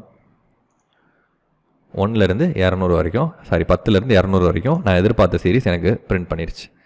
இந்த ப்ரோக்ராமை டக்குன்னு எக்ஸ்பிளைன் பண்ணுறேன் ஏற்கனவே பண்ண அதே மாதிரி தான் ஆனால் இப்போ என்ன நடக்குது? பத்து பத்தை ஆட் பண்ணுறோம் ஐ ஈக்குவல் டு டென்னாக இருக்குது போன தடவை ஒன்று ஒன்று ஆட் பண்ணோம் இப்போ பத்து பத்து ஆட் பண்ணுறோம் டென் லெஸ் தென் டூ ஹண்ட்ரடா ட்ரூவா ஃபால்ஸா ட்ரூ அப்போ என்ன என்ன நடக்குது? ஐயோட டென் ப்ளஸ் டென் ஐயோட வேல்யூ டென்னு அந்த டென்னோட இன்னொரு டென் ஆட் ஆகுது. அப்போ இப்போ ஐயோட வேல்யூ டுவெண்ட்டி இப்போ ஐ ஈக்குவல் டு டுவெண்ட்டி இப்போது திரும்ப லூப்பில் செக் பண்ணுறோம் டுவெண்ட்டி லெஸ் தென் டூ ஹண்ட்ரடான்னு செக் பண்ணுறோம் ட்ரூவா ஃபால்ஸா இது twenty less than two hundred true தான். அடுத்து உள்ளே என்ன நடக்குது? அதை வெளியே பிரிண்ட் பண்ணுறோம் அப்படியே. பிரிண்ட் ஃபஸ்ட்டு டென் பிரிண்ட் ஆகுது இங்கே. அடுத்து இங்கே டுவெண்ட்டி பிரிண்ட் ஆகுது. அடுத்து i equal to i plus டென்னுன்றப்ப twenty plus ten அப்போ ஐ ஈக்குவல் டு தேர்ட்டி ஆகும். இப்படி போய்கிட்டே இருக்கும். ஒரு ஸ்டேஜில் என்ன நடக்கும்? I equal to two hundred ஆகும். I equal to two hundred ஆகிறப்ப கண்டிஷனில் என்ன கொடுத்துருக்கோம்? கண்டிஷன் என்ன கொடுத்துருக்கோம் நம்ம? ஐ கண்டிஷன் நம்ம என்ன கொடுத்துருக்கோம்? I less than or equal to two hundred two hundred இல்லைனா டூ ஹண்ட்ரடுக்கு கம்மியாக அப்படின்னு தான் நம்ம கொடுத்துருக்கோம். அப்போது two hundred less than or equal to two hundred two hundred two hundred ரெண்டுமே ஈக்குவல்னு தான் சொல்லியிருக்கேன். அப்போ இது ட்ரூ ஆகும். இது உள்ளே போகிறப்ப எனக்கு டூ ஹண்ட்ரட் இந்த ஸ்டேட்மெண்ட்டில் என்ன இருக்குது பிரிண்ட் இருக்குது கரெக்டாக அப்போ எனக்கு டூ ஹண்ட்ரட் வெளியே அவுட்புட் பிரிண்ட் ஆகும். அதுக்கப்புறம் என்ன நடக்கும்? Two hundred equal to sorry i equal to two hundred plus டென்னு சொல்லி ஆகும். அப்போ ஐ ஈக்குவல் டு டூ டென்னு மாறும் எனக்கு. இப்போ இப்போ என்ன ஒயில் லூப்பில் வர்றப்ப இந்த கண்டிஷனை செக் பண்ணும்.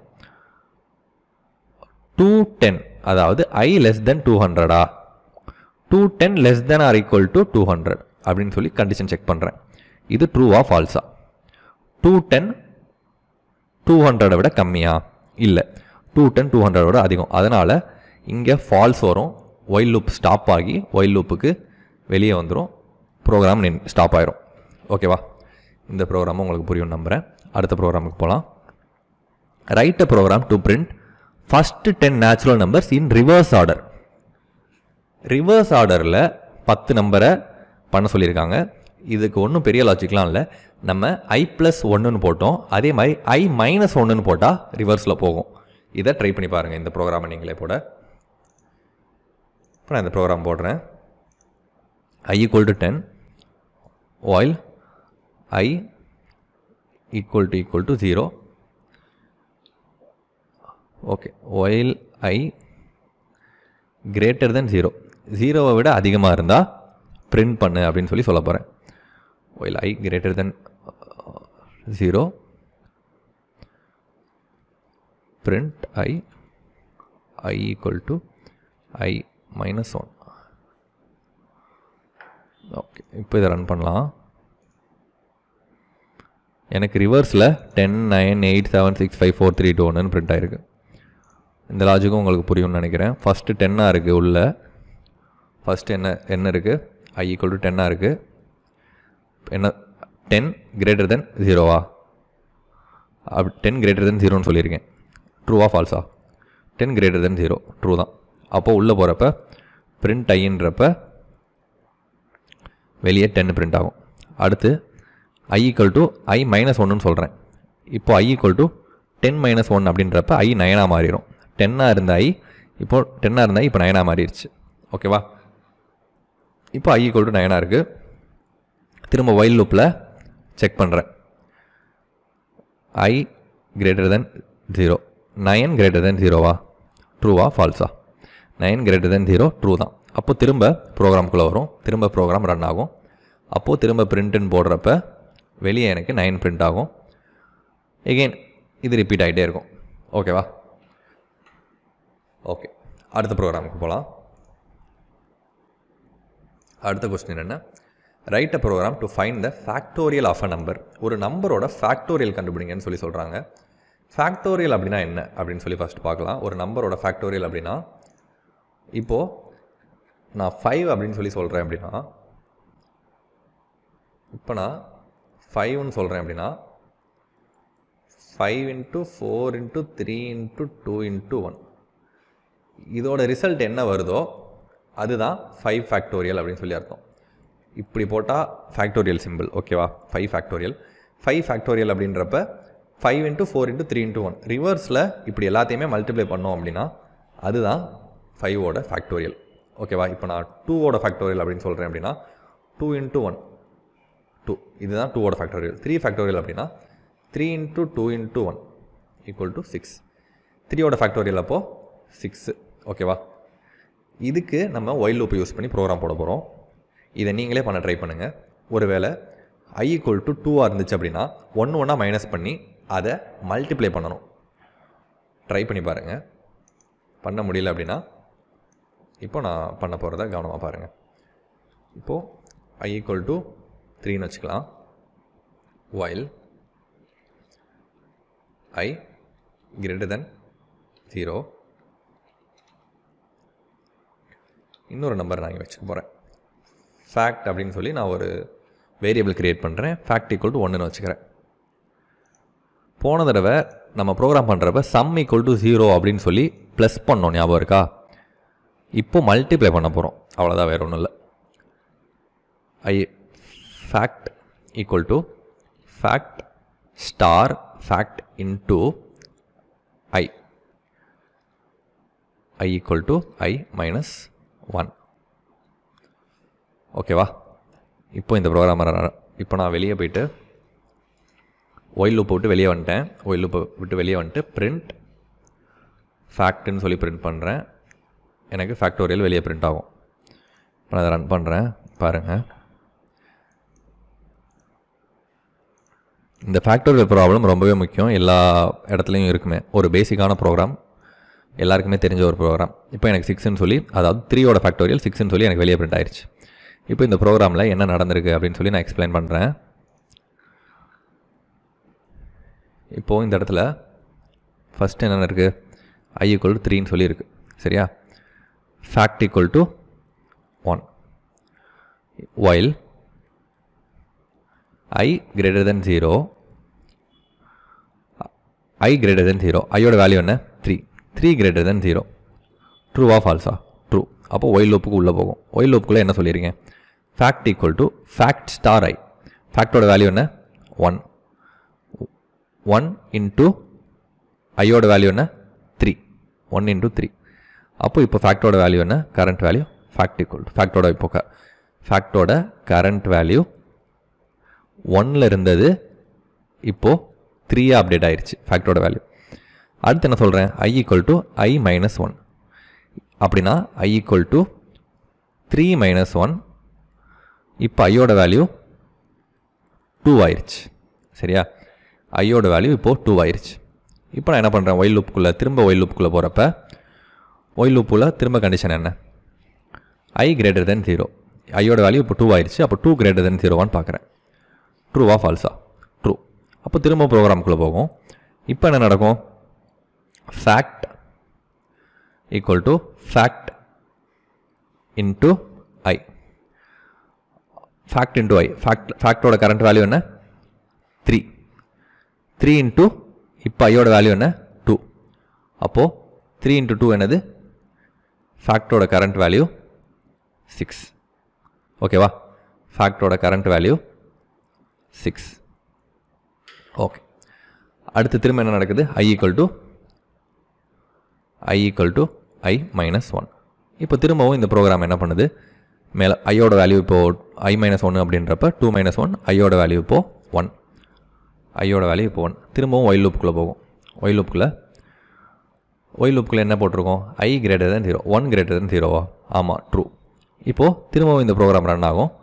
Fact equal to fact into one fact equal to fact into one ஃபேக்ட்டுக்குள்ளே என்ன வேல்யூ இருக்குது சிக்ஸ் இருக்குது அப்டேட்டட் ஃபேக்டோட வேல்யூ சிக்ஸு சிக்ஸ் இன்ட்டு ஒன்றுன்றப்ப திரும்பவும் சிக்ஸ் தான்.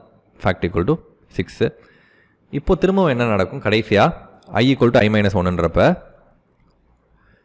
ஐயோட வேல்யூ ஆல்ரெடி ஒன்று ஒன் மைனஸ் ஒன்றுன்றப்ப இப்போ ஐயோட வேல்யூ ஜீரோ ஆயிரும். கரெக்டாக ஒயில் லூப்புக்குள்ளே இப்போ செக் பண்ணுறப்ப while i greater than zero அதாவது while zero greater than zero இப்போ இந்த கண்டிஷன் ட்ரூவாக ஃபால்ஸான்னு பார்க்குறப்ப இந்த கண்டிஷன் ஃபால்ஸ் அதனால் ஒயில் லூப் எண்ட் ஆகி ஒயில் லூப்புக்கு வெளியே வரும். ஒயில் லூப்புக்கு வெளியே நான் என்ன சொல்லியிருக்கேன்?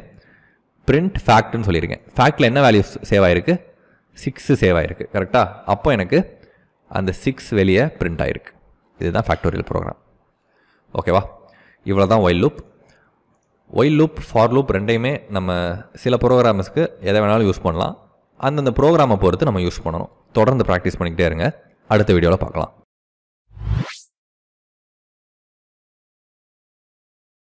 பைத்தனில் ஏ ஈக்குவல் டு டென் அப்படின்னா ஏ அப்படின்ற வேரியபிளில் டென் அப்படின்ற நம்பரை ஸ்டோர் பண்ணி வைக்கிறோம். டென் அப்படின்ற நம்பரை ஸ்டோர் பண்ணி வைக்கிறதுக்கு ஒரு குட்டி கண்டெய்னர் தேவைப்படுது இல்லை அதே மாதிரி ஏபிசிடிஇஎஃப்ஜி e, இப்படி நிறைய நம்பர் இருக்குன்னு வச்சுக்கோங்களேன். இது எல்லாத்தையும் சேவ் பண்ணி வைக்கிறதுக்கு நமக்கு ஒரு பெரிய கண்டெய்னர் வேணும். இதுதான் கலெக்ஷன்ஸ் அப்படின்னு சொல்லி சொல்கிறோம் இன்றைக்கி வீடியோவில் பைத்தன் கலெக்ஷன்ஸை பற்றி தான் பார்க்க போகிறோம் ஸ்டார்ட் பண்ணலாம். ஏற்கனவே நான் சொன்ன மாதிரி பைத்தனில் இந்த கலெக்ஷன் டேட்டா டைப்ஸ் எல்லாமே இருக்குது லிஸ்ட் டப்பிள் செட் டிக்ஷனரி இது நாளையும் பற்றி டீட்டெயிலாக பார்க்க போகிறோம் ஓகேவா இப்போ உங்களோட பைத்தன் எடிட்டரை ஓப்பன் பண்ணிக்கோங்க. ஐடிஎல்ஏ ஓப்பன் பண்ணுறேன் file new file file save as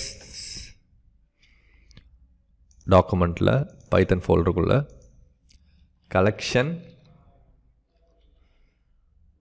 இஜின்னு போட்டுக்கிறேன். கலெக்ஷன் எக்ஸாம்பிள்ஸ் சரி ஓகே இப்போ ஃபஸ்ட்டு லிஸ்ட்டை பற்றி பார்க்கலாம். நம்ம ஏற்கனவே ஒரு வீடியோவில் லிஸ்ட்டை பற்றி பார்த்துருப்போம். எகைன் ஒரு தடவை பார்க்கலாம். List is a collection which is ordered and changeable allows duplicate members okay இப்போது லிஸ்ட்னால என்ன அப்படின்னா ஏ ஈக்குவல் டு இப்படி ஒரு ப்ராக்கெட் ஸ்கொயர் ப்ராக்கெட் போட்டிங்க அப்படின்னா இதுதான் லிஸ்ட் ஓகேவா இதுக்குள்ளே நான் one comma two comma three comma four comma five comma six இப்படி எந்த நம்பர் போட்டாலுமே இப்போது இப்போ நான் பிரிண்ட் டைப்புன்னு போட்டு டைப் ஆஃப் ஏ கொடுத்தேன் அப்படின்னா ஏ அப்படின்றது என்ன டேட்டா டைப் அப்படின்றது எனக்கு சொல்லும். இப்போ நான் இதை ரன் பண்ணுறப்ப ஏ அப்படின்றது லிஸ்ட் டேட்டா டைப் அப்படின்னு சொல்லி எனக்கு சொல்லுது. ஓகேவா அப்போது ஸ்கொயர் ப்ராக்கெட் போட்டால் அது லிஸ்ட்டாக மாறிடுது. இப்போ நான் இந்த லிஸ்ட்டுக்குள்ளே ஏதாவது வேல்யூ ஆட் பண்ணணும்னு வச்சுக்கோங்க. இப்போ நான் இதை பிரிண்ட் பண்ணுறேன் பிரிண்ட் ஏன்னு கொடுத்தா எனக்கு அப்படியே உள்ளே இருக்கிற வேல்யூ வெளியே பிரிண்ட் ஆகும். ஓகே இப்போ நான் எக்ஸ்ட்ராவாக உள்ள ஒரு வேல்யூ ஆட் பண்ணணும்னு வைங்க. A dot up and seven அப்படின்னு போட்டால் எனக்கு லாஸ்ட்டில் நான் போட்டிருக்கிற வேல்யூ ஆட் ஆகும். ஓகே ஆட் ஆனதுக்கப்புறம் நம்ம இன்னொன்று வேல்யூ இன்னொரு வேல்யூ கூட ஆட் பண்ணுறேன் ஏ டாட் அப் அண்ட் சும்மா செவன்டீன் ஆட் பண்ணுறேன் இப்போ நான் ஏவை பிரிண்ட் பண்ணுறேன் பிரிண்ட் ஏ இப்போ நான் இதை ரன் பண்ணுறேன் இப்போ என்னோடய அவுட்புட் பாருங்கள் ஃபஸ்ட்டு நான் அப்பன் பண்ணுறதுக்கு முன்னாடி one two three four five சிக்ஸ்னு இருந்துச்சு. இப்போ நான் அப்பன் பண்ணதுக்கப்புறம் இந்த செவனும் செவன்ட்டியும் எக்ஸ்ட்ராவாக ஆட் ஆயிருக்கு. அப்பண்ட் அப்படின்றது லாஸ்ட்டில் ஆட் பண்ணும். அப்பண்டுக்குள்ளே நீங்கள் ஏதாவது ஒரு நம்பரை போட்டிங்க அப்படின்னா அது லாஸ்ட்டில் லிஸ்ட்டுக்குள்ளே ஆட் ஆகும். இந்த இடத்துல நான் செவன்ட்டி தான் போடணுமா? அப்படின்னு கேட்டிங்கன்னா இல்லை. இந்த இடத்துக்குள்ளே நான் என்ன டேட்டா டைப் வேணாலும் போடலாம். இப்போ நான் இந்த இடத்துக்குள்ளே இஎம்சின்னு போட்டிருக்கேன். இப்போ பாருங்கள் எனக்கு இஎம்சின்னு சொல்லி வெளியே பிரிண்ட் ஆயிருக்கு. இப்போ நான் இங்கே அதே மாதிரி இப்போ நான் இங்கே ட்ரூன்னு சொல்லி பூலியன் வேல்யூ போடுறேன். இப்போ எனக்கு அவுட்புட்டில் என்ன பிரிண்ட் ஆயிருக்குன்னு பாருங்கள் ட்ரூ இஎம்சின்னு சொல்லி பிரிண்ட் ஆயிருக்கு. எல்லா டேட்டா டைப்புமே என்னால் இதுக்குள்ளே போட முடியும். ஓகேவா அதே மாதிரி நான் டூப்ளிகேட் நம்பர்ஸும் இதுக்குள்ளே போட முடியும். ஏ டாட் அப்பண்ட் இப்போ நான் ஒரு டூப்ளிகேட் வேரியபிள் கொடுக்க போகிறேன் இதுக்குள்ளே செவன் அப்படின்னு சொல்லி ஓகே சிக்ஸ்ன்னு சொல்லி நான் சொல்கிறேன் இப்போ நான் இதை ரன் பண்ணுறேன் ஏற்கனவே சிக்ஸ் இருக்குது நான் எகெயின் சிக்ஸ் போட்டால் நான் போட்டுக்கிற சிக்ஸ் எல்லாமே அப்படியே வந்திருக்கு. ஓகே இப்போது ஸ்பெசிஃபிக்காக எனக்கு ஒன்று இருக்கு இல்லையா? இந்த இடத்துல நான் ஒரு வேல்யூவை இன்சர்ட் பண்ணணும். அப்படின்னா நான் எப்படி இன்சர்ட் பண்ணலாம்? ஏட் ஆட் அப்பன்னா லாஸ்ட்டில் தான் ஆட் ஆகுது. ஆனால் எனக்கு முன்னாடி ஆட் ஆகணும். அப்படின்னா நீங்கள் என்ன பண்ணலாம் அப்படின்னா ஏ டாட் இன்சர்ட் எந்த இடத்துல இன்சர்ட் பண்ணணும்? என்ன பொசிஷனில் இன்சர்ட் பண்ணணும்? அதுக்கு முன்னாடி இப்போது இப்போ பாருங்க. இப்போ ஏன்னு பிரிண்ட் பண்ணால் ஏல உள்ள எல்லா வேல்யூமே வருது. எனக்கு ஃபஸ்ட்டு வேல்யூ மட்டும் வேணும். இல்லை செகண்ட் வேல்யூ மட்டும் வேணும் அப்படின்னா பிரிண்ட் ஏ ஆஃப் ஒன்றுன்னு கொடுத்தேன்னா என்ன பிரிண்ட் ஆகுதுன்னு பாருங்கள் print a of one a square bracket ஒன்றுனா ரெண்டுன்னு பிரிண்ட் ஆகுது. ஏன் அப்படின்னா இதோட இண்டெக்ஸ் பொசிஷன் இருக்கு இல்லையா ஜீரோ ஒன் டூ த்ரீ அப்படி தான் இதோட பொசிஷன் இருக்கும். இதோட பொசிஷன் ஒன் டூ த்ரீன்னு இருக்காது. அதாவது இப்போ இங்கே என்ன இருக்குது one two three four five சிக்ஸ்னு இருக்குது இது எல்லாமே வேல்யூஸ் ஓகேவா இது எல்லாமே எந்தெந்த இடத்துல இருக்குது அப்படின்னா இதோட இண்டெக்ஸ் பொசிஷன் இதோட இண்டெக்ஸ் பொசிஷன் ஜீரோ ஜீரோவில் இருந்து தான் ஆரம்பிக்கும். Zero one two three four five இதோட இண்டெக்ஸ் பொசிஷன் இப்படி zero one two three four ஃபைவ்னு தான் ஆரம்பிக்கும். ஓகேவா ஸோ இப்போ நான் ஏ ஆஃப் ஜீரோன்னு கொடுத்தேன் அப்படின்னா ஃபஸ்ட் நம்பர் எனக்கு வெளியே பிரிண்ட் ஆகும். ஏ ஆஃப் ஜீரோன்னு கொடுத்தேன் அப்படின்னா எலிமெண்ட்டுக்குள்ளே இருக்கிற ஃபஸ்ட்டு நம்பர் அதாவது இந்த ஒன் ஏன்னா இதோட பொசிஷன் ஜீரோ எனக்கு வெளியே பிரிண்ட் ஆகும். சரி ஓகே இப்போ நான் ஒன்றுன்னு இருக்கிற இடத்துல புதுசாக ஒரு நம்பர் இன்சர்ட் பண்ணணும். ஒன்றுன்னு இருக்கிற இடத்துல இப்போ நான் வந்து லெவன் லெவன் அப்படின்ற நம்பரை நான் இன்சர்ட் பண்ணணும்னு வச்சுக்கோங்க. Print okay not print a dot insert zero comma eleven அதாவது பொசிஷன் ஜீரோ ஜீரோன்ற பொசிஷனில் லெவன் அப்படின்ற நம்பரை இன்சர்ட் பண்ணு அப்படின்னு சொல்லி நான் சொல்கிறேன் இப்போ நான் இந்த ப்ரோக்ராம் ரன் பண்ணுறேன் இப்போது அதாவது ஜீரோன்ற பொசிஷனில் எனக்கு லெவன் வந்துருச்சு. ஏவை மட்டும் பிரிண்ட் பண்ணி பார்க்கலாம். எனக்கு வெளியே eleven one two three four five சிக்ஸ்னு வந்துருச்சு. இது எல்லாத்துக்கும் முன்னாடி இந்த இடத்துல எனக்கு லெவன் ஆட் ஆகி எனக்கு வெளியே பிரிண்ட் ஆகிருச்சு ஆனால் இப்போ எனக்கு லெவன் ஆட் ஆகி பிரிண்ட் ஆக வேணாம். ஓகேவா இந்த ஒன்னை எடுத்துகிட்டு இந்த இடத்துல எனக்கு லெவன் வேணும். அதாவது ஆல்ரெடி இருக்கிற வேல்யூவை மாடிஃபை பண்ணணும். ஓகேவா அப்போ நான் என்ன பண்ணலாம் அப்படின்னா ஏ ஆஃப் ஜீரோ இந்த பொசிஷனில் லெவன் அப்படின்ற வேல்யூவை மாற்றுறேன் a of zero equal to லெவன்னு நான் மாற்றுறேன் இப்போ எனக்கு என்ன நடக்குது? அந்த ஒன் ஒன் இல்லை. ஒன்னுன்ற பிளேஸில் லெவனை ரீப்ளேஸ் பண்ணி எனக்கு eleven two three four five சிக்ஸ்னு சொல்லி எனக்கு வெளியே பிரிண்ட் பண்ணுது. ஓகேவா இதெல்லாமே உங்களுக்கு புரிஞ்சிருக்கும்னு நினைக்கிறேன். அடுத்து ரிமூவ் பண்ணணும். அதாவது இப்போது one two three four five சிக்ஸ்னு வேல்யூ இருக்குது இதில் நான் சிக்ஸை ரிமூவ் பண்ணணும்னு வச்சுக்கோங்களேன். ஏ டாட் பாப் அப்படின்னு போட்டு இப்போ நான் எனக்கு என்ன ரிமூவ் பண்ணணும் எந்த இண்டெக்ஸ் ரிமூவ் பண்ணணும்? ஏ டாட் பாப் போட்டு இப்போ நான் சிக்ஸ் கொடுக்குறேன் பாருங்கள் என்ன நடக்குதுன்னு. ஏ டாட் பாப் போட்டு நான் சிக்ஸ் கொடுத்தா இண்டெக்ஸ் அவுட் ஆஃப் ரேஞ்சுன்னு எனக்கு எரர் வருது. ஏன் எரர் வருது அப்படின்னா இங்கே என்ன நடக்குது? இதோட இண்டெக்ஸ் என்ன? One two three four five சிக்ஸ்ன்னு இருக்குது அப்போ அதோட இண்டெக்ஸ் என்ன? Zero one two three four five இது எல்லாமே இண்டெக்ஸ் ஓகேவா இது எல்லாமே இண்டெக்ஸ் இந்த இண்டெக்ஸ்க்குள்ளே வேல்யூஸ் இருக்குது என்ன வேல்யூஸ் இருக்குது one two three four five சிக்ஸ்னு வேல்யூஸ் இருக்குது ஜீரோலேருந்து ஃபைவ் வரைக்கும் தான் ஆரம்பிக்குது. அப்போ இண்டெக்ஸோட வேல்யூ என்ன?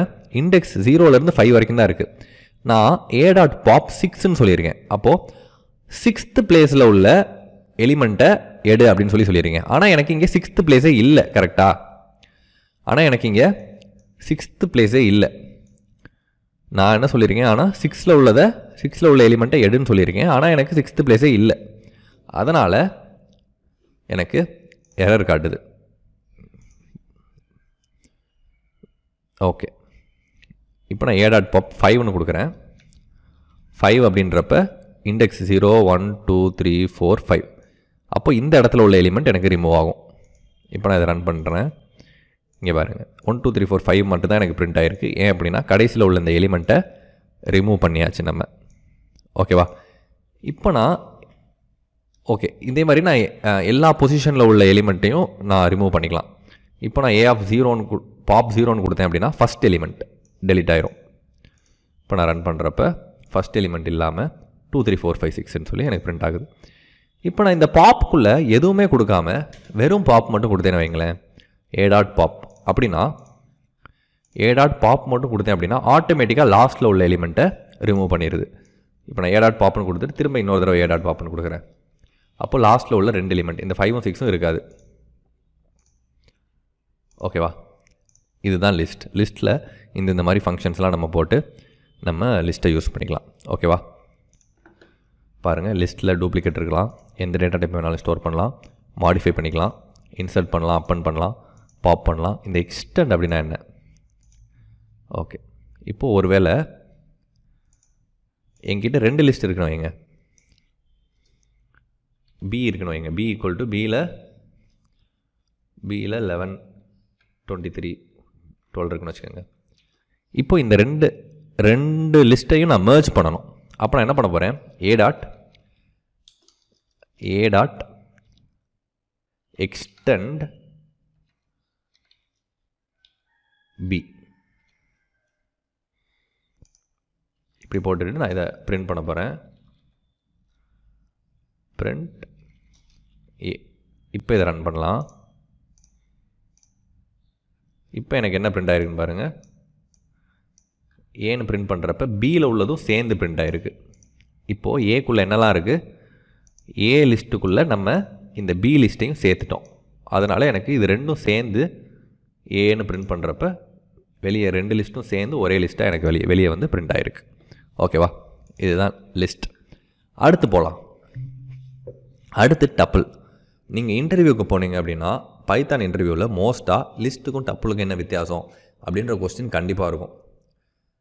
லிஸ்ட் டப்பிள் என்னென்னு பார்க்கலாம். லிஸ்ட்டு மாதிரியே டப்புளும் டூப்ளிகேட் அலோவ் பண்ணும். எந்த டேட்டா டைப் வேணாலும் ஸ்டோர் பண்ணலாம். ஆனால் பிரச்சனை என்னென்னா we cannot modify the tuple item we cannot add or remove ஒரு தடவை டப்பிள் க்ரியேட் பண்ணிட்டோம் அப்படின்னா அதுக்கப்புறம் அந்த டப்பிளில் நம்ம எதுவுமே பண்ண முடியாது. டப்பிளுக்கு என்ன சிம்பிள் அப்படின்னா ஏ ஈக்குவல் டு இந்த ப்ராக்கெட் போட்டிங்க அப்படின்னா அதுதான் டப்புள் இதுக்குள்ளே one comma two comma three comma ஃபோர்னு போடுறேன்னு வச்சுக்கோங்களேன். இப்போ நான் இதை வெளியே பிரிண்ட் பண்ணேன்னா பிரிண்ட் ஏன் பிரிண்ட் பண்ணேன்னா எனக்கு வெளியே வந்து பிரிண்ட் ஆகும். அப்படியே ஏ அப்படியே ஏக்குள்ளே இருக்கிறது ஒன் டூ த்ரீ ஃபோர்னு எனக்கு வெளியே பிரிண்ட் ஆகிருக்கு இப்போ நான் இதை மாடிஃபை பண்ணுறேன் போன தடவை நம்ம பண்ண மாதிரியே a of zero equal to டென்னு சொல்கிறேன் இப்போ நான் இதை ரன் பண்ணுறேன் tuple objects does not support item assignment tuple ஆப்ஜெக்ட்டில் உங்களால் ஐட்டம் அசைன் பண்ண முடியாது அப்படின்னு சொல்லி எனக்கு எரர் வருது. நம்ம ஏற்கனவே பார்த்த மாதிரி we cannot modify the tuple item we cannot add or remove நம்ம டப்புள் ஐட்டமை ஒன்றுமே பண்ண முடியாது. ஆனால் நம்ம என்ன பண்ணலாம் அப்படின்னா இப்போது பி ஈக்குவல் டு இந்த டப்பில் நம்ம கேஸ்டிங் பண்ணலாம். நம்ம எப்படி ஸ்ட்ரிங்கை இன்டிஜராக மாற்ற முடியுதோ எப்படி இன்டிஜரை ஸ்ட்ரிங்காக மாற்ற முடியுதோ இந்த டப்பில் நம்மளால் லிஸ்ட்டாக மாற்ற முடியும். இப்போது லிஸ்ட் ஆஃப் ஏன்னு கொடுத்தேன் அப்படின்னா இப்போ இந்த பி எனக்கு இப்போ நான் இந்த பிரிண்ட் பியை பிரிண்ட் பண்ணுறேன் கவனிச்சு கவனிங்க. இப்போ இந்த டப்புள் லிஸ்ட்டாக மாதிரி எனக்கு பியில் ஸ்டோர் ஆயிரும். இங்கே பாருங்கள் ஃபஸ்ட்டு அதாவது பிரிண்ட் ஏன்னு கொடுத்துருக்கேன். ஏன்றது டப்புள் அடுத்து பீன்றது ஸ்கொயர் ப்ராக்கெட் வந்திருக்கு பாருங்கள் லிஸ்ட்டாக மாறிடுச்சு இப்போ நான் என்ன பண்ண முடியும் அப்படின்னா பியில் என்ன ஆப்ரேஷன் வேணாலும். அதாவது நான் என்னென்ன ஆப்ரேஷன்லாம் லிஸ்ட்டில் பண்ண முடியுமோ? அது எல்லாத்தையுமே இப்போ நான் இந்த பின்ற லிஸ்ட்டில் பண்ண முடியும். இப்போ நான் அந்த டப்பில் லிஸ்ட்டாக மாற்றி அந்த லிஸ்ட்டில் இருந்து பாப் அப்படின்னா லாஸ்ட் எலிமெண்ட் ஃபோரை ரிமூவ் பண்ண அப்படின்னு சொல்லிட்டு பிரிண்ட் பண்ணுறேன் பிரிண்ட் ஏன் கொடுக்குறப்ப ஏ வந்து டப்பிள் அப்படியே பிரிண்ட் ஆகுது. அடுத்து பீன்றப்ப நம்ம மாடிஃபை பண்ண லிஸ்ட் ஓகேவா இதுதான் டப்பிள் அடுத்து செட்டுக்கு போகலாம் செட் அப்படின்றது என்ன அப்படின்னா do not allow duplicate duplicate values will be removed டப்பிளில் duplicate இருக்கலாம் லிஸ்ட்லேயும் டூப்ளிகேட் இருக்கலாம். ஆனால் செட்டில் டூப்ளிகேட் இருக்கா இருக்க முடியாது. செட் அப்படின்னா என்ன அப்படின்னா இந்த கேர்லி பிரேசஸ் போட்டிங்க அப்படின்னா இதுதான் செட் இப்போ இதுக்குள்ளே one comma two comma three comma four comma திரும்ப நான் ஒன் கொடுக்குறேன். ஓகேவா இப்போ நான் இதை பிரிண்ட் பண்ணுறேன் என்ன நடக்குதுன்னு பாருங்கள் பிரிண்ட் ஏன்னு கொடுக்குறேன். இப்போ நான் இதை ரன் பண்ணுறேன் ஒன் டூ த்ரீ ஃபோர்னு மட்டும் பிரிண்ட் ஆகிருக்கு ஒன் டூ த்ரீ ஃபோர்னு மட்டும் பிரிண்ட் ஆகிருக்கு லாஸ்ட்டில் நான் ஆட் பண்ணேன் ஒன்று பிரிண்ட் ஆகலை. இப்போ நான் திரும்ப ரன் பண்ணுறேன் one two three four. Okay எனக்கு அப்படியே அந்த ஒன்றுன்ற வேல்யூ ரிமூவ் ஆகிருக்கு ஓகேவா அடுத்து என்ன சொல்லி அடுத்து என்ன சொல்லியிருக்காங்க? Duplicates value remove will be remove okay எந்த டைப் ஆஃப் டேட்டா வேணாலுமே நம்ம ஸ்டோர் பண்ணிக்கலாம். நம்ம எப்படி டப்பிளில் இதில் ஸ்டோர் பண்ணுறோமோ அதே மாதிரி இதுலேயுமே என்ன டைப் ஆஃப் இது வேணாலும் ஸ்டோர் பண்ணிக்கலாம். அடுத்து என்ன சொல்லியிருக்காங்க? We cannot modify the set but we can add or remove sets நம்மளால் a of zero equal to twelve அப்படின்னு சொல்லி நம்மளால் மாடிஃபை பண்ண முடியாதுன்னு சொல்கிறாங்க எரர் வருது. Set object does not support item assignment settle நம்மளால் ஐட்டம்ஸ் அசைன் பண்ண முடியாது. ஆனால் நம்மளால் என்ன பண்ண முடியும் அப்படின்னா ஆட் பண்ண முடியும் எலிமெண்ட்ஸை எப்படி ஆட் பண்ணலாம்? ஏ டாட் ஆட் நம்ம என்ன நம்பர் வேணாலும் இப்போ இதுக்குள்ளே ஆட் பண்ணிக்கலாம். இப்போ ஏ டாட் ஆட் டென்னு கொடுக்குறேன். டென் கொடுத்து இப்போ நான் இதை ப்ரிண்ட் பண்ணுறேன் எனக்கு டென் வந்து ஆட் ஆயிடுச்சு ஓகேவா அடுத்து we not modify the set items but we can add or remove items okay அதே மாதிரி நம்ம செட்டை அப்டேட் பண்ண முடியும். Okay we can modify remove பண்ணலாம். இப்போது நம்ம ஏ டாட் ரிமூவ் ஃபோர்னு சொன்னேன் அப்படின்னா இந்த லிஸ்ட் ஐட்டம்லேருந்து ஃபோர் வந்து எனக்கு வெளியே ரிமூவ் ஆயிரும். ஒன் டூ த்ரீ ஓகேவா ரிமூவ் ஆயிடுச்சு எனக்கு செட்டிலேருந்து வெளியே ஃபோர் ஒன் டூ த்ரீ மட்டும் எனக்கு பிரிண்ட் ஆகுது. அதே மாதிரி ஏ டாட் பாப்புன்னு போட்டேன் அப்படின்னா லாஸ்ட் ஐட்டம் மட்டும் வெளியே பிரிண்ட் ஆகும். ஏ டாட் பாப்புன்னு போட்டேன்னா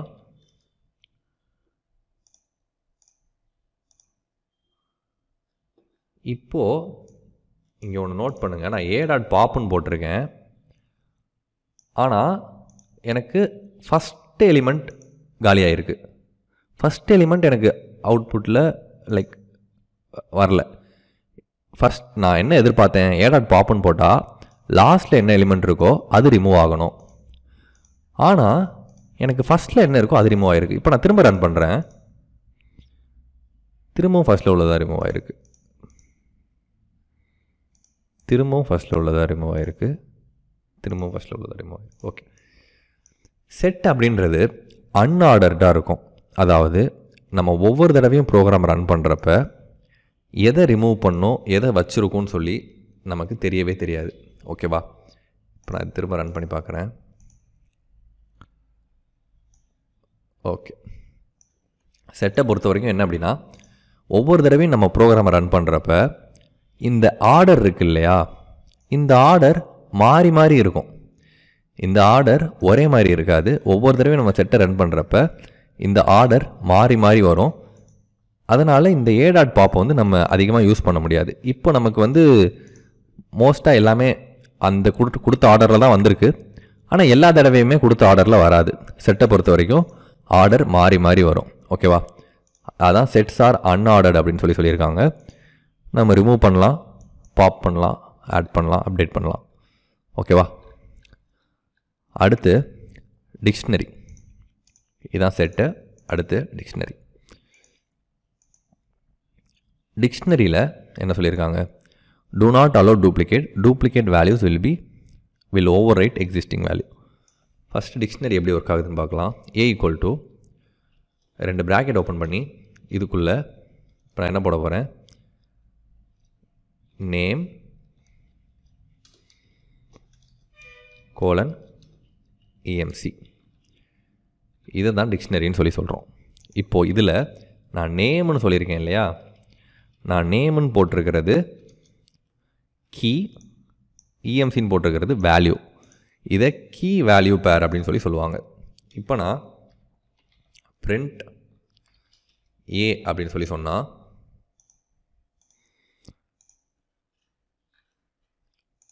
ஓகே இப்போ நான் பிரிண்ட் ஏன்னு சொன்னேன் சொன்னால் இந்த கேள்வி பிரேசஸில் எனக்கு வந்து வெளியே கீ வேல்யூ பேர் அப்படியே வெளியே வந்து பிரிண்ட் ஆகுது. இதே நான் இப்போது ஏ ஆஃப் நேம் அப்படின்னு சொல்லி சொல்கிறேன் அதாவது ஏ டிக்ஷனரிக்குள்ளே இருக்கிற நேம் கீயோட வேல்யூ மட்டும் கொடு அப்படின்னு சொல்லி நான் சொல்கிறேன் இப்போ நான் இதை ரன் பண்ணுறப்ப எனக்கு இஎம்சின்ற வேல்யூ மட்டும் வெளியே பிரிண்ட் ஆகும். நான் உள்ள எத்தனை வேணாலும் ஆட் பண்ணிக்கலாம். ஓகேவா நேம் இஎம்சி அடுத்து வந்து நான் என்ன பண்ணலாம்? Age one location location Pudukkottai ஓகேவா இப்போ நான் ஏன் மட்டும் டைப் பண்ணால் எனக்கு ஏழு உள்ள வேல்யூ மட்டும் வெளியே பிரிண்ட் ஆகும். ஓகே ஓகே இங்கே எல்லாமே ஸ்ட்ரிங்கில் தான் இருக்கணும் உள்ள. ஓ no no no sorry sorry comma போட மறந்துட்டேன். ஒன்று ஒன்றும் தாண்டி தாண்டி கமா போடணும்.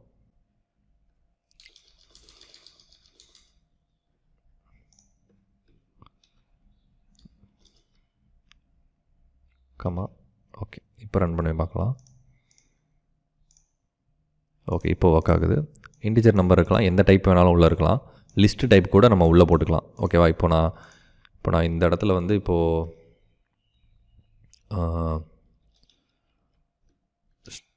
ஸ்டூடெண்ட்ஸ்னு போட்டு இதுக்குள்ளே நான் ஒரு லிஸ்ட்டு கூட போட்டுக்கலாம். ஓகேவா லிஸ்ட்டு லிஸ்ட் போட்டு நான் என்ன நேம் வேணாலும் இந்த லிஸ்ட்டுக்குள்ளே கொடுத்துக்கலாம். சம்பாலா ஜான் இப்படி எந்த பேரெல்லாம் உள்ளே கொடுத்துக்கலாம். இப்போ நான் இதை ரன் பண்ணுறப்ப திரும்ப கமா போடலை. இந்த கமா போட மறக்காதீங்க ஒவ்வொரு தடவையும்.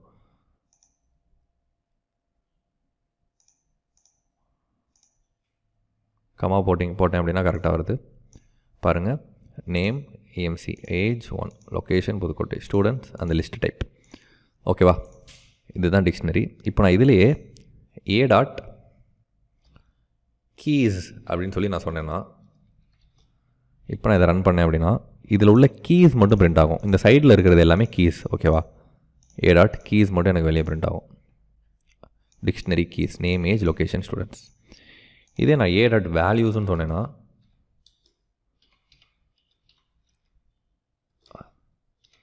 வேல்யூஸ் மட்டும் எனக்கு வெளியே பிரிண்ட் ஆகும்.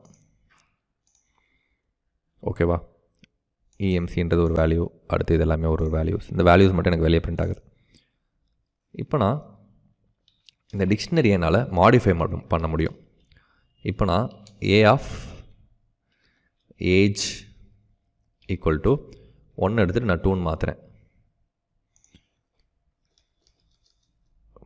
இப்போ நான் இந்த ஏவை பிரிண்ட் பண்ணுறேன் ரன் ஏஜ் எனக்கு டூன் மாறிடுச்சு இப்போ நான் இந்த இடத்துல ஏஜ் இல்லாமல் இப்போ நான் வேறு ஏதாவது கொடுக்குறேன். சும்மா கலர்னு போட்டு ரெட்டுன்னு சொல்லி கொடுக்குறேன். இப்போ என்ன நடக்கும் அப்படின்னா கலர் ரெட் அப்படின்னு சொல்லி ஒரு கீ வேல்யூ பேர் தனியாக எனக்கு எக்ஸ்ட்ராவாக ஆட் ஆயிடுச்சு ஓகேவா? இப்படி நம்மளால் டிக்ஷனரியில் ஆட் பண்ணிக்க முடியும் வேல்யூஸை இதே இப்போ நான் ஓகே அப்டேட் பண்ணணும்னு வைங்களேன். இந்த அப்டேட் மெத்தடை நான் யூஸ் பண்ணலாம். நம்ம டேரெக்டாகவே அப்டேட் அப்டேட் பண்ணலாம். நான் ஏற்கனவே மொதல் எப்படி சொன்னேன் இல்லையா? ஏஜ் இப்படி போட்டு டேரெக்டாக நம்ம ஏஜை அப்டேட் பண்ணலாம். இல்லை அப்படின்னா நம்ம ஏ டாட் அப்டேட்டுன்னு போட்டு இதுக்குள்ளே நம்ம ஏஜை அப்டேட் பண்ணலாம்.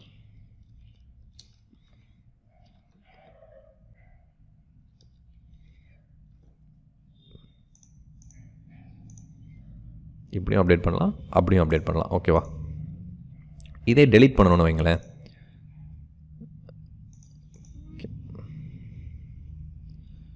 இப்போது டெலீட் பண்ணணும் அப்படின்னா நம்ம ஏ டாட்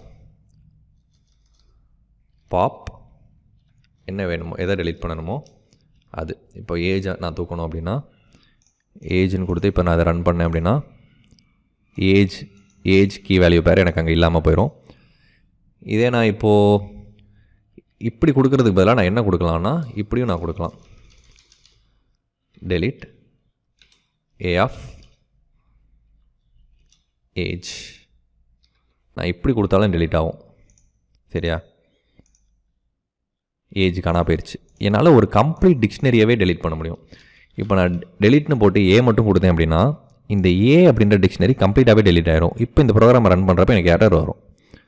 பாருங்கள் எனக்கு எரர் வருது. ஏன் அப்படின்னா a is not defined a அப்படின்ற ஒரு டிக்ஷனரியை நம்ம கம்ப்ளீட்டாகவே டெலீட் பண்ணிட்டோம். அதனால் நமக்கு எரர் வருது. ஓகேவா நம்ம டிக்ஷனரியில் உள்ள எல்லா ஐட்டம்ஸையும் கிளியர் பண்ணுறதுக்கு ஏ டாட் கிளியர் யூஸ் பண்ணலாம். இப்போ ஏ டாட் கிளியர் யூஸ் பண்ணிட்டு இப்போ நான் ரன் பண்ணேன் அப்படின்னா டிக்ஷனரி எம்டியாக இருக்கும்.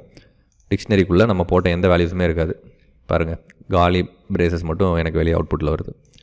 ஓகேவா இதுதான் பைத்தனோட four collections four collection data types பைத்தானில் இருக்கிறது. லிஸ்ட் டப்பிள் செட் டிக்ஷனரி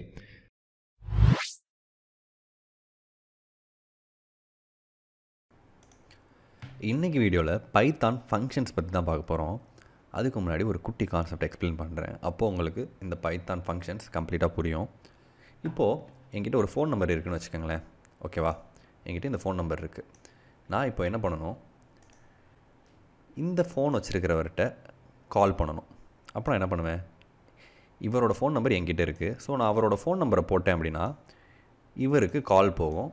இவர் என்னோடய ஃபோனை எடுப்பார். கரெக்டாக இதுதான் ஃபங்க்ஷன்ஸோட கான்செப்ட் இப்போது நான் பெயிண்டர் அப்படின்னு சொல்லி நான் பெயிண்டரை கூப்பிட்டேன் அப்படின்னா என்ன நடக்கும் அப்படின்னா பெயிண்டர் ஃபங்க்ஷன் கால் ஆகும். பெயிண்டர் ஃபங்க்ஷனுக்கு கால் போகும். அப்போது பெயிண்டர் ஃபோன் எடுப்பார். பெயிண்டர் ஃபோன் எடுத்த உடனே அந்த பெயிண்டர் ஃபங்க்ஷனுக்குள்ளே என்ன பண்ணணும் அப்படின்னு சொல்லி நீங்கள் எழுதியிருக்கீங்களோ அது எல்லாத்தையும் இந்த பெயிண்டர் பண்ணுவார். ஓகேவா இதுதான் ஃபங்க்ஷன்ஸ் இப்போது இந்த இடத்துல இந்த ஃபோன் அப்படின்னு சொன்னேன் பார்த்தீங்களா கண்டிப்பாக நமக்கு கால் நான் ஒருத்தருக்கு ஃபோன் பண்ணணும் அப்படின்னா அவர் கையில் கண்டிப்பாக ஃபோன் இருக்கணும். அதே மாதிரி நான் ஒரு ஃபங்க்ஷன் க்ரியேட் பண்ணணும் அப்படின்னா அந்த ஃபங்க்ஷனுக்கு முன்னாடி டெஃப் அப்படின்ற இந்த கீவேர்டை நான் போட்டால் மட்டும்தான் அது ஃபங்க்ஷனாக மாறும். இப்போது இதை அப்படியே கோட் பண்ணி பார்க்கலாம். உங்களுக்கு இன்னும் பெட்டர் அண்டர்ஸ்டாண்டிங் கிடைக்கும். உங்களோட பைத்தன் எடிட்டர் ஓப்பன் பண்ணிக்கோங்க. இதில் நான் ஒரு புது ஃபைல் க்ரியேட் பண்ணிக்கிறேன். ஃபைல் நியூ ஃபைல் இந்த ஃபைலை சேவ் பண்ணிக்கிறேன். என்னோடய டாக்குமெண்ட்டில் என்னோடய பைத்தன் ஃபோல்டரில் போயிட்டு ஃபங்க்ஷன்ஸ் இ ஃபங்க்ஷன் ஈஸி அப்படின்னு சொல்லி சேவ் பண்ணிக்கிறேன். இப்போது அதே கோடை எழுதலாம். டெஃப் பெயிண்டர் அப்படின்னு சொல்லி நான் ஒரு ஃபங்க்ஷன் க்ரியேட் பண்ணுறேன் ஓகேவா கோலன் என்டர் பிரிண்ட் பெயிண்டிங் ஓகேவா?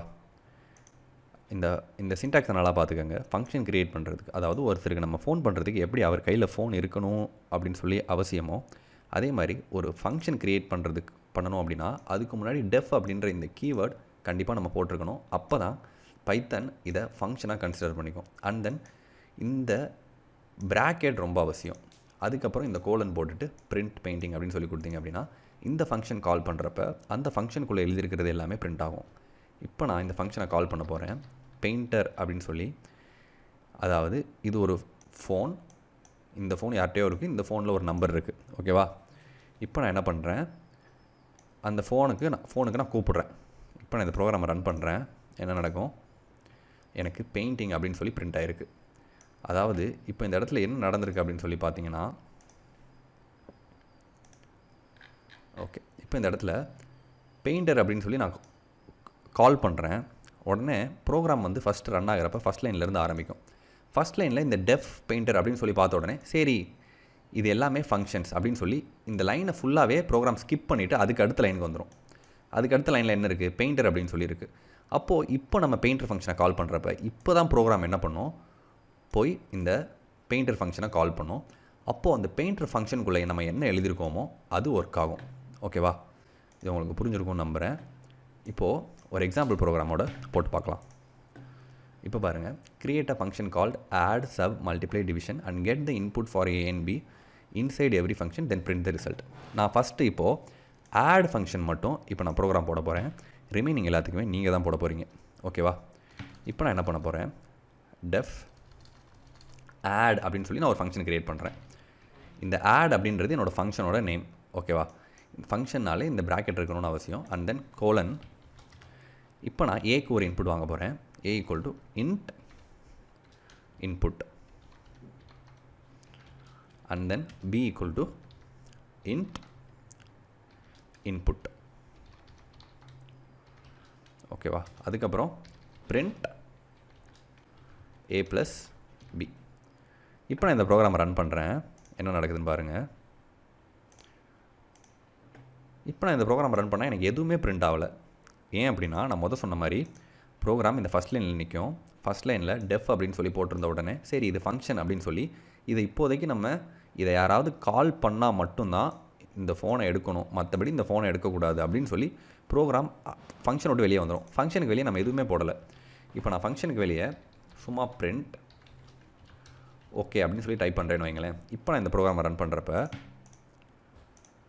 எனக்கு அந்த ஃபங்க்ஷனுக்கு வெளியில் இருக்கிற ஓகே மட்டும் பிரிண்ட் ஆகிருக்கு ஃபங்க்ஷனுக்கு உள்ளே உள்ளது எதுவுமே ஒர்க் ஆகலை. ஏன் அப்படின்னா இன்னும் நான் ஃபங்க்ஷனை கூப்பிடலை. இப்போ நான் என்ன பண்ண போகிறேன் பிரிண்ட் ஓகேக்கு அப்புறம் பிரிண்ட் ஓகேக்கு அப்புறம் நான் ஆட் அப்படின்னு சொல்லி இந்த ஃபங்க்ஷனை இப்போ நான் கூப்பிடுறேன். இப்போ நான் இந்த ஃபங்க்ஷனை கூப்பிடுறப்ப ஃபஸ்ட்டு பிரிண்ட் ஓகே பிரிண்ட் ஆகும். அதுக்கப்புறம் ஆட் அப்படின்ற நான் ஃபங்க்ஷனை கூப்பிட்றதுனால எனக்கு ப்ரோக்ராம் இங்கேருந்து இதுக்குள்ளே உள்ளது எல்லாமே எனக்கு ஒர்க் ஆக ஆரம்பிக்கும். இப்போ பாருங்கள் ஓகேன்னு பிரிண்ட் ஆகிடுச்சு எனக்கு இப்போது பிளிங்க் ஆகுது கர்சர் அதாவது ஓகேன்னு பிரிண்ட் ஆகிடுச்சு அடுத்து ஆட் அப்படின்னு சொல்லி நான் கால் பண்ணிட்டேன். ஸோ இந்த ஃபங்க்ஷன் கால் ஆகி இந்த ஃபங்க்ஷனுக்குள்ளே இருக்கிற முதல் லைன் ஒர்க் ஆகுது. முதல் லைனில் ஏ ஈக்குவல் இன்ட்டு இன்புட்னு சொல்லியிருக்கோம். ஸோ ஏக்கு இன்புட் கொடு அப்படின்னு சொல்லி எனக்கு கேட்குது நான் டென்னு கொடுக்குறேன். அடுத்து பிக்கு இன்புட் கொடு அப்படின்னு சொல்லி கேட்குது நான் இப்போ டுவெண்ட்டின்னு கொடுக்குறேன். இப்போ எனக்கு அவுட்புட் டென் ப்ளஸ் டுவெண்ட்டி அதாவது ten plus twenty print a plus b அப்படின்னு சொல்லி எனக்கு வெளியே பிரிண்ட் ஆயிடுச்சு இப்போ நான் இன்னொன்று ஒன்று பண்ணுறேன் நமக்கு தெரியணும் அப்படின்றதுக்காக. இப்போ நான் பிரிண்ட் அடிஷன் அப்படின்னு சொல்லி நான் போடுறேன். அடுத்து இதை எடுத்துடலாம். இந்த ஏ ஈக்குவல் டு இன்ட் இன்புட்டுக்குள்ளே என்டர் ஏன்னு சொல்லி போடுறேன். அப்போது இதுக்குள்ளே நான் என்ன டைப் பண்ணியிருக்கேனோ அது அப்படியே எனக்கு வெளியே பிரிண்ட் ஆகும். இதுக்குள்ளே என்டர் பின்னு சொல்லி போடுறேன். இப்போ இதுக்குள்ளே என்ன டைப் பண்ணியிருக்கேனோ அப்படியே எனக்கு வெளியே பிரிண்ட் ஆகும். இப்போ நான் இந்த ப்ரோக்ராமை ரன் பண்ணுறேன் இந்த ப்ரோக்ராமை நான் ரன் பண்ணுறப்ப அடிஷன் வந்துருச்சு. அண்ட் தென் ஏ என்ட்ரு பண்ணுங்கன்னு சொல்லி கேட்குது டென்னு சொல்கிறேன் பி என்ட்ரு பண்ணுங்கன்னு சொல்லி கேட்குது டுவெண்ட்டி சொல்கிறேன் தேர்ட்டின்னு சொல்லி எனக்கு பிரிண்ட் ஆகுது. ஓகேவா இப்போ நீங்கள் என்ன பண்ணுங்கள் இதே மாதிரி சப்ட்ராக்ஷனுக்கு ஒரு ஃபங்க்ஷன் க்ரியேட் பண்ணுங்கள் சப்ட்ராக்ஷனுக்கு எப்படி ஃபங்க்ஷன் க்ரியேட் பண்ணுவீங்க? டெஃப் சப் அதே மாதிரி அதுக்குள்ளே என்ன இருக்கோ அது எல்லாமே அப்படியே நான் காப்பி பண்ணி போட போகிறேன் நீங்கள் காப்பி பண்ணாதீங்க. டைப் பண்ணி போடுங்க. அப்படின்னு நான் டாப் பண்ணி போட்டேன். இதுக்குள்ளே இப்போ இந்த சப் அடிஷன் எடுத்துகிட்டு சப்ட்ராக்ஷன்னு போடுறேன். Enter a enter b a minus b இப்போ நான் இந்த ப்ரோக்ராமை ரன் பண்ணுறேன் என்ன நடக்குதுன்னு பாருங்கள் இப்போ நான் இந்த ப்ரோக்ராமை ரன் பண்ணுறப்ப க்ளோஸ் பண்ணிட்டேன் இப்போ நான் இந்த ப்ரோக்ராமை ரன் பண்ணுறப்ப அடிஷன் எனக்கு ஒர்க் ஆகிருக்கு என்ட்ரி ஏ கேட்குது டென் சொல்கிறேன் டுவெண்ட்டி சொல்கிறேன் தேர்ட்டின் பிரிண்ட் ஆகிருக்கு சப்ட்ராக்ஷன் நான் ஒரு ஃபங்க்ஷன் க்ரியேட் பண்ணியிருக்கேன் ஆனால் அந்த ஃபங்க்ஷன் ஒர்க்கே ஆகலை. இந்த ஃபங்க்ஷன் எனக்கு ஒர்க்கே ஆகலை. ஏன் அப்படின்னா திரும்பவும் ப்ரோக்ராம் என்ன பண்ணும்? ஃபஸ்ட்லேருந்து ஆரம்பிக்கும். ஃபஸ்ட் லைன்லேருந்து ஓகேவா திரும்பவும் ப்ரோக்ராம் இப்போ எனக்கு ஃபஸ்ட் லைன்லேருந்து ஆரம்பிக்கும். ஃபஸ்ட் லைனில் என்ன இருக்குது? டெஃப் ஆடுன்னு சொல்லி இருக்குது. சரி ஓகே இது எல்லாமே ஒரு ஃபங்க்ஷன் அப்படின்னு சொல்லிட்டு இதை விட்டுரும். அடுத்து போகும். இங்கேயும் டெஃப் சப்னு சொல்லியிருக்கு. சரி இதுவும் ஒரு ஃபங்க்ஷன் இதையும் இன்னும் யாரும் கூப்பிடல. இதை கூப்பிடுறப்ப நம்ம வந்து இதை யூஸ் இதை வந்து ரன் பண்ணலாம் அப்படின்னு சொல்லிட்டு அடுத்த லைனுக்கு போகும் அடுத்த லைனில் என்ன இருக்குது ஆடுன்னு சொல்லியிருக்கு. அப்போது இப்போ தான் நம்ம ஆட் ஃபங்க்ஷனை கால் பண்ணுறோம் அப்போது ப்ரோக்ராம்குள்ளே எந்த இடத்துல இந்த ஆட் ஃபங்க்ஷன் இருக்குது அப்படின்னு சொல்லி பார்த்து அந்த ஆட் ஃபங்க்ஷனை கால் பண்ணோம். அப்போது அதுக்குள்ளே இருக்கிறது எனக்கு வெளியே ஒர்க் ஆகுது. Addition enter a enter b thirty ஓகேவா இப்போ நான் அந்த சப்பும் எனக்கு வேலை செய்யணும் அப்படின்னா இப்போ நான் சப் போட்டேன் அப்படின்னா எனக்கு இந்த சப் இப்போ ஒர்க் ஆகும். ஃபஸ்ட் இருக்கிறது அடிஷன் ஆட் ஓகேவா அதனால் இந்த ஃபஸ்ட்டு ஃபங்க்ஷன் ஒர்க் ஆகுது. அடுத்து சப்பு போட்டதுனால அடுத்து இந்த சப் ஃபங்க்ஷன் ஒர்க் ஆகுது. இப்போ நான் அடிஷனில் டென் டுவெண்ட்டி போடுறேன். தேர்ட்டி வருது. அடுத்து சப்ட்ராக்ஷன் அதாவது அ- இந்த ஆட் ஃபங்க்ஷன் முடிஞ்சிருச்சு. அடுத்து சப் ஃபங்க்ஷன் ஸ்டார்ட் ஆயிடுச்சு இதில் நான் இப்போ என்ன பண்ணுறேன் தேர்ட்டி டுவெண்ட்டின்னு போடுறேன். இப்போ thirty minus twenty ten okay இது உங்களுக்கு புரிஞ்சிருக்கும்னு நினைக்கிறேன். இந்த ஆட் சப்பை நான் எங்கே வேணாலும் போடலாம். இந்த ஃபங்க்ஷனை நான் எ இப்போ நான் எங்கேருந்து வேணாலும் நான் கால் பண்ண முடியும். ஓகேவா அப்புறம் இங்கே இதையும் கால் பண்ணலாம். அப்புறம் இங்கே இப்படியும் கால் பண்ணலாம். ஃபங்க்ஷனை நான் எந்த இடத்துல வேணாலும் முன்னாடி பின்னாடி எங்கே வேணாலும் கால் பண்ணலாம். இப்போ நான் இதை ரன் பண்ணுறப்ப ஓகே லைக் நம்ம டிஃபைன் பண்ணதுக்கு அப்புறம் தான் கால் பண்ணணும். இப்போ பாருங்கள் இந்த இடத்துல நான் வந்து இப்போது சப் எடுத்துகிட்டு இப்போ நான் ஆட் மட்டும் போட்டேன்னா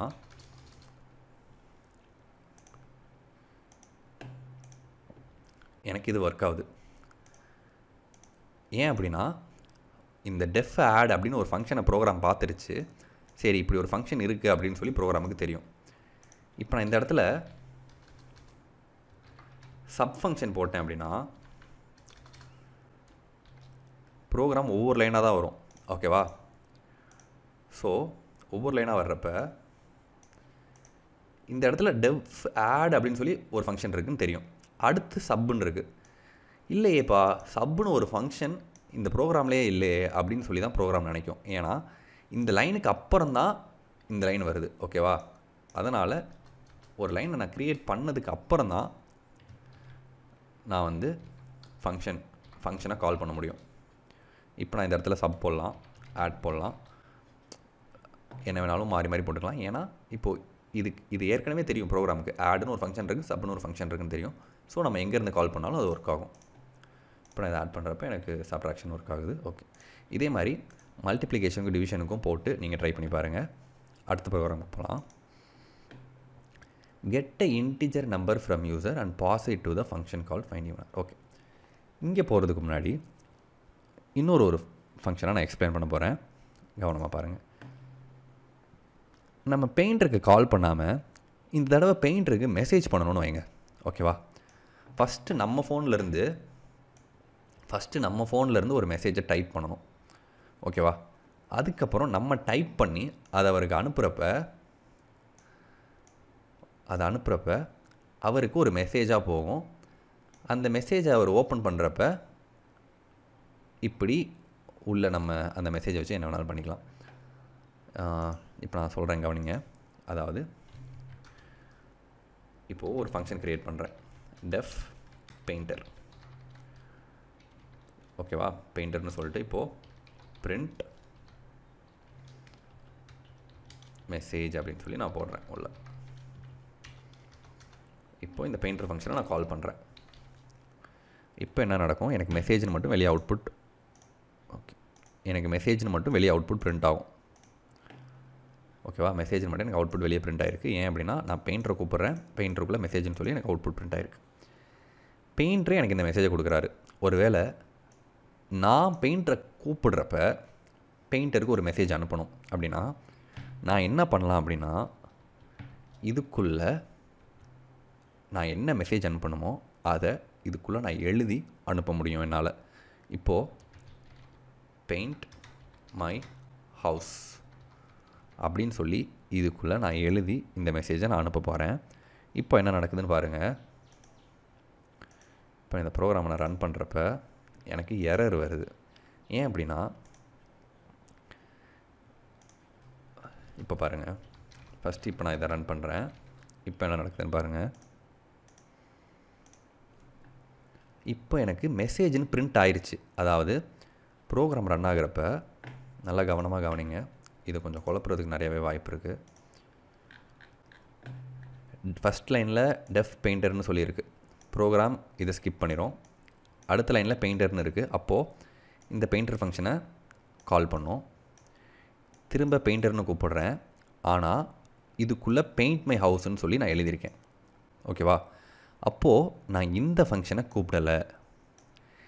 இதுக்குள்ளே நான் வேறு என்னமோ எழுதியிருக்கிறது.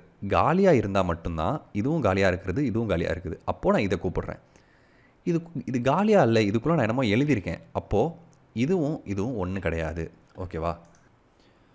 இப்போது நான் ஒரு மெசேஜை அதாவது நான் இதுக்குள்ளே என்ன எழுதியிருக்கேனோ அதை இந்த ஃபங்க்ஷனுக்குள்ளே நான் பாஸ் பண்ணணும் அப்படின்னா நான் என்ன பண்ணணும் அப்படின்னா இங்கே ஒரு வேரியபிளை நான் யூஸ் பண்ணணும். எம்எஸ்ஜி அப்படின்னு சொல்லி நான் ஒரு வேரியபிளை யூஸ் பண்ண போகிறேன் இப்போ என்ன நடக்கும்னா இப்போது மெசேஜ் கோலன் கமா எம்எஸ்டின்னு போட்டுடுறேன் இப்போது என்ன நடக்கும் அப்படின்னு சொல்லி நான் எக்ஸ்பிளைன் பண்ணுறேன் கவனிங்க. இப்போ என்ன நடக்கும் அப்படின்னா பெயிண்ட் மை ஹவுஸ் அப்படின்னு சொல்லி இந்த ஃபங்க்ஷனுக்குள்ளே நான் எழுதியிருக்கேன். இங்கே பெயிண்டர் அப்படின்ற ஃபங்க்ஷனை கால் பண்ணுறேன் பெயிண்ட் மை ஹவுஸ்னு சொல்லி எழுதியிருக்கேன். அப்போ என்ன நடக்கும் அப்படின்னா இந்த ஃபங்க்ஷனுக்குள்ளே எம்எஸ்ஜி அப்படின்னு சொல்லி ஒரு வேரியபிள் அதுக்குள்ளே இருக்கிறது ஒரு வேரியபிள் ஓகேவா எம்எஸ்ஜி அப்படின்னு சொல்லி அதுக்குள்ளே இருக்கிறது ஒரு வேரியபிள் இப்போது இந்த MSG equal to paint my house அப்படின்னு சொல்லி நான் இங்கே எழுதியிருக்கிறது எனக்கு இந்த வேரியபிள்குள்ளே ஸ்டோர் ஆயிரும். நான் இங்கே என்ன எழுதியிருக்கேனோ அது இந்த வேரியபிள்குள்ளே ஸ்டோர் ஆயிரும். ஓகேவா அப்போது இந்த ஃபங்க்ஷனுக்குள்ளே நான் இந்த வேரியபிளை எங்கே வேணாலும் யூஸ் பண்ணிக்கலாம். எனக்கு அந்த வேரியபிளுக்குள்ளே இருக்கிற வேல்யூ பிரிண்ட் ஆகும். இப்போ பாருங்கள் நான் இதை ரன் பண்ணுறேன் பெயிண்டர்னு போட்டு உள்ளே ஒரு மெசேஜ் அனுப்பியிருக்கேன். இப்போது டெஃப் பெயிண்டர் ஃபங்க்ஷனுக்குள்ளே எம்எஸ்ஜின்னு ஒரு வேரியபிள் போட்டிருக்கேன். அப்போது MSG is equal to equal to paint my house அப்படின்னு சொல்லி சேவ் ஆயிரும். எம்எஸ்ஜி வேரியபிள்குள்ளே பெயிண்ட் மை ஹவுஸ்ன்ற வேல்யூ சேவ் ஆயிரும். அதுக்கப்புறம் நான் பிரிண்ட்டில் மெசேஜ்னு போட்டு கோலன் கமா எம்எஸ்ஜின்னு சொல்லி போடுறேன். அப்போது எனக்கு கமா எம்எஸ்ஜின்னு போடுறப்ப அந்த எம்எஸ்ஜிக்குள்ளே என்ன வேல்யூ ஸ்டோர் ஆகிருக்கோ அது எனக்கு வெளியே பிரிண்ட் ஆயிருச்சு ஓகேவா இப்படி தான் ஃபங்க்ஷன்ஸ் ஒர்க் ஆகும். இதை பேராமீட்டரைஸ்டு ஃபங்க்ஷன்ஸ் அப்படின்னு சொல்லி சொல்லுவாங்க. இதுக்குள்ளே இருக்கிற இந்த எம்எஸ்ஜியை பேராமீட்டர் அப்படின்னு சொல்லி சொல்லுவாங்க. இல்லை அப்படின்னா ஆர்கியூமெண்ட் அப்படின்னு சொல்லி சொல்லுவாங்க ஓகேவா இப்போ நம்ம ஆக்சுவல் செகண்ட் ப்ரோக்ராமுக்கு போகலாம் get a integer number from user and pass to the function called find even or odd let the function print whether the number is even or odd அதாவது என்ன சொல்லியிருக்காங்க அப்படின்னா ஒரு வேல்யூவை ஒரு ஃபங்க்ஷனுக்கு பாஸ் பண்ணுங்கள் அந்த ஃபங்க்ஷன் நீங்கள் அனுப்பியிருக்கிற நம்பர் ஈவனா இல்லை ஆடா அப்படின்னு சொல்லி கண்டுபிடிக்கணும் அப்படின்னு சொல்லி சொல்லியிருக்காங்க. ஃபஸ்ட்டு நான் ஒரு ஃபங்க்ஷன் க்ரியேட் பண்ணுறேன் ஃபைண்ட் ஈவன் ஆர் ஆட் அப்படின்னு சொல்லி நான் ஒரு ஃபங்க்ஷன் க்ரியேட் பண்ணுறேன் இந்த ஃபங்க்ஷன்னாலே முன்னாடி டெஃப்னு சொல்லியிருக்கணும். கோலன் என்டர் இஃப் ஏதோ ஒரு நம்பர் கரெக்டாக number mod two equal to equal to zero print print even அதாவது ஒரு நம்பரோட ஒரு நம்பரை டூவால் டிவைட் பண்ணுறப்ப அதோட ரிமைண்டர் ஜீரோவாக இருந்தால் அது even else print else print odd ஓகேவா சரி இப்போ நான் இந்த ப்ரோக்ராமை ரன் பண்ணுறேன் எனக்கு எதுவுமே ரன் ஆகலை. ஓகேவா சரி இப்போ இந்த ஃபங்க்ஷனை கால் பண்ணலாம். இப்போ இந்த ஃபங்க்ஷனை நான் கால் பண்ணுறேன் ஃபங்க்ஷனை கால் பண்ணால் தான் ரன் ஆகும். அதனால தான் போன தடவை ரன் ரன் ஆகலை. ஃபைண்ட் ஈவன் ஆர் ஆட் இப்போ நான் இந்த ஃபங்க்ஷனை கால் பண்ணுறேன் இப்போ என்ன நடக்கும்னு பாருங்கள் எனக்கு எரர் வருது. என் என்ன அப்படின்னா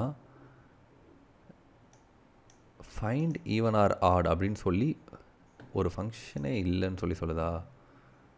ஃபைண்ட் ஓகே இங்கே ஸ்பெல்லிங் தப்பாக எழுதியிருக்கேன். ரெண்டு டி போட்டிருக்கேன். ஓகே இப்போ ரன் பண்ணலாம். சரி ஓகே ம். மொத ஸ்பெல்லிங் தப்பு அப்படின்னு சொல்லி எனக்கு ஒரு எரர் வந்துச்சு. நான் ஃபங்க்ஷனை கரெக்டாக கூப்பிடலை. இப்போ பார்த்தீங்க அப்படின்னா நம் இஸ் நாட் டிஃபைன்ட் அப்படின்னு சொல்லி சொல்லியிருக்கு. If num or two equal to equal to ஜீரோன்னு சொல்லி சொல்லி சொல்லியிருக்கேன் இல்லையா? நம்முன்னு சொல்லியிருக்க நம்முன்றது ஒரு வேரியபிள் அந்த ஒரு வேரியபிள் ப்ரோக்ராம்லேயே இல்லையே நம்னா என்ன அப்படின்னு சொல்லி ப்ரோக்ராம் என்கிட்ட கேட்குது ஓகேவா இப்போ நான் இதை எடுத்துடுறேன் இப்போ நான் இதை எடுத்துகிட்டு இப்போ நான் இதுக்குள்ளே டென் அப்படின்னு சொல்லி ஒரு நம்பரை பாஸ் பண்ணுறேன் அப்படின்னா இங்கே பிரிண்ட்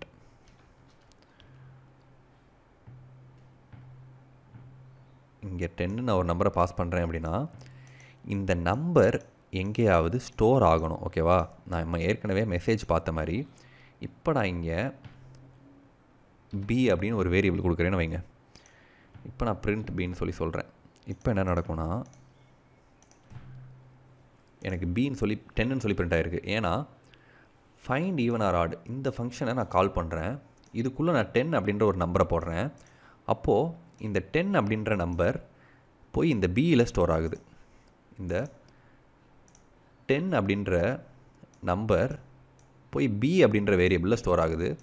இப்போது b equal to b equal to ten ஓகேவா அப்போ நான் பிரிண்ட் பின்னு சொல்கிறப்ப பிக்குள்ளே ஸ்டோர் ஆகிருக்கிற டென்னோட வேல்யூ எனக்கு வெளியே பிரிண்ட் ஆகுது.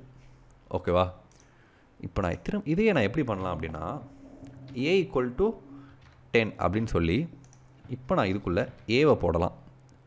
இப்போ என்ன நடக்கும்? இப்போயும் எனக்கு ஏன்னு பிரிண்ட் ஆகுது. இப்போ என்ன நடக்குது? ஏ ஈக்குவல் டு டென்னு சொல்லி போட்டிருக்கேன். அப்போது ஏ ஈக்குவல் டு டென் இந்த இடத்துல ஏவோட வேல்யூ என்ன? டென் கரெக்டாக இந்த இடத்துல ஏவோட வேல்யூ டென் இப்போது இந்த இடத்துல ஏ ஈக்குவல் டு டென்னு சொல்லி போகாமல் இந்த இடத்துக்குள்ளே டென் அப்படின்னு கன்வெர்ட் ஆகி இந்த வேல்யூ மட்டும்தான் இங்கே போகும். சரியா? ஏ ஈக்குவல் டு டென்னு சொல்லி போட்டிருக்கேன். ஃபைண்ட் ஈவன் ஆர் ஆடுக்குள்ளே ஏ அப்படின்னு சொல்லி போட்டிருக்கேன்.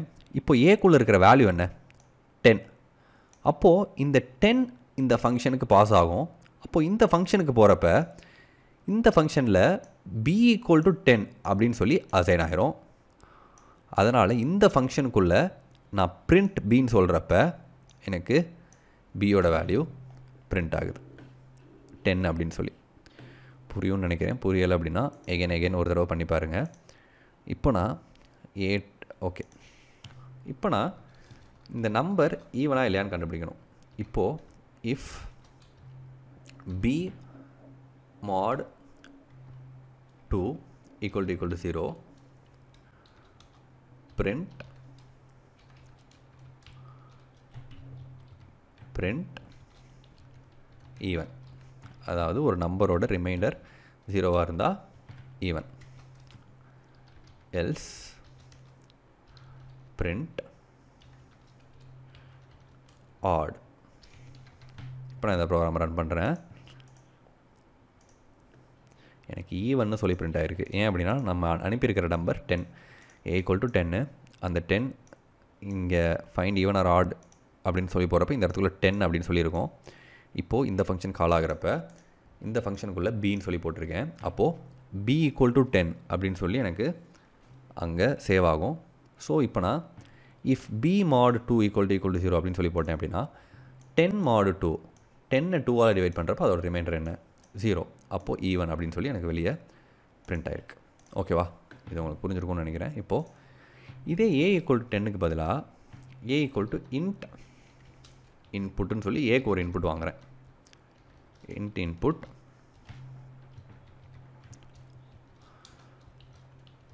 என்டர் ஏ கோலம் இப்போ என்ன நடக்கும்?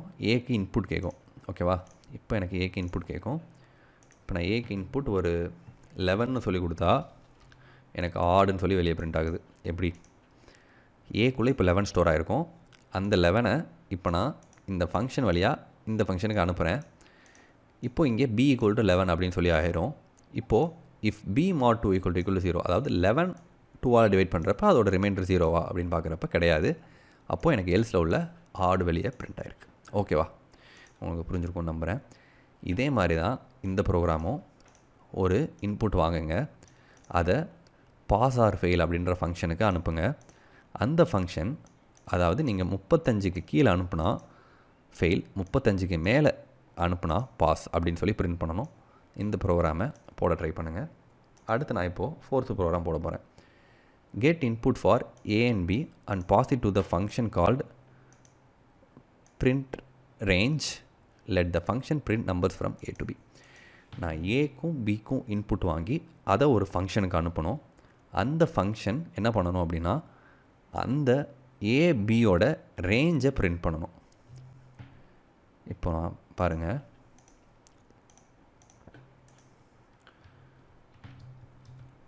டெஃப் ஒரு ஃபங்க்ஷன் க்ரியேட் பண்ணுறேன் பிரிண்ட் ரேஞ்ச் அப்படின்னு சொல்லி ஒரு ஃபங்க்ஷன் க்ரியேட் பண்ணுறேன் இப்போ இதுக்குள்ள for i in range one comma ten print i அப்படின்னு சொல்லி சொல்கிறேன் இப்போது இந்த ஃபங்க்ஷனை நான் கால் பண்ணுறேன் பிரிண்ட் ரேஞ்ச் அப்படின்னு சொல்லி இந்த ஃபங்க்ஷனை நான் கால் பண்ணுறேன் இப்போ இந்த ப்ரோக்ராம் ரன் பண்ணுறப்ப எனக்கு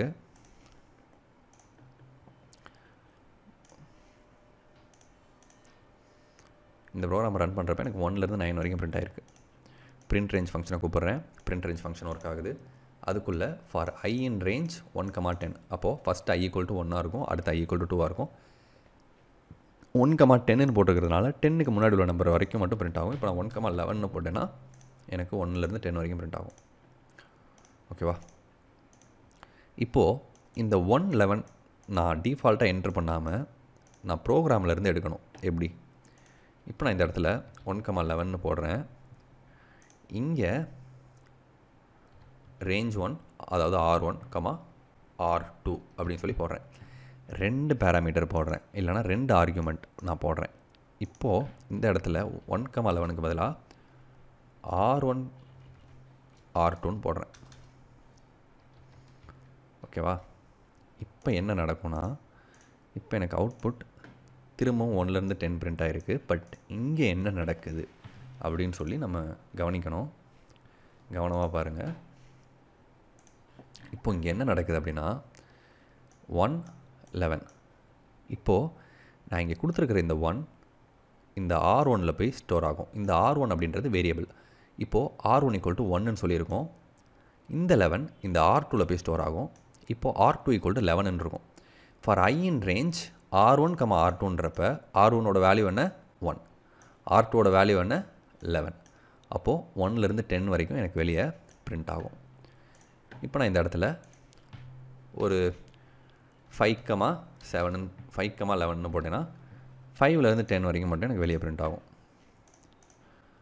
ஃபைவ்லேருந்து டென் வரைக்கும் மட்டும் எனக்கு வெளியே பிரிண்ட் ஆகிருக்கு ஓகேவா இப்போது இதுக்கே நான் யூசர்கிட்டேருந்து இன்புட் வாங்கி நான் பாஸ் பண்ண போகிறேன் இப்போது a equal to int input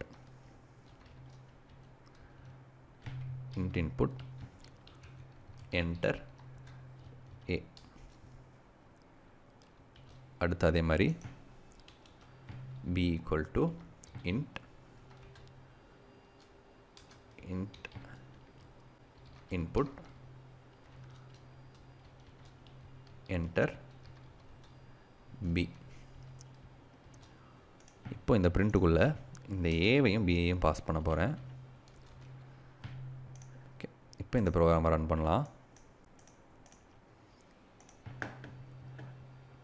enter ஏன்னு சொல்லி எனக்கு ஒரு இன்புட் கேட்குது இப்போ நான் இந்த இந்த இடத்துல டுவெண்ட்டி ஒன்னு சொல்லி கொடுக்குறேன். அடுத்து என்டர் பி கேட்குது இப்போ நான் தேர்ட்டி ஒன்னு சொல்லி சொல்கிறேன் எனக்கு டுவெண்ட்டி ஒன்லேருந்து தேர்ட்டி வரைக்கும் பிரிண்ட் ஆகிருக்கு என்ன நடந்திருக்கு இப்போ இங்கே? நீங்களே டீகோட் பண்ண ட்ரை பண்ணுங்கள் என்ன நடந்திருக்கு அப்படின்னு சொல்லி. ஏல டுவெண்ட்டி ஒன் ஏல ஸ்டோர் ஆகிருக்கு ஓகேவா இந்த தேர்ட்டி ஒன் பியில் ஸ்டோர் ஆகிருக்கு அப்போ a equal to twenty one b equal to thirty one print range ஏக்கம் அப்படின்னு சொல்கிறப்ப ஏக்குள்ள என்ன இருக்குது டுவெண்ட்டி ஒன் பிக்குள்ள என்ன இருக்குது தேர்ட்டி ஒன் இருக்குது இப்போது இது இந்த ஃபங்க்ஷனை கால் பண்ணும். இந்த ஃபங்க்ஷனுக்குள்ளே இப்போது ஆர் ஒன் ஆர் டூன் இருக்குது இப்போது இங்கே டுவெண்ட்டி ஒன் தேர்ட்டி ஒன் இந்த இடத்துக்கு போகும் இப்போது R one equal to twenty ஒன்னு ஆயிரும். அடுத்து R two equal to thirty ஒன்னு சொல்லி ஆயிரும். இப்போ இந்த ப்ரோக்ராமுக்குள்ளே for i in range R one comma R டூன் போடுறப்ப ஆர் ஒனில் டுவெண்ட்டி ஒன் இருக்குது ஆர் டூவில் தேர்ட்டி ஒன் இருக்குது அப்போது டுவெண்ட்டி ஒன்லேருந்து தேர்ட்டி வரைக்கும் எனக்கு வெளியே அவுட்புட் இது பிரிண்ட் பண்ணும். ஓகேவா உங்களுக்கு இது புரிஞ்சிருக்கும்னு சொல்லி நம்புகிறேன் இன்னும் அடுத்த ப்ரோக்ராம் அடுத்த வீடியோவில் இன்னுமே நிறைய இன்னும் ஒரு சில டைப் ஆஃப் ஃபங்க்ஷன்ஸ்லாம் எப்படி பண்ணுறது அப்படின்னு சொல்லி இன்னும் நிறைய எக்ஸாம்பிள்ஸோடு பண்ணி பார்க்கலாம். இது உங்களுக்கு புரியலை அப்படின்னா இன்னொரு டைம் எகைன் வீடியோ போட்டு பாருங்கள் ஸ்லோவாக ஒன்று ஒன்றா போட்டு பாருங்கள் கண்டிப்பாக உங்களுக்கு புரியும்.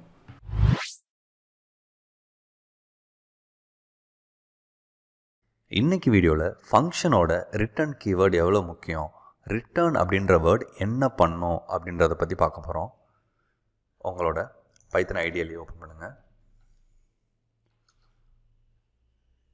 இப்போது file new file file save as document Python folder இதில் வந்து ரிட்டர்ன் எக்ஸாம்பிள்னு சொல்லி போட்டுக்கிறேன். ரிட்டர்ன் ஏஜி ரிட்டர்ன் எக்ஸாம்பிள் ஓகே இந்த ரிட்டர்ன் என்ன பண்ண போகுது? ரிட்டர்ன் அப்படின்றது என்ன? நார்மலாக இப்போ ஒரு ஃபங்க்ஷன் க்ரியேட் பண்ணுறேன் ஃபங்க்ஷன் ஓகே டெஃப் பெயிண்டர் ஓகேவா இப்போ இந்த பெயிண்டரை கால் பண்ணுறப்ப பிரிண்ட் ஐ ஆம் பெயிண்டர்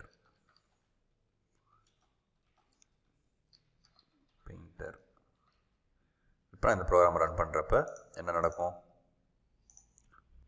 எனக்கு ஐஎம் பெயிண்டர்னு சொல்லி பிரிண்ட் ஆயிருக்கு. எப்படி இது பிரிண்ட் ஆயிருக்கு எனக்கு ஐஎம் பெயிண்டர்னு சொல்லி? ஓகே இப்போ பாருங்கள் இப்போ நான் பெயிண்டர்னு சொல்லி நான் கால் பண்ணுறேன் அப்போது எனக்கு அதாவது இந்த ஃபங்க்ஷனை நான் கூப்பிடுறேன். அப்போது இந்த ஃபங்க்ஷனுக்குள்ளே இருக்கிற ஐஎம் பெயிண்டர் அப்படின்றது எனக்கு வெளியே பிரிண்ட் ஆயிருக்கு. ஓகே தானே? ஓகே இப்போது இது எப்படி பண்ணுறது இது எல்லாமே டீட்டெயிலாக நேற்று பார்த்தோம். இப்போது ரிட்டர்ன் அப்படின்ற ஸ்டேட்மெண்ட் எப்படி ஒர்க் ஆகுது அப்படின்னு சொல்லி பார்க்க போகிறோம் இப்போ நான் என்ன பண்ண போகிறேன் இந்த பெயிண்டர் எடுத்துகிட்டு ரிட்டர்ன் ஐ எம் பெயிண்டர் அப்படின்னு சொல்லி நான் டைப் பண்ணுறேன் இப்போ நான் இந்த ப்ரோக்ராமை ரன் பண்ணுறேன் இந்த ப்ரோக்ராம் ரன் ஆகுது ஆனால் எதுவுமே பிரிண்ட் ஆகலை. நான் பிரிண்ட் நீங்கள் போட்டப்போ அப்படியே எனக்கு பிரிண்ட் ஆச்சு. இப்போ நான் ரிட்டர்ன் ஐம் பெயிண்டர்னு போட்டிருக்கேன் எனக்கு எதுவுமே நடக்கலை. இப்போ நான் என்ன பண்ணுறேன் இந்த பிரிண்ட்குள்ளே இந்த பெயிண்டரை போடுறேன். ஓகேவா இப்போ என்ன நடக்குதுன்னு பாருங்கள் இப்போ எனக்கு ஐம் பெயிண்டர்னு சொல்லி பிரிண்ட் ஆகுது. இங்கே என்ன தான் நடக்குது? ஏன் இப்படி மாறி மாறி பிரிண்ட் ஆகுது? இப்போது இதனால் பார்த்தீங்க அப்படின்னா இங்கே என்ன நடக்குதுன்னா ரிட்டர்ன் ஐஎம் பெயிண்டர்னு சொல்லி சொல்லியிருக்கோம் கரெக்டாக ஃபஸ்ட்டு ப்ரோக்ராம் உள்ளே வருது ப்ரோக்ராம் ஃபஸ்ட் லைனை பார்க்குது இது எல்லாமே ஃபங்க்ஷன் அதனால் இதை விட்டுட்டு ப்ரோக்ராம் அடுத்த லைனுக்கு வருது. அடுத்த லைனில் பிரிண்ட்டுன்னு இருக்குது பிரிண்ட்டுக்குள்ளே என்ன இருக்குது பெயிண்டர் அப்படின்னு சொல்லி ஒரு ஃபங்க்ஷன் இருக்குது அப்போது இந்த ஃபங்க்ஷனை கால் பண்ணுறப்ப இந்த ஃபங்க்ஷன் ஒர்க் ஆகும். இதுக்குள்ளே நான் என்ன சொல்லியிருக்கேன்? ரிட்டர்ன் ஐ எம் பெயிண்டர் அப்படின்னு சொல்லி சொல்லியிருக்கேன்.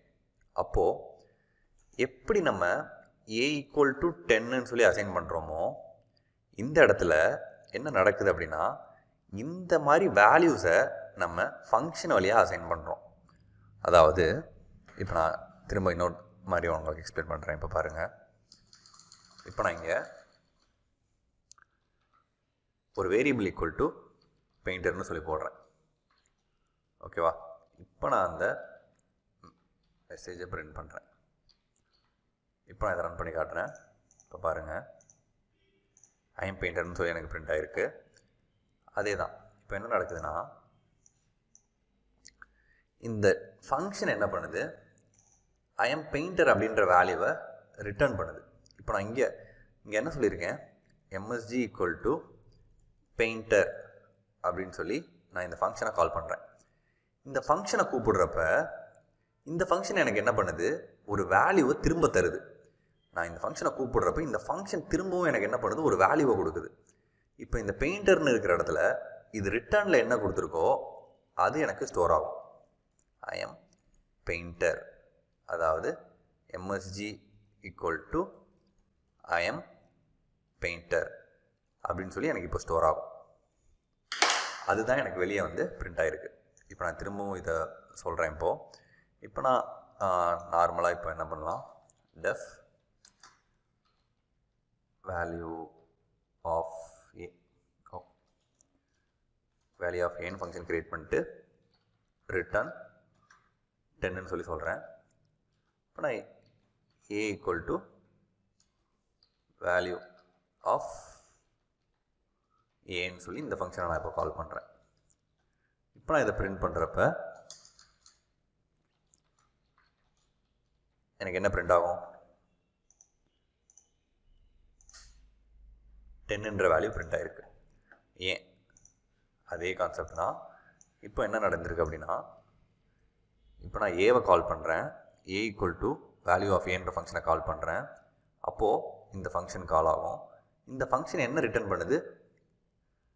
டென் அப்படின்ற வேல்யூவை எனக்கு ரிட்டர்ன் பண்ணுது. அப்போது இந்த ஃபங்க்ஷன் திரும்ப இது கொடுக்குற வேல்யூவை இந்த இடத்துல அதாவது ஏ ஈக்குவல் டு டென் அப்படின்னு சொல்லி அசைன் பண்ணோம். அதாவது A equal to def value of A இந்த ஃபங்க்ஷனை நம்ம கால் பண்ணுறோம் இந்த ஃபங்க்ஷன் என்ன பண்ணுது? ரிட்டர்ன் டென் டென்னை ரிட்டர்ன் பண்ணுது. அப்போது ஏ ஈக்குவல் டு இந்த ஃபங்க்ஷன் இருந்த இடத்துல ஏ ஈக்குவல் டு டென் அப்படின்னு சொல்லி நமக்கு மாறிடும் ஓகேவா இதுக்கு தான் இந்த ரிட்டர்ன் ஸ்டேட்மெண்ட் நமக்கு யூஸ் ஆகுது. இப்போ நம்ம எக்ஸாம்பிள் ப்ரோக்ராம்ஸ் பார்க்கலாம். இப்போது okay set S user name EMC S password one two three okay first user name password set பண்ண சொல்கிறாங்க செட் பண்ணலாம். S user name equal to EMC S password equal to one two three அடுத்து இப்போது யூசர்கிட்டேருந்து user name வாங்கணும். Equal to input அடுத்து password யூசர்கிட்ட இருந்து வாங்கலாம். Pass equal to password equal to input okay அடுத்து இப்போ நம்மளை என்ன பண்ண சொல்லியிருக்காங்க? கொஸ்டினில் create a function called validate validate அப்படின்னு சொல்லி ஒரு ஃபங்க்ஷன் க்ரியேட் பண்ணுங்கள் அந்த வேலிடேட் ஃபங்க்ஷனுக்குள்ளே யூசர் நேமும் பாஸ்வேர்டும் சேமா இல்லையான்னு சொல்லி செக் பண்ண சொல்கிறாங்க அது ரெண்டும் மேட்ச் ஆச்சு அப்படின்னா அந்த ஃபங்க்ஷன் ட்ரூ அப்படின்ற வேல்யூவை ரிட்டர்ன் பண்ணணும். இல்லை அப்படின்னா ஃபால்ஸ் அப்படின்ற வேல்யூவை ரிட்டர்ன் பண்ணணும். அதாவது இப்போது டெஃப் வேலிடேட் ஃபங்க்ஷன் ஓப்பன் பண்ணிக்கிறேன். இப்போது கோலன் இப்போ இதுக்குள்ள என்ன பண்ண போகிறேன் if S underscore user name அதாவது நம்ம செட் பண்ணியிருக்கிற யூசர் நேமும் இன்புட்டில் கொடுக்குற யூசர் நேமும் சேமா இல்லையான்னு பார்க்க போகிறோம் username equal to equal to uname and s underscore password equal to password. Okay, va?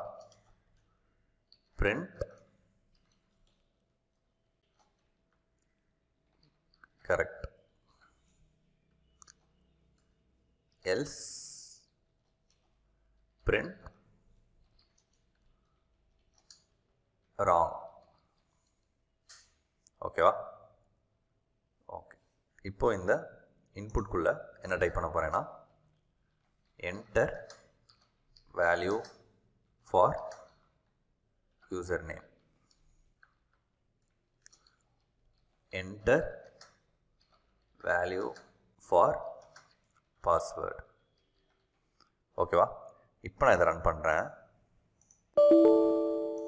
okay okay equal equal to இப்போ எனக்கு யூசர் நேம் கேட்குது யூசர் நேம் இஎம்சின்னு சொல்லி சொல்கிறேன் பாஸ்வேர்டு ஒன் டூ த்ரீன்னு சொல்கிறேன் is user name equal to equal to U name and S underscore password equal to equal to password print correct okay நான் என் வேல்யூ ரெண்டுமே டைப் பண்ணிட்டேன். ஆனால் ஒர்க்கே ஆகல இந்த ஃபங்க்ஷன் ஏன்? ஏன் அப்படின்னா இந்த ஃபங்க்ஷனை நம்ம இன்னும் கால் பண்ணவே இல்லை. இப்போ நான் இந்த ஃபங்க்ஷனை கால் பண்ண போகிறேன் அந்த ஃபங்க்ஷனை கால் பண்ணால் மட்டும்தான் அந்த ஃபங்க்ஷன் ஒர்க் ஆகும். இப்போ நான் ரன் பண்ணுறேன்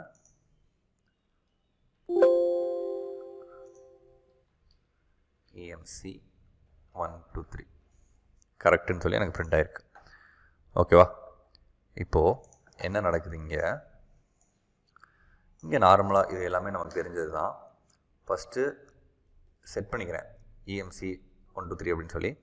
யூசர் நேமுக்கு இன்புட் வாங்குகிறேன் இஎம்சின்னு அடுத்து பாஸ்வேர்டுக்கு இன்புட் வாங்குகிறேன் அடுத்து என்ன நடக்குது? இந்த ஃபங்க்ஷனை நம்ம கிரியேட் பண்ணியிருக்கோம். ப்ரோக்ராம் இந்த ஃபங்க்ஷனை ஸ்கிப் பண்ணிடும் அடுத்து இந்த லைன் ஒர்க் ஆகும். இந்த லைனில் தான் ப்ரோக்ராமை கால் பண்ணுறோம் அப்போது ப்ரோக்ராம்குள்ளே வரும். S underscore name equal equal user name நம்ம செட் பண்ணியிருக்க இஎம்சியும் இன்புட்டில் இன்புட் நம்ம கொடுத்துருக்கிற அதாவது இங்கே இஎம்சின்னு கொடுத்தோம் இல்லையா? இந்த இன்புட்டும் இதுவும் சேமான்னு சொல்லி செக் பண்ணுது. அது மட்டும் இல்லாமல் பாஸ்வேர்டும் சேமான்னு சொல்லி செக் பண்ணுது. ரெண்டுமே சேமாக இருந்துச்சுன்னா கரெக்ட் அப்படின்னு சொல்லி பிரிண்ட் ஆகணும். இல்லை அப்படின்னா ராங்னு சொல்லி பிரிண்ட் ஆகணும். நம்ம ரெண்டுமே கரெக்டாக கொடுத்ததுனால நமக்கு கரெக்டுன்னு சொல்லி பிரிண்ட் ஆயிருக்கு. ஆனால் கொஸ்டின் என்ன அப்படின்னா function should return true or ஃபால்ஸ்னு சொல்லி சொல்லியிருக்காங்க. ஓகேவா ஃபங்க்ஷன் என்ன பண்ணணும்? ட்ரூ ஆஃப் ஆல் தான் ரிட்டர்ன் பண்ணணும். இப்போது இந்த இடத்துல நான் என்ன சொல்ல போகிறேன் ரிட்டர்ன் ட்ரூ ரெண்டு சேமாக இருந்துச்சுன்னா ரிட்டர்ன் ட்ரூ ரெண்டு ஃபா ரெண்டு தப்பாக கொடுத்தோம் அப்படின்னா return false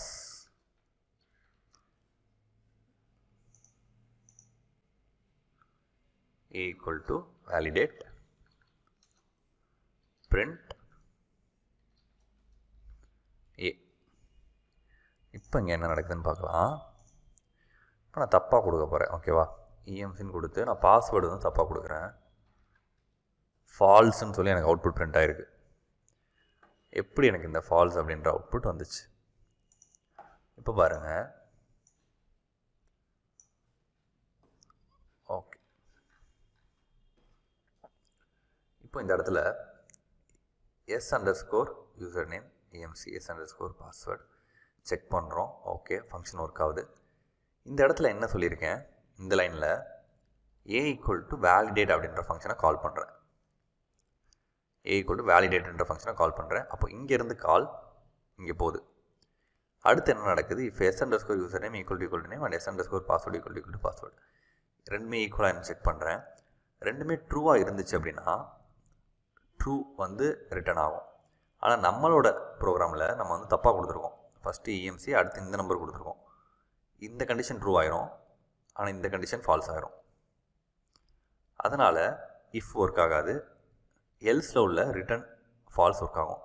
ரிட்டர்ன் ஃபால்ஸ்னு சொல்லியிருக்கோம். அப்போது திரும்ப தரப்போகுது. இந்த ஃபங்க்ஷன் நமக்கு திரும்ப எதையோ தரப்போகுது. அப்போது இந்த ஃபங்க்ஷன் என்ன பண்ணும்? இந்த ரிட்டர்ன் ஃபால்ஸ்ன்ற வேல்யூவை ஏல போய் செட் பண்ணும். இப்போ ஏ ஈக்குவல் டு வேலிடேட்டுன்னு இருந்தது. ஏ ஈக்குவல் டு ஃபால்ஸ் அப்படின்னு சொல்லி மாறிடும் இப்போ நான் இதை பிரிண்ட் பண்ணுறப்ப ஃபால்ஸ்னு சொல்லி எனக்கு வெளியே பிரிண்ட் ஆகும். ஓகேவா ஓகே அடுத்த ப்ரோக்ராம் போகலாம் A plus B star C அதாவது ஏவையும் பியும் ஆட் பண்ணுறதுக்கு மட்டும் ஒரு ஃபங்க்ஷன் அந்த ஃபங்க்ஷன் ரிட்டர்ன் பண்ணுற வேல்யூவை சியால் மல்டிப்ளை பண்ணுவோம் இப்போ பாருங்கள் இப்போது ஃபங்க்ஷன் ஆடுன்னு சொல்லி ஒரு ஃபங்க்ஷன் க்ரியேட் பண்ணுறேன் function okay sorry def add இதுக்குள்ளே ரெண்டு வேல்யூ நம்ம வந்து வாங்க போகிறோம் ஓகேவா number one comma number two return N one plus N two இப்போ இங்கே இன்புட் வாங்கலாம். A equal to int input A அடுத்து B equal to b equal to int input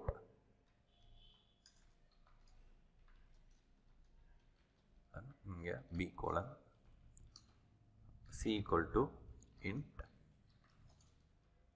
input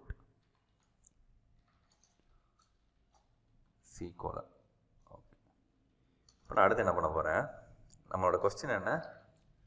A plus B into C கரெக்டாக இதுதான் நம்ம பண்ண போகிறோம் இப்போது இப்போ என்ன பண்ண போகிறேன் அப்படின்னா இந்த ஃபங்க்ஷனை நான் கால் பண்ண போகிறேன் ஆட் அப்படின்ற ஃபங்க்ஷனை கால் பண்ணி அந்த ஃபங்க்ஷனுக்குள்ளே ஏவையும் பியையும் நான் போட போகிறேன் இப்போது ஆடட் அப்படின்னு சொல்லி வேறு ஒரு வேரியபிள் க்ரியேட் பண்ணி அதுக்குள்ளே இதோட வேல்யூவை போடுறேன். அதுக்கப்புறம் அவுட்புட் அப்படின்னு சொல்லி ஒரு வேரியபிள் க்ரியேட் பண்ணி ஆடட் ஸ்டார் சின்னு சொல்லி சொல்கிறேன் இப்போ பிரிண்ட் அவுட்புட்னு கொடுக்க போகிறேன் இப்போ நான் இதை ரன் பண்ணுறேன் என்ன நடக்குதுன்னு பாருங்கள் ஏல டென் கொடுக்குறேன். பியில் டுவெண்ட்டி கொடுக்குறேன். சியில் இப்போ நான் திரும்ப சியில் டென் கொடுக்குறேன். இப்போ என்ன நடக்கணும் அப்படின்னா A plus B thirty into ten three ஹண்ட்ரட்னு எனக்கு பிரிண்ட் ஆகணும். எனக்கு த்ரீ ஹண்ட்ரட் பிரிண்ட் ஆகிருக்கு ஓகே இப்போ இந்த இடத்துல என்ன நடந்திருக்கு? இப்போ நான் ஒரு தடவை இதை எக்ஸ்பிளைன் பண்ணுறேன் கவனிங்க. ப்ரோக்ராம் ஃபஸ்ட் என்ன பண்ணுது? ஃபஸ்ட் லைனில் வருது. ஃபங்க்ஷன் ஸ்கிப் பண்ணிடுது அடுத்த லைனில் போகுது. A equal to into input input கேட்குது நம்மள்கிட்ட ஓகேவா ஏக்கு வந்து நம்மக்கிட்ட இன்புட் கேட்குது நம்ம இன்புட் டென்னு தரோம். அடுத்து பிக்கு நம்மக்கிட்ட இன்புட் கேட்குது பியோட இன்புட் டுவெண்ட்டின்னு சொல்லி சொல்கிறோம் அடுத்து சிக்கு நம்மக்கிட்ட இன்புட் கேட்குது சியோட இன்புட் டென்னு சொல்லி சொல்கிறோம் ஓகேவா மூணுக்கு இன்புட் கொடுத்துட்டோம். அடுத்து இந்த லைனில் என்ன நடக்குது? ஆடட் அப்படின்றது ஒரு variable added equal to add A plus B added equal to add N one comma N two sorry add A comma பின்னு சொல்லி சொல்லியிருக்கோம். அப்படி தானே இப்போ ஏவோட வேல்யூ என்ன? ஆட் ஏ கமா பி ஏவோட வேல்யூ நம்ம என்ன இன்புட் கொடுத்தோம்? டென் பியோட வேல்யூ என்ன இன்புட் கொடுத்தோம்? டுவெண்ட்டி இப்போது நான் இங்கே கொடுத்த டென்னும் டுவெண்ட்டியும் இந்த ஃபங்க்ஷனுக்கு போகும். இந்த இடத்துல என்ன நடக்கும் அப்படின்னா N one equal to ten N two equal to டுவெண்ட்டின்னு சொல்லி மாறும். ஓகேவா இங்கே ஏல நம்ம டென் வேல்யூ கொடுத்துருக்கோம் பியில் டுவெண்ட்டின்னு கொடுத்துருக்கோம். நம்ம இந்த ஃபங்க்ஷனை கால் பண்ணுறப்ப இந்த ஃபங்க்ஷனுக்குள்ளே N one equal to ten N two equal to twenty அப்படின்னு சொல்லி போகும். இங்கே நான் என்ன பண்ணுறேன் return N one plus N டூன்னு சொல்கிறேன் return N one plus N two N ஒனோட value என்ன? டென் என் டூவோட வேல்யூ என்ன? டுவெண்ட்டி இப்போ இது ரெண்டும் ஆட் ஆகிறப்ப தேர்ட்டின்னு சொல்லி எனக்கு ரிட்டர்ன் ஆகும். ஓகேவா இந்த இடத்துல தேர்ட்டின் எனக்கு ரிட்டர்ன் ஆகும். இந்த ஃபங்க்ஷன் ரிட்டர்ன் எனக்கு ஒன் என்ன கொடுக்குது? தேர்ட்டி அப்படின்ற வேல்யூ கொடுக்குது. அந்த தேர்ட்டி ஆடட் அப்படின்ற வேரியபிள்குள்ளே தேர்ட்டி அப்படின்ற வேல்யூ இப்போ எனக்கு ஸ்டோர் ஆயிடுச்சு. ஓகேவா இப்போ ஆடட் அப்படின்ற வேரியபிள்குள்ளே தேர்ட்டி அப்படின்ற வேல்யூ எனக்கு ஸ்டோர் ஆகிடுச்சு அடுத்த லைன் வாங்க. அடுத்த லைனில் அவுட்புட் ஈக்குவல் டு அவுட்புட்ன்றது ஒரு variable equal to added star C ஆடரோட value என்ன? தேர்ட்டி தேர்ட்டி ஸ்டார் சியோட வேல்யூ என்ன? நம்ம இன்புட் வாங்கினது டென் அப்போ இது ரெண்டும் சேர்ந்து த்ரீ ஹண்ட்ரட் அப்படின்னு சொல்லி எனக்கு வெளியே பிரிண்ட் ஆகும். இதுதான் ஃபங்க்ஷனில் ரிட்டர்ன் கீவேர்டோட அட்வான்டேஜ் ஓகேவா ஃபங்க்ஷன்ஸ் இது வரைக்கும் உங்களுக்கு ஓரளவு புரிஞ்சிருக்கும்னு நம்புகிறேன் அடுத்து நம்ம கிளாஸஸ் அண்ட் ஆப்ஜெக்ட்ஸ் பார்க்க போகிறோம் அதுலேயுமே நிறைய டைம் நம்ம ஃபங்க்ஷன்ஸ் யூஸ் பண்ணுவோம். ஸோ ஃபங்க்ஷன்ஸ் புரியலை அப்படின்னா எகைன் ஒரு தடவை பாருங்கள் ஃபங்க்ஷன் ஒரு ரொம்பவே முக்கியமான கான்செப்ட் பெரிய பெரிய ப்ராஜெக்ட்லாம் பண்ணுறப்போ கூட நிறைய இடத்துல நம்ம ஃபங்க்ஷன்ஸ் யூஸ் பண்ணுவோம். இப்போ நார்மலாக இப்போ பிரிண்ட் ப்ராக்கெட் ஓப்பன் பண்ணுறோம் இல்லையா? இதுவே ஒரு ஃபங்க்ஷன் தான். இப்போ நம்ம இன்ட்டுன்னு சொல்லி நம்ம இப்போ க்ரியேட் பண்ணுறோம் இல்லையா? ஒரு ப்ராக்கெட் போடுறோம்ல இதுவும் ஒரு ஃபங்க்ஷன் தான். இப்படி ப்ராக்கெட் போட்டாலே அது எல்லாமே ஒரு ஃபங்க்ஷன் தான். இந்த ஃபங்க்ஷன் எல்லாமே பைத்தானோட ப்ரீ பில்ட் ஃபங்க்ஷன் ஏற்கனவே பைத்தான் எங்கேயோ இந்த ஃபங்க்ஷனை ஸ்டோர் பண்ணி வச்சுருக்கு. நம்ம அதை எடுத்து யூஸ் தான் பண்ணுறோம் ஓகேவா இந்த மாதிரி ஃபங்க்ஷன் நம்ம நிறைய இடத்துல யூஸ் பண்ணுவோம். ஸோ ஃபங்க்ஷன்ஸ் புரியலை அப்படின்னா எகைன் ஒரு தடவை போட்டு பாருங்கள் எகைன் ஒரு தடவை அண்டர்ஸ்டாண்ட் பண்ணிக்க ட்ரை பண்ணுங்கள்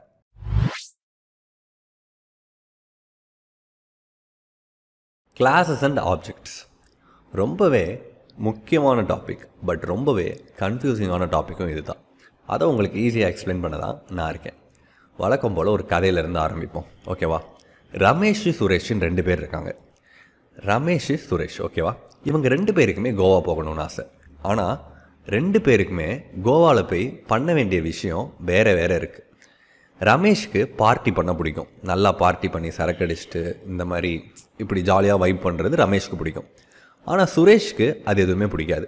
சுரேஷ் எதுக்காக கோவா போகணும்னு நினைக்கிறான் அப்படின்னா கோவாவில் இருக்கிற பீச்சஸ்லாம் பார்க்கணும் அங்கே இருக்கிற ஆர்ட் அண்ட் மியூசியம்லாம் பார்க்கணும் அப்படின்னு சொல்லி சுரேஷ் ஆசைப்பட்றான். ரமேஷும் கோவாவுக்கு போகணும்னு நினைக்கிறான். சுரேஷும் கோவாவுக்கு போகணும்னு நினைக்கிறான். ரெண்டு பேருமே ஒரே இடத்துக்கு தான் போக போகிறாங்க ஆனால் ரெண்டு பேருமே அவங்க அங்கே போய் பண்ண போகிற விஷயம் வேற வேற. ஒரே கோவா தான் ஆனால் இவங்க ரெண்டு பேரும் அங்கே போய் போய் பண்ண போகிற விஷயம் வேற வேற. இப்போ இங்கே இந்த கோவா அப்படின்றது தான் கிளாஸ் ஓகேவா அண்ட் தென் இந்த ரமேஷும் இந்த சுரேஷும் தான் ஆப்ஜெக்ட் எப்படி அது கிளாஸ் ஆகும்? எப்படி இது ஆப்ஜெக்ட் ஆகும்? இப்போ கிளாஸ் அப்படின்றது செட் ஆஃப் ஒரு ஃபங்க்ஷன்ஸ் அண்ட் வேரியபிள்ஸை தான் நம்ம கிளாஸ் அப்படின்னு சொல்லி சொல்கிறோம் ஓகேவா கிளாஸ் அப்படின்றது ஒரு ப்ளூ பிரிண்ட் இல்லை எனக்கு ஒன்றுமே புரியலை அப்படின்னு நினச்சிங்க அப்படின்னா இப்போது கோவா எடுத்துக்கோங்க. கோவாவில் நிறையா இடம் இருக்குது நிறையா பீச்சஸ் இருக்குது நிறையா நிறையா பார்ஸ் இருக்குது நிறையா நிறையா நிறையா நிறைய ஆக்டிவிட்டீஸ் பண்ணலாம். நம்ம கோவாவில் ஓகேவா பஞ்சி ஜம்பிங் இந்த மாதிரி பண்ணலாம். நம்ம ஸ்கூபா டைவிங் போகலாம் இந்த மாதிரி நிறைய விஷயம் இருக்குது இந்த எல்லா விஷயமும் மொத்தமாக சேர்த்து வச்சது தான் கோவா கரெக்டாக இதை தான் கிளாஸ் அப்படின்னு சொல்லி சொல்கிறோம் வேரியபிள் ஃபங்க்ஷன் எல்லாமே சேர்ந்தது தான் ஒரு கிளாஸ் இப்போது இந்த ஆப்ஜெக்ட் அப்படின்னா என்ன? இந்த கிளாஸுக்கு உயிர் கொடுக்க போகிறது இந்த ஆப்ஜெக்ட் தான். கோவா அங்கே இருக்குது கோவாக்கு யாருமே போகலன்னு வைங்களேன். கோவாக்கு எந்த மனுஷனுமே போகல கோவா மட்டும் சும்மா அங்கே இருக்குது அப்படின்னா அந்த கோவா இருந்து வேஸ்ட் ஓகேவா அந்த கோவாக்கு யாராவது போனால் தான் அந்த கோவாவோட அருமை பற்றி வெளியே தெரியும்.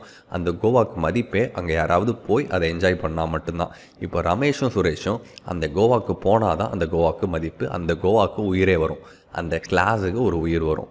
ஸோ இந்த கோவா அப்படின்றது கிளாஸ் இந்த ரமேஷ் அண்ட் சுரேஷ் இவங்க ரெண்டு பேருமே ஆப்ஜெக்ட்ஸ் இல்லை இன்னுமே எனக்கு சரியாக புரியலை அப்படின்னா இப்போ நம்ம ப்ரோக்ராம் பண்ணி பார்க்கலாம். இந்த கிளாஸ் அண்ட் ஆப்ஜெக்டை இதே எக்ஸாம்பிளோட இப்போ நான் உங்களுக்கு எக்ஸ்பிளைன் பண்ணி காட்டுறேன். ஸ்டார்ட் பண்ணலாம். உங்களோட பைத்தான் எடிட்டரை ஓப்பன் பண்ணிக்கோங்க. அதில் ஃபைல் போய் நியூ ஃபைல் கிளிக் பண்ணி இந்த ஃபைலை சேவ் பண்ணிக்கோங்க. இந்த ஃபைலை இப்போ நான் டாக்குமெண்ட்டில் பைத்தன் ஃபோல்டருக்குள்ளே இப்போ நான் என்னென்னு சேவ் பண்ண போகிறேன் அப்படின்னா கிளாஸஸ் அண்ட் ஆப்ஜெக்ட்ஸ் ஈஸின்னு சொல்லி நான் சேவ் பண்ணிக்கிறேன். ஓகே இப்போது ஃபஸ்ட்டு கோவா அப்படின்ற ஒரு கிளாஸை நம்ம க்ரியேட் பண்ணுவோம். ஓகேவா கிளாஸ் கோவா ஃபங்க்ஷன் க்ரியேட் பண்ணுறதுக்கு நம்ம என்ன பார்த்தோம்? ஃபங்க்ஷன் க்ரியேட் பண்ணணும் அப்படின்னா நம்ம டெஃப் அப்படின்னு சொல்லி போட்டு நம்ம பேர் போட்டால் ஃபங்க்ஷன் க்ரியேட் ஆகும். இப்போ நம்ம கிளாஸ் க்ரியேட் பண்ணணும் அப்படின்னா கிளாஸ் அப்படின்ற கீவேர்டு போட்டு நம்ம கிளாஸோட பேர் கொடுக்கணும். அதுக்கு பக்கத்தில் செமிகோலர் ஓகேவா நாட் செமிகோலன் கோலன் ஓகே அதுக்கு பக்கத்தில் இப்படி ஒரு கோலன் வைங்க. அண்ட் தென் என்டர் பண்ணீங்க அப்படின்னா இப்போ நம்ம கிளாஸ்க்கு உள்ளே வந்துட்டோம். சரி ஓகேவா இப்போ இந்த கிளாஸ்க்குள்ளே நான் என்ன வேரியபிள் வேணாலும் க்ரியேட் பண்ணிக்கலாம். என்ன ஃபங்க்ஷன் வேணாலும் க்ரியேட் பண்ணிக்கலாம். அது எல்லாமே இந்த கிளாஸ்க்கு உள்ளே தான் இருக்கும். ஓகேவா இப்போ நான் இந்த கிளாஸ் கோவாவில் ஒரு ட்ரிங்க் அப்படின்னு சொல்லி ஒரு வேரியபிள் க்ரியேட் பண்ணுறேன் ஓகேவா வேரியபிள் க்ரியேட் பண்ணி எம்டி ஸ்ட்ரிங்கை அசைன் பண்ணுறேன் அதாவது வேரியபிளை இப்போ நான் டிஃபைன் பண்ணுறேன் ஓகேவா drink equal to empty string அடுத்து இப்போ நான் ஒரு ஃபங்க்ஷன் க்ரியேட் பண்ண போகிறேன் டெஃப் ஃபங்க்ஷனோட பேர் பார்ட்டி ஓகேவா டெஃப் ஃபங்க்ஷனோட பேர் party and then colon enter இப்போ இங்கே பிரிண்ட்டில் லெட்ஸ் பார்ட்டின்னு சொல்லி எழுதுகிறேன் சரியா? டபுள் கொட்டேஷனுக்குள்ளே போடுறேன். Let's party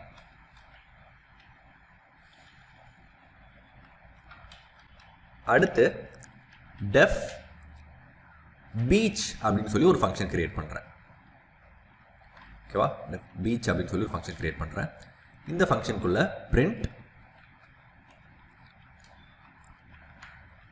enjoying the beach ஓகேவா இப்போ கிளாஸ் கிரியேட் பண்ணி முடிச்சாச்சு. இது நல்லா பார்த்துக்கோங்க கிளாஸ்க்கு பக்கத்தில் இங்கே ஒரு கேப் இருக்குது ஸோ இதுக்கு உள்ளே உள்ளது தான் நம்ம கிளாஸ்க்குள்ளே டைப் பண்ணுற கோட் அதுக்குள்ளே நான் ஒரு ஃபங்க்ஷன் க்ரியேட் பண்ணியிருக்கேன் அந்த ஃபங்க்ஷனுக்கு உள்ளே இங்கே டைப் பண்ணுறது தான் இதுதான் இந்த ஃபங்க்ஷனோட கோட் நான் இங்கே டைப் பண்ணேன் அப்படின்னா அது கிளாஸோட கோட் ஆயிரும். ஸோ ஃபங்க்ஷனோட கோடாக இருக்காது. இந்த இந்த இதை மெயின்டைன் பண்ணி கரெக்டாக இந்த கோட்லாம் பண்ணுங்கள் பைத்தானில் கோட் பண்ணுறப்ப ஓகே இப்போ கோவா அப்படின்னு ஒரு கிளாஸ் கிரியேட் பண்ணியாச்சு ஓகேவா அதுக்குள்ளே ட்ரிங்க் அப்படின்னு சொல்லி ஒரு வேரியபிள் இருக்குது டெஃப் பார்ட்டி அப்படின்னு சொல்லி ஒரு ஃபங்க்ஷன் இருக்குது டெஃப் பீச் அப்படின்னு சொல்லி ஒரு ஃபங்க்ஷன் இருக்குது இப்போது ரமேஷும் சுரேஷும் கோவாக்கு போகணும் ஓகேவா ரமேஷும் சுரேஷும் கோவாக்கு போகணும் அப்படின்னா ஃபஸ்ட்டு அவங்க டிக்கெட் வாங்கணும். கோவாக்கு டிக்கெட் வாங்கினா தான் போக முடியும் கரெக்டாக இப்போது அந்த டிக்கெட்டை எப்படி அவங்க வாங்குறது அப்படின்னா ரமேஷுக்கு டிக்கெட் வேணும் ஓகேவா ரமேஷ் ஈக்குவல் டு எங்கே டிக்கெட் வேணும்? கோவாக்கு டிக்கெட் வேணும். கோவான்னு போட்டு இப்போ நான் இப்படி ஒரு ப்ராக்கெட் போட்டேன் அப்படின்னா இப்போது ரமேஷுக்கு கோவாக்கு டிக்கெட் கிடச்சிருச்சு. அதாவது ரமேஷ் அப்படின்ற ஆப்ஜெக்ட் கிரியேட் ஆயிடுச்சு எந்த கிளாஸுக்கு அப்படின்னா கோவா அப்படின்ற கிளாஸுக்கு ரமேஷ் அப்படின்ற ஆப்ஜெக்ட் கிரியேட் ஆயிடுச்சு ஓகேவா வேறு யாருக்கும் டிக்கெட் வேணும்? சுரேஷும் கோவா போகணும் கரெக்டாக அப்போது சுரேஷும் எங்கே போக போகிறான் கோவா போகிறான் சுரேஷுக்கும் கோவா டிக்கெட் வேணும். சுரேஷுக்கும் இப்போ நம்ம கோவா டிக்கெட் க்ரியேட் பண்ணியாச்சு. ஓகேவா இப்போ இவங்க ரெண்டு பேரால் கோவாக்கு உள்ளே போக முடியும். கோவாக்கு உள்ளே ரெண்டு பேராலையுமே போக முடியும். ஓகேவா இப்போ நான் என்ன பண்ண போகிறேன் ரமேஷை வச்சு ஃபஸ்ட்டு ரமேஷ் கோவாக்கு உள்ளே போக போகிறான் ரமேஷ் கோவாக்குள்ளே போய் என்ன பண்ண போகிறான் பார்ட்டி பண்ண போகிறான் ஓகேவா இப்போது கோவாக்கு உள்ளே இருக்கிற அந்த பார்ட்டி ஃபங்க்ஷனை நான் கால் பண்ணணும் அப்படின்னா ரமேஷ் டாட் பார்ட்டி இப்படி நான் போட்டேன் அப்படின்னா கோவாக்கு உள்ளே இருக்கிற பார்ட்டி ஃபங்க்ஷன் கால் ஆகும். ஓகேவா இந்த பார்ட்டி ஃபங்க்ஷனை கால் பண்ணுறதுக்கு முன்னாடி நான் ஒரு விஷயம் பண்ண போகிறேன் இங்கே. செல்ஃப் அப்படின்னு சொல்லி போடுறேன். இந்த ஃபங்க்ஷன்லேயும் செல்ஃப் அப்படின்னு சொல்லி போடுறேன். எதுக்காக இந்த செல்ஃப் யூஸ் பண்ணுறோம் அப்படின்னு சொல்லி இப்போது கன்ஃபியூஸ் பண்ணிக்க வேணாம். அடுத்தடுத்து போகிறப்ப நம்ம அதை பற்றி பார்க்கலாம். இப்போதைக்கு கிளாஸ்க்குள்ளே ஃபங்க்ஷன் க்ரியேட் பண்ணால் கண்டிப்பாக செல்ஃப் அப்படின்னு சொல்லி ஃபங்க்ஷன் இந்த ப்ராக்கெட்குள்ளே ஒரு பெராமீட்டராக செல்ஃபை வந்து போடணும் அப்படின்னு சொல்லி ஞாபகம் வச்சுக்கோங்க. ஓகேவா இப்போது ரமேஷ் டாட் பார்ட்டின்னு சொல்கிறேன் இப்போ நான் இந்த ப்ரோக்ராமை ரன் பண்ண போகிறேன் எனக்கு லெட்ஸ் பார்ட்டி அப்படின்னு சொல்லி எனக்கு வெளியே பிரிண்ட் ஆகிருக்கு ஓகேவா இப்போ நான் இதை உங்களுக்கு எக்ஸ்பிளைன் பண்ணுறேன் என்ன நடக் எக்ஸ்பிளைன் பண்ணுறேன் என்ன நடக்குதுன்னு. ஸோ வாட்ஸ் ஹேப்பனிங் கோவா அப்படின்னு சொல்லி ஒரு கிளாஸ் இருக்குது கரெக்டாக கோவான்னு ஒரு கிளாஸ் இருக்குது கோவா இருக்குது ஓகே இந்த கோவாக்கு யார் போகணும்? ரமேஷ் போகணும். அப்போது இந்த கோவாக்கு டிக்கெட் வேணும் அப்படின்னா இந்த டிக்கெட்டை நான் எப்படி கிரியேட் பண்ணுவேன்?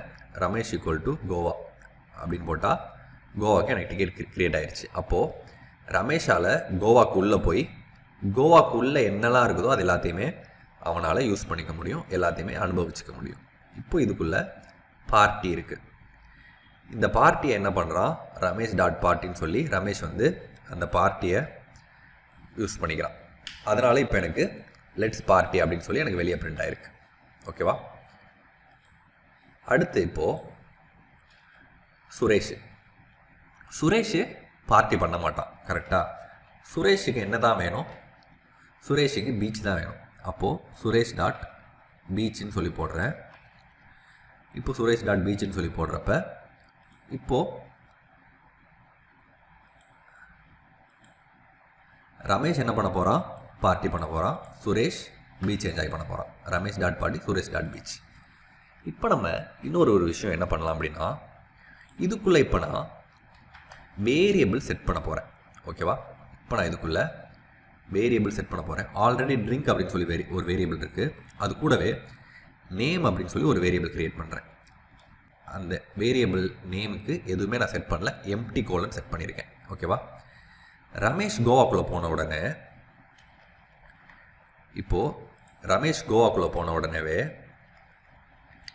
இப்போ ரமேஷ் கோவாக்குள்ளே போன உடனேவே ரமேஷோட பேரை ஃபஸ்ட்டு கோவாவில் ரெஜிஸ்டர் பண்ண போகிறான் ரமேஷ் டாட் நேம் அவனோட பேரை கோவாவில் ரெஜிஸ்டர் பண்ணுறான் இப்போ நான் ரமேஷ் டாட் நேம்னு மட்டும் போட்டால் இப்போ நான் இதை பிரிண்ட் பண்ணுறேன் என்ன நடக்குதுன்னு பாருங்கள் ரமேஷ் டாட் நேம்னு போட்டு நான் இதை பிரிண்ட் பண்ணுறேன் இப்போ நான் இதை பிரிண்ட் பண்ணுறப்ப எம்டி ஸ்ட்ரிங் வெளியே வருது. ஓகேவா இப்போ நான் இதுக்குள்ளே சும்மா நானே இப்போ நான் இதுக்குள்ளே ஏதாவது எழுதுறேன்னு வைங்களேன். இப்போ நான் இதுக்குள்ளே ஏதாவது எழுதி வச்சுருக்கேன். ஓகேவா இப்போ நான் இதை ரன் பண்ணுறப்ப ஜேஜி ஜேஎஸ்டிகேஎஃப் அப்படின்னு சொல்லி வருது. ரமேஷ் கோவாக்கு டிக்கெட் வாங்கியிருக்கான். ஓகேவா இப்போ ரமேஷ் என்ன பண்ணுறான் கோவாக்கு உள்ளே இருக்கிற நேமை ஆக்டிவேட் பண்ணுறான் எப்படி நேமை எடுக்கிறான் அப்படின்னா நம்ம கிரியேட் பண்ணியிருக்கிற ஆப்ஜெக்ட் ரமேஷ்னு நம்ம கிரியேட் பண்ணியிருக்கிற ஆப்ஜெக்டை வச்சு டாட் நேம் அப்படின்னு சொல்கிறப்ப கோவாக்கு உள்ளே இருக்கிற நேமை நம்மளால் இங்கே எடுக்க முடியுது. இப்போ நான் ரமேஷ் டாட் நேம்னு போடுறப்ப இதுக்குள்ளே நான் எழுதியிருக்கிற நேம் எனக்கு வெளியே பிரிண்ட் ஆயிருக்கு. ஓகேவா இப்போ நான் என்ன பண்ணலாம் அப்படின்னா ரமேஷோட நேம் இது கிடையாது. ஓகேவா அப்போது ரமேஷ் அவனோட நேமை செட் பண்ணணும். இப்போ ரமேஷ் அவனோட நேம் எப்படி செட் பண்ணலாம் அப்படின்னா Ramesh dot name equal to இப்போ ரமேஷ் அவனுக்கு ஒரு பேர் செட் பண்ணுறான் அவனோட பேர் என்ன? ரமேஷ் அப்படின்னு சொல்லி ரமேஷ் கோவாக்குள்ளே போனோடனே அவனோட பேரை ரெஜிஸ்டர் பண்ணுறான் இப்போ நான் அவனோட பேரை ரெஜிஸ்டர் பண்ணிட்டேன். இப்போ நான் திரும்பவும் பிரிண்ட்குள்ளே போயிட்டு இப்போ நான் திரும்ப பிரிண்ட்குள்ளே போயிட்டு ரமேஷ் டாட் நேம்னு சொல்லி போடுறேன் இப்போ என்ன நடக்குது? இப்போ எனக்கு என்னோட பேர் ரமேஷ்னு சொல்லி தெரியுது. ஓகேவா இப்போ நான் திரும்ப இதை என்ன நடக்குதுன்னு சொல்லி எக்ஸ்பிளைன் பண்ணுறேன் கவனிங்க கவனமாக கவனிங்க. இப்போது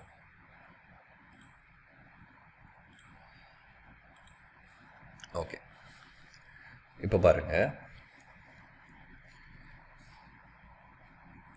இங்கே கிளாஸ் கோவா இருக்குது கரெக்டாக கிளாஸ் கோவா இருக்குது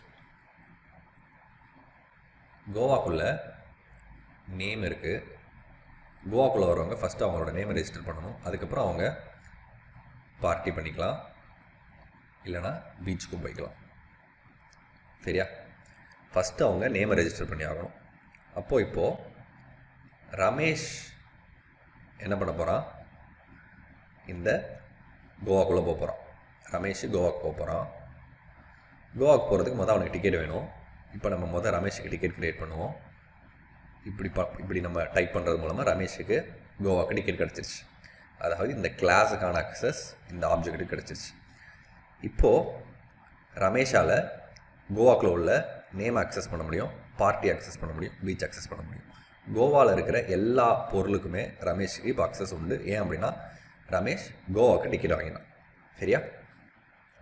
இப்போது ரமேஷ் என்ன பண்ண போகிறான் ரமேஷ் அவனோட நேமை முதல் ரெஜிஸ்டர் பண்ணுறான் ரமேஷ் டாட் நேம் அப்படின்றப்ப கோவா கிளாஸ் ஸ்கூலில் உள்ள நேமை அவன் அக்சஸ் பண்ணி ஒரு நேமை கொடுக்குறான். Ramesh dot name equal to Ramesh அப்படின்னு சொல்லி ஒரு நேமை கொடுக்குறான். சரியா? இப்போ அப்போது ரமேஷ் எப்போல்லாம் கோவா போகிறானோ அவனோட பேர் என்னவாக தான் இருக்கும்? ரமேஷாக தான் இருக்கும். ஒரு தடவை கோவாவில் அவன் என்ன பண்ணிட்டான்? அவனோட பேரை ரெஜிஸ்டர் பண்ணிட்டான். இப்போ ரமேஷ் எப்போல்லாம் கோவாக்கு போகிறானோ அவனோட பேர் ரமேஷாக தான் இருக்கும். சரியா? இப்போ அடுத்து நான் என்ன பண்ண போகிறேன்னு கவனிங்க. இப்போ நான் அடுத்து என்ன பண்ண போகிறேன் பிரிண்ட் பிரிண்ட் இப்போ நான் சுரேஷ் டாட் நேம்னு சொல்லி போடுறேன். இப்போ நான் சுரேஷ் டாட் நேம்னு சொல்லி போடுறேன். Print dot print Ramesh dot name போட்டிருக்கேன். அடுத்து பிரிண்ட் சுரேஷ் டாட் நேம்னு சொல்லி போடுறேன். இப்போ நான் இந்த ப்ரோக்ராமை ரன் பண்ணுறேன் எனக்கு ஃபஸ்ட்டு ரமேஷ்னு வந்திருக்கு. அடுத்து ஜேஎஸ் ஜேஎஸ் சம்மந்தமெல்லாம் வந்திருக்கு. இப்போது திரும்பவும் நான் இப்போ நான் எக்ஸ்பிளைன் பண்ணுறேன் என்ன நடக்குதுன்னு. கவனிங்க.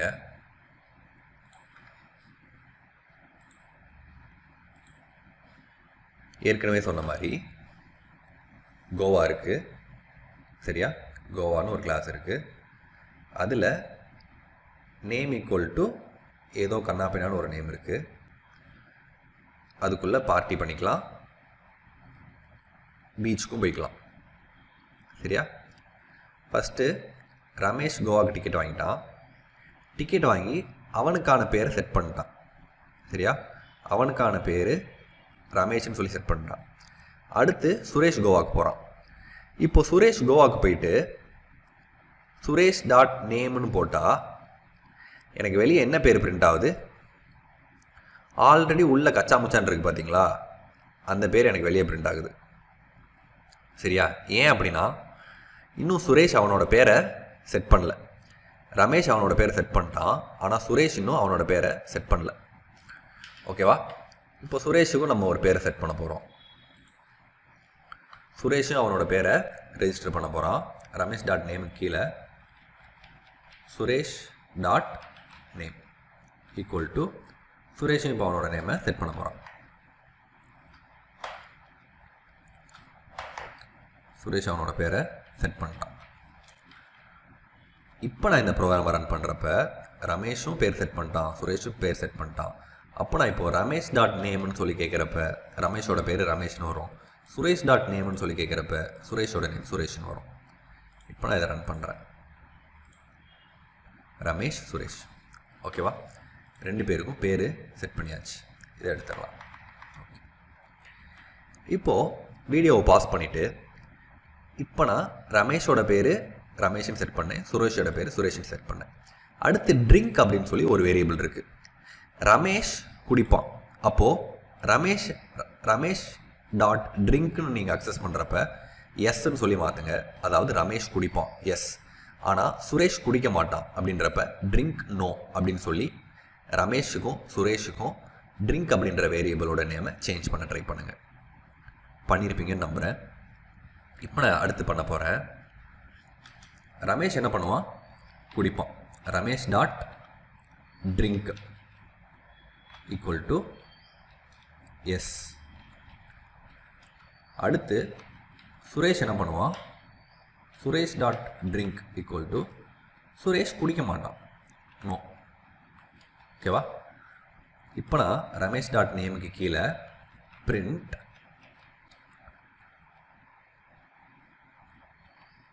டபுள் கொட்டேஷனில் ட்ரிங்க்குன்னு போட்டுக்கிறேன். ஓகேவா? டபுள் கொட்டேஷனில் ட்ரிங்க்குன்னு போட்டுக்கிறேன். கமா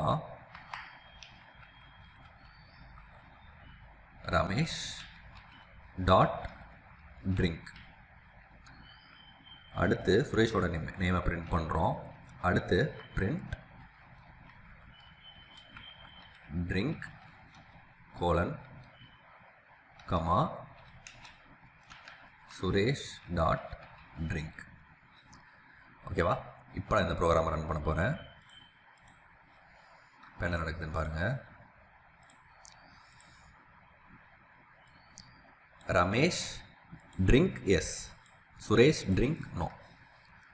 ஓகேவா புரியுதா? என்னென்ன எந்தெந்த கோடில் என்னென்ன நடக்குது அப்படின்னு சொல்லி உங்களுக்கு புரியுதா இப்போ? கிளாஸ் இருக்குது ஓகேவா கோவான்னு ஒரு கிளாஸ் இருக்குது ரமேஷ் கோவாக்கு டிக்கெட் வாங்குறான். சுரேஷ் கோவாக்கு டிக்கெட் வாங்கிட்டான். ரமேஷ் அவனோட பேரை செட் பண்ணிட்டான். ஓகேவா கோவா இருக்குது ரமேஷ் இருக்கான் சுரேஷ் இருக்கான் ரமேஷ் அவனோட பேரை செட் பண்ணிட்டான். ரமேஷ் அப்படின்னு சொல்லி சுரேஷ் அவனோட பேரை சுரேஷன் செட் பண்ணிட்டான். அடுத்து ரமேஷ் குடிப்பானா அப்படின்னு கேட்குறதுக்கு எஸ்ன்னு சொல்லி செட் பண்ணிட்டான். சுரேஷ் குடிப்பானான்னு சொல்லி கேட்டதுக்கு நோன்னு சொல்லி செட் பண்ணிட்டான். சரியா? இப்போ அடுத்து இப்போ நான் print Ramesh dot name Ramesh dot name அப்படின்னு சொல்லி கொடுத்தா நேமில் என்ன இருக்குது ரமேஷ்னு சொல்லியிருக்கு. அது எனக்கு வெளியே பிரிண்ட் ஆகிருக்கு அடுத்து நான் ட்ரிங்க்னு டபுள் கொட்டேஷனுக்குள்ளே என்ன போட்டேனோ அது அப்படியே எனக்கு வெளியே ட்ரிங்க்னு பிரிண்ட் ஆயிடுச்சு ஓகேவா கமா ரமேஷ் டாட் ட்ரிங்க் அப்படின்னு நான் கேட்குறப்ப எஸ்ன்னு சொல்லி செட் பண்ணியிருக்கிறதுனால எஸ்ன்னு பிரிண்ட் ஆயிருக்கு. அடுத்து சுரேஷ் டாட் நேம் சுரேஷோட நேம் என்ன? சுரேஷ். அது எனக்கு வெளியே சுரேஷ்னு பிரிண்ட் ஆகிருக்கு அடுத்து நான் ட்ரிங்க்னு டபுள் கொட்டேஷனில் போட்டது எனக்கு வெளியே பிரிண்ட் ஆகிருக்கு அடுத்து சுரேஷ் டாட் ட்ரிங்க் அப்படின்றப்ப சுரேஷ் குடிப்பானான்னு கேட்குறப்ப நோ அப்படின்னு சொல்லி எனக்கு வெளியே பிரிண்ட் ஆகிருக்கு ஓகேவா இது வரைக்கும் புரியுதா? எப்படிலாம் ஒர்க் ஆகுதுன்னு? ஸோ உங்களுக்கு புரியும் நம்புகிறேன் அடுத்து இப்போது ரமேஷ் என்ன பண்ண போகிறான் ரமேஷ் டாட் பார்ட்டி பண்ண போகிறான் சுரேஷ் டாட். என்ன பண்ண போகிறோம் பீச்சுக்கு போக போகிறோம் ஓகேவா இவ்வளோதான் கிளாஸஸ் அண்ட் ஆப்ஜெக்ட் கிளாஸ்னு ஒரு கோவா அப்படின்னு சொல்லி ஒரு கிளாஸ் இருக்குது ஒரே கிளாஸை ஒரே கிளாஸுக்கு நம்ம ரெண்டு ஆப்ஜெக்ட் க்ரியேட் பண்ணுறோம் ரமேஷ் கோவாவை வேறு மாதிரி யூஸ் பண்ணிக்கிறான். சுரேஷ் கோவாவை வேறு மாதிரி யூஸ் பண்ணிக்கிறான். ஓகேவா இதுதான் கிளாஸஸ் அண்ட் ஆப்ஜெக்டோட அட்வான்டேஜ் ஓகேவா இப்போது நம்ம ஒரு ரியல் டைம் எக்ஸாம்பிள் பார்க்கலாம். லேப்டாப் அப்படின்னு சொல்லி ஒரு கிளாஸ் க்ரியேட் பண்ணணும். அந்த கிளாஸுக்கு ப்ரைஸ் ப்ராசஸர் ரேம் அப்படின்னு சொல்லி இந்த மூணு வேரியபிளும் செட் பண்ணணும். அண்ட் இந்த லேப்டாப் கிளாஸுக்கு ஹச்பி டெல் லெனோவா அப்படின்னு சொல்லி மூணு ஆப்ஜெக்ட் க்ரியேட் பண்ணணும். ஓகேவா வீடியோ பாஸ் பண்ணிட்டு இதை உங்களால் ட்ரை பண்ண முடியுதான்னு பாருங்கள் ஸோ உங்களால் பண்ண முடிஞ்சிருக்கும்னு நம்புகிறேன் இப்போ நான் இந்த ப்ரோக்ராம் பண்ண போகிறேன் இப்போ நான் பண்ண போகிறத கவனிங்க. ஒருவேளை ஃபஸ்ட்டு நான் இப்போ நான் கிளாஸ் போட்டு உங்களுக்கு நான் பண்ணி காட்டுறேன். கிளாஸ் லேப்டாப் கோலன் என்டர் அடுத்து ப்ரைஸ் அப்படின்னு சொல்லி ஒரு வேரியபிள் வேணும். ப்ரைஸ் ஈக்குவல் டு ஜீரோ அடுத்து ப்ராசஸர் ஈக்குவல் டு எதுவுமே டிஃபைன் பண்ணல. எம்டியாக வச்சுருக்கேன். அடுத்து ரேம் ரேம் ஈக்குவல் டு அதுவும் எதுவுமே பண்ணல எம்டியாக வச்சுருக்கேன். ஓகே இப்போது ஹச்பி அப்படின்னு ஒரு ஆப்ஜெக்ட் க்ரியேட் பண்ண போகிறேன் லேப்டாப் கிளாஸுக்கு ஹச்பின்னு ஒரு ஆப்ஜெக்ட் க்ரியேட் பண்ணியிருக்கேன் அதே மாதிரி டெல்லுன்னு ஒரு ஆப்ஜெக்ட் க்ரியேட் பண்ணியிருக்கேன் ஓகேவா ஹச்பின்னு ஒரு லேப்டாப் க்ரியேட் பண்ணியிருக்கேன் டெல்லுன்னு ஒரு லேப்டாப் க்ரியேட் பண்ணியிருக்கேன் இப்போது ஹச்பியை வச்சு என்ன பண்ண போகிறேன் விலையை செட் பண்ண போகிறேன் HP dot price equal to ஒரு ஃபிஃப்டி தௌசண்ட் வச்சுக்கலாம். அடுத்து HP dot processor equal to I five வச்சுக்கலாம். அடுத்து HP dot RAM equal to eight GB இதே மாதிரி இப்போ நான் டெல்லுக்கு போட போகிறேன் டெல் டாட் ப்ரைஸ் ஒரு sixty thousand Dell dot processor I seven Dell dot RAM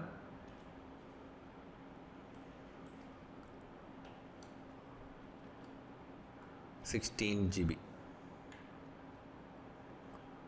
ஓகேவா இப்போ நான் பிரிண்டில் ஹச்பி டாட் ப்ரைஸ்ன்னு போட்டால் இப்போ எனக்கு ஹச்பியோட ப்ரைஸ் ஃபிஃப்டி தௌசண்ட்னு சொல்லி வரும். ஃபிஃப்டி தௌசண்ட் அப்படின்னு சொல்லி எனக்கு வந்திருக்கு. இப்போ இங்கே என்ன நடந்திருக்கு அப்படின்னு சொல்லி நான் எக்ஸ்பிளைன் பண்ணுறேன் கவனிங்க.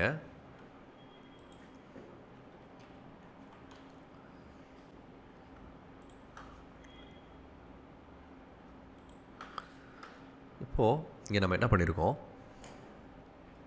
லேப்டாப் கிளாஸ் க்ரியேட் பண்ணியிருக்கோம் ஓகேவா லேப்டாப் கிளாஸ் இருக்குது இந்த லேப்டாப்பில் என்னெல்லாம் இருக்க போது விலை இருக்க போது ப்ராசஸர் இருக்க போது ரேம் இருக்க போது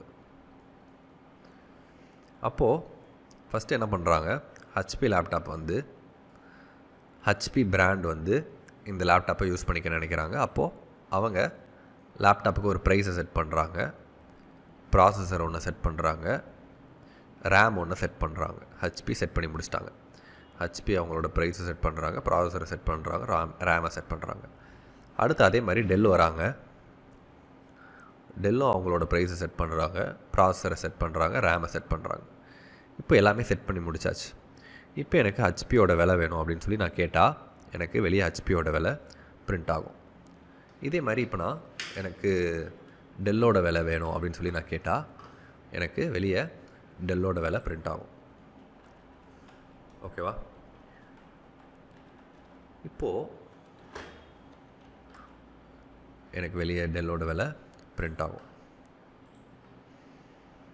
ஃபிஃப்டி தௌசண்ட் சிக்ஸ்டி தௌசண்ட் சொல்லி எனக்கு ரெண்டு வேலை பிரிண்ட் ஆகிருக்கு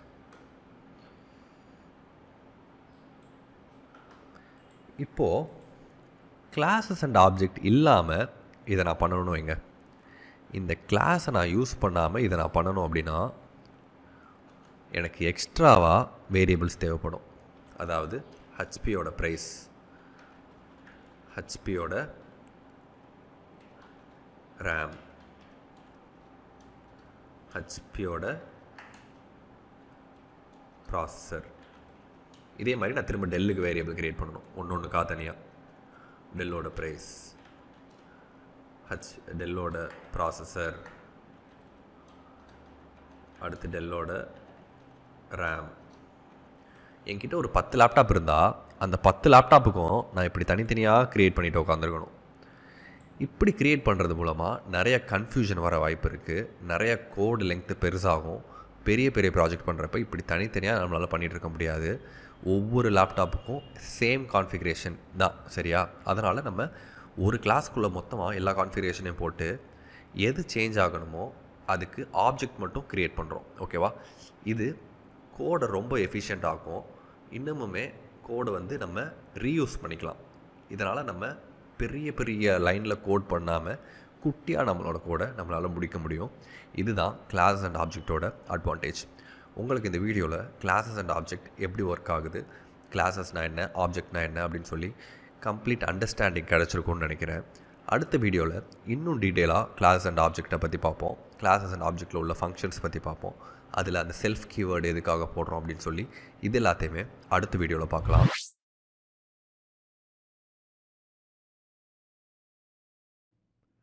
உங்களோட பைத்தன் எடிட்டர் ஓப்பன் பண்ணிக்கோங்க. அதில் ஃபைல் போயிட்டு நியூ ஃபைல் கிளிக் பண்ணி இந்த ஃபைலை சேவ் பண்ணிக்கோங்க.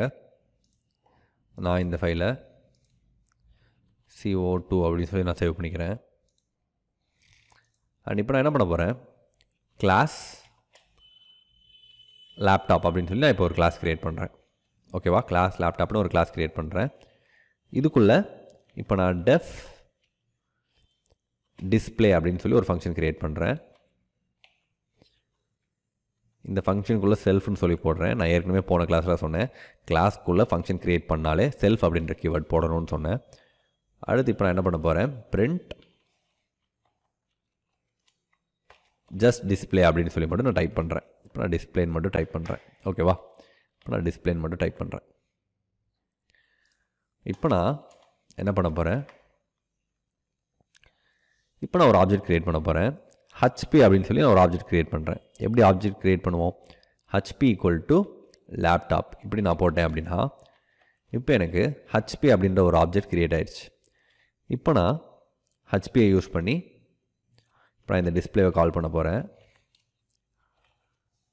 இந்த ஆப்ஜெக்டை யூஸ் பண்ணி இந்த ஃபங்க்ஷனை கால் பண்ணுறேன் இப்போ நான் இதை ரன் பண்ணுறப்ப எனக்கு டிஸ்ப்ளே அப்படின்னு சொல்லி எனக்கு அவுட்புட் வருது. இப்போ இங்கே என்ன நடந்திருக்குன்னு நான் சொல்லி எக்ஸ்பிளைன் பண்ண போகிறேன் இப்போ கவனிங்க. இங்கே நம்ம கிளாஸ் லேப்டாப் அப்படின்னு சொல்லி நம்ம ஒரு லேப்டாப் க்ரியேட் பண்ணியிருக்கோம். ஓகேவா? இங்கே கிளாஸ் லேப்டாப் அப்படின்னு சொல்லி நம்ம ஒரு லேப்டாப் க்ரியேட் பண்ணியிருக்கோம்.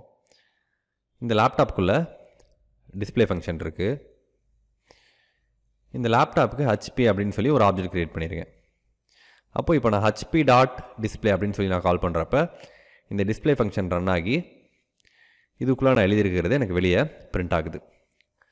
இப்போ நான் என்ன பண்ண போகிறேன் இன்னொரு ஒரு ஃபங்க்ஷன் க்ரியேட் பண்ண போகிறேன் இப்போ கவனமாக பாருங்கள் இப்போ நான் என்ன பண்ண போகிறேன்னு இப்போ நான் def underscore underscore underscore I N I T init okay def underscore underscore underscore init underscore underscore underscore இப்போ இந்த ஃபங்க்ஷன் சிம்பிளை போட்டு இப்போ நான் இந்த ஃபங்க்ஷனை க்ரியேட் பண்ணுறேன் இதுக்குள்ளே பிரிண்ட் இப்போ நான் இதுக்குள்ளே பிரிண்ட் டெமோ அப்படின்னு சொல்லி நான் டைப் பண்ணுறேன் ஓகேவா? இப்போ நான் என்ன பண்ண போகிறேன்னு பாருங்கள் இப்போ நான் எதுவுமே க்ரியேட் பண்ணல. இந்த கிளாஸுக்கு இப்போ நான் ஆப்ஜெக்டே க்ரியேட் பண்ணல. இப்போ நான் இந்த ப்ரோக்ராமை ரன் பண்ணுறேன் என்ன நடக்குதுன்னு பாருங்கள் இப்போ நான் இந்த ப்ரோக்ராமை ரன் பண்ணுறப்ப எனக்கு எதுவுமே பிரிண்ட் ஆகலை. ஓகேவா? இப்போ நான் என்ன பண்ண போகிறேன் ஆப்ஜெக்டை க்ரியேட் பண்ண போகிறேன் ஹச்பி ஈக்குவல் டு லேப்டாப் அப்படின்னு சொல்லி நான் இப்போ ஒரு ஆப்ஜெக்ட் க்ரியேட் பண்ணுறேன் நான் ஜஸ்ட் ஆப்ஜெக்ட் மட்டும் தான் க்ரியேட் பண்ண போகிறேன் நான் இந்த ஆப்ஜெக்டை யூஸ் பண்ணி உள்ளே இருக்கிற இந்த ரெண்டு ஃபங்க்ஷனையும் கூப்பிட போகிறதில்ல சாதாரணமாக உள்ளே இருக்கிற ரெண்டு ஃபங்க்ஷனையும் நான் கூப்பிடலை அப்படின்னா அந்த ஃபங்க்ஷன் ஒர்க் ஆகாது. அப்படி தானே இப்போ நான் இதை ரன் பண்ணுறேன் ஓகே நான் ஏற்கனவே சொன்ன மாதிரி உள்ள ஃபங்க்ஷன் இருந்தாலே செல்ஃப்னு சொல்லி செல்ஃப் போடணும் நம்ம.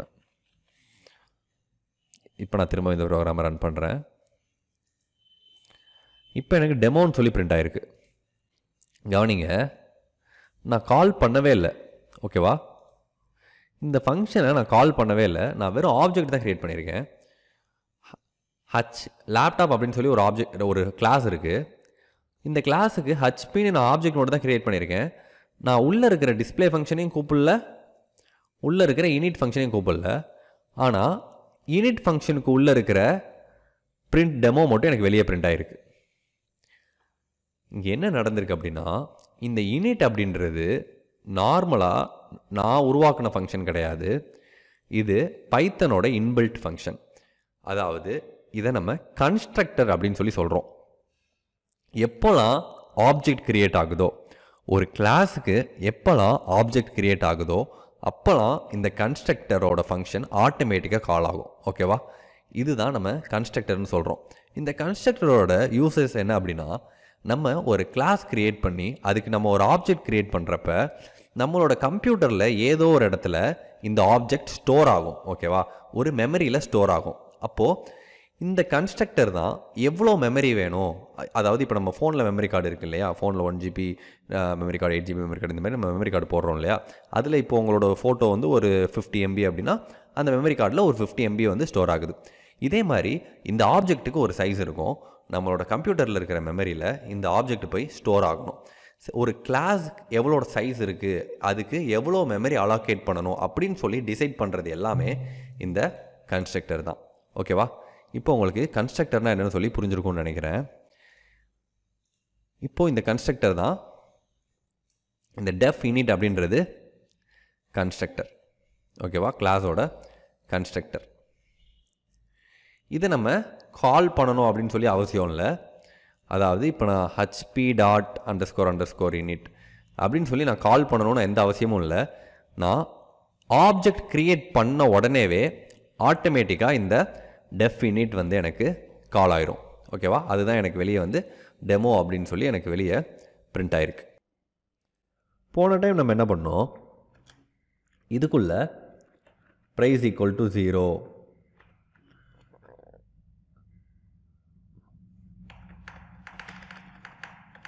போன டைம் நம்ம என்ன பண்ணோம்? இதுக்குள்ளே price equal to zero RAM equal to இப்படி எம்டியா இப்படி வந்து நம்ம என்ன பண்ணோம்? போன தடவை வேரியபிளை டிஃபைன் பண்ணோம். ஓகேவா இப்படி வேரியபிளை டிசைன் பண்ணிவிட்டு டிஃபைன் பண்ணிவிட்டு நம்ம என்ன பண்ணோம்? HP dot price equal to அப்படின்னு போட்டு ஒரு ஃபிஃப்டி தௌசண்ட் இப்படி நான் சேவ் பண்ணிவிட்டு இப்போ நான் வெளியே பிரிண்ட் பண்ணுறப்ப இப்போ நான் பிரிண்ட்டில் ஹச்பி டாட் ப்ரைஸ்ன்னு போட்டால் எனக்கு இப்போது ஹச்பியோட ப்ரைஸ் ஃபிஃப்டி தௌசண்ட் அப்படின்னு சொல்லி எனக்கு வெளியே பிரிண்ட் ஆகும். ஓகேவா இப்படி தான் போன கிளாஸில் பண்ணோம். நம்ம இப்படி தனியாக நம்ம கிளாஸுக்கு இப்படி நம்ம வெளியே போடாமல் நம்ம என்ன பண்ணலாம் அப்படின்னா கன்ஸ்ட்ரக்டரை யூஸ் பண்ணி நம்ம நம்மளோட வேரியபிளை டிஃபைன் பண்ணலாம். இப்போ இந்த கன்ஸ்ட்ரக்டருக்குள்ளே நான் என்ன பண்ணலாம் அப்படின்னா self dot price equal to zero self dot RAM equal to equal to some okay எம்டியாக விட்டுறேன். அடுத்து self dot processor equal to எம்டியாக விட்டுறேன் இப்போ நான் என்ன பண்ணலாம்? அதே மாதிரி இப்போ நான் ஹச்பி டாட் ப்ரைஸ்ன்னு போட்டு அடுத்து ஹச்பி டாட் ரேம்னு போட்டு இங்கே வந்து நான் ஹச்பி டாட் ரேம் வந்து எயிட் ஜிபி அப்படின்னு சொல்லி நான் இங்கே செட் பண்ணலாம். அடுத்து இப்போது HP dot processor HP dot processor equal to I five இப்படி என்னால் செட் பண்ண முடியும். ஓகேவா இப்போ நான் ரன் பண்ணி ஹச்பி டாட் ப்ரைஸ்ன்னு சொல்லி பார்க்குறப்ப இப்போ எனக்கு ஹச்பி டாட் ப்ரைஸ் வந்து வெளியே வந்திருக்கு. இதே நான் ஹச்பி டாட் ப்ரைஸ்ன்னு சொல்லாமல் இப்போ நான் ஹச்பி டாட் ரேம்னு சொல்லி சொன்னேன்னா நான் செட் பண்ணியிருக்கேன் ரேம் எனக்கு வெளியே பிரிண்ட் ஆகும்.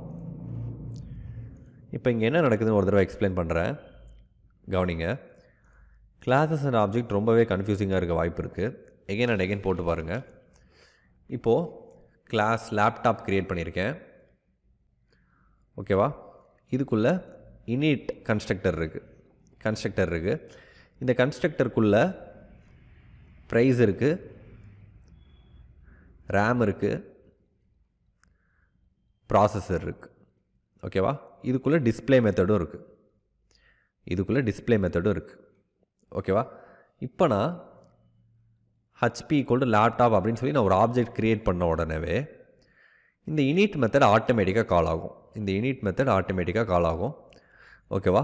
இப்போ இந்த இனிட் மெத்தடுக்குள்ளே நான் ப்ரைஸுன்னு டிஃபைன் பண்ணியிருக்கேன் ரேமுன்னு டிஃபைன் பண்ணியிருக்கேன் ப்ராசஸர்னு டிஃபைன் பண்ணியிருக்கேன். இப்போ நான் ஹச்பி டாட் ப்ரைஸ் அப்படின்னு சொல்லி நான் வேல்யூ மாற்றுறப்ப என்ன நடக்கும் அப்படின்னா இந்த இனிட்டுக்கு உள்ளே உள்ள ப்ரைஸில் வேல்யூ மாறும். அடுத்து நான் ஹச்பி டாட் ரேம் அப்படின்னு சொல்லி மாறுறப்ப இனிட்டுக்கு உள்ளே உள்ள ரேமில் வேல்யூ சேஞ்ச் ஆகும். அடுத்து நான் ஹச்பி டாட் ப்ராசஸர் அப்படின்னு சொல்லி நான் போட்டு மாற்றுறப்ப இனிட்டுக்கு உள்ளே உள்ள ப்ராசஸரில் வேல்யூ சேஞ்ச் ஆகும். ஓகேவா இப்படி தான் வந்து நமக்கு இந்த கன்ஸ்ட்ரக்டர் ஒர்க் ஆகுது. இப்போ நான் அடுத்து என்ன பண்ண போகிறேன் கவனிங்க. இப்போ இந்த இடத்துல டிஸ்பிளேயில் நான் என்ன பண்ண போகிறேன் டிஸ்பிளேயில் டிஸ்பிளேயில் நான் இப்போ என்ன பண்ண போகிறேன் ப்ரைஸ் அப்படின்னு கோலன் போட்டு கமா செல்ஃப் டாட் ப்ரைஸ்ன்னு சொல்லி போடுறேன். பிரிண்ட் அடுத்து ப்ரைஸ் வேணாம் ப்ரைஸ் எடுத்துடலாம். ஓகேவா ப்ரைஸ் எடுத்துடலாம். ரேமு ப்ராசஸர் மட்டும் வச்சுக்கலாம்.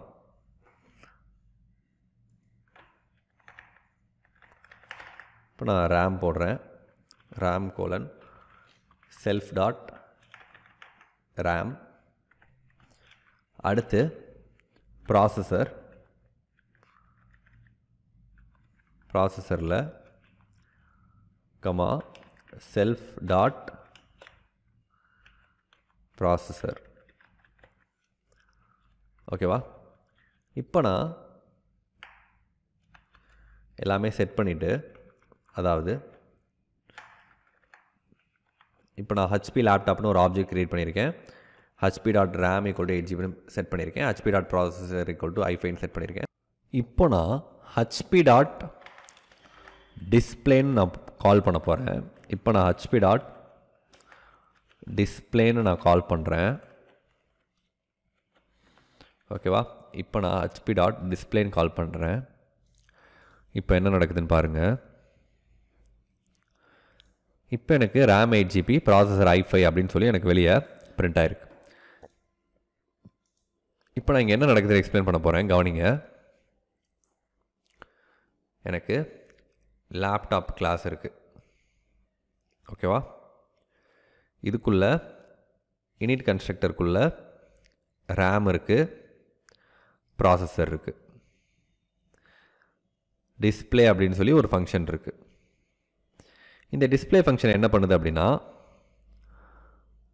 ரேமை பிரிண்ட் பண்ணுது. செல்ஃப் டாட் ரேம் அப்படின்னு சொல்லி ரேமை பிரிண்ட் பண்ணுது. அடுத்து இந்த ப்ராசஸர் ஃபங்க்ஷன் என்ன பண்ணுது? அடுத்து அது கீழேயே இன்னொரு ஒரு லைன் இருக்குது அது செல்ஃப் டாட் ப்ராசஸர் அப்படின்னு சொல்லி ப்ராசஸரை பிரிண்ட் பண்ணுது. ஓகேவா இப்போ நான் என்ன பண்ணுறேன் ஒரு ஹச்பி லேப்டாப் ஒன்று க்ரியேட் பண்ணுறேன் இப்போ ஒரு ஆப்ஜெக்ட் க்ரியேட் ஆகுது. ஆப்ஜெக்ட் க்ரியேட் ஆன உடனேவே இப்போ என்ன நடக்கும் அப்படின்னா ஆப்ஜெக்ட் க்ரியேட் ஆன உடனேவே இந்த கன்ஸ்ட்ரக்டர் கால் ஆயிரும்.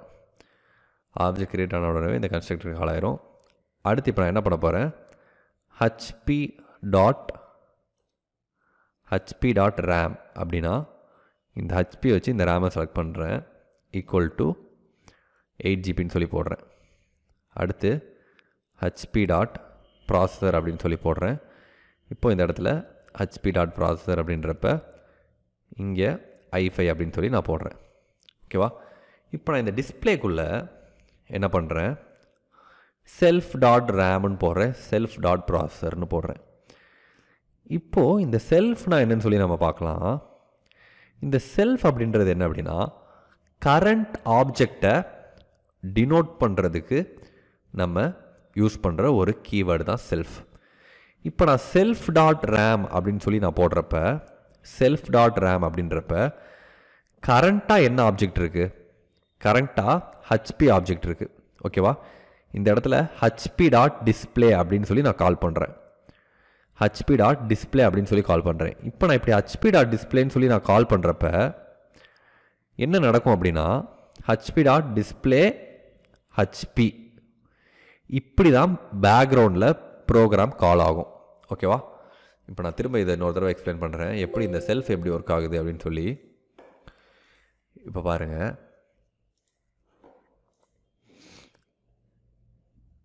அதாவது இப்போ நான் ஹச்பி டாட் டிஸ்பிளேன்னு கால் பண்ணுறப்ப ஹச்பி டாட் டிஸ்பிளே ஹச்பி அப்படின்னு தான் ப்ரோக்ராம் போகும். இந்த ஹச்பி அப்படின்றது நீங்கள் க்ரியேட் பண்ணுற ஆப்ஜெக்ட் ஓகேவா இப்போது இது என்ன பண்ணும்? போய் இந்த டிஸ்பிளேவை கால் பண்ணும். அப்போது இந்த டிப் டிஸ்பிளேக்குள்ளே என்ன நடக்கும்? டெஃப் டிஸ்பிளே இந்த இடத்துல செல்ஃப் அப்படின்றது என்னது? செல்ஃப் அப்படின்றது ஹச்பியோட ஆப்ஜெக்ட் ஓகேவா செல்ஃப் அப்படின்றது ஹச்பி இப்போது இந்த ப்ரோக்ராம்குள்ளே பிரிண்ட் ரேம் அப்படின்னு நான் போடுறது அப்படியே ரேம்னு சொல்லி எனக்கு வெளியே பிரிண்ட் ஆயிரும். அடுத்துக்கமா செல்ஃப் டாட் ரேம்னு போடுறேன் அப்போது ஹச்பி டாட் ரேம்னு அர்த்தம். இப்போ நான் செல்ஃப் டாட் ரேம்னு போட்டால் ஹச்பி டாட் ரேம்னு அர்த்தம் ஹச்பியில் ஆல்ரெடி நம்ம என்ன பண்ணியிருந்தோம்? ஹச்பியை வச்சு ரேமை மாற்றிருந்தோம் HP dot RAM equal to eight GB HP dot RAM processor equal to fifteen GB I five I five அப்படின்னு சொல்லி சொல்லியிருந்தோம். இப்போது ஹச்பி டாட் ரேம் அப்போது இந்த பிரிண்ட்டில் நான் ஹச்பி டாட் ரேம்னு கொடுக்குறப்ப இந்த ரேமில் உள்ள வேல்யூ எனக்கு ஸ்டோர் ஆகும். இந்த இடத்துல நம்ம ஹச்பின்னு கொடுக்காம செல்ஃப்னு கொடுத்துருக்கோம். ஆனால் இந்த செல்ஃப் அப்படின்னா என்ன அப்படின்னா ஹச்பின்னு அர்த்தம். ஓகேவா இன்னும் புரியலை அப்படின்னா இப்போ நான் சொல்கிறேன் திரும்பவும் இப்போ நான் எக்ஸ்பிளைன் பண்ண போகிறேன் இப்போ இதை இப்போ நான் சொல்ல போகிறது கவனிங்க. ஹச்பி லேப்டாப்னு சொல்லி ஒரு லேப்டாப் க்ரியேட் பண்ணியிருக்கேன் அடுத்து டெல் லேப்டாப் அப்படின்னு சொல்லி இன்னொரு லேப்டாப் க்ரியேட் பண்ணுறேன் டெல்லுன்னு சொல்லி இன்னொரு ஆப்ஜெக்ட் க்ரியேட் பண்ணுறேன் ஓகேவா இப்போ அடுத்து Dell dot RAM equal to sixteen ஜிபின்னு சொல்கிறேன் Dell dot RAM equal to sixteen ஜிபின்னு சொல்கிறேன் அடுத்து Dell dot processor equal to I செவன்னு சொல்லி சொல்கிறேன் ஓகேவா இப்போ நான் ஹச்பி டாட் டிஸ்பிளேன்னு சொல்கிறேன் அடுத்து டெல் டாட் டிஸ்பிளேன்னு சொல்லி சொல்கிறேன் டிஸ்பிளேன்னு சொல்லி சொல்கிறேன் இப்போ நல்லா கவனிங்க. ஒரு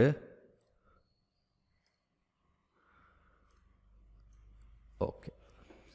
இப்போது இப்போ நான் சொல்ல போ எக்ஸ்பிளைன் பண்ண போகிறத கவனிங்க. ஒரு லேப்டாப் ஆப்ஜெக்ட் இருக்குது ஒரு லேப்டாப் கிளாஸ் இருக்குது ஓகேவா ஒரு லேப்டாப் கிளாஸ் இருக்குது லேப்டாப் இந்த லேப்டாப்குள்ளே என்னெல்லாம் இருக்குது ரேம் இருக்குது ப்ராசஸர் இருக்குது அடுத்து கீழே டிஸ்ப்ளே ஃபங்க்ஷன் இருக்குது ஓகேவா இப்போது ஃபஸ்ட்டு ஹச்பின்னு ஒரு ஆப்ஜெக்ட் க்ரியேட் பண்ணுறோம் ஹச்பின்னு ஒரு ஆப்ஜெக்ட் க்ரியேட் பண்ணுறோம் ஓகேவா ஹச்பின்னு ஒரு ஆப்ஜெக்ட் க்ரியேட் பண்ணுறோம் அடுத்து டெல்லுன்னு ஒரு ஆப்ஜெக்ட் க்ரியேட் பண்ணுறோம் டெல்லுன்னு ஒரு ஆப்ஜெக்ட் க்ரியேட் பண்ணுறோம் இப்படி ஹச்பி கொண்டு லேப்டாப்னு போட்ட உடனே என்ன ஆகும் இனிட் அப்படின்ற ஃபங்க்ஷன் ஆக்டிவேட் ஆகும். அப்போது self dot RAM self dot processor equal to இப்படி அசைன் ஆகிரும் ஓகேவா எப்படி அசைன் ஆகும் அப்படின்னா நான் ஹச்பி அப்படின்னு சொல்லி ஒரு ஆப்ஜெக்ட் க்ரியேட் பண்ண உடனேவே ஹச்பி ரேம் ஹச்பி ப்ராசஸர் அப்படின்னு சொல்லி எனக்கு ஆல்ரெடி வேரியபிள் வந்து டிஃபைன் ஆயிரும். அதாவது HP dot RAM equal to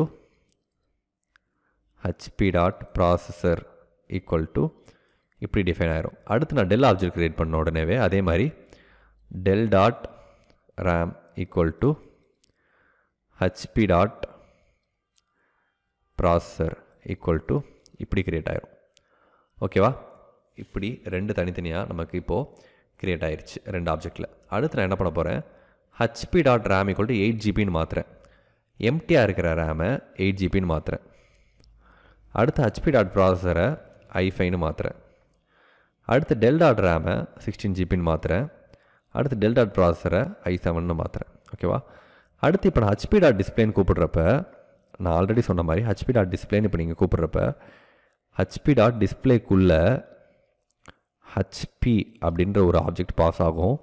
del dot டிஸ்பிளேக்குள்ளே டெல் அப்படின்ற ஒரு ஆப்ஜெக்ட் பாஸ் ஆகும். இப்போ ஃபஸ்ட்டு ஹச்பி பாஸ் ஆகிறப்ப இந்த இடத்துல என்ன நடக்கும்?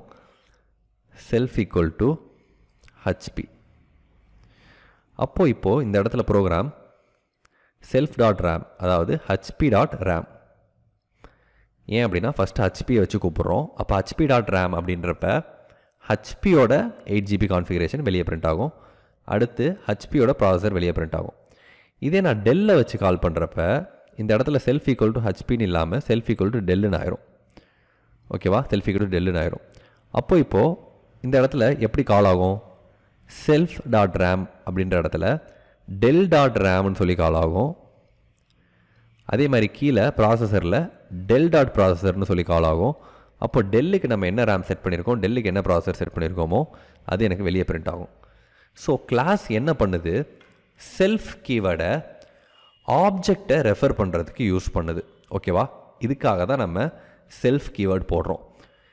நான் இப்போது இந்த இடத்துல நான் இப்போது ஒரு ஃபஸ்ட்டு ஃபஸ்ட்டு இந்த யூனிட் அப்பையுமே இதுக்குள்ளே ஹச்பி போகுது இது டெல்லுக்குள்ளே டெல் போகுது. ஓகேவா இந்த மாதிரி தான் செல்ஃப் கீவேர்டு கிளாஸஸில் ஒர்க் ஆகுது. அண்ட் கன்ஸ்ட்ரக்டர் இப்படி தான் கிளாஸில் ஒர்க் ஆகுது. ஆட்டோமேட்டிக்காக ஒரு ஆப்ஜெக்ட் க்ரியேட் பண்ணுறப்ப கன்ஸ்ட்ரக்டர் க்ரியேட் ஆயிரும்.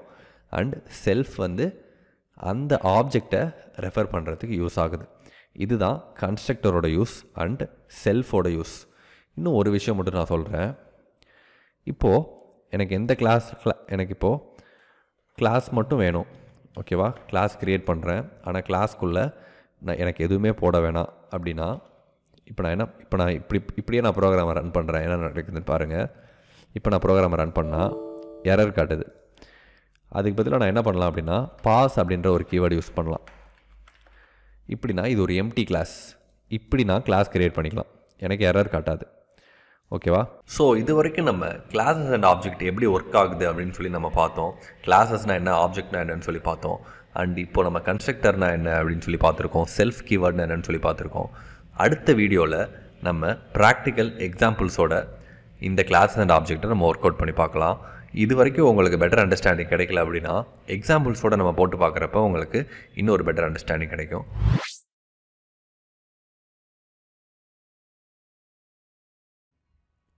இன்றைக்கி வீடியோவில் கிளாஸஸ் அண்ட் ஆப்ஜெக்டை எக்ஸாம்பிளோடு பார்க்கலாம். ஓகேவா உங்களோட ஃபைலை ஓப்பன் பண்ணிக்கோங்க. பைத்தன் எடிட்டர் ஓப்பன் பண்ணிக்கோங்க. அதில் நியூ ஃபைல் கொடுத்து உங்களோட ஃபைலை சேவ் பண்ணிக்கோங்க.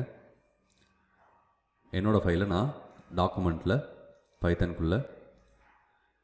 கிளாஸ் இஜி அப்படின்னு சொல்லி நான் சேவ் பண்ணிக்கிறேன். இப்போது நம்மளோட ஃபர்ஸ்ட் கொஸ்டின் பார்க்கலாம். Create a class call student okay first ஒரு கிளாஸ் ஸ்டூடெண்ட் அப்படின்னு சொல்லி நம்ம க்ரியேட் பண்ணணும். ஓகேவா create a class call student class student அப்படின்னு சொல்லி ஒரு கிளாஸ் வந்து நான் க்ரியேட் பண்ணுறேன் அடுத்து என்ன சொல்லியிருக்காங்கன்னு பார்க்கலாம். Create variable name and register number using constructor கன்ஸ்ட்ரக்டரை use பண்ணி நேமும் ரெஜிஸ்டர் அப்படின்ற ரெண்டு வேரியபிள் ரெஜிஸ்டர் நம்பர் அப்படின்ற ரெண்டு வேரியபிள் க்ரியேட் பண்ண சொல்லியிருக்காங்க. ஃபஸ்ட்டு கன்ஸ்ட்ரக்டர் க்ரியேட் பண்ணுறேன் def space underscore underscore init underscore underscore bracket open பண்ணுறேன் இதுதான் கன்ஸ்ட்ரக்டர் ஃபங்க்ஷன் ஓகேவா இப்போது கன்ஸ்ட்ரக்டருக்குள்ளே அவங்க என்ன சொல்லியிருக்காங்க? என்ன க்ரியேட் பண்ணணும் நம்ம? நேம் அண்ட் ரெஜிஸ்டர் அப்படின்னு சொல்லி நம்ம ரெண்டு வேரியபிள் க்ரியேட் பண்ணணும். கரெக்டாக இந்த யூனிட்குள்ளே செல்ஃப் போட்டுக்கிறேன். செல்ஃப்ன்ற கீவேர்ட் போட்டுக்கிறேன். இதுக்குள்ளே இப்போது செல்ஃப் டாட் நமக்கு இட வேரியபிள் க்ரியேட் பண்ணணும்? நேம் ஈக்குவல் டு என்ன நேம் வேணாலும் செட் பண்ணிக்கலாம். ஓகேவா நான் சும்மா நேம்னு போட்டுக்கிறேன். நேம் சும்மா ஏதோ போட்டுக்கிறேன். ஓகேவா அடுத்து self dot register number equal to இதுக்குள்ளே ஏதாவது ரெஜிஸ்டர் நம்பரை நம்ம போட்டுக்கலாம். ஓகேவா இப்போ நான் என்ன பண்ண போகிறேன் அடுத்து என்ன சொல்லியிருக்காங்கன்னு பார்க்கலாம். அடுத்து create a function call display which should which should display the name and register number of the student create a function called display def space display ஓகேவா செல்ஃப் இது என்ன பண்ணணும் அப்படின்னா நேமையும் ரெஜிஸ்டர் நம்பரையும் பிரிண்ட் பண்ணணும். அந்த ஸ்டூடெண்ட்டோட நேமையும் ரெஜிஸ்டர் நம்பரையும் பிரிண்ட் பண்ணணும். இப்போது print print name comma self dot name அடுத்து அதே மாதிரி பிரிண்ட் அடுத்து என்ன பிரிண்ட் பண்ணணும்? ரெஜிஸ்டர் நம்பர் பிரிண்ட் பண்ணணும். கரெக்டாக அடுத்து ரெஜிஸ்டர் நம்பர் பிரிண்ட் பண்ணணும். ரெஜிஸ்டர் நம்பர் கமா என்ன register number self dot register number ஓகேவா இப்போ நான் ஒரு இந்த ஸ்டூடெண்ட்டுக்கு ஒரு ஆப்ஜெக்ட் க்ரியேட் பண்ண போகிறேன் எஸ் ஒன் அப்படின்னு சொல்லி நான் ஒரு ஆப்ஜெக்ட் க்ரியேட் பண்ணுறேன் S one equal to student bracket இப்படி போட்டேன் அப்படின்னா எனக்கு எஸ் ஒன் ஆப்ஜெக்ட் க்ரியேட் ஆயிடுச்சு இப்போ நான் அடுத்து என்ன பண்ண போகிறேன் பிரிண்ட்குள்ளே நான் ஜஸ்ட் எஸ் ஒன் டாட் நேம்னு சொல்லி இப்போ நான் பா போட்டு பார்க்குறேன் எஸ் ஒன் டாட் நேம்னு சொல்லி நான் டைப் பண்ணி பார்க்குறேன் பிரிண்ட் அடுத்து அதே மாதிரி எஸ் ஒன் டாட் ரெஜிஸ்டர் நம்பர்னு நான் போட்டு பார்க்குறேன் அடுத்து எஸ் ஒன் டாட் டிஸ்ப்ளே அப்படின்னு சொல்லி நான் போட்டு பார்க்குறேன் எஸ் ஒன் டாட் டிஸ்பிளேன்னு போட்டு பார்க்குறேன் இப்போ இந்த ப்ரோக்ராமை ரன் பண்ணலாம். எனக்கு இந்த ப்ரோக்ராமை ரன் பண்ணுறப்ப என்ன அவுட்புட் வந்திருக்குன்னு சொல்லி பாருங்கள் இப்போ நான் இந்த அவுட்புட்டை உங்களுக்கு இப்போ நான் எக்ஸ்பிளைன் பண்ண போகிறேன் ஓகேவா இப்போ இந்த அவுட்புட்டை எக்ஸ்பிளைன் பண்ண போகிறேன் கவனிங்க. இங்கே என்ன நடந்திருக்கு? ஸ்டூடெண்ட் அப்படின்னு சொல்லி நமக்கு ஸ்டூடெண்ட்டுன்னு சொல்லி நமக்கு ஒரு கிளாஸ் இருக்குது கரெக்டாக ஸ்டூடெண்ட்டு நமக்கு ஒரு கிளாஸ் இருக்குது ஸ்டூடெண்ட் ஸ்டூடெண்ட்டு நமக்கு ஒரு கிளாஸ் இருக்குது இந்த ஸ்டூடெண்ட்டுக்குள்ளே நம்ம என்னென்ன இனிஷியலைஸ் பண்ணியிருக்கோம் நேமும் ரெஜிஸ்டர் நம்பரும் நம்ம கன்ஸ்ட்ரக்டர் வழியாக ஃபஸ்ட் இனிஷிய இனிஷியலைஸ் பண்ணியிருக்கோம் அப்போது நேம் ஈக்குவல் டு என்னன்னு சொல்லியிருக்கோம். நேம் ஈக்குவல் டு என்னமோ சொல்லியிருக்கோம். அடுத்து ரெஜிஸ்டர் நம்பர் ஈக்குவல் டு என்னமோ சொல்லியிருக்கோம். அடுத்து டிஸ்ப்ளே ஃபங்க்ஷன் இருக்குது இந்த டிஸ்பிளே ஃபங்க்ஷன் என்ன பண்ண போகுது? செல்ஃப் டாட் நேம் அப்படின்னா இந்த கிளாஸ்க்குள்ளே உள்ள நேம் அந்த நேமை வெளியே பிரிண்ட் பண்ணோம். அதே மாதிரி அடுத்து செல்ஃப் டாட் ரெஜிஸ்டர் நம்பர் அப்படின்னா ரெஜிஸ்டர் நம்பரை வெளியே பிரிண்ட் பண்ணும். ஓகேவா இதுதான் கிளாஸ் இப்போ இந்த கிளாஸுக்கு எஸ் ஒன் அப்படின்னு சொல்லி ஒரு ஆப்ஜெக்ட் க்ரியேட் பண்ணுறேன் எஸ் ஒன் டாட் நேம் அப்படின்னு சொல்லி இப்போ நான் போட்டால் எஸ் ஒன் ஆப்ஜெக்ட் க்ரியேட் பண்ண உடனே என்ன நடந்துடும் எஸ் ஒனுக்கு கீழே நேம் வந்துடும் நேம் ஈக்குவல் டு ஆல்ரெடி நம்ம மேலே என்ன நேம் கொடுத்துருக்கோமோ இங்கே என்ன நேம் கொடுத்துருக்கோமோ அந்த நேம் டிஃபால்ட்டாக எஸ் ஒன் ஆப்ஜெக்ட் க்ரியேட் பண்ண உடனேவே இந்த எஸ் ஒன் ஆப்ஜெக்ட் உள்ள ஸ்டோர் ஆயிரும். அதே மாதிரி இப்போது ரெஜிஸ்டர் நம்பரும் ஸ்டோர் ஆயிரும். ஓகேவா ரெஜிஸ்டர் நம்பரும் என்ன போட்டிருக்கோமோ அது இதுக்குள்ளே ஸ்டோர் ஆயிரும். Register number five three four five three அப்படின்னு ஸ்டோர் ஆயிரும். அடுத்து டிஸ்பிளே ஃபங்க்ஷனும் இதுக்குள்ளே இருக்கும். டிஸ்பிளே ஃபங்க்ஷனும் இதுக்குள்ளே இருக்கும். அதே மாதிரி நேம் ரெஜிஸ்டர் நம்பர் எல்லா எல்லாமே இதுக்குள்ளே இருக்கும். இப்போ நான் எஸ் ஒன் டாட் நேம்னு சொல்கிறப்ப எஸ் ஒனுக்குள்ளே இருக்கிற நேம் என்ன? நேம் டிஎஃப்ஜிஎஃப் அது வெளியே பிரிண்ட் ஆகுது. அடுத்து நான் எஸ் ஒன் டாட் ரெஜிஸ்டர் நம்பர்னு நான் சொல்கிறப்ப எஸ் ஒனில் இருக்கிற ரெஜிஸ்டர் நம்பர் வெளியே பிரிண்ட் ஆகுது. அடுத்து எஸ் ஒன் டாட் டிஸ்பிளேன்னு சொல்கிறப்ப எஸ் ஒனுக்குள்ளே இருக்கிற டிஸ்பிளே என்னது? Name self dot name register number self dot register number இப்படி எனக்கு வெளியே பிரிண்ட் ஆகுது. ஓகேவா இப்போ நான் என்ன பண்ண போகிறேன் இப்போ நான் இதை மாற்ற போகிறேன் ஓகேவா இப்போ நான் இதை மாற்ற போகிறேன் என்னென்னு மாற்ற போகிறேன் அப்படின்னா எஸ் ஒன் ஸ்டூடெண்ட் இருக்குது அதே மாதிரி எஸ் டூ ஸ்டூடெண்ட் க்ரியேட் பண்ணிக்கலாம். ஓகேவா ரெண்டு ஸ்டூடெண்ட் இருக்காங்க இப்போது எஸ் ஒன் ஸ்டூடெண்ட் க்ரியேட் பண்ணிட்டேன். எஸ் டூ ஸ்டூடெண்ட் க்ரியேட் பண்ணிட்டேன். இப்போது S one dot name equal to மனோஜுன்னு போடுறேன். S one dot register number equal to ஒன்னுன்னு போடுறேன். அடுத்து அதே மாதிரி S two ஆப்ஜெக்ட்டுக்கு S two dot name equal to கார்த்தின்னு போடுறேன். S two dot register number equal to டூன்னு போடுறேன். ஓகேவா இப்போ நான் என்ன பண்ண போகிறேன் S one dot display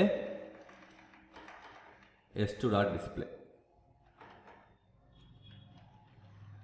S one dot display S two dot display இப்போ இதை ரன் பண்ணுறதுக்கு முன்னாடியே என்ன அவுட்புட் வரும் அப்படின்னு சொல்லி நீங்கள் கெஸ் பண்ண ட்ரை பண்ணுங்கள் இப்போ நான் இந்த ப்ரோக்ராமை ரன் பண்ண போகிறேன் எனக்கு name Manoj register number one name Karthi register number two அப்படின்னு சொல்லி வந்துருச்சு. இப்போ இங்கே என்ன நடக்குது அப்படின்னு சொல்லி இப்போ நான் எக்ஸ்பிளைன் பண்ணுறேன் எகெயின் கவனிங்க. இங்கே என்ன நடக்குது? ஸ்டூடெண்ட் அப்படின்னு சொல்லி ஒரு கிளாஸ் இருக்குது ஓகேவா ஸ்டூடெண்ட்டுன்னு கிளாஸ் இருக்குது ஸ்டூடெண்ட் கிளாஸ்க்குள்ளே நேம் இருக்குது ரெஜிஸ்டர் நம்பர் இருக்குது டிஸ்பிளேன்னு ஃபங்க்ஷன் இருக்குது இந்த டிஸ்பிளே ஃபங்க்ஷன் என்ன பண்ண போகுது? இந்த நேமையும் இந்த ரெஜிஸ்டர் நம்பரையும் பிரிண்ட் பண்ண போகுது. இப்போ நான் எஸ் ஒரு ஆப்ஜெக்ட் க்ரியேட் பண்ணுறேன் எஸ் ஒரு ஆப்ஜெக்ட் க்ரியேட் பண்ண உடனேவே இந்த நேம் இந்த கிளாஸ்க்குள்ளே இருக்கிறது எல்லாமே எஸ் ஒனுக்கு வந்துடும் ஓகேவா கிளாஸில் இருக்கிறது எல்லாமே எஸ் ஒன் ஆப்ஜெக்ட்டுக்கு கிடச்சிரும். இப்போது S one dot name equal to மனோஜ்னு சொல்லி போடுறேன். அப்போ எஸ் ஒன்னுக்குள்ளே இருக்கிற நேமை மனோஜ்னு மாற்றுறேன் அடுத்து S one dot register number equal to ஒன்னு சொல்கிறேன் எஸ் ஒன்னுக்குள்ளே இருக்கிற ரெஜிஸ்டர் நம்பரை ஒன்றுன்னு மாற்றுறேன் அடுத்து அதே மாதிரி எஸ் டூ ஆப்ஜெக்ட் கிரியேட் பண்ணுறேன் இங்கேயும் என்ன இருக்கும்? அதே மாதிரி நேம் இருக்கும் அதே மாதிரி ரெஜிஸ்டர் நம்பர் இருக்கும் அதே மாதிரி டிஸ்பிளே இருக்கும்.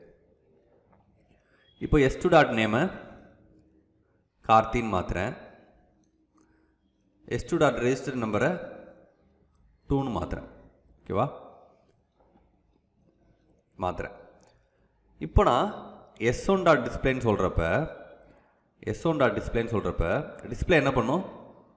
அதுக்குள்ளே இருக்கிற name comma self dot name name comma name அப்படின்றது அப்படியே எனக்கு வெளியே பிரிண்ட் ஆயிரும். நேம் ஓகேவா நேம்ன்றது அப்படியே எனக்கு வெளியே பிரிண்ட் ஆயிரும். செல்ஃப் டாட் நேம்ன்றது இந்த ஆப்ஜெக்டோட நேம் இந்த ஆப்ஜெக்டோட நேம் என்ன? S one dot name Manoj. அப்போ மனோஜ்னு சொல்லி எனக்கு வெளியே பிரிண்ட் ஆகும். அதே மாதிரி அடுத்து. ரெஜிஸ்டர் நம்பர் அப்படின்னு நான் டபுள் கொட்டேஷனுக்குள்ளே போடுறது. எனக்கு அப்படியே ரெஜிஸ்டர் நம்பர்னு சொல்லி வெளியே பிரிண்ட் ஆயிரும்.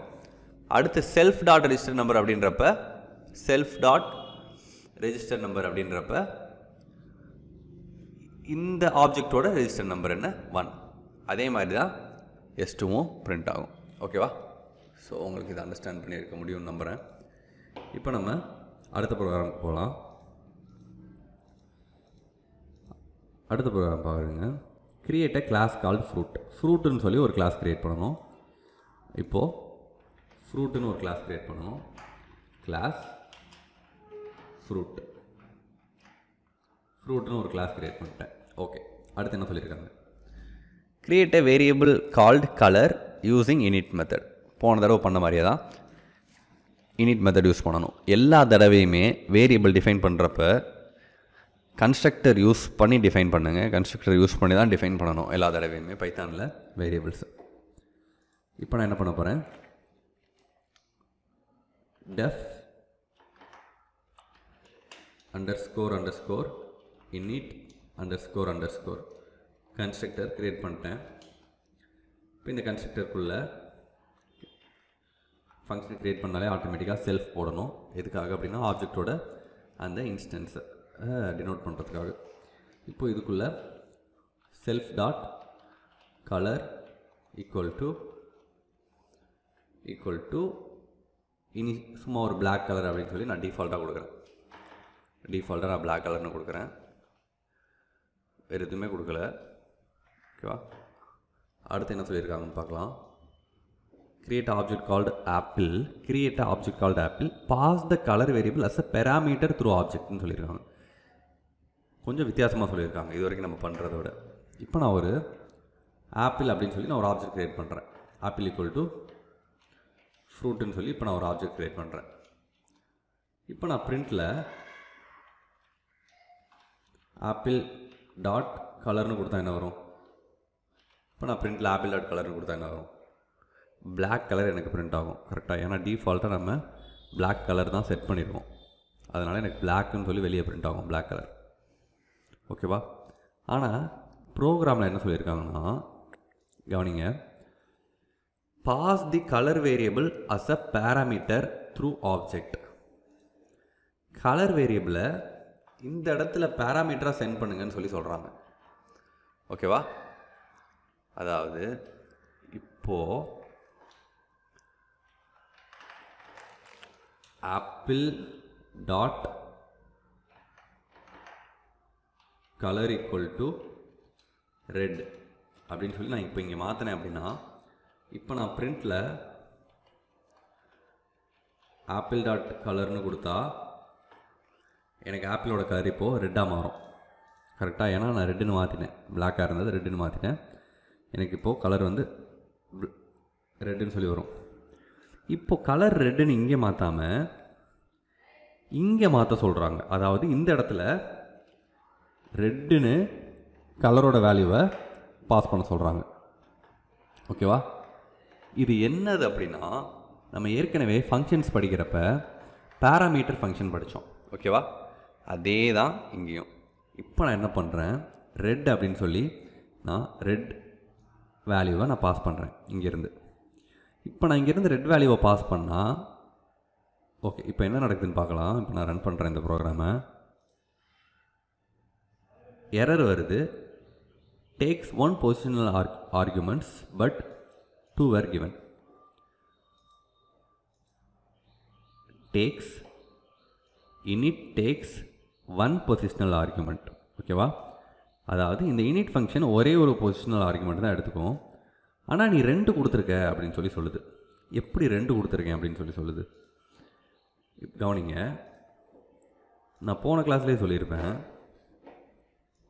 போன கிளாஸில் நோட் பண்ணியிருந்தீங்க அப்படின்னா நான் என்ன சொன்னேன் அப்படின்னா இப்போ ஒரு ஆப்பிள் அப்படின்னு நான் ஒரு ஆப்ஜெக்ட் க்ரியேட் பண்ணுறேன் அப்படின்னா ஆட்டோமேட்டிக்காக இதுக்குள்ளே என்ன போகுதுன்னு அர்த்தம்? செல்ஃப் அதாவது இந்த ஆப்பிளே இதுக்குள்ளே போகுதுன்னு அர்த்தம். ஓகேவா ஆப்பிள் ஈக்குவல் டு ஃப்ரூட் அப்படின்னு நான் எம்டியாக க்ரியேட் பண்ணேன்னா இந்த எம்டிக்குள்ளே ஆப்பிள் போகுதுன்னு அர்த்தம். இப்போ நான் ஆப்பிள் ஈக்குவல் டு ஃப்ரூட் அப்படின்னு சொல்லி நான் நார்மலாக க்ரியேட் பண்ணால் ஆல்ரெடி உள்ள ஆப்பிள் அப்படின்ற ஒரு செல்ஃப் போகுது அதனால தான் இந்த இடத்துல செல்ஃப் கீவேர்ட் போடுறோம். இப்போ நான் எக்ஸ்ட்ராவாக ரெட்டுன்னு சொல்லி கொடுத்துருக்கேன். Apple equal to fruit red ஓகேவா இப்படி நான் கொடுத்துருக்கேன். அப்படின்னா அப்படின்னா நான் என்ன கொடுத்துருக்கேன் அப்படின்னா ஃப்ரூட் இந்த இடத்துல இந்த ஆப்பிள் நம்ம கண்ணுக்கு தெரியாமல் பேக்ரவுண்டில் சென்ட் ஆகுது. கமா ரெட்டு இப்படி போகிறதுனால இப்போ இங்கே என்ன சொல்லியிருக்கு பாருங்கள் init takes one positional argument இந்த இடத்துல செல்ஃப்னு ஒரே ஒரு ஆர்குமெண்ட் தான் இருக்குது ஆனால் நீ ரெண்டு பாஸ் பண்ணுற ஆப்பிள் ரெட் அப்படின்னு சொல்லி நீ ரெண்டு வேல்யூ பாஸ் பண்ணுற அப்படின்னு சொல்லி சொல்லுது. உங்களுக்கு இன்னுமே கன்ஃபியூசிங்காக இருந்தால் இப்போது போக போக இப்போ உங்களுக்கு புரியும். இப்போ நான் என்ன பண்ண போகிறேன் இந்த இடத்துல கமா இந்த இடத்துல கமா கலர் அப்படின்னு சொல்லி இப்போ நான் ஒரு வேரியபிள் பாஸ் பண்ணுறேன் ஓகேவா? கலர் அப்படின்னு சொல்லி நான் இப்போ ஒரு வேரியபிள் பாஸ் பண்ணுறேன் கலர்னு ஓகே சிஓஎல்னு வச்சுக்கலாம். சிஓஎல் அப்படின்னு சொல்லி நான் ஒரு வேரியபிள் பாஸ் பண்ணுறேன் இப்போது கலர் ஈக்குவல் டு சிஓஎல் அப்படின்னு சொல்லி நான் போடுறேன். ஓகேவா? இப்போ என்ன நடக்குதுன்னு பாருங்கள் இப்போ எனக்கு இப்போ நான் இந்த ப்ரோக்ராம் ரன் பண்ண போகிறேன் எனக்கு ரெட்டுன்னு சொல்லி அவுட்புட் வந்துருச்சு. இப்போ நான் இந்த ப்ரோக்ராம் கூட எக்ஸ்பிளைன் பண்ணுறேன் கவனமாக கேளுங்க. நல்லா கவனிச்சாங்கன்னா தான் உங்களுக்கு புரியும். இப்போது ஃப்ரூட்டுன்னு கிளாஸ் இருக்குது இந்த ஃப்ரூட் கிளாஸ்க்குள்ளே கலர்னு ஒரு ஆட்ரிபியூட் இருக்குது இப்போ நான் என்ன பண்ணுறேன் ஆப்பிள்னு ஒரு ஆப்ஜெக்ட் க்ரியேட் பண்ணுறேன் ஓகேவா இது வரைக்கும் நம்ம நார்மலாக எப்போவுமே பார்த்தது. ஆனால் இப்போ இந்த இடத்துல என்ன இருக்குது இந்த கலர் இந்த இடத்துல இனிட் மெத்தட் இருக்குது நமக்கு. ஓகேவா இனிட் மெத்தட் இருக்குது இப்போ நான் ஆப்பிள் ஈக்குவல் டு ஃப்ரூட் ரெட்டுன்னு போட்டேன்னா என்ன ஆகும் அப்படின்னா இந்த இனிட் மெத்தட் கால் ஆகும். கரெக்டாக நார்மலாக நான் இப்போ ஃப்ரூட்டுன்னு மட்டும் ஆப்பிள் ஈக்குவல் டு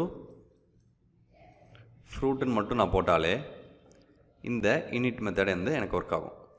ஆனால் இந்த தடவை இந்த இனிட் மெத்தடுக்குள்ளே நான் ரெட்டு போட்டிருக்கேன். அதனால இப்போ என்ன நடக்கும் அப்படின்னா இந்த ரெட்டு வேல்யூ போய் இந்த காலில் சேவ் ஆயிரும்.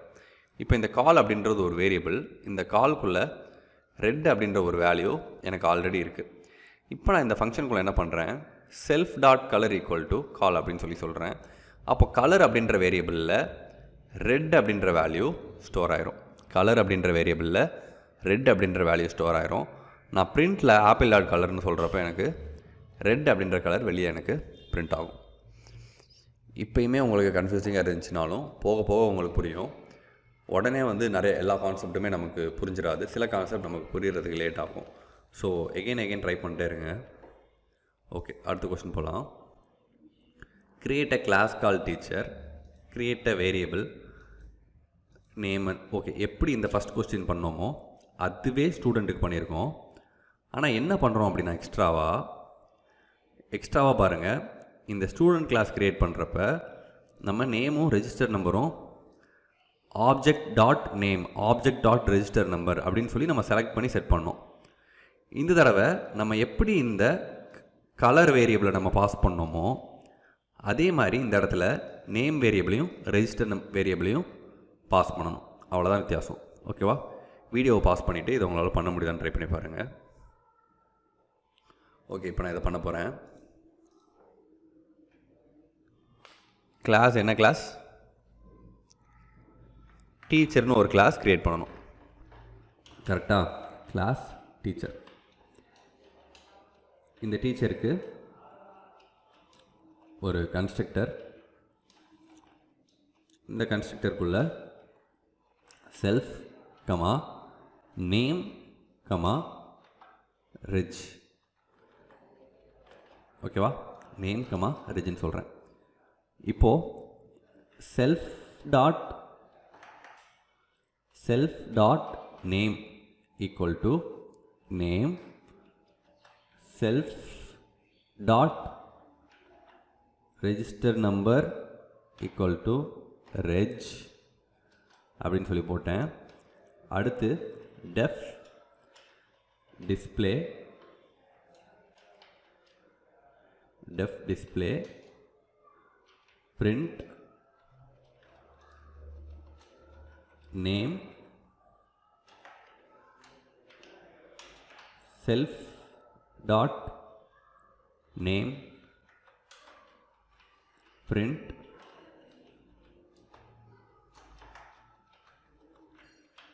register number comma self self ஸ்மாலில் இருக்கணும். Self dot register number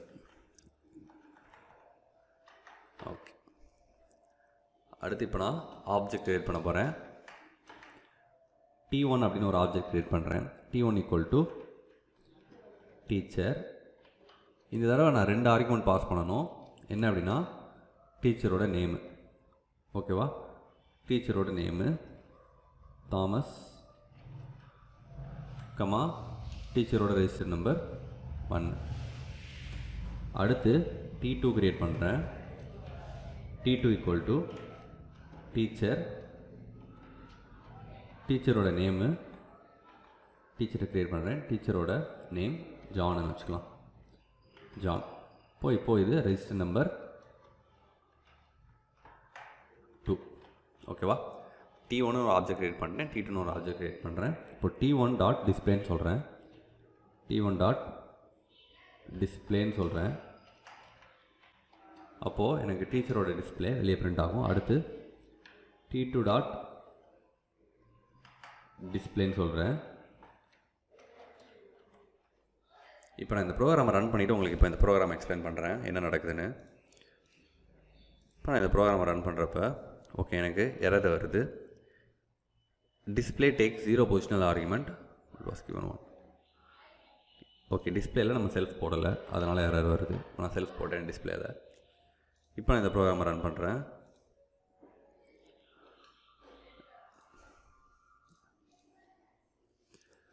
name Thomas register number one name John register number two அப்படின்னு சொல்லி எனக்கு வெளியே பிரிண்ட் ஆயிருக்கு.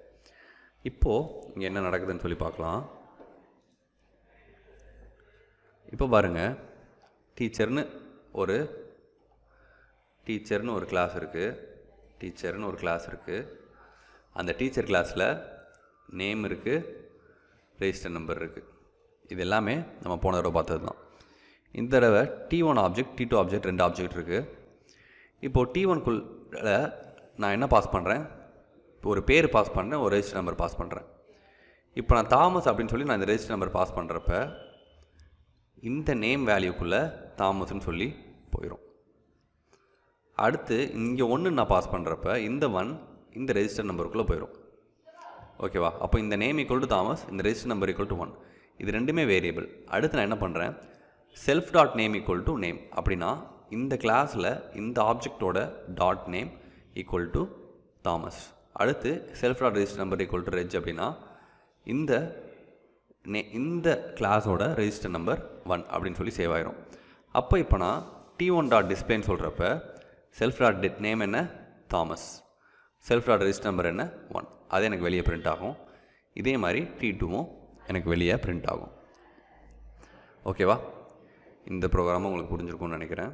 ஸோ அடுத்து தேர்ட் ப்ரோக்ராம் சாரி ஃபோர்த் இதை ஒரு தடவை ரீட் பண்ணுங்கள் உங்களாலேயே போட முடியுதான்னு பாருங்கள் ஒரு கால்குலேட்டர் கிளாஸ் வந்து க்ரியேட் பண்ணுங்கள் அதில் ரெண்டு வேரியபிள் இன்ஸ்டன்ஸ் க்ரியேட் பண்ணுங்கள் A and B create a function called add sub multiplication division எல்லா ஃபங்க்ஷனுமே ரெண்டு வேரியபிளை பேராமீட்டராக எடுத்துக்கணும். அதாவது ஏபி ஓகேவா இப்போது ஒரு டென் டூன்னு நான் சொல் ஒரு ஆட் அப்படின்ற ஃபங்க்ஷனுக்குள்ளே டென் டூ அப்படின்ற ரெண்டு நம்பரை நான் பாஸ் பண்ணால் எனக்கு அவுட்புட் டுவெல்னு வரணும். சப்ராக்ஷனுக்குள்ளே அதே மாதிரி டென் டூன்னு பாஸ் பண்ணால் எயிட்டுன்னு வரணும். ஸோ இந்த ப்ரோக்ராமை நீங்களே பண்ண ட்ரை பண்ணுங்கள் இப்போ இந்த ப்ரோக்ராமை நான் குயிக்காக போட போகிறேன் நான் என்ன பண்ண போகிறேன்னு கவனிங்க. ஓகே ஃபர்ஸ்ட் நம்ம கேல்குலேட்டர் அப்படின்னு சொல்லி ஒரு கிளாஸ் க்ரியேட் பண்ணிக்கலாம். Class calculator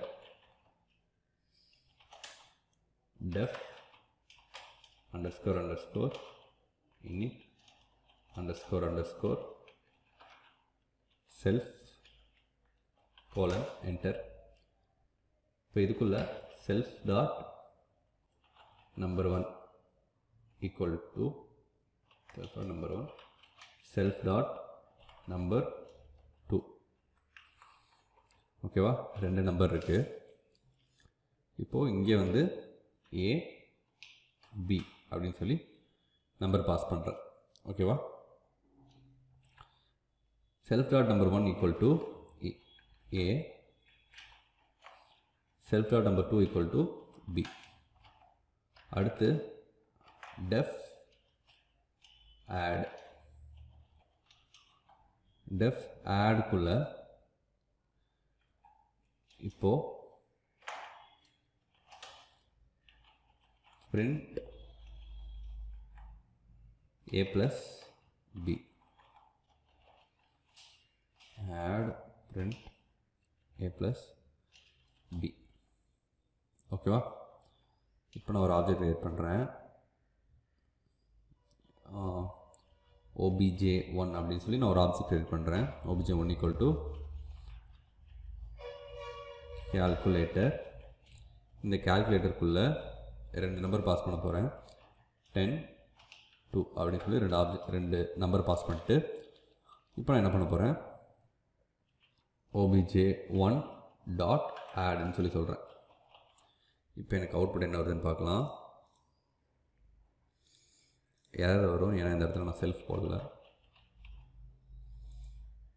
இப்போ என்ன அவுட்புட் வருதுன்னு பாருங்கள் ஏ இஸ் நாட் டிஃபைன்டு வருது. ஏன் அப்படின்னா இந்த இடத்துல நம்ம உள்ள ஆல்ரெடி அந்த இன்ஸ்டன்ஸோட வேரியபிளை தான் நம்மளால் எடுக்க முடியும். ஓகேவா இந்த இன்ஸ்டன்ஸோட வேரியபிள் என்ன அப்படின்னா இந்த ஏவையும் பிஏயும் இனிட் ஃபங்க்ஷனால் மட்டும்தான் யூஸ் பண்ணிக்க முடியும். இந்த ஏபியை இனிட் ஃபங்க்ஷனால் மட்டும்தான் யூஸ் பண்ண முடியும். ஏன்னா அது இனிட் ஃபங்க்ஷனோட பேராமீட்டர் ஓகேவா இந்த ஆட் ஃபங்க்ஷனில் ஏபி பேராமீட்டர் இல்லை. நம்மளால் இந்த இந்த இடத்துல என்ன யூஸ் பண்ண முடியும் அப்படின்னா self dot num one use பண்ண முடியும். ஏன்னா இந்த இடத்துல நமக்கு இந்த கிளாஸோட இன்ஸ்டன்ஸ் என்ன?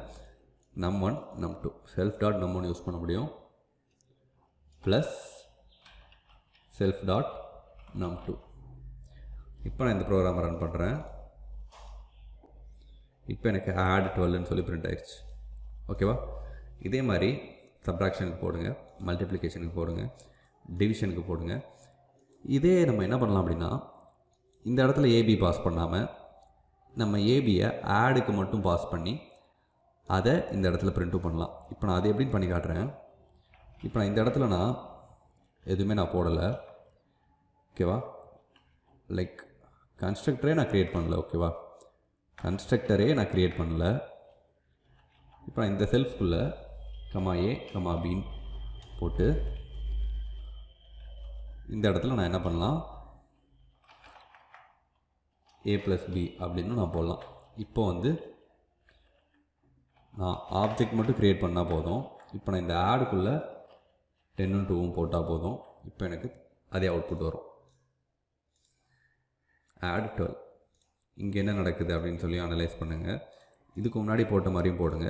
இப்படியும் போட்டு பாருங்கள் கிளாஸ் அண்ட் ஆப்ஜெக்ட் கன்ஃபியூசிங்காக இருக்கும். நிறைய கன்ஃபியூசிங்காக இருக்க வாய்ப்பு இருக்குது எப்படி இது கால் ஆகுது எப்படி அது கால் ஆகுது அப்படின்னு சொல்லி நீங்கள் எகெயின் எகெயின் போட போட தான் உங்களுக்கு புரியும். ஸோ இந்த ஃபோர் கொஸ்டின்ஸையும் எகெயின் ஒரு தடவை போட்டு பாருங்கள் அண்டு நெக்ஸ்ட் கிளாஸில் உங்களை பார்க்குறேன்.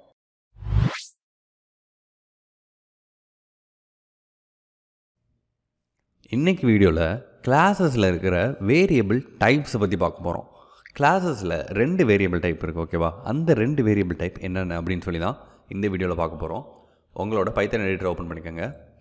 அதில் ஃபைல் போயிட்டு நியூ ஃபைல் க்ரியேட் பண்ணி இந்த ஃபைலை சேவ் பண்ணிக்கோங்க. இந்த ஃபைலை சேவ் பண்ணிக்கோங்க. நான் வேரியபிள் டைப்ஸ் அப்படின்னு சொல்லி நான் இந்த ஃபைலை சேவ் பண்ணிக்கிறேன்.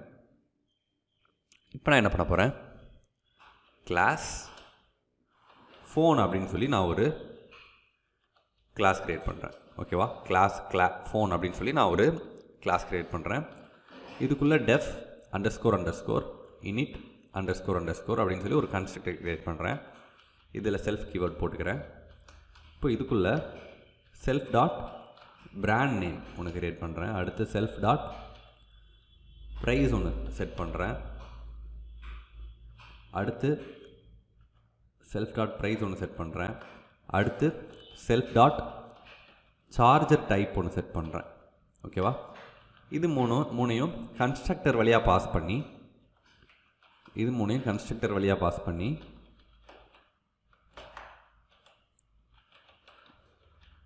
சார்ஜர் டைப் இது மூணையுமே கன்ஸ்ட்ரக்டர் வழியாக பாஸ் பண்ணி செட் பண்ண போகிறேன் ப்ரைஸ் சார்ஜர் டைப். ஓகேவா அடுத்து டெஃப் டிஸ்பிளேன்னு ஒரு ஃபங்க்ஷன் க்ரியேட் பண்ணுறேன் செல்ஃப் இதுக்குள்ளே print brand comma self dot brand print price comma self dot price print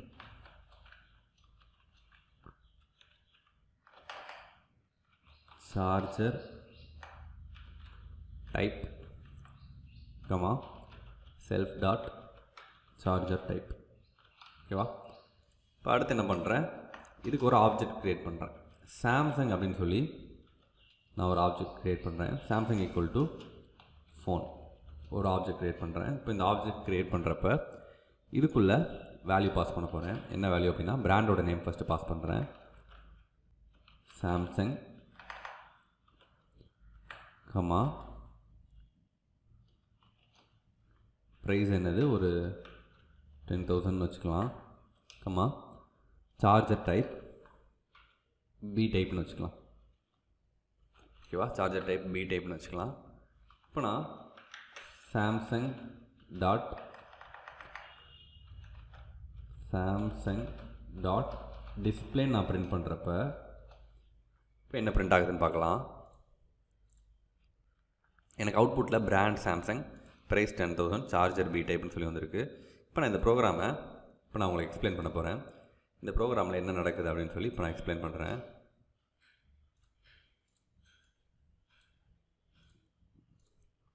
okay இப்போ இந்த ப்ரோக்ராமில் என்ன நடக்குதுன்னு சொல்லி பார்க்கலாம்.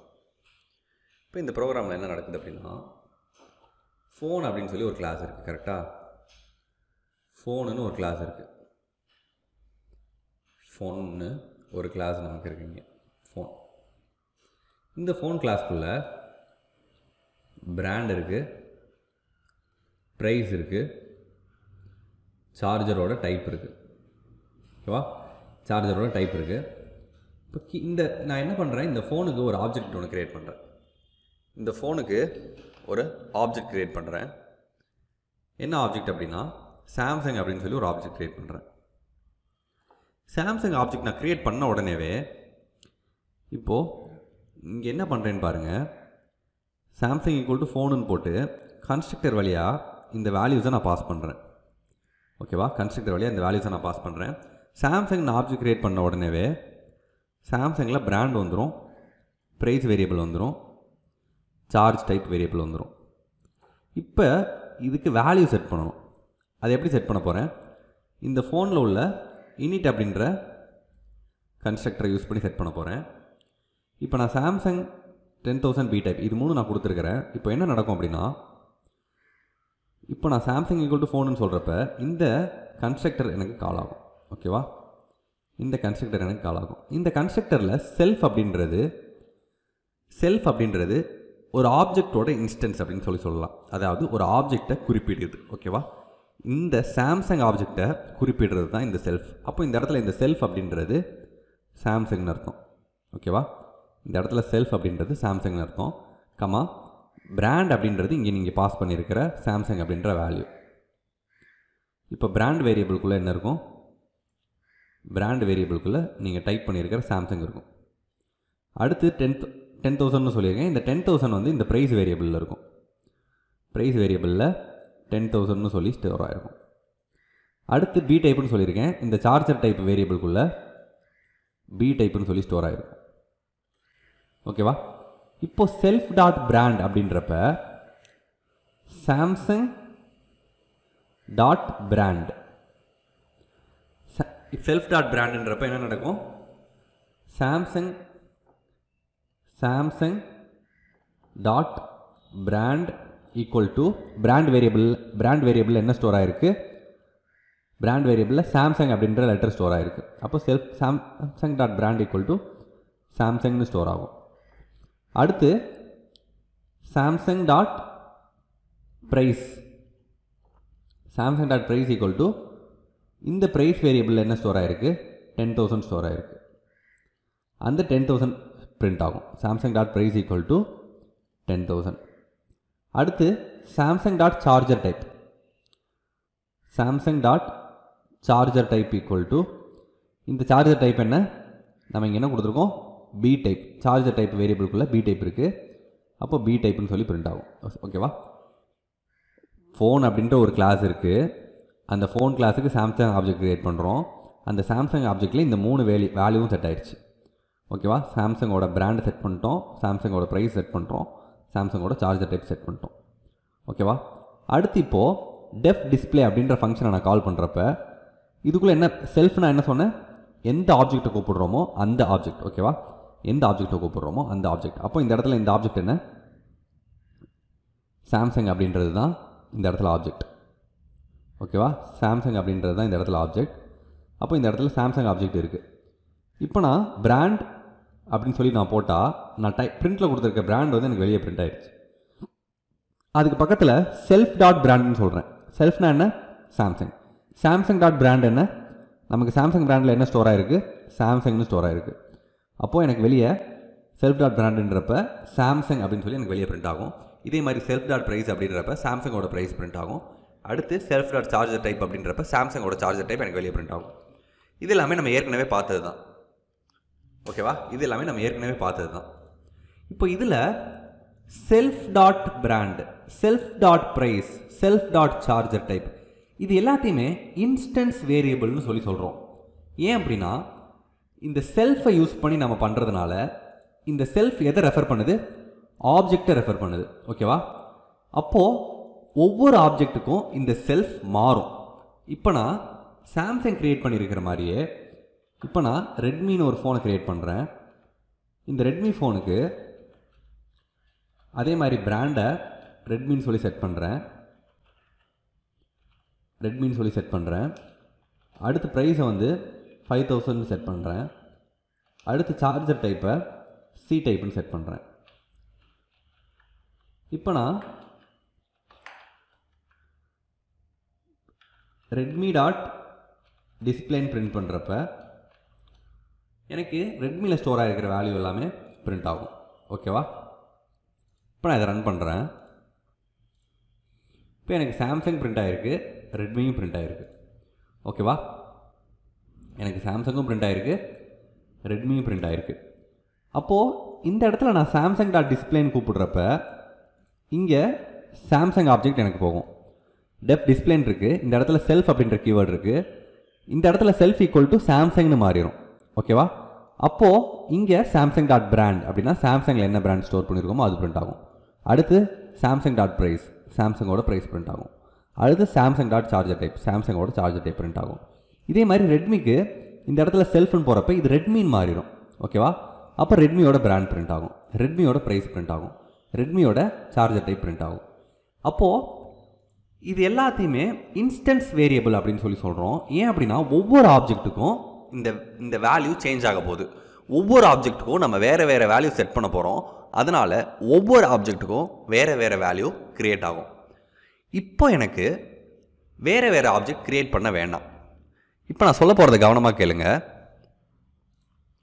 இப்போ நான் சொல்ல போகிறத கவனமாக கேளுங்க. இப்போது கவர்மெண்ட் வந்து ஒன்று அனௌன்ஸ் பண்ணுறாங்கன்னு வைங்க. கவர்மெண்ட் வந்து நீங்கள் க்ரியேட் பண்ணுற எல்லா ஃபோனுமே சி டைப் சார்ஜரில் தான் இருக்கணும் அப்படின்னு சொல்லி சொல்லிட்டாங்க. ஓகேவா நீங்கள் க்ரியேட் பண்ணுற எல்லாமே எல்லா ஃபோனுமே சி டைப் சார்ஜரில் தான் இருக்கணும் அப்படின்னு சொல்லி சொல்லிட்டாங்கன்னு வைங்க. இப்போது இந்த சி டைப் சார்ஜர் ஓகேவா செல்ஃப் டாட் சார்ஜர் டைப் அப்படின்றது காமன் தான். எல்லா ஃபோனுக்குமே காமனாக தான் இருக்க போகுது. எல்லா ஃபோனுக்குமே சி டைப்பாக இருக்க போகுது. ஓகேவா? இப்போ நான் இப்போ வந்து இங்கேயும் சி டைப்பாக இருக்க போது இங்கேயும் சி டைப்பாக இருக்க போது இப்போ நான் புதுசாக இன்னொரு ஒரு ஃபோன் க்ரியேட் பண்ணுறேன்னு வைங்களேன். இப்போ நான் புதுசாக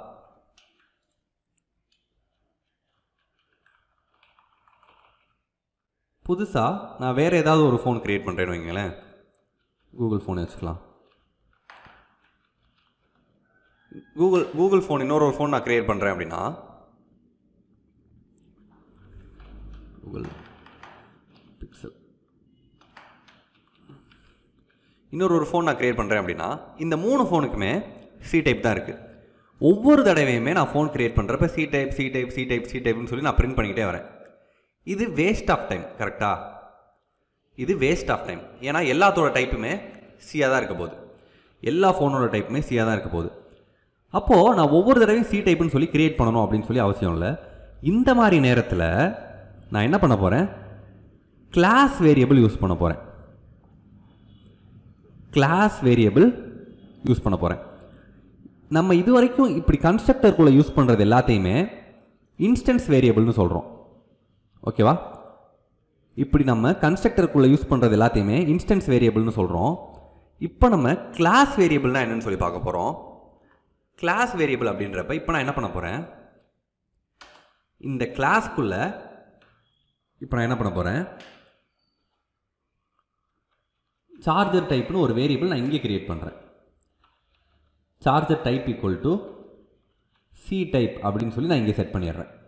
ஓகேவா charger type equal to C டைப்னு நான் இங்கே செட் பண்ணிடுறேன். செல்ஃப் டாட் சார்ஜர் டைப்பை நான் எடுத்துடுறேன். செல்ஃப் டாட் சார்ஜர் டைப்பை நான் எடுத்துடுறேன். இங்கேயும் நான் சார்ஜர் டைப்பை பாஸ் பண்ணல. ஓகேவா இந்த சி டைப்பை நான் எடுத்துடுறேன். இந்த சி டைப்பையும் நான் எடுத்துடுறேன் இந்த சி டைப்பையும் நான் எடுத்துடுறேன் ஓகேவா? இப்போ என்ன நடக்கும் அப்படின்னா இப்போ நான் இந்த இந்த இந்த ப்ரோக்ராமை ரன் பண்ணுறேன் எனக்கு எல்லா charger டைப்புமே C type C type C டைப்னு வந்துருச்சு. ஆனால் நான் சி டைப்புன்னு சொல்லி நான் இங்கே க்ரியேட் பண்ணல. ஓகேவா? ஜஸ்ட் என்ன பண்ணுறேன் செல்ஃப் டாட் சார்ஜர் டைப்னு மட்டும் தான் போடுறேன். இங்கே நான் சி டைப் பாஸ் பண்ணல. காமனாக சார்ஜர் சி டைப்னு சொல்லி நான் வெளியே போட்டுறேன். இப்போ இங்கே என்ன நடக்குதுன்னு பாருங்கள் இப்போ இங்கே என்ன நடக்குதுன்னு நான் எக்ஸ்பிளைன் பண்ண போகிறேன் கவனிங்க.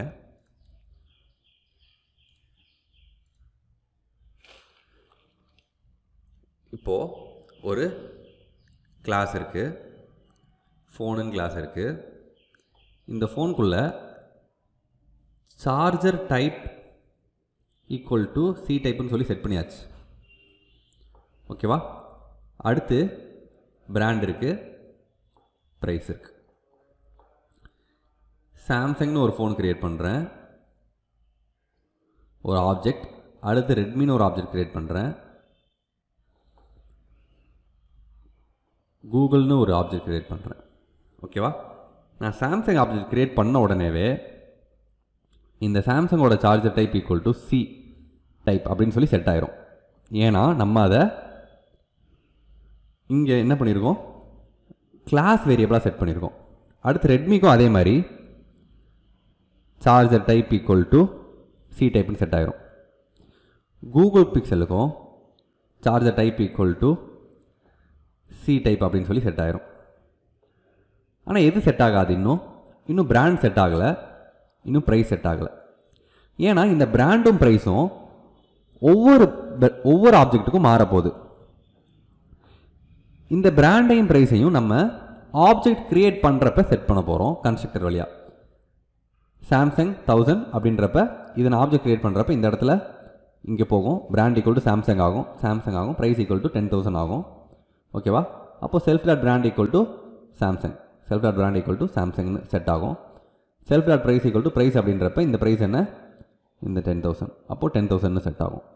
இந்த மாதிரி செட் பண்ணுறோம் ஓகேவா இதுதான் கிளாஸ் வேரியபிளுக்கும் இன்ஸ்டன்ஸ் வேரியபிளுக்கும் உள்ள வித்தியாசம். இது கிளாஸ் வேரியபிள் இது இன்ஸ்டன்ஸ் வேரியபிள் ஓகேவா இப்போ சடனாக இப்போ சடனாக லெட்ஸே சே இப்போ வந்து திரும்ப கவர்மெண்ட் என்ன சொல்கிறாங்க சி டைப் யூஸ் பண்ணக்கூடாது.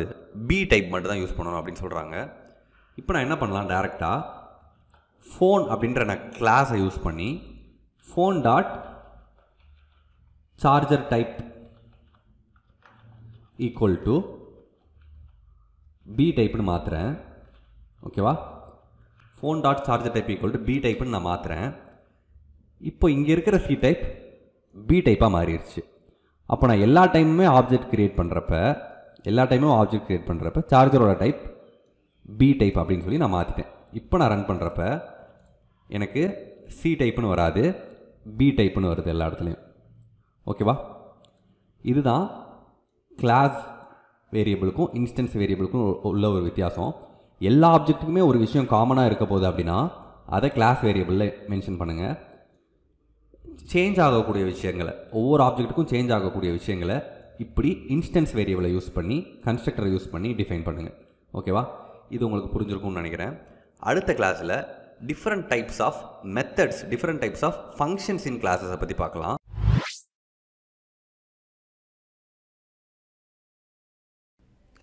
லாஸ்ட் வீடியோவில் டிஃப்ரெண்ட் டைப்ஸ் ஆஃப் வேரியபிள்ஸ் பார்த்தோம். கிளாஸில் இருக்கிற டிஃப்ரெண்ட் டைப்ஸ் ஆஃப் வேரியபிள்ஸ் என்னென்னு பார்த்தோம். இந்த கிளாஸில் டிஃப்ரெண்ட் டைப் ஆஃப் மெத்தட்ஸ் அதாவது ஃபங்க்ஷன்ஸ் ஓகேவா ஃபங்க்ஷன்ஸை மெத்தட்ஸ்னு சொல்லுவாங்க ஓகேவா கிளாஸஸை பொறுத்த வரைக்கும் பைத்தானாக இருக்கட்டும் எந்த ப்ரோக்ராமிங் லாங்குவேஜாக இருக்கட்டும் ஃபங்க்ஷன்ஸை மெத்தடுன்னு சொல்லுவாங்க. நம்ம இந்த வீடியோவில் different type of class methods பற்றி பார்க்க போகிறோம் ஆல்ரெடி நான் வந்து என்னோட பைத்தன் எடிட்டரை ஓப்பன் பண்ணிட்டேன். இதில் ஏற்கனவே வந்து ஒரு ஃபைல் கிளாஸ் மெத்தட்ஸ் அப்படின்னு சொல்லி ஒரு ஃபைல் ஓப்பன் பண்ணி அதில் இந்த ப்ரோக்ராம் எல்லாமே நான் டைப் பண்ணியிருக்கேன். ஜஸ்ட் இப்போ நான் உங்களுக்கு இந்த ப்ரோக்ராம் மட்டும் எக்ஸ்பிளைன் பண்ண போகிறேன் ஃபர்ஸ்ட் என்ன பண்ணியிருக்கேன்? கிளாஸ் லேப்டாப் அப்படின்னு சொல்லி ஒரு லேப்டாப் க்ரியேட் பண்ணியிருக்கேன். அதில் சார்ஜர் டைப் அப்படின்னு சொல்லி ஒரு கிளாஸ் வேரியபிள் டிஃபைன் பண்ணியிருக்கேன். கிளாஸ் வேரியபிள் சார்ஜர் டைப்னு சொல்லி டிஃபைன் பண்ணியிருக்கேன். அதுக்குள்ளே டெஃப் இனிட் அப்படின்னு சொல்லி ஒரு கன்ஸ்ட்ரக்டர் க்ரியேட் பண்ணியிருக்கேன். இதுக்குள்ளே ரெண்டு இன்ஸ்டன்ஸ் வேரியபிள் க்ரியேட் பண்ணியிருக்கேன். Self dot brand equal to எம்டியாக விட்டுருக்கேன். Self dot price equal to thirty four சொல்லியிருக்கேன்.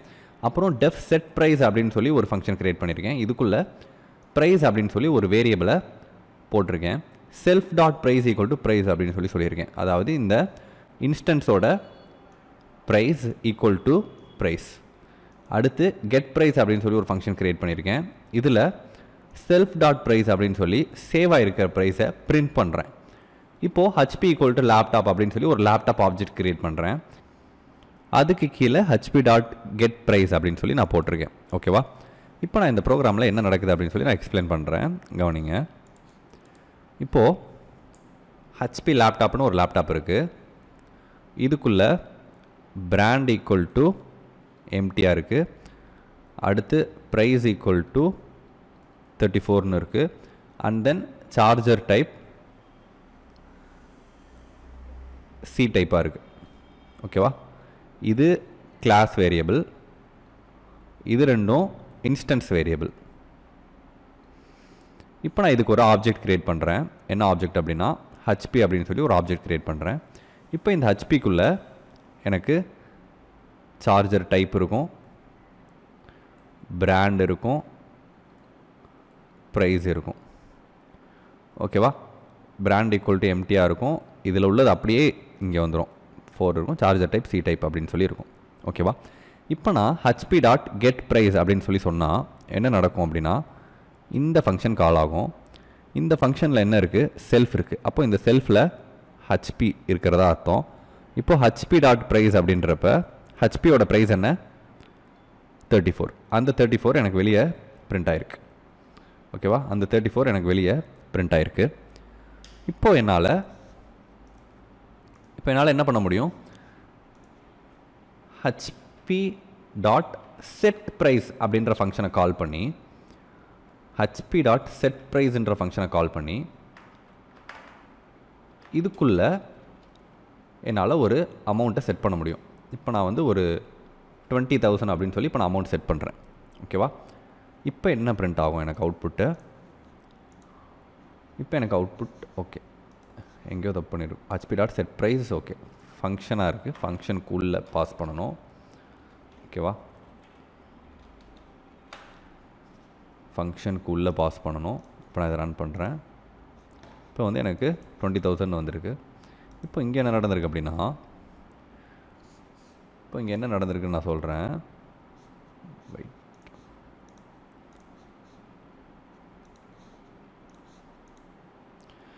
இப்போது அதே மாதிரி லேப்டாப் க்ரியேட் ஆகிருக்கு ஹச்பி ஆப்ஜெக்ட்குள்ளே ஹச்பி ஆப்ஜெக்ட்குள்ளே பிராண்ட் ஈக்குவல் டு எம்டியாக ஒரு பிராண்ட் இருக்குது ப்ரைஸ் ஈக்குவல் டு ஃபஸ்ட்டு வந்து தேர்ட்டி ஃபோராக இருந்துச்சு இல்லையா? இப்படி இருக்குது ஓகேவா இப்போ நான் ஹச்பி டாட் செட் ப்ரைஸ்னு சொல்கிறப்ப இந்த ஃபங்க்ஷன் கால் ஆகும். இந்த ஃபங்க்ஷனில் ஃபஸ்ட்டு செல்ஃப் அப்படின்றது ஹச்பி அடுத்து ப்ரைஸ் அப்படின்றது என்ன ப்ரைஸ் இங்கேருந்து நான் பாஸ் பண்ணுறேன் பார்த்தீங்களா வேல்யூ இது இங்கே போகும். ப்ரைஸ் ஈக்குவல் டு இப்போது டுவெண்ட்டி தௌசண்ட் ஆயிரும். இப்போது HP dot price equal to ப்ரைஸ்ன்னு சொல்கிறேன் அப்போ HP dot price equal to இந்த ப்ரைஸில் என்ன இருக்குது டுவெண்ட்டி தௌசண்ட் இருக்குது அப்போ இந்த டுவெண்ட்டி தௌசண்ட் ஹச்பி டாட் ப்ரைஸில் செட் ஆகும். இப்போது ஹச்பி ஆப்ஜெக்ட்டுக்குள்ளே ப்ரைஸ் என்ன ஆயிடுச்சு தேர்ட்டி ஃபோராக இருந்தது. இப்போது டுவெண்ட்டி தௌசண்டாக மாறிடுச்சு. இப்போ நான் ஹச்பி டாட் கெட் ப்ரைஸ்ன்னு சொல்கிறப்ப இப்போ இந்த ஃபங்க்ஷன் கால் ஆகும். இப்போ பிரிண்ட்டுக்குள்ளே செல்ஃப் டாட் ப்ரைஸ் இருக்குது செல்ஃப் டாட் ப்ரைஸ்ன்றப்ப இந்த டுவெண்ட்டி தௌசண்ட் எனக்கு வெளியே பிரிண்ட் ஆகும். இப்போ இந்த ஃபங்க்ஷன் எல்லாத்துலேயுமே நான் என்ன பண்ணுறேன் செல்ஃப் யூஸ் பண்ணுறேன் ஓகேவா இந்த ஃபங்க்ஷன் எல்லாத்துலேயுமே நான் வந்து செல்ஃப் யூஸ் பண்ணுறேன் இப்போ செல்ஃப் யூஸ் பண்ணுறதுனால நான் வந்து ஆப்ஜெக்டோட வேல்யூஸை நான் யூஸ் பண்ணிக்கிறேன். ஓகேவா அதாவது இன்ஸ்டன்ஸ் மெத்தட் இதை தான் நம்ம வந்து இன்ஸ்டன்ஸ் மெத்தட் அப்படின்னு சொல்லி சொல்கிறோம் எங்கெங்கெல்லாம் செல்ஃப் போட்டு நீங்கள் ஃபங்க்ஷன் க்ரியேட் பண்ணுறீங்களோ அது எல்லாத்தையுமே இன்ஸ்டன்ஸ் மெத்தட் அப்படின்னு சொல்லி சொல்கிறோம் அடுத்து கிளாஸ் மெத்தட்னா என்னன்னு சொல்லி பார்க்கலாம். இப்போ கவனிங்க இந்த இடத்துல இன்னொரு ஒரு ஃபங்க்ஷன் க்ரியேட் பண்ணுறேன் ஓகேவா டெஃப் செட் சார்ஜர் டைப் அப்படின்னு சொல்லி நான் இன்னொரு ஒரு ஃபங்க்ஷன் க்ரியேட் பண்ணுறேன் இது அதிகமாக நீங்கள் யூஸ் பண்ண மாட்டீங்க. ஆனால் இப்படி இருக்குது அப்படின்றது உங்களுக்கு தெரியணும். செட் சார்ஜர் டைப் அப்படின்னு சொல்லி ஒரு சார்ஜர் டைப் யூஸ் பண்ணுறேன் இப்போ நான் இதுக்குள்ளே என்ன பண்ண போகிறேன் இந்த சார்ஜர் டைப் வேரியபிளை நான் அக்சஸ் பண்ண போகிறேன் ஓகேவா இந்த சார்ஜர் டைப் என்ன வேரியபிள் கிளாஸ் வேரியபிள் கரெக்டாக நான் இங்கே இருக்கிற இங்கே இருக்கிற ப்ரைஸை இந்த ஃபங்க்ஷனுக்குள்ளே யூஸ் பண்ணுறதுக்காக செல்ஃப் யூஸ் பண்ணியிருக்கேன் ஏன்னா இ- இப்போ இந்த இடத்துல வந்து செல்ஃப் ப்ரைஸ் அதாவது ஒரு ஆப்ஜெக்டோட ப்ரைஸை நான் சேஞ்ச் பண்ணணும். அதனால் இந்த இடத்துல செல்ஃப் டாட் ப்ரைஸ்னு யூஸ் பண்ணியிருக்கேன் இப்போது கிளாஸ் வேரியபிளை நான் அக்சஸ் பண்ணணும். ஒரு ஃபங்க்ஷனுக்குள்ளே நான் கிளாஸ் வேரியபிளை அக்சஸ் பண்ணணும். அப்போ இந்த இடத்துல நான் என்ன பண்ண போகிறேன் செல்ஃப் போடாமல் சிஎல்எஸ் அப்படின்னு சொல்லி கிளாஸ் கீவேர்டை போட போகிறேன் ஓகேவா செல்ஃபுக்கு பதிலாக சிஎல்எஸ் அப்படின்னு சொல்லி கிளாஸ் மென்ஷன் பண்ணுறேன் இப்போ நான் இதுக்குள்ளே என்ன பண்ண போகிறேன் class dot charger type equal to charger டைப்பை B டைப்புன்னு மாற்றுறேன் ஓகேவா கிளாஸ் டாட் சார்ஜர் டைப்பை பி டைப்புன்னு சொல்லி மாற்றுறேன் இப்போது இப்போ நான் என்ன பண்ணலாம்? இப்போ நான் வந்து கிளாஸ் ஆப்ஜெக்டை யூஸ் பண்ணி கிளாஸ் என்னது? லேப்டாப்பா இப்போ நான் லேப்டாப் கிளாஸை யூஸ் பண்ணி என்ன பண்ண போகிறேன் laptop dot set charge type அப்படின்னு சொல்லி நான் இந்த ஃபங்க்ஷனை கால் பண்ணுறேன் செட் சார்ஜ் டைப்புக்கு பதிலாக சேஞ்ச் சார்ஜர் டைப்னு கொடுத்துக்கலாம். ஓகேவா சேஞ்ச் சார்ஜர் டைப்னு கொடுத்துக்கலாம். இப்போ நான் சேஞ்ச் சார்ஜர் டைப் அப்படின்னு சொல்லி நான் ஃபங்க்ஷன் க்ரியேட் பண்ணுறேன் இப்போ நான் இதை க்ளோஸ் பண்ணுறேன் ஓகேவா இப்போ நான் இதை ரன் பண்ணுறேன் ரன் பண்ணுறதுக்கு முன்னாடி இந்த இடத்துல print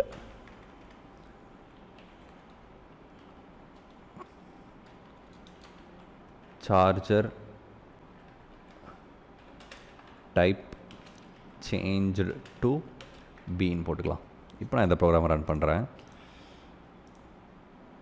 இப்போ இந்த ப்ரோக்ராமை ரன் பண்ணுறப்ப எனக்கு எரர் காட்டுது. Laptop has no attribute change charger type okay நான் ஏதோ டைப்பிங் மிஸ்டேக் பண்ணியிருக்கேன். ஓகேவா என்ன டைப்பிங் மிஸ்டேக் பண்ணியிருக்கேன்னு பார்க்கலாம். இந்த இடத்துல சார்ஜர் டைப் இருக்குது இந்த இடத்துல சார்ஜ் டைப் இருக்கு. ஓகே இப்போ நான் திரும்ப ரன் பண்ணுறேன் இப்போ வந்து எனக்கு வேறு ஒரு எரர் காட்டுது.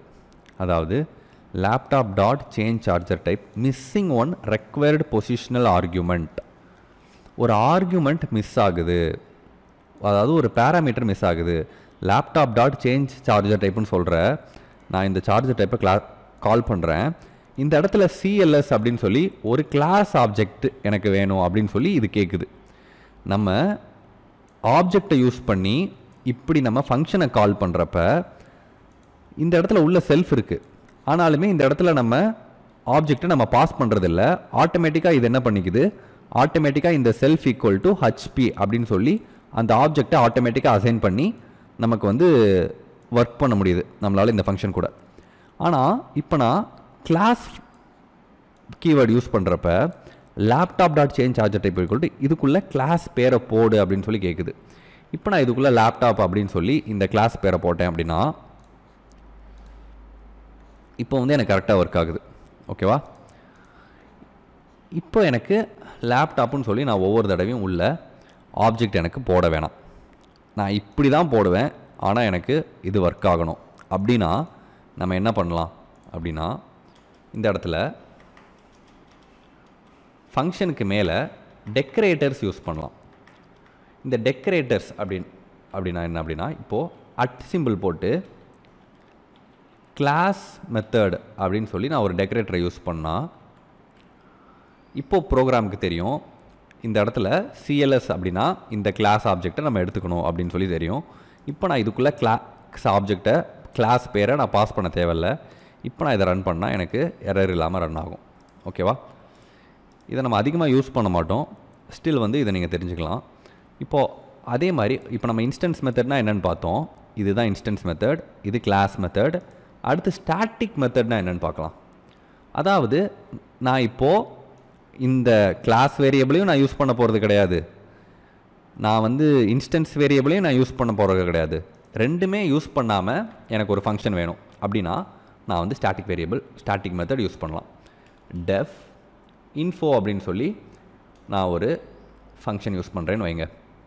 டெஃப் இன்ஃபோ அப்படின்னு சொல்லி ஒரு ஃபங்க்ஷன் க்ரியேட் பண்ணுறேன் இப்போ இதுக்குள்ளே என்ன பண்ண போகிறேன் பிரிண்ட்டுன்னு போட்டு திஸ் இஸ் லேப்டாப் கிளாஸ் அப்படின்னு சொல்லி போடுறேன். ஓகேவா இதுக்குள்ளே நான் எதை யூஸ் பண்ணுறது எதை என்ன எதுவுமே நான் யூஸ் பண்ணல. அதாவது இதுக்குள்ளே நான் வந்து இன்ஸ்டன்ஸ் வேரியபிளும் எனக்கு தேவையில்ல. எனக்கு கிளாஸ் வேரியபிளும் தேவையில்ல. சும்மா ஒரு ஃபங்க்ஷன் ஓகேவா இந்த ஃபங்க்ஷனை எப்படி அக்சஸ் பண்ணலாம் அப்படின்னா இப்போ நான் இப்போ நான் நார்மலாக இப்போது இந்த ஃபங்க்ஷனை ஹச்பி டாட் இன்ஃபோ அப்படின்னு சொல்லி நான் போட்டேன்னா எனக்கு எரர் காட்டும். ஹச்பி டாட் இன்ஃபோன்னு நான் போட்டேன்னா எனக்கு எரர் காட்டும். Takes zero positional argument one was given அப்படின்னு சொல்லி எனக்கு எரர் காட்டுது. இப்போ நம்ம எப்படி இந்த இடத்துல கிளாஸ் மெத்தட் அப்படின்ற டெக்கரேட்டர் யூஸ் பண்ணோமோ அதே மாதிரி இந்த இடத்துல நம்ம அட் போட்டு இந்த இடத்துல வந்து நம்ம ஸ்டாட்டிக் மெத்தடு அப்படின்னு சொல்லி நம்ம ஒரு டெக்கரேட்டர் யூஸ் பண்ணலாம். இப்போது இந்த எரர் இல்லாமல் ஒர்க் ஆகும். இப்போ நான் இதை ரன் பண்ணுறப்ப எனக்கு எரர் இல்லாமல் திஸ் இஸ் லேப்டாப் கிளாஸ் அப்படின்னு சொல்லி வந்துருச்சு. ஓகேவா இதுதான் என்னது அப்படின்னா இது இன்ஸ்டன்ஸ் மெத்தட் இது கிளாஸ் மெத்தட் இது ஸ்டாட்டிக் மெத்தட் இது மூணும் உங்களுக்கு புரிஞ்சிருக்கும்னு நினைக்கிறேன். அடுத்தடுத்து வரப்போகிற வீடியோஸில் ஊப்ஸ் கான்செப்ட் பற்றி இன்னும் டீட்டெயிலாக பார்க்க போகிறோம் இன்ஹெரிட்டன்ஸ்னா என்ன பாலிமாஃபிசம்னா என்னன்னு சொல்லி அடுத்தடுத்த வர வீடியோவில் இன்னும் டீட்டெயிலாக ஆப்ஜெக்ட் ஓரியன்ட் கான்செப்ட்ஸை நம்ம பார்க்கலாம்.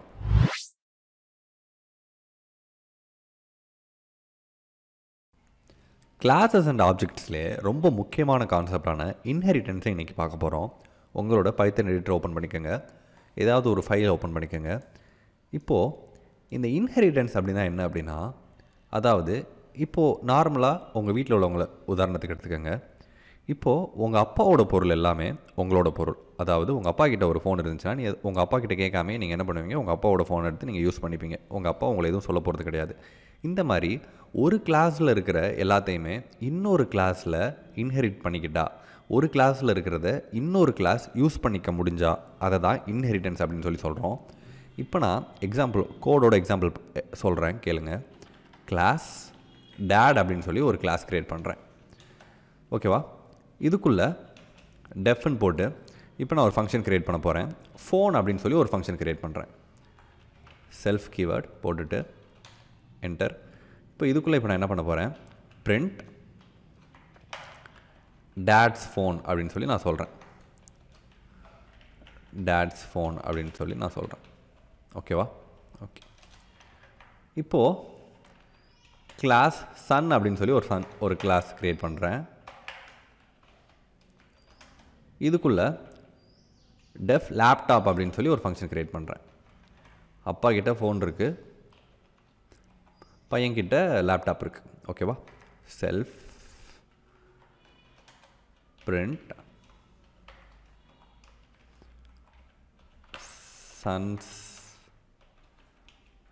லேப்டாப் இப்போ நான் என்ன பண்ண போகிறேன் இந்த சன்னுக்கு ஒரு ஆப்ஜெக்ட் க்ரியேட் பண்ண போகிறேன் ராம்னு ஒரு ஆப்ஜெக்ட் க்ரியேட் பண்ணுறேன் சன்னுக்கு ஓகேவா இப்போ நான் இந்த ராம் ஆப்ஜெக்டை யூஸ் பண்ணி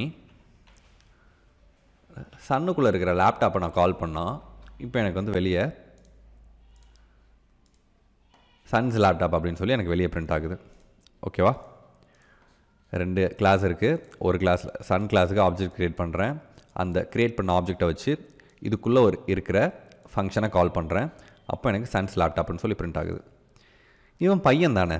அப்போது அப்பாவோட ஃபோனையும் இவனால் யூஸ் பண்ண முடியணும். ஓகேவா இப்போ நான் என்ன பண்ண ட்ரை பண்ண போகிறேன் இந்த சன் ஆப்ஜெக்டை வச்சு சன்னுக்கு நான் க்ரியேட் பண்ண ராம் அப்படின்ற ஆப்ஜெக்டை வச்சு டேட் அப்படின்ற கிளாஸுக்கு உள்ளே இருக்கிற ஃபோன் அப்படின்ற ஃபங்க்ஷனை அக்சஸ் பண்ண ட்ரை பண்ணுறேன் இப்போ நான் இதை ரன் பண்ணுறப்ப எனக்கு எரர் வருது. Son object has no attribute phone son கிட்ட ஃபோனே இல்லை அப்படின்னு சொல்லி ப்ரோக்ராம் நம்மக்கிட்ட சொல்லுது. இப்போ நான் இந்த ப்ரோக்ராமை எக்ஸ்பிளைன் பண்ணுறேன் கவனிங்க. அதாவது டேட் அப்படின்னு சொல்லி ஒரு கிளாஸ் இருக்குது ஓகேவா இந்த டேட்ட என்ன இருக்குது ஃபோன் இருக்குது சன் அப்படின்னு ஒரு- ஒரு கிளாஸ் இருக்குது இந்த சன் கிளாஸில் லேப்டாப் இருக்குது இப்போ இந்த சன்னுக்கு ஒரு ஆப்ஜெக்ட் க்ரியேட் பண்ணுறேன் இந்த சன்னுக்கு என்ன ஆப்ஜெக்ட் க்ரியேட் பண்ண போகிறேன் இப்போது ராம் அப்படின்னு சொல்லி ஒரு ஆப்ஜெக்ட் க்ரியேட் பண்ணுறேன் இப்போ இந்த ராம் ஆப்ஜெக்டால் என்ன பண்ண முடியும்?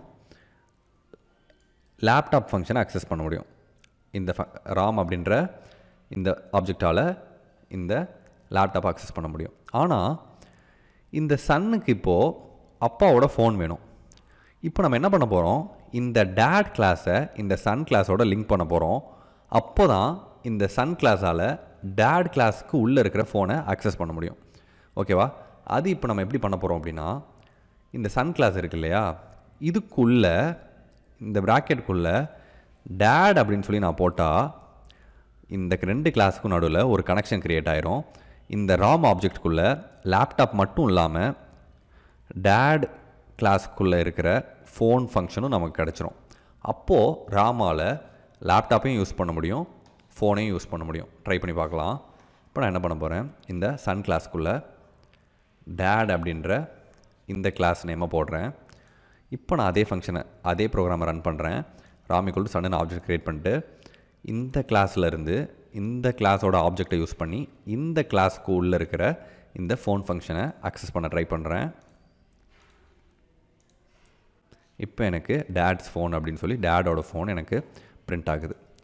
இதை சிங்கிள் இன்ஹெரிட்டன்ஸ்னு சொல்கிறோம் ஒரு ஃபங்க்ஷன்லேருந்து இன்னொரு ஃபங்க்ஷனுக்கு நம்ம நார்மலாக யூஸ் பண்ணுறத சிங்கிள் இன்ஹெரிட்டன்ஸ் அப்படின்னு சொல்லி சொல்கிறோம் இப்போது அடுத்து நான் என்ன பண்ண போகிறேன்னு பாருங்கள் கிளாஸ் மாம் அப்படின்னு சொல்லி இன்னொரு ஒரு ஃபங்க்ஷன் க்ரியேட் பண்ண போகிறேன் ஓகேவா கிளாஸ் மாம் அப்படின்னு சொல்லி இன்னொரு ஃபங்க்ஷன் க்ரியேட் பண்ணுறேன் இப்போது அம்மா கிட்டே ஏதோ ஒரு ஸ்வீட் இருக்குது ஓகேவா அம்மா கிட்ட ஏதோ ஒரு ஸ்வீட் இருக்குது பிரிண்ட்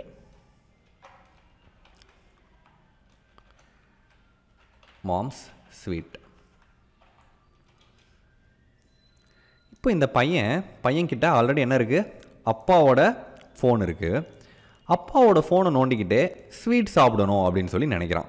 ஓகேவா அப்போது இப்போ ராம் டாட் ஃபோனுக்கு கீழே இப்போ நான் ராம் டாட் ஸ்வீட்டுன்னு ட்ரை பண்ணுறேன் இந்த ஸ்வீட் ஃபங்க்ஷன் மாம் கிளாஸ்க்குள்ளே இருக்குது இந்த மாம் கிளாஸை ஆக்சஸ் பண்ண ட்ரை பண்ணுறேன் இப்போ நான் இதை ரன் பண்ணுறப்ப எனக்கு எரர் வருது. ஸ்வீட் அப்படின்னு சொல்லி ஒரு ஆட்ரிபியூட் சன் கிட்ட ஸ்வீட்டே இல்லை அப்படின்னு சொல்லி எனக்கு எரர் த்ரோ பண்ணுது. இப்போ நான் என்ன பண்ண போகிறேன் இந்த சன் கிளாஸுக்குள்ளே டேட் கமா மாம்னு சொல்லி போடுறேன். இப்போ இந்த சன்னால் டேட் கிளாஸ்க்குள்ளே இருக்கிற ஃபோனையும் ஆக்சஸ் பண்ண முடியும்.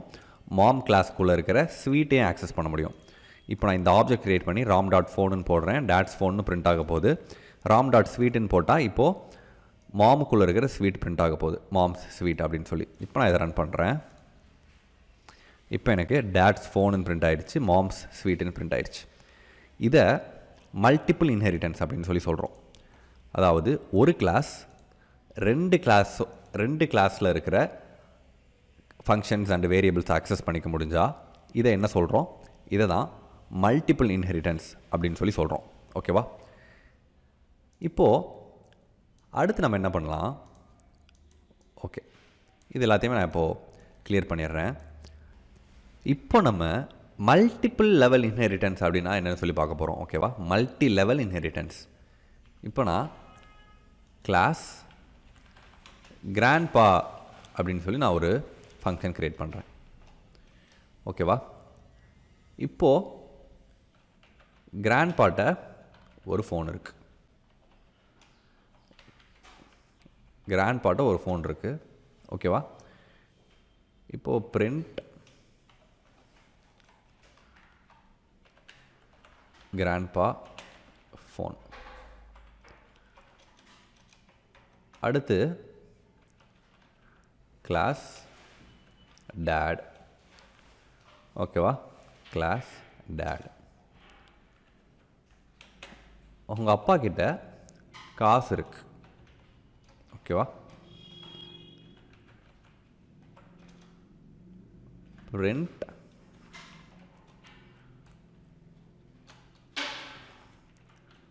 டேட்ஸ் மணி அடுத்து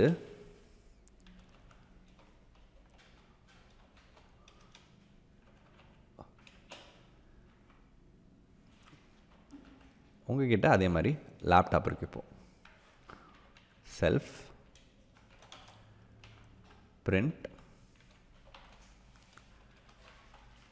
சன்ஸ் லேப்டாப்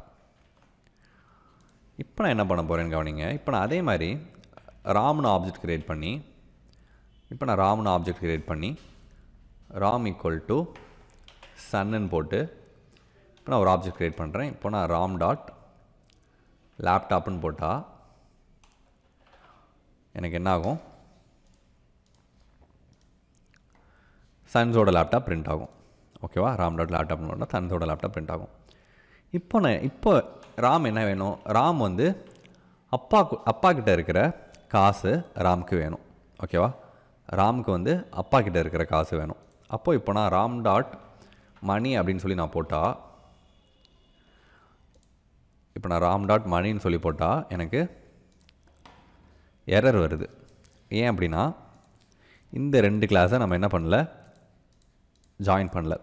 சன் கிளாஸ்க்கு டேட் கிளாஸோட அக்சஸ் வேணும். அப்போ நான் இப்போ நான் இதுக்குள்ளே டேடுன்னு போட்டேன் அப்படின்னா இந்த சன் கிளாஸால் இந்த டேட் கிளாஸுக்கு உள்ளே இருக்கிற ஃபங்க்ஷனை ஆக்சஸ் பண்ண முடியும்.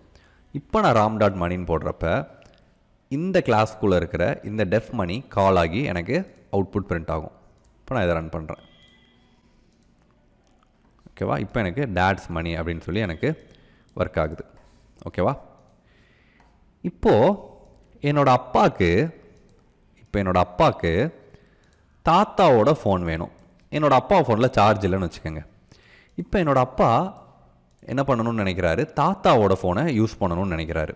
ஓகேவா இப்போ என்னோடய அப்பா தாத்தாவோட ஃபோனை யூஸ் பண்ணணும்னு நினைக்கிறாரு.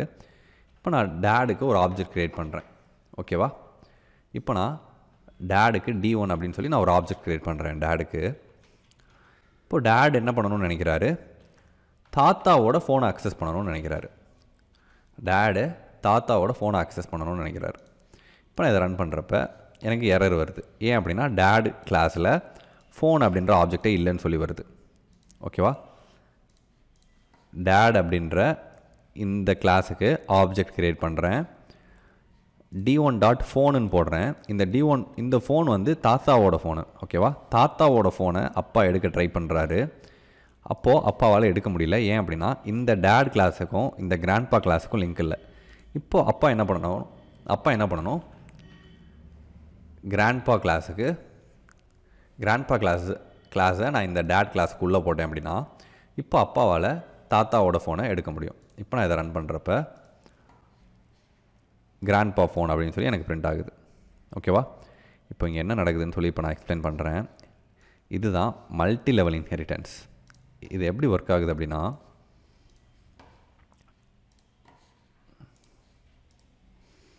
இப்போ கவனிங்க. ஃபஸ்ட்டு கிராண்ட்பா கிளாஸ் இருக்குது கிராண்ட்பாட்ட ஃபோன் இருக்குது அடுத்து டேட் கிளாஸ் இருக்குது அப்பாட்ட காசு இருக்குது அடுத்து சன் கிளாஸ் இருக்குது சன்ட்ட லேப்டாப் இருக்குது ஓகேவா இப்போது பையனுக்கு காசு வேணும்னு நினைக்கிறான். அதனால் அப்பாவோட கிளாஸை யூஸ் பண்ணிக்கிறான். ஓகேவா இதுக்குள்ளே இப்போ நான் டேட் கிளாஸ்ன்னு போட்டேன்னா இப்போ என்னால் அப்பாவோட கிளாஸை யூஸ் பண்ணிக்க முடியும். அப்பாவுக்கு ஃபோன் வேணும்னு நினைக்கிறாரு. அதனால் தாத்தாவோட கிளாஸை யூஸ் பண்ணிக்கிறாரு. ஓகேவா இப்போது நல்லா கவனிச்சிங்க அப்படின்னா ஒவ்வொரு கிளாஸும் இப்படி இன்னொரு கிளாஸை இன்ஹெரிட் பண்ணிக்கிட்டே போகுது. இதை தான் மல்டி லெவல் இன்ஹெரிட்டன்ஸ் அப்படின்னு சொல்லி சொல்கிறோம் இப்போது இந்த மூணு கிளாஸும் கனெக்ட் ஆகிருக்கிறதுனால கிராண்ட்பா டேட் சன் இந்த மூணு கிளாஸும் கனெக்ட் ஆகிருக்கிறதுனால இப்போ சன்னால் அப்பா அப்பாவோட காசையும் அக்சஸ் பண்ண முடியும். அப்பா வழியாக போய் தாத்தாவோட ஃபோனையும் ஆக்சஸ் பண்ண முடியும். இப்போ பாருங்கள் நான் என்ன பண்ணுறேன்னு இப்போ நான் ராம் யூஸ் பண்ணி எல்லாத்தையும் எடுத்துடுறேன் இப்போ நான் ராமை யூஸ் பண்ணி ராம் டாட் ஃபோன் அப்படின்னு சொல்லி தாத்தாவோட ஃபோனை நான் அக்சஸ் பண்ண ட்ரை பண்ணுறேன் இங்கே பாருங்கள் என்னால் தாத்தாவோட ஃபோனை ஆக்சஸ் பண்ண முடியுது. இதுதான் மல்டி லெவல் இன்ஹெரிட்டன்ஸ் ஓகேவா அடுத்து ஹையரார்கியல் இன்ஹெரிட்டன்ஸ் அப்படின்னா என்னென்னு பார்க்கலாம். இப்போது இது எல்லாத்தையும் எடுத்துகிட்டு அப்பா மட்டும் இருக்காருன்னு வைங்க. அப்பா மட்டும் இருக்கார். டேட் இருக்கார். இப்போ அப்பாவுக்கு மூணு பசங்க. Son one son two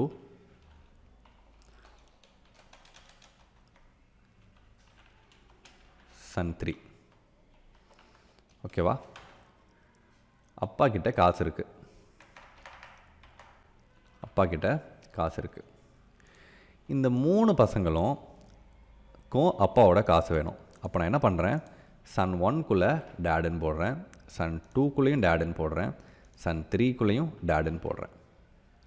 இப்போ நான் நான் எம்டி கிளாஸ் க்ரியேட் பண்ணுறேன் டைப் பண்ணிகிட்டு இருந்தால் டைம் ஆகும். அதனால் நான் உள்ளே வந்து ஜஸ்ட் பாஸ்ன்னு போட்டேன் அப்படின்னா என்னால் எம்டி கிளாஸ் க்ரியேட் பண்ண முடியும். ஓகேவா எம்டி கிளாஸ் இப்போ நான் க்ரியேட் பண்ணுறேன் இப்போ நான் சன் டூக்கு நான் ஒரு ஆப்ஜெக்ட் க்ரியேட் பண்ணுறேன்னு வைங்க. S two equal to son two இப்போ நான் சன் டூக்கு ஒரு ஆப்ஜெக்ட் க்ரியேட் பண்ணேன் அப்படின்னா இப்போ என்னால் இந்த ஆப்ஜெக்டை வச்சு அப்பாவோட காசை எடுத்துக்க முடியும். இப்போ நான் இதை ரன் பண்ணுறப்ப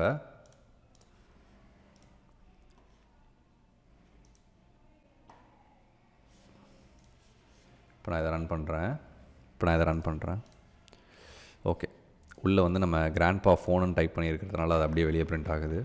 கொஞ்சம் கன்ஃபியூஸ் ஆகிட்டேன் டேட் மணி ஓகே ஸ்பெல்லிங் தப்பு. இட்ஸ் ஓகே இப்போ நான் இதை பிரிண்ட் பண்ணுறப்ப எனக்கு டேட் மணி அப்படின்னு சொல்லி எனக்கு பிரிண்ட் ஆகும். இது ஹையரார்கியல் இன்ஹெரிட்டன்ஸ் அப்படின்னு சொல்லி சொல்கிறோம் அதாவது ஒரே ஒரு பேஸ் கிளாஸ் இருக்குன்னு வைங்க. டேட் அப்படின்னு சொல்லி ஒரே ஒரு கிளாஸ் இருக்குது இந்த கிளாஸை ரெண்டு இல்லை அதுக்கு மேற்பட்ட கிளாஸஸ் டிரைவ் பண்ணிக்குது அப்படின்னா son one son two son three ஒரு கிளாஸை நிறைய கிளாஸ் இன்ஹெரிட் பண்ணிக்கிச்சுன்னா இதை தான் ஹையரார்கியல் இன்ஹெரிட்டன்ஸ்னு சொல்லி சொல்கிறோம் ஓகேவா அடுத்த டைப் என்ன அப்படின்னா ஹைப்ரிட் இன்ஹெரிட்டன்ஸ் ஹைப்ரிட் இன்ஹெரிடன்ஸ்னால் என்ன? லெட்ஸ் இப்போ இன்னொரு கிளாஸ் இருக்குன்னு வைங்க. கிளாஸ் லேண்டு ஓகேவா ஒரு இடம் ஒன்று இருக்குது இடம் ஒன்று இருக்குது டெஃப் இந்த இடம் வந்து ஓகே ஏதோ ஒரு ஜஸ்ட் இம்பார்ட்டன்ட்னு சொல்லி ஒரு ஃபங்க்ஷன் க்ரியேட் பண்ணிக்கிறேன். ஒரு முக்கியமான ஒரு இடம் ஒன்று இருக்குது ஓகேவா? ஒரு முக்கியமான இடம் ஒன்று இருக்குது இம்பார்ட்டண்ட் லேண்ட் இந்த லேண்டுக்கு சொந்தக்காரர் வந்து இந்த லேண்டுக்கு சொந்தக்காரர் வந்து யார் அப்படின்னா இந்த நிலத்துக்கு சொந்தக்காரர் மொத பையன். ஓகேவா? மொத பையன். அப்போ இந்த மொத பையன் என்ன பண்ண போகிறான் அந்த லேண்ட் கிளாஸையும் அக்சஸ் பண்ண போகிறான் ஓகேவா? இப்போ இங்கே என்ன நடந்திருக்கு? இப்போ நான் இதை எக்ஸ்பிளைன் பண்ணுறேன் அதே தான் இப்போது அதே மாதிரி ஒரே ஒரு கிளாஸ் இருந்துச்சு.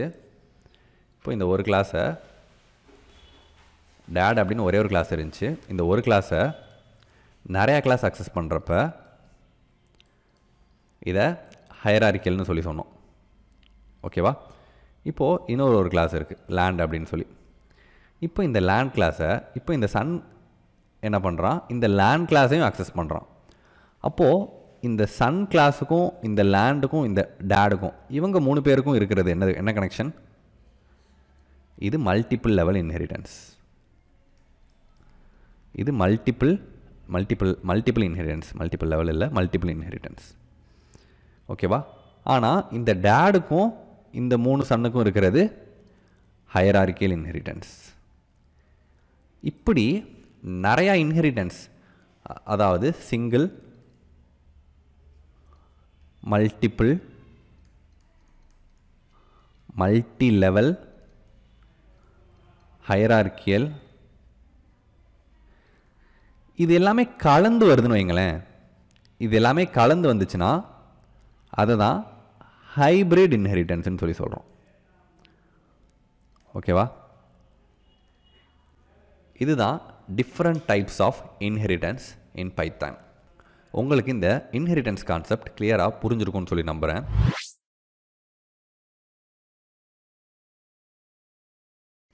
இந்த வீடியோவில் சூப்பர் கீவேர்ட்னா என்ன? இந்த சூப்பர் கீவேர்டோட யூசேஜ் என்ன அப்படின்னு சொல்லி பார்க்க போகிறோம் ஸ்டார்ட் பண்ணலாம். என்னோட பைத்தன் எடிட்டர் ஓப்பன் பண்ணிக்கிட்டேன். இதில் கிளாஸ் ஏ அப்படின்னு சொல்லி ஒரு கிளாஸ் க்ரியேட் பண்ணுறேன் இந்த கிளாஸ் ஏக்குள்ளே டெஃப் டிஸ்ப்ளே அப்படின்னு போட்டு இதுக்குள்ளே சும்மா பிரிண்ட் பண்ணுறேன் you are in class A அப்படின்னு சொல்லி நான் பிரிண்ட் பண்ணுறேன் ஓகேவா யூ ஆர் இன் கிளாஸ் ஏன்னு பிரிண்ட் பண்ணுறேன் செல்ஃப் இதே மாதிரி இப்போது கிளாஸ் பி க்ரியேட் பண்ண போகிறேன் அப்படியே நான் வந்து இப்போது கிளாஸ் பி க்ரியேட் பண்ணுறேன் கிளாஸ் ஏ எப்படி கிரியேட் பண்ணணும் அதே மாதிரி கிளாஸ் பி கிரியேட் பண்ணிவிட்டு you are in class B அப்படின்னு சொல்லி க்ரியேட் பண்ணுறேன் ஓகேவா சும்மா ரெண்டு ஃபங்க்ஷன் க்ரியேட் பண்ணிக்கிட்டேன். இப்போ என்ன பண்ணுறேன் கிளாஸ் பிக்கு இப்போ நான் ஒரு கன்ஸ்ட்ரக்டர் க்ரியேட் பண்ண போகிறேன் ஃபஸ்ட்டு கிளாஸ் ஏக்கு ஒரு கன்ஸ்ட்ரக்டர் க்ரியேட் பண்ணலாம். ஓகேவா இப்போ நான் கிளாஸ் ஏக்கு ஒரு கன்ஸ்ட்ரக்டர் க்ரியேட் பண்ண போகிறேன் def underscore underscore init underscore underscore print ஏன்னு போட்டுக்கிறேன். ஓகேவா ஒரு கன்ஸ்ட்ரக்டர் க்ரியேட் பண்ணியிருக்கேன். கிளாஸ் ஏக்கு ஒரு கன்ஸ்ட்ரக்டர் க்ரியேட் பண்ணியிருக்கேன். நம்ம ஏற்கனவே என்ன பார்த்தோம்? ஒரு கிளாஸுக்கு ஆப்ஜெக்ட் க்ரியேட் பண்ணால் ஆட்டோமேட்டிக்காக அந்த கன்ஸ்ட்ரக்டர் கால் ஆகும் அப்படின்னு சொல்லி சொல்லியிருக்கோம் கரெக்டாக இப்போ நான் object one equal to A அப்படின்னு சொல்லி சொல்கிறேன் அதாவது ஏக்கு ஒரு ஆப்ஜெக்ட் க்ரியேட் பண்ணுறேன் இந்த ஏ கிளாஸுக்கு ஒரு ஆப்ஜெக்ட் க்ரியேட் பண்ணுறேன் இப்போ நான் இதை ரன் பண்ணுறேன் இப்போ நான் இதை ரன் பண்ணுறப்ப எனக்கு எரர் காட்டுது. ஏன் அப்படின்னா ஓகே இங்கே செல்ஃப் நம்ம போடலை. அதனால் எரர் காட்டுது. திரும்ப ரன் பண்ணுறேன் இப்போ எனக்கு ஏன் பிரிண்ட் ஆயிருக்கு. ஏன் அப்படின்னா நான் ஏ ஆப்ஜெக்ட் ஏ கிளாஸுக்கு ஒரு ஆப்ஜெக்ட் கிரியேட் பண்ணுறேன் ஆப்ஜெக்ட் க்ரியேட் பண்ணால் ஆட்டோமேட்டிக்காக கன்ஸ்ட்ரக்டர் கால் ஆகும். இந்த யூனிட் ஃபங்க்ஷன் கால் ஆகும். இது எனக்கு ஆட்டோமேட்டிக்காக கால் ஆகிருக்கு அதுக்குள்ளே நான் போட்டிருக்கிற பிரிண்ட்டே வெளியே எனக்கு பிரிண்ட் ஆகிருக்கு ஓகே இப்போது ஏக்கு ஆப்ஜெக்ட் க்ரியேட் பண்ணாமல் பிக்கு ஆப்ஜெக்ட் கிரியேட் பண்ணுறேன் ஓகேவா ஏக்கு ஆப்ஜெக்ட் கிரியேட் பண்ணாமல் பிக்கு ஆப்ஜெக்ட் க்ரியேட் பண்ண போகிறேன் இப்போது பிக்கும் ஒரு கன்ஸ்ட்ரக்டர் கிரியேட் பண்ணுறேன் பிக்கும் ஒரு கன்ஸ்ட்ரக்டர் க்ரியேட் பண்ணுறேன் இதில் பிரிண்ட் பின்னு சொல்கிறேன் பிரிண்ட் பின்னு சொல்கிறேன் இப்போ நான் இதை ரன் பண்ணுறேன் இப்போ எனக்கு பின்னு பிரிண்ட் ஆகுது. அதாவது நான் ஏக்கு ஆப்ஜெக்ட் க்ரியேட் பண்ணால் ஏவோட கன்ஸ்ட்ரக்டர் ஒர்க் ஆகுது. பிக்கு ஆப்ஜெக்ட் க்ரியேட் பண்ணால் பியோட பியோட கன்ஸ்ட்ரக்டர் ஒர்க் ஆகுது. இப்போ நான் இந்த பியோட கன்ஸ்ட்ரக்டரை நான் எடுத்துட்றேன் ஓகேவா பிக்கு நான் கன்ஸ்ட்ரக்டரே க்ரியேட் பண்ணலை. பிக்கு கன்ஸ்ட்ரக்டரே இல்லை. இப்போ நான் பிக்கு ஆப்ஜெக்ட் மட்டும் க்ரியேட் பண்ணுறேன் இப்போ நான் பிக்கு ஆப்ஜெக்ட் மட்டும் க்ரியேட் பண்ணுறப்ப என்ன நடக்குதுன்னு பாருங்கள்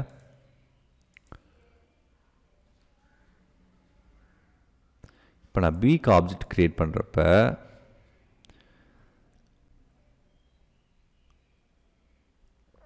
இப்போ நான் பிக்கு ஆப்ஜெக்ட் க்ரியேட் பண்ணுறேன் இப்போ நான் பிக்கு ஆப்ஜெக்ட் கிரியேட் பண்ணுறப்ப எனக்கு வெளியே எதுவுமே பிரிண்ட் ஆகலை. ஏன் அப்படின்னா இங்கே கன்ஸ்ட்ரக்டர் இல்லை. இப்போ நான் என்ன பண்ண போகிறேன் இந்த ஏவை இன்ஹெரிட் பண்ணுறேன் கிளாஸ் ஏவை இந்த கிளாஸை இந்த கிளாஸ் பி கூட இன்ஹெரிட் பண்ணுறேன் ஓகேவா இப்போ நான் ரன் பண்ணுறேன் இப்போ என்ன நடக்குதுன்னு பாருங்கள் இப்போ நான் ரன் பண்ணுறப்ப எனக்கு ஏ பிரிண்ட் ஆகுது. இப்போ நான் ரன் பண்ணுறப்ப எனக்கு ஏ பிரிண்ட் ஆகுது. என்ன நடக்குது இங்கே? அதாவது ஃபஸ்ட்டு நான் என்ன பண்ணேன்? கிளாஸ் ஏக்கு மட்டும் கிளாஸ் ஏக்குள்ளே இனிட் ஃபங்க்ஷன் இருக்குது இப்போ நான் இந்த கிளாஸ் ஏக்கு ஆப்ஜெக்ட் க்ரியேட் பண்ணுறப்ப இந்த இனிட் ஃபங்க்ஷன் ஒர்க் ஆகி எனக்கு ஏ பிரிண்ட் ஆச்சு. இதே மாதிரி கிளாஸ் பிக்குள்ளே இனிட் ஃபங்க்ஷன் கிரியேட் பண்ணுறப்ப அதுக்குள்ளே இருக்கிற இனிட் ஃபங்க்ஷன் ஒர்க் ஆச்சு. இப்போ நான் கிளாஸ் பிக்கு இனிட் ஃபங்க்ஷன் க்ரியேட் பண்ணலை. க்ரியேட் பண்ணாமல் நான் என்ன பண்ணுறேன் ஏவை இன்ஹெரிட் பண்ணுறேன் ஓகேவா ஏவை இன்ஹெரிட் பண்ணுறேன் இப்போ நான் பிக்கு நான் ஆப்ஜெக்ட் க்ரியேட் பண்ணுறப்ப இந்த பி என்ன பண்ணுது? பேரண்ட் கிளாஸோட அதாவது ஏ கிளாஸோட கன்ஸ்ட்ரக்டரை கால் பண்ணுது. ஓகேவா? இப்போ நான் அடுத்து என்ன பண்ணுறேன் இந்த பிக்கு திரும்பவும் ஒரு கன்ஸ்ட்ரக்டர் க்ரியேட் பண்ணுறேன் ஓகேவா? இந்த பிக்கு நான் திரும்பவும் கன்ஸ்ட்ரக்டர் க்ரியேட் பண்ணுறேன் இந்த பிக்கு நான் எகைன் இன்னொரு ஒரு கன்ஸ்ட்ரக்டர் க்ரியேட் பண்ணுறேன் இப்போ நான் இந்த ப்ரோக்ராம் ரன் பண்ண போகிறேன் அதாவது பிக்குள்ளே ஒரு கன்ஸ்ட்ரக்டர் இருக்குது ஏக்குள்ளே ஒரு கன்ஸ்ட்ரக்டர் இருக்குது இந்த பி இந்த பேரண்ட் கிளாஸை டிரைவ் பண்ணியிருக்கு. இப்போ நான் ஒரு ஆப்ஜெக்ட் க்ரியேட் பண்ணி பிக்கு ஒரு ஆப்ஜெக்ட் க்ரியேட் பண்ணுறேன் இப்போ நான் பிக்கு ஆப்ஜெக்ட் க்ரியேட் பண்ணால் இந்த கன்ஸ்ட்ரக்டர் கால் ஆகுமா? இல்லை பியில் இருக்கிற கன்ஸ்ட்ரக்டர் கால் ஆகுமா? எனக்கு பி பிரிண்ட் ஆயிருக்கு. அதாவது இப்போது நம்ம ஒன்று ஒரு விஷயம் புரிஞ்சுக்கணும். கிளாஸ் ஏவை கிளாஸ் பி இன்ஹெரிட் பண்ணியிருக்கு. ஓகேவா? கிளாஸ் ஏவை கிளாஸ் பி இன்ஹெரிட் பண்ணியிருக்கு இப்போது கிளாஸ் பிக்குள்ளே ஒரு கன்ஸ்ட்ரக்டர் இருக்குது அதனால் கிளாஸ் பியோட கன்ஸ்ட்ரக்டர் ஒர்க் ஆகிருக்கு ஒருவேளை எனக்கு கன்ஸ்ட்ரக்டர் இல்லைன்னு வைங்க. கிளாஸ் பிக்கு நான் ஆப்ஜெக்ட் கிரியேட் பண்ணுறேன் கிளாஸ் பிக்கு கன்ஸ்ட்ரக்டர் இல்லைன்னு வச்சுக்கோங்க. கன்ஸ்ட்ரக்டர் இல்லாத பட்ஜெட்டில் பேரண்ட் பேரண்ட்டோட கன்ஸ்ட்ரக்டரை கால் பண்ணும். ஓகேவா? இங்கே கன்ஸ்ட்ரக்டர் இல்லை அப்படின்னா பேரண்ட்டுக்கிட்ட போய் பேரண்ட்டோட கன்ஸ்ட்ரக்டரை கால் பண்ணும். இங்கே கன்ஸ்ட்ரக்டர் இருந்துச்சு அப்படின்னா இந்த கன்ஸ்ட்ரக்டரை மட்டும்தான் கால் பண்ணும். ஓகேவா இப்போ நான் இதை ரன் பண்ணுறப்ப எனக்கு ஏன்னு பிரிண்ட் ஆகும். ஓகேவா ஓகே இப்போது இப்போ நான் சொல்கிறது கவனிங்க. நான் இங்கே ஒரு கன்ஸ்ட்ரக்டர் க்ரியேட் பண்ணிட்டேன். எனக்கு கன்ஸ்ட்ரக்டர் இருக்குது இந்த கன்ஸ்ட்ரக்டரை ரன் பண்ணால் எனக்கு என்ன நடக்குது? பின்னு பிரிண்ட் ஆகுது. அதாவது நான் இந்த கன்ஸ்ட்ரக்டரை ரன் பண்ணால் எனக்கு இந்த ஆப்ஜெக்ட் இந்த கிளாஸுக்கு நான் ஒரு ஆப்ஜெக்ட் க்ரியேட் பண்ணால் எனக்கு இந்த கிளாஸ்க்குள்ளே இருக்கிற கன்ஸ்ட்ரக்டர் ஒர்க் ஆகுது. ஆனால் எனக்கு இப்போ என்ன பண்ணணும் அப்படின்னா இந்த கிளாஸ்ல இருந்து பேரண்ட் கிளாஸோட கன்ஸ்ட்ரக்டரை கால் பண்ணணும். அதாவது நான் பி கிளாஸுக்கு ஆப்ஜெக்ட் க்ரியேட் பண்ணுவேன். அப்படி நான் பி கிளாஸுக்கு ஆப்ஜெக்ட் க்ரியேட் பண்ணுறப்ப எனக்கு ஏ கிளாஸோட கன்ஸ்ட்ரக்டர் கால் ஆகணும். அப்படின்னா என்ன பண்ணலாம்? இந்த இடத்துல தான் நம்ம சூப்பர் கீவேர்டு யூஸ் பண்ண போகிறோம் இப்போ நான் இந்த யூனிட்குள்ளே பிரிண்ட் பிக்கு முன்னாடி சூப்பர் அப்படின்னு ஒரு ஃபங்க்ஷன் க்ரியேட் பண்ணுறேன் சூப்பர் அப்படின்னு சொல்லி நான் ஒரு மெத்தட் க்ரியேட் பண்ணி என்ன சொல்ல போகிறேன் சூப்பர்னு நான் போட்டு போட்டாலே பேரண்ட் கிளாஸுக்குள்ளே என்னெல்லாம் இருக்கோ அது எல்லாத்தையுமே என்னால் இந்த இடத்துல என்னால் யூஸ் பண்ண முடியும். இப்போ நான் என்ன பண்ண போகிறேன் super dot underscore underscore super dot underscore underscore init underscore underscore இப்போ நான் பேரண்ட் கிளாஸோட இனிட் மெத்தடை நான் கால் பண்ணுறேன் இப்போ நான் இந்த ப்ரோக்ராமை ரன் பண்ணுறேன் இப்போ எனக்கு என்ன அவுட்புட் வரும்னு பாருங்கள் எனக்கு ஏபின்னு அவுட்புட் வந்திருக்கு. ஓகேவா கவனிங்க. இந்த பி கிளாஸுக்கு ஆப்ஜெக்ட் க்ரியேட் பண்ணியிருக்கேன். டெஃப் இனிட் செல்ஃப்னு சொல்லி ஃபஸ்ட்டு கன்ஸ்ட்ரக்டர் கால் ஆகுது. இந்த கன்ஸ்ட்ரக்டர் கால் ஆகிட்டு இருக்கிறப்ப இந்த கன்ஸ்ட்ரக்டருக்குள்ளே நான் என்ன சொல்கிறேன் super dot underscore underscore init அப்படின்னா பேரண்ட் கிளாஸில் போய் பேரண்ட் கிளாஸோட கன்ஸ்ட்ரக்டரை கால் பண்ணுன்னு சொல்கிறேன் இப்போ நான் பேரண்ட் கிளாஸுக்கு வந்து பேரண்ட் கிளாஸோட கன்ஸ்ட்ரக்டரை ஏன்னு சொல்லி வெளியே பிரிண்ட் பண்ணிட்டேன். அடுத்து இது கீழே இருக்குது பிரிண்ட் பின்னு இருக்குது இந்த லைன் முடிஞ்ச உடனே இந்த லைனில் இருக்கிற பி எனக்கு வெளியே பிரிண்ட் ஆயிருக்கு. இதுதான் சூப்பரோட வேலை. அதாவது பேரண்ட்டோட எலிமெண்ட்ஸை எடுக்கணும். பேரண்ட்ஸ்குள்ளே இருக்கிறத கால் பண்ணணும் அப்படின்னா நம்ம சூப்பர் மெத்தட் வந்து நம்ம யூஸ் பண்ணுவோம். இப்போது இப்போ கவனிங்க. இப்போ நான் என்ன பண்ணுறேன் ஓகே ம். இப்போ கிளாஸ் சின்னு சொல்லி இன்னொரு ஒரு கிளாஸ் க்ரியேட் பண்ணுறேன் ஓகேவா கிளாஸ் சின்னு சொல்லி நான் இன்னொரு ஒரு கிளாஸ் க்ரியேட் பண்ணுறேன் இந்த பி இன்ஹெரிட் பண்ணலை. கிளாஸ் ஏ தனி கிளாஸ் கிளாஸ் பி தனி கிளாஸ் கிளாஸ் சியில் மல்டிபிள் இன்ஹெரிட்டன்ஸ் நான் யூஸ் பண்ண போகிறேன் கிளாஸ் சியில் நான் இப்போது மல்டிபிள் இன்ஹெரிட்டன்ஸ் யூஸ் பண்ண போகிறேன் இப்போது இந்த கிளாஸ் சிலையும் இது எல்லாத்தையுமே காப்பி பண்ணிக்கிறேன். இந்த கிளாஸ் சிலையும் நான் இது எல்லாத்தையுமே காப்பி பண்ணிக்கிறேன். இப்போ இந்த கிளாஸ் சியில் சூப்பர் எடுத்துகிட்டு கிளாஸ் சின்னு சொல்லி நான் இப்போ போடுறேன். ஓகேவா இப்போ நான் கிளாஸ் சிக்கு ஒரு ஆப்ஜெக்ட் க்ரியேட் பண்ணுறேன் கிளாஸ் ஏ தனியாக இருக்குது கிளாஸ் பி தனியாக இருக்குது கிளாஸ் சி தனியாக இருக்குது இப்போ நான் கிளாஸ் சியில் வந்து கன்ஸ்ட்ரக்டர் இருக்குது இப்போ நான் கிளாஸ் சிக்கு ஒரு ஆப்ஜெக்ட் க்ரியேட் பண்ணுறேன் அப்படின்னா எனக்கு என்ன ஒர்க் ஆகும்? கிளாஸ் சியோட கன்ஸ்ட்ரக்டர் ஒர்க் ஆகும். கிளாஸ் சியோட கன்ஸ்ட்ரக்டர் ஒர்க் ஆகும். இப்போ நான் இதை ரன் பண்ணுறேன் சின்னு சொல்லி எனக்கு வெளியே பிரிண்ட் ஆகிருக்கு ஓகேவா இப்போ எனக்கு சின்னு சொல்லி வெளியே பிரிண்ட் ஆகிருக்கு இப்போ நான் என்ன பண்ண போகிறேன் A comma B multiple inheritance use பண்ணுறேன் கிளாஸ் சி ஏவையும் அக்சஸ் பண்ணுது பியையும் அக்சஸ் பண்ணுது. இப்போ நான் இந்த கன்ஸ்ட்ரக்டரை நான் எடுத்துட்றேன் ஓகேவா இப்போ நான் இந்த ஓகே கன்ஸ்ட்ரக்டர் எடுக்கல. ஓகே இதுக்குள்ளே இப்போ நான் என்ன பண்ண போகிறேன் சூப்பர் கீவேர்டை யூஸ் பண்ணுறேன் super dot underscore underscore init underscore underscore ஓகேவா இப்போது இந்த சூப்பர் ஏல இருக்கிற கன்ஸ்ட்ரக்டரை கால் பண்ணுமா? இல்லை பியில் இருக்கிற கன்ஸ்ட்ரக்டரை கால் பண்ணுமா? அதுதான் இப்போ கொஸ்டின் இப்போ நான் இதை ரன் பண்ண போகிறேன் எனக்கு ஏ சீன் பிரிண்ட் ஆகிருக்கு அதாவது ஏ கன்ஸ்ட்ரக்டர் தான் கால் ஆயிருக்கு. பியில் உள்ள கன்ஸ்ட்ரக்டர் எனக்கு கால் ஆகலை.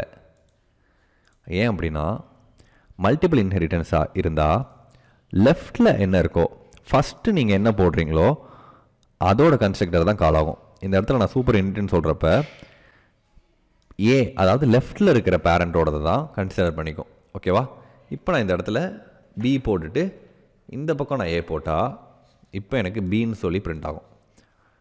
பிசின்னு சொல்லி எனக்கு பிரிண்ட் ஆகும். ஓகேவா ஏபிசின்னு சொல்லி பிரிண்ட் ஆகிருக்கு ஏன் ஏபிசின்னு சொல்லி பிரிண்ட் ஆகிருக்கு அப்படின்னா பி போட்டிருக்கேன். ஓகேவா இப்போ என்ன பண்ணும்? ஸ்ட்ரைட்டாக பிக்கு போகும். பியில் இருக்கிற கன்ஸ்ட்ரக்டரில் என்ன சொல்லியிருக்கேன்?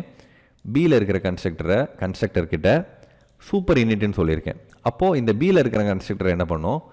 இதுக்கு மேலே இருக்கிற அதாவது இந்த ஏ ஏவோட கன்ஸ்ட்ரக்டரை கால் பண்ணும் ஃபஸ்ட்டு ஏவோட கன்ஸ்ட்ரக்டர் கால் ஆனதுக்கப்புறம் பி பிரிண்ட் ஆகுது. பி பிரிண்ட் ஆனதுக்கப்புறம் சி பிரிண்ட் ஆகுது. ஓகேவா இதை நீங்கள் எக்ஸ்பெரிமெண்ட் பண்ணி பாருங்கள் எந்தெந்த இடத்துல சூப்பர் போட்டு போகலாம். எப்படி வந்து எங்கே போட்டால் எது ஒர்க் ஆகுது அப்படின்னு சொல்லி நீங்களே போட்டு நீங்களே ட்ரை பண்ணி பாருங்கள் இப்படி நீங்களாக பண்ண பண்ண தான் உங்களால் கற்றுக்க முடியும். ஓகேவா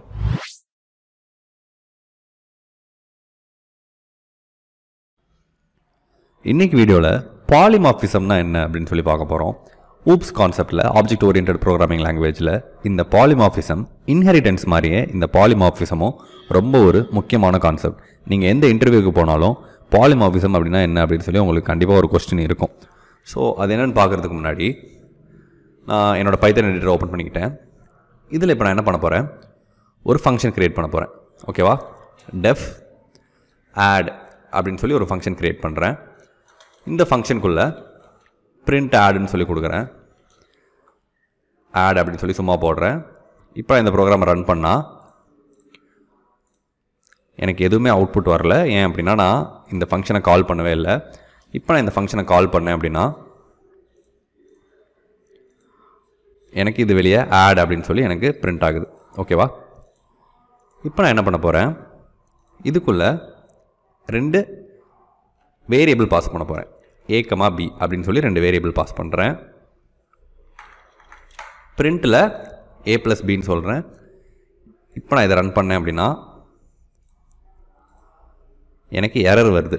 Missing two required positional argument A B அதாவது ஆட் அப்படின்ற ஃபங்க்ஷனை கால் பண்ணுற இந்த ஃபங்க்ஷன் ரெண்டு வேரியபிள் அக்ஸ் அக்செப்ட் பண்ணுது. ஓகேவா ஏன்னு ஒரு வேரியபிள் கேட்குது பின்னு ஒரு வேரியபிள் கேட்குது ரெண்டு வேல்யூ கொடு அப்படின்னு சொல்லி கேட்குது அந்த வேல்யூ கொடுத்தா தான் இந்த ஃபங்க்ஷன் இப்போ நம்மளால் கால் பண்ண முடியும். இப்போ நான் டென் கமா டுவெண்ட்டின்னு போடுறேன். இப்போ எனக்கு அவுட்புட் என்ன வரும்? இப்போ எனக்கு அவுட்புட் தேர்ட்டின்னு வந்திருக்கு கரெக்டாக இது எல்லாமே நம்ம ஏற்கனவே பார்த்தது தான். இல்லையா? ஒரு டைம் நான் வந்து இதை எக்ஸ்பிளைன் பண்ணிடுறேன். இங்கே என்ன நடக்குதுன்னு? ஜஸ்ட் என்ன நடக்குது? இப்போது ஆட் டென் டுவெண்ட்டின்னு சொல்லி கொடுத்துருக்கேன். இப்போ இந்த டென் வந்து மேலே போய் இந்த ஏல ஸ்டோர் ஆகும். ஏ ஈக்குவல் டு டென்னு இப்போ இந்த டுவெண்ட்டி மேலே போய் இந்த பியில் ஸ்டோர் ஆகும். அப்போ பி ஈக்குவல் டு டுவெண்ட்டி அப்போது பிரிண்ட் ஏ ப்ளஸ் பின்னு சொல்கிறப்ப டென் ப்ளஸ் டுவெண்ட்டி இது ரெண்டும் ஆட் ஆகி நமக்கு தேர்ட்டின்னு சொல்லி வெளியே பிரிண்ட் ஆகிருக்கு ஓகேவா இது இப்படி தான் நம்ம வந்து நார்மலாக ஃபங்க்ஷனை நம்ம ரன் பண்ணிகிட்டு இருப்போம். இந்த- இந்த ஏவையும் பியையும் நம்ம பேராமீட்டர்னு சொல்லலாம். இல்லை ஆர்கியூமெண்ட்ஸ் அப்படின்னு நம்ம சொல்லலாம். ஓகேவா இப்போ நான் இதே சின்னு சொல்லி நான் இன்னொரு வேரியபிள் கொடுத்தேன் அப்படின்னா நான் இந்த இடத்துல இன்னொரு நம்பர் வந்து ஆட் பண்ணணும். ஓகேவா இப்போது நான் இன்னொரு நம்பர் வந்து ஆட் பண்ணணும். இவ் இல் லைக் ஓகே இங்கே சீன் போட்டேன் அப்படின்னா இப்போது மூணு நம்பர் வந்து எனக்கு ஆட் ஆகும். கரெக்டாக இப்போது நான் என்ன அச்சீவ் பண்ண ட்ரை பண்ணுறேன் அப்படின்னா ஏன்னா ரெண்டு நம்பர் கொடுத்தாலும் இந்த ஃபங்க்ஷன் கால் ஆகணும். நான் மூணு நம்பர் கொடுத்தாலும் இந்த ஃபங்க்ஷன் கால் ஆகணும். இதுதான் என்னோட கோல் இப்போது ஓகேவா இந்த ப்ரோக்ராமில் இப்போ நான் ரெண்டு ஆர்குமெண்ட் மட்டும் பாஸ் பண்ணேன் அப்படின்னா எனக்கு எரர் வருது. ஓகேவா ரெண்டு ஆர்குமெண்ட் மட்டும் பாஸ் பண்ணேன் அப்படின்னா எனக்கு எரர் வருது. ஏன்னா சிக்கு நம்ம வேல்யூ கொடுக்கல. ஏக்கு ஒரு வேல்யூ கொடுத்துருக்கேன் பிக்கு ஒரு வேல்யூ கொடுத்துருக்கேன் சிக்கு வேல்யூ கொடுக்கல. அதனால் எனக்கு எரர் வருது. இந்த நேரத்தில் நான் என்ன பண்ணலாம் அப்படின்னா சி ஈக்குவல் டு ஜீரோ அப்படின்னு சொல்லி நான் வேல்யூ செட் பண்ணலாம். இப்போ நான் சி ஈக்குவல் டு இப்போ இப்போ பாருங்கள் நான் ஏ ஈக்குவல் டு டென்னு மட்டும் கொடுக்குறேன். நான் ஏ ஈக்குவல் டு டென்னு கொடுத்து எந்த வேல்யூமே கொடுக்காம இப்போ நான் இந்த ப்ரோக்ராமை ரன் பண்ணுறப்ப என்ன நடக்குதுன்னு பாருங்கள் இப்போ நான் இங்கே என்ன நடக்குது அப்படின்னு சொல்லி எக்ஸ்பிளைன் பண்ணுறேன் இங்கே என்ன நடக்குது? நான் நான் வேல்யூவே கொடுக்கல. இந்த ஆட்குள்ளே எதுவுமே பாஸ் பண்ணல. ஏ ஈக்குவல் டு டென் அப்படின்னு சொல்லி இங்கே வேல்யூ வந்து செட் பண்ணிட்டேன். இப்போ இந்த ப்ரோக்ராம் ரன் பண்ணுறப்ப ஏவோட வேல்யூ இங்கே டென்னாக இருக்குது அப்போ அந்த டென்னை வந்து எனக்கு வெளியே பிரிண்ட் பண்ணுது. பிரிண்ட் ஏன்னு சொல்கிறப்ப ஓகேவா இந்த இடத்துல இப்போ நான் வேல்யூ பாஸ் பண்ண போகிறேன் ஃபிஃப்டி அப்படின்னு சொல்லி நான் இப்போ வேல்யூ பாஸ் பண்ணுறேன் ஓகேவா ஃபிஃப்டி அப்படின்னு சொல்லி நான் வேல்யூ பாஸ் பண்ணுறேன் இப்போ என்ன நடக்குதுன்னு கவனிங்க. இப்போ எனக்கு 15 வெளியே பிரிண்ட் ஆகிருக்கு ஓகேவா அப்போ என்ன நடக்குது இந்த இடத்துல? நான் இந்த இடத்துல வேல்யூ பாஸ் பண்ணேன் அப்படின்னா ஒருவேளை நான் வேல்யூ பாஸ் பண்ணால் நான் பாஸ் பண்ணுற வேல்யூ ஏக்கு போகுது. நான் ஒருவேளை வேல்யூ பாஸ் பண்ணால் நான் பாஸ் பண்ணுற வேல்யூ ஏழில் போய் செட் ஆகுது.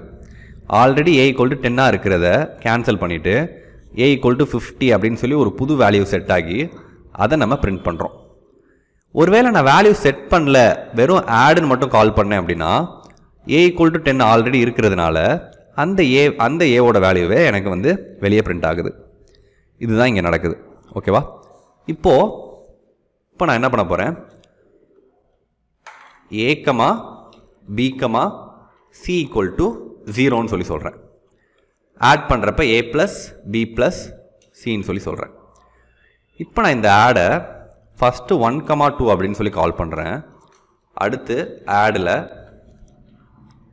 ஒன் கமா டூ கமா த்ரீன்னு சொல்லி கால் பண்ணுறேன்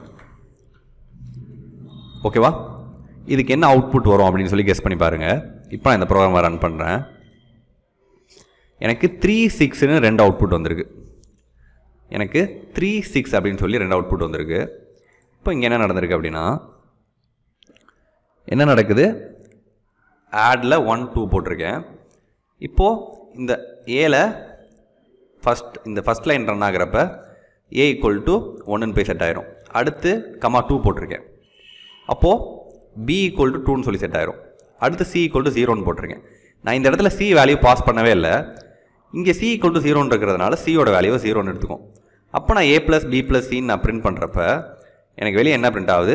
ஏவோட வேல்யூ பியோட வேல்யூவும் சியோட வேல்யூ என்னது? ஜீரோ அப்போது டூ ப்ளஸ் ஜீரோ எனக்கு த்ரீன்னு பிரிண்ட் ஆகுது. ஏவோட வேல்யூ ஒன்று பியோட வேல்யூ டூ சியோட வேல்யூ ஜீரோ அப்போ எனக்கு ரெண்டு எல்லாமே ஆட் ஆகி த்ரீன்னு பிரிண்ட் ஆகுது. இப்போது இந்த ரெண்டாவது லைன் ரன் ஆகிறப்ப ஏவோட வேல்யூ என்னவாக இருக்குது ஒன்றா இருக்குது பியோட வேல்யூ டூவாக இருக்குது சியோட வேல்யூ நான் செட் பண்ணுறேன் இப்போது த்ரீ அப்படின்னு சொல்லி. அப்போது ஆல்ரெடி சீன் இருக்கிற ஜீரோ கேன்சல் ஆகி நான் புதுசாக கொடுக்குற வேல்யூ த்ரீ அப்படின்னு சொல்லி அப்டேட் ஆகும். அப்போது இது மூணு ஆட் ஆகி எனக்கு வெளியே என்ன பிரிண்ட் ஆகுது? சிக்ஸ்ன்னு பிரிண்ட் ஆகுது. ஓகேவா இதை தான் பாலிமாஃபிசம்னு சொல்கிறோம் அதாவது ஒரே ஃபங்க்ஷனை ஆட் அப்படின்னு சொல்லி ஒரே ஃபங்க்ஷன் தான் இருக்குது இந்த ஒரு ஃபங்க்ஷனை நான் என்ன பண்ணுறேன் ரெண்டு விதமாக யூஸ் பண்ணுறேன் இந்த ஒரே ஃபங்க்ஷனை நான் ரெண்டு நம்பர் ஆட் பண்ணுறதுக்காகவும் யூஸ் பண்ணுறேன் இந்த ஒரே ஃபங்க்ஷனை நான் மூணு நம்பர் ஆட் பண்ணுறதுக்காகவும் யூஸ் பண்ணுறேன் ஓகேவா இதை தான் நம்ம பாலிமார்பிசம்னு சொல்கிறோம் பாலி அப்படின்னா நிறையா. ஓகேவா மாஃபிசம் அப்படின்னா தன்னோட உருவத்தை மாற்றிக்கிறத தான் மார்ஃப் அப்படின்றத சொல்கிறோம் ஓகேவா ஒரு ஃபங்க்ஷன் அந்தந்த ஆக்டிவிட்டிக்கு ஏற்ற மாதிரி தன்னை மாற்றிக்கிச்சு அப்படின்னா அதை பாலிமாஃபிசம் அப்படின்னு சொல்லி சொல்கிறோம் இந்த ஃபங்க்ஷன் ஆட் ஒன் டூன் கால் பண்ணுறப்ப ரெண்டு நம்பரை மட்டும் ஆட் பண்ணுறதுக்கு இந்த ஃபங்க்ஷன் ஒர்க் ஆகுது. இதே நான் மூணு நம்பர் கொடுக்குறப்ப மூணு நம்பர் கொடுக்குற ஆட் பண்ணுறதுக்கும் இந்த ஃபங்க்ஷன் ஒர்க் ஆகுது. இந்த கொஸ்டின் இப்போ ரீட் பண்ணுங்கள் create a class called animal with a method call sound that prints animal makes a sound இந்த கொஸ்டினை ஃபாலோ பண்ணி நம்ம ஒன்று ஒன்றா இப்போது பண்ணலாம். இப்போ கவனிங்க.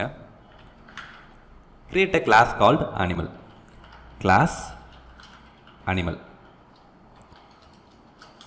அதுக்குள்ளே வித் மெத்தட் சவுண்ட் சவுண்ட் அப்படின்னு சொல்லி ஒரு மெத்தட் க்ரியேட் பண்ணியிருக்காங்க. மெத்தட் அப்படின்னா ஒன்று ஃபங்க்ஷன் தான். மெத்தட் சவுண்ட் அப்படின்னு சொல்லி ஒரு மெத்தட் க்ரியேட் பண்ணுறேன் கிளாஸ்க்குள்ளே செல்ஃப் கீவேர்ட் போட மறக்காதீங்க. கோலன் என்டர் இதுக்குள்ளே இப்போ என்ன பண்ணுறேன் பிரிண்ட் என்ன பிரிண்ட் பண்ணணும்னு சொல்லியிருக்காங்க? Animal makes sound animal makes சவுண்டுன்னு சொல்லி பிரிண்ட் பண்ண சொல்லியிருக்காங்க. ஓகே இப்போ நான் இப்போ நான் ஒரு அனிமலுக்கு ஏ ஒன் அப்படின்னு சொல்லி நான் சும்மா ஒரு ஆப்ஜெக்ட் க்ரியேட் பண்ணி எப்படி ஆப்ஜெக்ட் க்ரியேட் பண்ணணும் அப்படின்னா இதுதான் சின்டாக்ஸ் இப்படி நான் க்ரியேட் பண்ணுறப்ப ஏ ஒனுக்கு ஒரு ஆப்ஜெக்ட் க்ரியேட் ஆகிடுச்சு இப்போ நான் ஏ ஒன் டாட் சவுண்டுன்னு போடுறப்ப இப்போ நான் ஏ ஒன் டாட் சவுண்டுன்னு போடுறப்ப எனக்கு அனிமல் மேக் சவுண்ட் அப்படின்னு சொல்லி எனக்கு வெளியே பிரிண்ட் ஆகுது. ஓகேவா இப்போ நான் அனிமல் டான்ஸ் அவுட்னு போகிறப்ப எனக்கு வெளியே பிரிண்ட் ஆகுது. இது நார்மல் ஒரு கிளாஸ் தான் இது நம்ம ஏற்கனவே பார்த்தோம். அடுத்த கொஸ்டினில் என்ன சொல்லியிருக்குன்னு பார்க்கலாம். Create a derived class called dog that inherits from animal derived கிளாஸ்னால் ஒன்றும் இல்லை இன்ஹெரிட் ஆன கிளாஸ் தான் ஓகேவா அதாவது சைல்ட் கிளாஸ் இதை பேஸ் கிளாஸ்னு சொல்லுவோம் இல்லை பேரண்ட் கிளாஸ்னு சொல்லலாம். அடுத்து கிளாஸ் கால்ட் டாக் ஓகேவா இந்த டாக் என்ன class create a derived class called dog that inherits from animal animal கிளாஸை இன்ஹெரிட் பண்ணுது ஓகேவா அனிமல் கிளாஸை இன்ஹெரிட் பண்ணுது இதுக்குள்ளே நான் என்ன கிரியேட் பண்ண போகிறேன்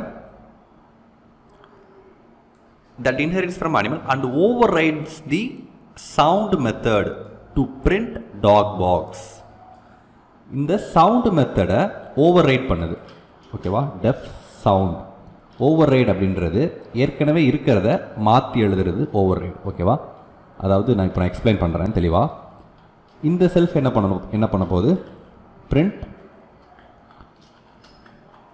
டாக் பாக்ஸ் அப்படின்னு சொல்லி இது வெளியே பிரிண்ட் பண்ணுது. ஓகேவா இப்போ நான் இங்கே என்ன நடக்குது அப்படின்னு சொல்லி இப்போ நான் எக்ஸ்பிளைன் பண்ணுறேன்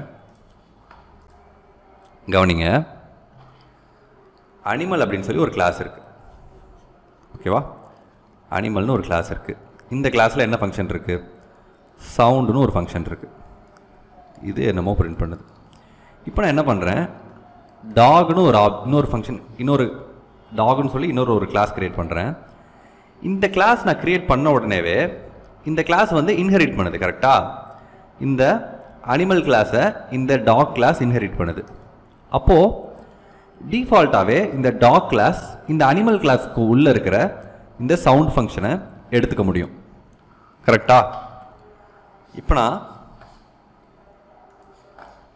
இப்போ நான் இந்த டெஃப் சவுண்ட் இல்லாமல் ஜஸ்ட் நான் இப்போ வந்து என்ன பண்ணுறேன் சும்மா பாஸ்ன்னு மட்டும் போட்டு இப்போ நான் இந்த டாகுக்கு ஒரு ஆப்ஜெக்ட் கிரியேட் பண்ணுறேன்னு வைங்க. டி ஒன் அப்படின்னு சொல்லி நான் இந்த டாகுக்கு ஒரு ஆப்ஜெக்ட் கிரியேட் பண்ணுறேன் இப்போ நான் டி ஒன் டாட் சவுண்டுன்னு போட்டால் எனக்கு அனிமல் மேக் சவுண்ட் அப்படின்னு சொல்லி எனக்கு வெளியே பிரிண்ட் ஆகும். கரெக்டாக ஏன் அப்படின்னா இந்த டாகுக்கும் இந்த அனிமல் கிளாஸுக்கும் தொடர்பு இருக்குது நம்ம வந்து டாகுன்னு சொல்லிட்டு அனிமல்னு உள்ளே போட்டிருக்கோம். அப்போது இந்த டாக் கிளாஸ் இந்த அனிமல் கிளாஸை இன்ஹெரிட் பண்ணிக்கும். இந்த அனிமல் கிளாஸுக்குள்ளே இருக்கிறது எல்லாத்தையுமே இந்த டாக் கிளாஸாலையும் எடுத்துக்க முடியும். இப்போ நான் இந்த டாகுக்கு இங்கே ஆப்ஜெக்ட் க்ரியேட் பண்ணுறப்ப அந்த ஆப்ஜெக்டை வச்சு நான் அனிமல் கிளாஸுக்கு உள்ளே இருக்கிற இந்த சவுண்ட் மெத்தடை என்னால் எடுத்துக்க முடியும். இப்போ நான் இதுக்குள்ளே என்ன போடுறேன்?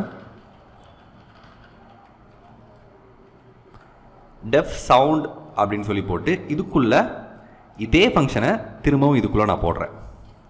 இப்போ நான் திரும்பவும் D one equal to dog அப்படின்னு சொல்லி ஒரு ஆப்ஜெக்ட் கிரியேட் பண்ணுறேன் இப்போ நான் டி ஒன் டாட் சவுண்டுன்னு போட்டால் இப்போ நான் டி ஒன் டாட் சவுண்டுன்னு போட்டால்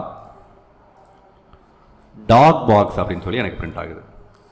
இதை மெத்தட் ஓவர் ரைடிங் அப்படின்னு சொல்லி சொல்கிறோம் இதுவும் பாலிமாஃபிசம் தான். நல்லா கவனிங்க.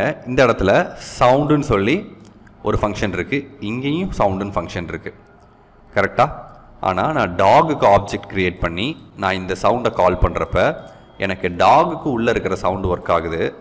அதே சவுண்ட் மேலே அனிமல்லையும் இருக்குது இதை நான் இன்ஹெரிட் பண்ணியிருக்கிறதுனால இந்த மெத்தடை ஓவர் ரைட் பண்ணி இந்த மெத்தடை அடிச்சுட்டு இந்த மெத்தடை நான் யூஸ் பண்ணுறேன் கரெக்டாக இப்போ நான் இந்த மெத்தடை கிளியர் பண்ணிவிட்டு புதுசாக ஒரு மெத்தட் எழுதுகிறேன் இதை மெத்தட் ஓவர் ரைடுன்னு சொல்கிறோம் இதுவும் பாலிமாஃபிசம் தான். ஏன்னா ஃபங்க்ஷன் சேமாக இருக்குது கரெக்டாக இது உங்களுக்கு புரியும்னு நினைக்கிறேன்.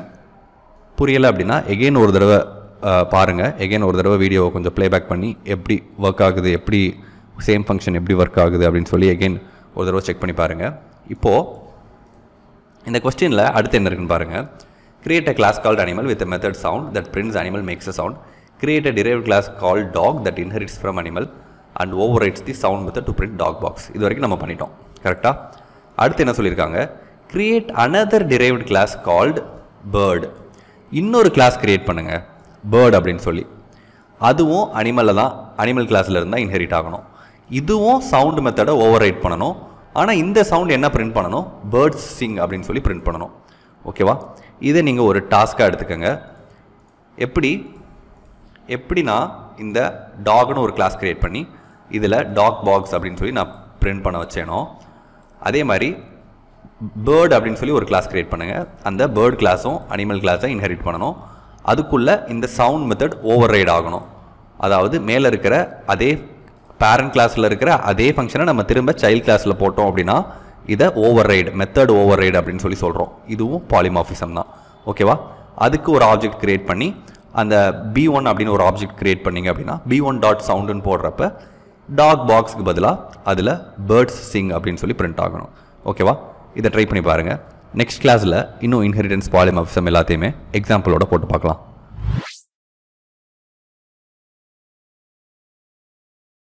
இந்த வீடியோவில் classes and object inheritance polymorphism இது எல்லாத்தையுமே ஒன்றா சேர்த்து எக்ஸாம்பிள்ஸோட பார்க்கலாம். அப்போ நமக்கு பெட்டர் அண்டர்ஸ்டாண்டிங் கிடைக்கும். So here are our questions first create a base class call shape with a method area that returns zero first இந்த கிளாஸை க்ரியேட் பண்ணலாம். ஷேப் அப்படின்னு சொல்லி ஒரு பேஸ் கிளாஸ் க்ரியேட் பண்ணணும்.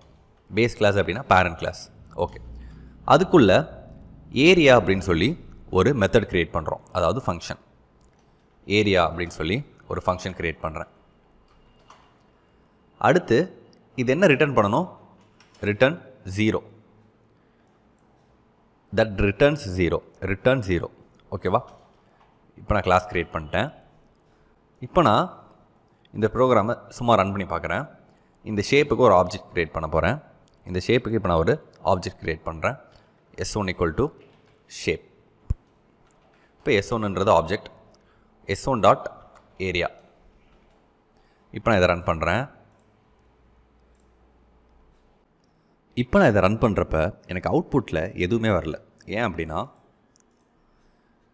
இங்கே இந்த ஏரியா எஸ் ஒன் டாட் ஏரியான்னு சொல்கிறப்ப ஜீரோ அப்படின்ற வேல்யூவை ரிட்டர்ன் பண்ணும். இந்த எஸ் ஒன் டாட் ஏரியா ஜீரோவாக மாறிடும். ஓகேவா இந்த எஸ் ஒன் டாட் ஏரியா ஜீரோவாக மாறிடும் ஆனால் இதை நம்ம பிரிண்ட் பண்ணால் தான் வெளியே பிரிண்ட் ஆகும். இப்போ நான் என்ன நடக்குதுன்னு சொல்லி ஒரு தடவை எக்ஸ்பிளைன் பண்ணுறேன் இப்போ நான் அதை ரன் கொடுக்குறப்ப எனக்கு வெளியே ஜீரோன்னு சொல்லி பிரிண்ட் ஆகுது. இப்போ நான் இங்கே என்ன நடக்குது அப்படின்னு சொல்லி இப்போ நான் எக்ஸ்பிளைன் பண்ணுறேன் கவனிங்க. ஸோ ஆல்ரெடி இங்கே என்ன இருக்குது கிளாஸ் ஷேப் இருக்குது கிளாஸ் ஷேப்னு ஒரு ஒரு ஷேப் இருக்குது இதில் ஏரியா ரிட்டர்ன் ஜீரோன்னு இருக்குது ஓகேவா நான் இதுக்கு ஒரு ஆப்ஜெக்ட் க்ரியேட் பண்ணுறேன் எஸ் ஒன் அப்படின்னு சொல்லி ஆப்ஜெக்ட் க்ரியேட் பண்ணுறேன் எஸ் ஒன் அப்படின்னு சொல்லி ஆப்ஜெக்ட் க்ரியேட் பண்ணுறேன் இப்போ பிரிண்ட்குள்ளே என்ன பண்ணுறேன் எஸ் ஒன் டாட் ஏரியான்னு சொல்லி நான் கால் பண்ணுறேன் அப்போது என்ன நடக்கும்? இந்த ஃபங்க்ஷன் கால் ஆகும். இந்த ஃபங்க்ஷன் கால் ஆனோடனே இந்த ஃபங்க்ஷன் என்ன பண்ணுது? ரிட்டர்ன் ஜீரோன்னு சொல்கிறப்ப ஜீரோவை ரிட்டர்ன் பண்ணும். இந்த இடத்துல இந்த இடத்துல ஜீரோன்னு இருக்கும். நம்ம பிரிண்ட்னு கொடுக்குறப்ப இந்த ஜீரோ வெளியே பிரிண்ட் ஆகும். ஓகேவா இதுதான் இங்கே நடக்கும். இப்போது அடுத்த கொஸ்டினில் என்ன சொல்லியிருக்காங்கன்னு பார்க்கலாம்.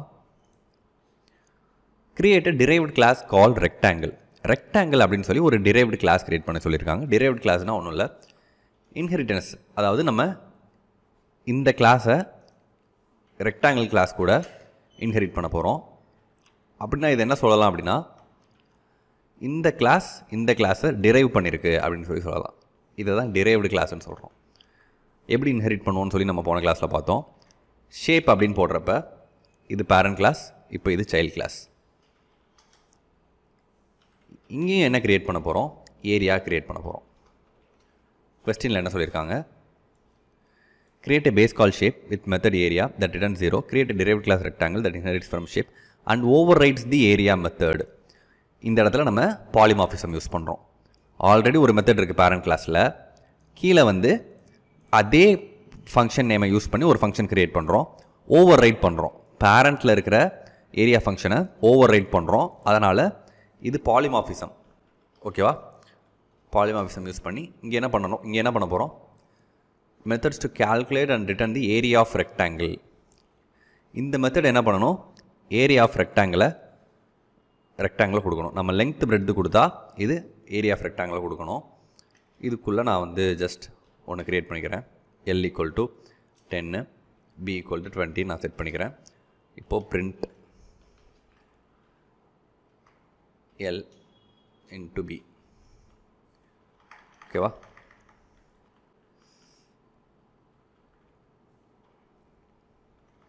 இப்போ இந்த ரெக்டாங்கிளுக்கு ஆப்ஜெக்ட் க்ரியேட் பண்ணுறேன் இந்த ரெக்டாங்கிளுக்கு ஒரு ஆப்ஜெக்ட் க்ரியேட் பண்ணுறேன் அண்ட் தென் இந்த ரெக்டாங்கிளை வச்சு ஆர் ஒன் டாட் ஏரியான்னு கால் பண்ணுறேன் இப்போ எந்த ஏரியா ரன் ஆகும்? இந்த ஏரியா ரன் ஆகும். ஓகேவா இந்த ஏரியா இப்போ நமக்கு ரன் ஆகும். இது என்ன பிரிண்ட் பண்ணும்? L into b ten into டுவெண்ட்டியை வெளியே பிரிண்ட் பண்ணும். இப்போ நான் அதை ரன் பண்ணுறேன் ten into twenty two hundred அப்படின்னு சொல்லி எனக்கு வெளியே பிரிண்ட் ஆயிடுச்சு இப்போ நான் இங்கே இதை நான் எக்ஸ்பிளைன் பண்ண போகிறேன் கவனிங்க. ஷேப்னு ஒரு கிளாஸ் க்ரியேட் பண்ணியிருக்கோம் இதில் ஏரியா இருக்குது அடுத்து ரெக்டாங்கிள்னு ஒரு கிளாஸ் க்ரியேட் பண்ணியிருக்கோம் இந்த கிளாஸ் இந்த கிளாஸை இன்ஹெரிட் பண்ணுது. ஓகேவா இதில் இருக்கிறது எல்லாமே இதுக்கு வந்துடும் அப்போது இதில் ஏற்கனவே ஏரியான்னு இருக்கும். நம்ம இந்த ஏரியாவை ஓவர் ரீட் பண்ணி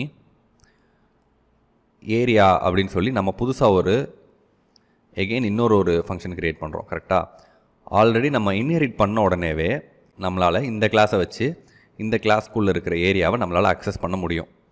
ஓகேவா நமக்கு அந் அதில் இருக்கிற ஏரியா வேணாம் எனக்கு ஏரியா ஃபங்க்ஷன் வேறு ஒரு ஆக்டிவிட்டி பண்ணணும். இதில் இருக்கிற ஏரியா சுமார் ஜீரோ மட்டும் தான் ரிட்டர்ன் பண்ணுது. ஆனால் எனக்கு இருக்கிற இந்த கிளாஸில் உள்ள ஏரியா வந்து என்ன பண்ணணும்?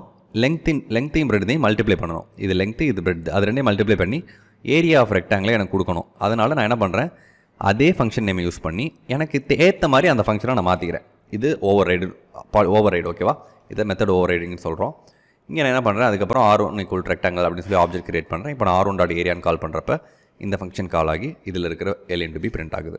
ஓகேவா ஓகே இப்போ அடுத்த கொஸ்டின் போகலாம் create a base call call person with a constructor that takes name as parameter. Create a class called person. Person அப்படி ஒரு ஒரு கிளாஸ் கிரியேட் பண்ணுங்க. With a constructor. ஒரு கன்ஸ்ட்ரக்டரோட கன்ஸ்ட்ரக்டரை கன்ஸ்ட்ரக்டர் கிரியேட் பண்ணுறேன் underscore underscore unit underscore underscore underscore self colon enter இப்போது இதுக்குள்ளே என்ன பண்ண போகிறேன் அவங்க என்ன சொல்லியிருக்காங்க? That takes name as a parameter comma name that takes name as a பேராமீட்டர்னு சொல்லியிருக்காங்க. இப்போ இந்த நேமை ஒரு வேரியபிள் க்ரியேட் பண்ணி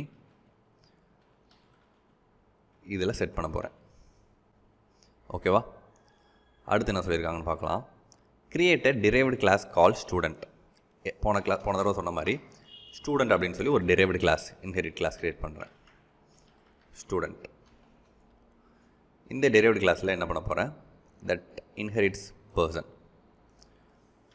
person and has a constructor and has a and has a constructor that takes a parameter called grade. இங்கே ஒரு constructor create பண்ணுறோம் இது என்ன பண்ண போகுது? கிரேட் அப்படின்ற பேராமீட்டர் எடுத்துக்க போகுது. கிரேட் ஓகேவா அப்போது self dot grade equal to grade ரைட்ட மெத்தடின் ஓகே இது வரைக்கும் ஃபஸ்ட்டு ஒரு தடவை எக்ஸ்பிளைன் பண்ணிடுறேன். என்ன நடக்குது அப்படின்னு சொல்லி கவனிங்க. இப்போ நான் இந்த ப்ரோக்ராமை ரன் பண்ணுறேன் ஓகே எனக்கு எதுவுமே பிரிண்ட் ஆகலை பிகாஸ் நம்ம எதுவுமே சொல்லலை. என்ன பண்ணணும் அப்படின்னு சொல்லி சொல்ல சொல்லலை. ஆப்ஜெக்ட்டும் க்ரியேட் பண்ணல. ஸோ எதுவுமே கால் ஆகலை. இங்கே நான் என்ன பண்ணியிருக்கேன் அப்படின்னு சொல்லி நான் இப்போ சொல்கிறேன்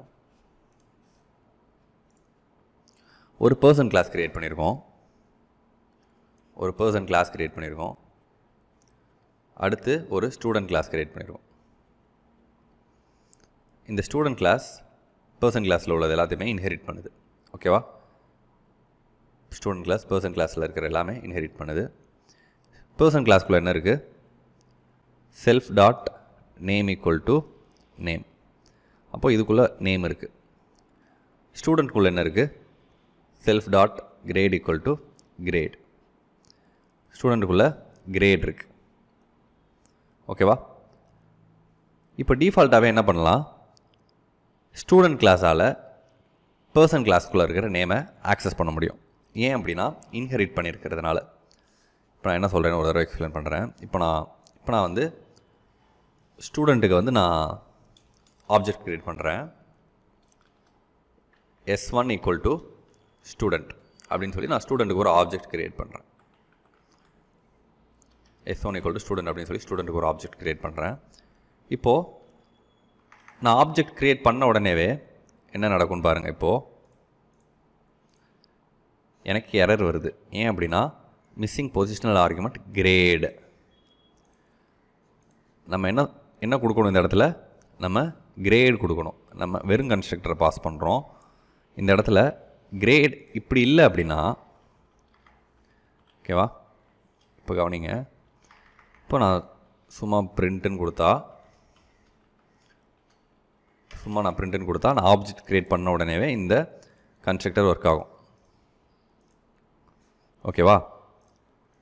ஆனால் இப்போ நான் ஒரு பேராமீட்டர் போடுறேன். எக்ஸ்ட்ராவா கமா கிரேடுன்னு போடுறேன். அப்போ எனக்கு எரர் த்ரோ பண்ணுது. கிரேடுன்னு ஒரு ஆர்குமெண்ட் கொடுத்துருக்க. அதுக்கு ஒரு வேல்யூ பாஸ் பண்ணு அப்படின்னு சொல்லி சொல்லுது. இப்போ நான் இதுக்குள்ளே இப்போ நான் கிரேட் என்ன அப்படின்னு சொல்லி நான் இப்போ இதுக்குள்ளே பாஸ் பண்ணலாம். கிரேடு வந்து நான் ஏன்னு சொல்லி இதுக்குள்ளே பாஸ் பண்ணுறேன் ஓகேவா? இப்போ நான் அந்த கிரேடை நான் ப்ரிண்ட் பண்ணால் எனக்கு பிரிண்ட் ஆகும். ஏன்னு பிரிண்ட் ஆகுது. ஓகேவா இந்த இடத்துல நான் என்ன பண்ணுறேன் ஏன்னு சொல்லி வேல்யூ பாஸ் பண்ணுறேன் இந்த ஏ இந்த கிரேடுக்குள்ளே போயிடும் இப்போ கிரேட் ஈக்குவல் டு ஏன்னு சொல்லியிருக்கோம். பிரிண்ட் கிரேடுன்னு சொல்கிறப்ப ஏ வந்து வெளியே பிரிண்ட் ஆகுது. இப்போ நான் இந்த இடத்துல என்ன பண்ண போகிறேன் கிரேடுன்னு ஒரு வேரியபிள் க்ரியேட் பண்ணி self dot grade equal to grade அப்படின்னு சொல்லி நான் செட் பண்ணுறேன் ஓகேவா இப்போது அடுத்த கொஸ்டினில் என்ன சொல்லியிருக்காங்கன்னு பார்க்கலாம். Write a method in student to display the name and grade of the student use super keyword to achieve this ஓகேவா இவங்க என்ன சொல்கிறாங்க சூப்பர் கீவேர்டை யூஸ் பண்ணுங்கன்னு சொல்கிறாங்க இந்த இந்த ஸ்டூடெண்ட் கிளாஸ் என்ன பிரிண்ட் பண்ணணுமா? Name and grade of the student ஓகேவா ஒரு பர்சன் இருக்கான் அவன் தான் ஸ்டூடெண்ட் ஓகேவா இந்த பர்சன் கிளாஸ் நேமை வேல்யூவாக எடுத்துக்குது. இந்த ஸ்டூடெண்ட் கிளாஸ் கிரேடை வேல்யூவாக எடுத்துக்குது. அவங்க என்ன சொல்லியிருக்காங்க? டெஃப் டிஸ்பிளேன்னு ஒரு ஃபங்க்ஷன் க்ரியேட் பண்ணி இந்த ஃபங்க்ஷன் என்ன பண்ணணும்? Print. இந்த ஃபங்க்ஷன் என்ன பண்ணணும்? Self dot name comma self dot grade நேமையும் கிரேடையும் இந்த ஃபங்க்ஷன் வந்து பிரிண்ட் பண்ணணும். க புரியலை அப்படி அப்படின்னா கவனிச்சிட்டே இருங்க. புரிய வரும். இப்போ நான் என்ன பண்ணுறேன்னு எக்ஸ்பிளைன் பண்ணுறேன் இந்த ஆப்ஜெக்டை வச்சு நான் இப்போ என்ன பண்ணுறேன் இந்த ஃபங்க்ஷனை கால் பண்ணுறேன் இப்போ இந்த ஃபங்க்ஷன் என்ன பண்ணணும்? செல்ஃப் டாட் நேமை பிரிண்ட் பண்ணணும். நம்ம நேம் செட் பண்ணவே இல்லை. ஓகேவா செல்ஃப் டாட் நேமை பிரிண்ட் பண்ணணும். அடுத்து செல்ஃப் டாட் கிரேடை பிரிண்ட் பண்ணணும். நம்ம கிரேடு ஏன்னு செட் பண்ணியிருக்கோம். இப்போ நான் இதை ரன் பண்ணுறேன் எனக்கு எரர் வருது. Student object has no attribute name அப்படின்னு சொல்லி சொல்லுது. நேம் அப்படின்னு சொல்லி ஒரு ஆட்ரிபியூட்டே இல்லை அப்படின்னு சொல்லி சொல்லுது. ஏன் அப்படின்னா இந்த கன்ஸ்ட்ரக்டர் கால் ஆகவே இல்லை. ஓகேவா இந்த கன்ஸ்ட்ரக்டர் கால் ஆகவே இல்லை. இப்போ நான் இந்த கன்ஸ்ட்ரக்டருக்குள்ளே ஏதாவது போடுறேன். இந்த கன்ஸ்ட்ரக்டருக்குள்ளே இப்போ நான் பிரிண்ட் போடுறேன்.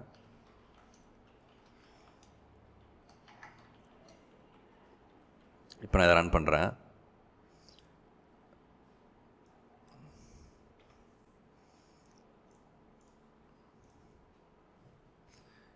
எனக்கு எதுவுமே பிரிண்ட் ஆகலை.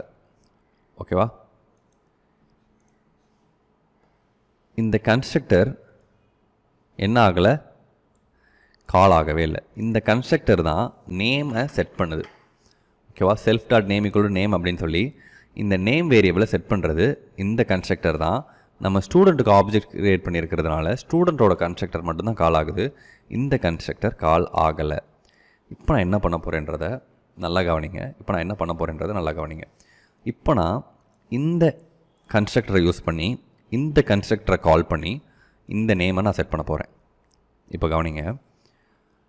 இப்போ நான் இந்த கன்ஸ்ட்ரக்டரில் ஏ மட்டும் பாஸ் பண்ணாமல் இந்த கன்ஸ்ட்ரக்டரில் இப்போ நான் நேமும் பாஸ் பண்ண போகிறேன் இந்த கன்ஸ்ட்ரக்டரில் இப்போ நான் நேமும் பாஸ் பண்ண போகிறேன் ஜான் அப்படின்னு சொல்லி நான் ஒரு நேம் பாஸ் பண்ணுறேன் ஜான் அப்படின்னு சொல்லி நான் ஒரு நேம் பாஸ் பண்ணுறேன் இப்போது இப்போ என்ன நடக்கும்னா இப்போ எனக்கு எரர் வரும். ஏன்னா இந்த இடத்துல வந்து நேம் வந்து நம்ம செட் பண்ணல. இப்போ நான் நேம் போட்டுக்கிறேன் இந்த இடத்துல.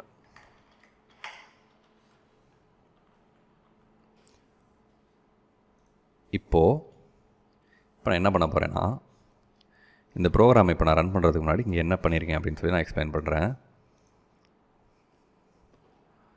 ஜஸ்ட் நான் என்ன பண்ணியிருக்கேன் எஸ் ஒன் ஈக்குவல் டு ஸ்டூடெண்ட்னு க்ரியேட் பண்ணியிருக்கேன் ஆப்ஜெக்ட் இங்கே நேம் இருக்குது இங்கே கிரேட் இருக்குது இப்போ இந்த நேம் இந்த நேம்குள்ளே போயிடும் இந்த நேம் ஈக்குவல் டு ஜான் அடுத்து இந்த ஏ இந்த கிரேட் வேரியபிள்குள்ளே போயிடும் கிரேட் ஈக்குவல் டு ஏ இங்கே என்ன பண்ணுறேன் self dot grade equal to grade அப்படின்னா self dot grade equal to grade அப்படின்றப்ப இந்த ஸ்டூடெண்ட்குள்ள ஆப்ஜெக்ட் செல்ஃப் அப்படின்றது ஆப்ஜெக்டை டெனோட் பண்ணோம். அந்த ஆப்ஜெக்டில் இந்த கிரேடை கிரேடோட வேல்யூவை நான் சேவ் பண்ணுறேன் ஓகேவா இப்போது சரி கிரேடோட வேல்யூவை இங்கே சேவ் பண்ணிட்டேன். ஓகேவா ஆனால் இந்த நேமோட வேல்யூவை நான் சேவ் பண்ணணும். கரெக்டாக அப்போ தான் என்னால் இங்கே பிரிண்ட் பண்ண முடியும். இப்போ நான் இந்த இடத்துல செல்ஃப் டாட் கிரேடுன்னு போடுறப்ப இந்த செல்ஃப் டாட் கிரேடில் ஏன்னு ஸ்டோர் ஆகிருக்கும் அது எனக்கு வெளியே பிரிண்ட் ஆகும். ஆனால் இந்த நேமில் இன்னும் எதுவுமே ஸ்டோர் ஆகலை.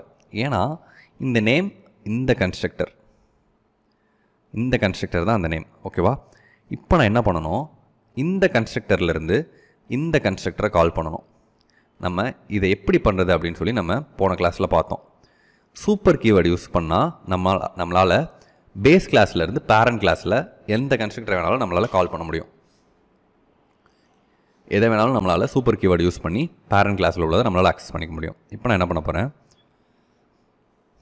இதுக்குள்ளே சூப்பர் யூஸ் பண்ணி super dot underscore underscore init underscore underscore அப்படின்னு சொல்லி இந்த கன்ஸ்ட்ரக்டரை கால் பண்ணுறேன் ஓகேவா இந்த கன்ஸ்ட்ரக்டரை கால் பண்ணுறேன் இப்போ நான் இதை ரன் பண்ணுறப்ப எனக்கு எரர் வருது. Person dot init missing one argument name அதாவது இங்கேருந்து இந்த கன்ஸ்ட்ரக்டரை கால் பண்ணுறேன் இந்த கன்ஸ்ட்ரக்டரில் நேம் அப்படின்னு சொல்லி ஒரு பேராமீட்டர் இருக்குது நேம் அப்படின்ற வேல்யூவை பாஸ் பண்ணுன்னு சொல்லி கேட்குது இப்போ நான் இதுக்குள்ளே இப்போ நான் இதுக்குள்ளே நேம் அப்படின்ற வேல்யூவை நான் பாஸ் பண்ணுறேன் இப்போ நான் இதுக்குள்ளே நேம் அப்படின்ற வேல்யூ பாஸ் பண்ணுறேன் இப்போ இந்த நேம் இதில் செட் ஆயிரும். இப்போ நான் எஸ் ஒன் டாட் டிஸ்பிளேன்னு கால் பண்ணுறப்ப இது ரொம்பவே கன்ஃபியூசிங்காக இருக்க வாய்ப்பு இருக்குது நான் எகைன் ஒரு தடவை எக்ஸ்பிளைன் பண்ணுறேன் இப்போ வந்து ஜான் ஏ அப்படின்னு சொல்லி எனக்கு அவுட்புட் பிரிண்ட் ஆயிடுச்சு. இப்போ நான் இங்கே என்ன நடக்குதுன்னு சொல்லி இப்போ நான் தெளிவாக எக்ஸ்பிளைன் பண்ணுறேன் கவனிங்க.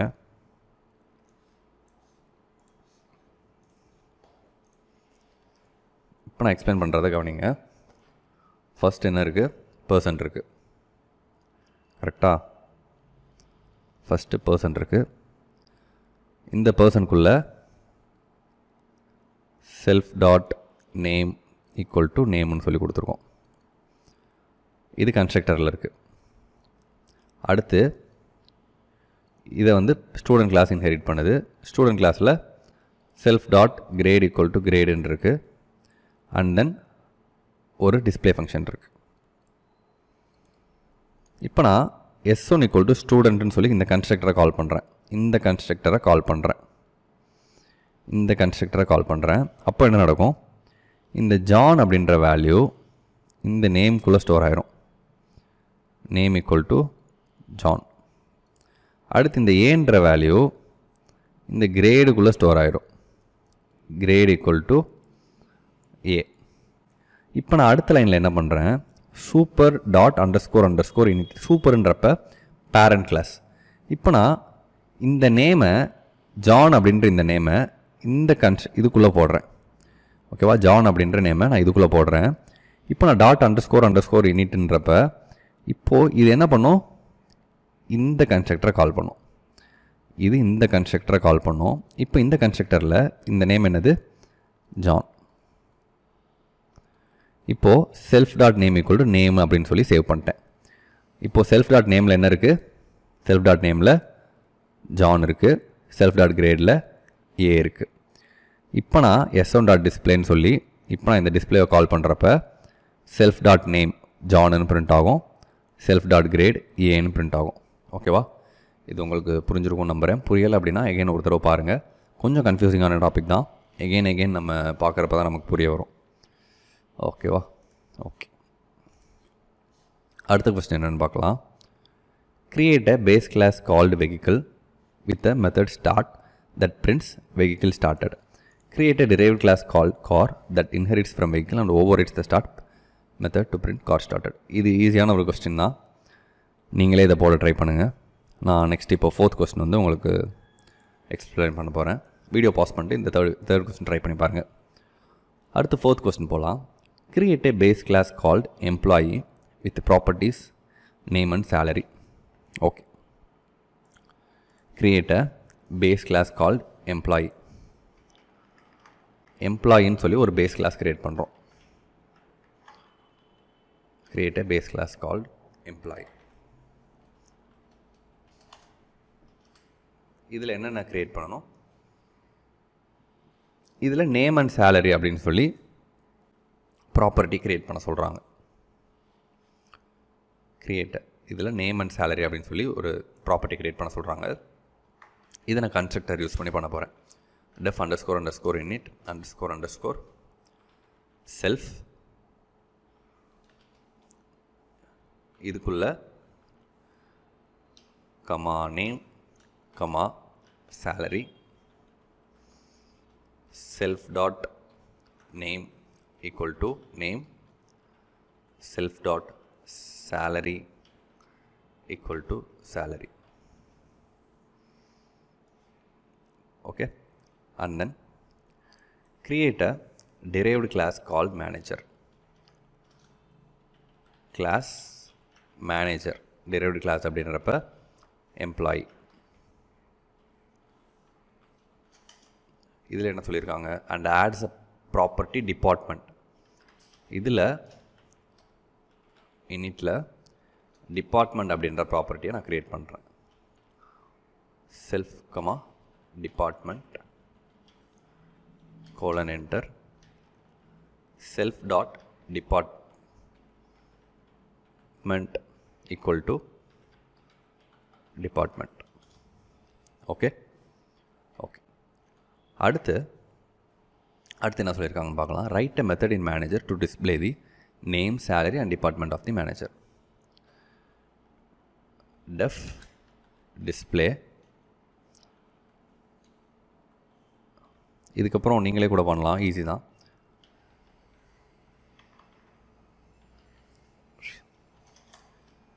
Display name salary and department of the manager அப்போது print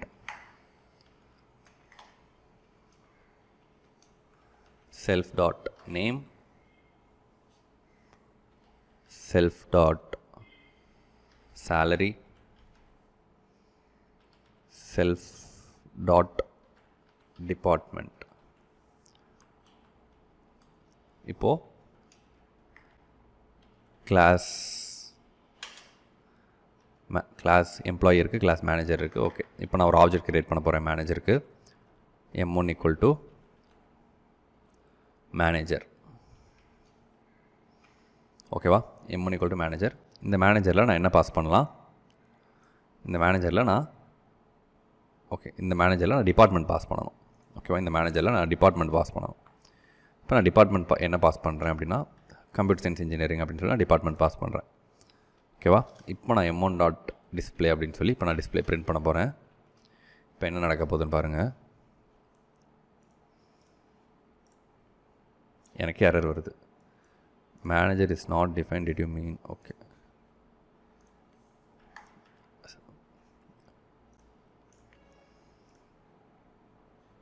manager object has no attribute name எனக்கு இப்போது இந்த இடத்துல எரர் வருது. ஏன் அப்படின்னா செல்ஃப் டாட் நேம் டிக்ளேர் ஆகலை சேலரியும் டிக்ளே டிக்ளேர் ஆகலை டிபார்ட்மெண்ட் மட்டும்தான் டிக்ளேர் ஆகிருக்கு அப்படின்னு சொல்லி சொல்லியிருக்கு. ஏன் அப்படின்னா நம்ம ஃபஸ்ட் ப்ரோக்ராமில் பண்ண மாதிரியே சாரி செகண்ட் ப்ரோக்ராமில் பண்ண மாதிரி இந்த இடத்துல என்ன இல்லை? இந்த கன்ஸ்ட்ரக்டர் கால் ஆகலை. இப்போது இது உங்களுக்கு டாஸ்க்காக எடுத்துக்கோங்க. சூப்பர் கீவேர்டை யூஸ் பண்ணி நீங்கள் இந்த நேமையும் இந்த சேலரியும் செட் பண்ணிவிட்டு அதுக்கப்புறமா இந்த டிஸ்பிளேவை பிரிண்ட் பண்ணுங்கள் இது உங்களால் ஈஸியாக பண்ண முடியும்னு நினைக்கிறேன். சேம் அதே ஃபார்மேட் தான். அந்த ப்ரோக்ராமை பா ரெஃபர் பண்ணி இதை ட்ரை பண்ணுங்கள்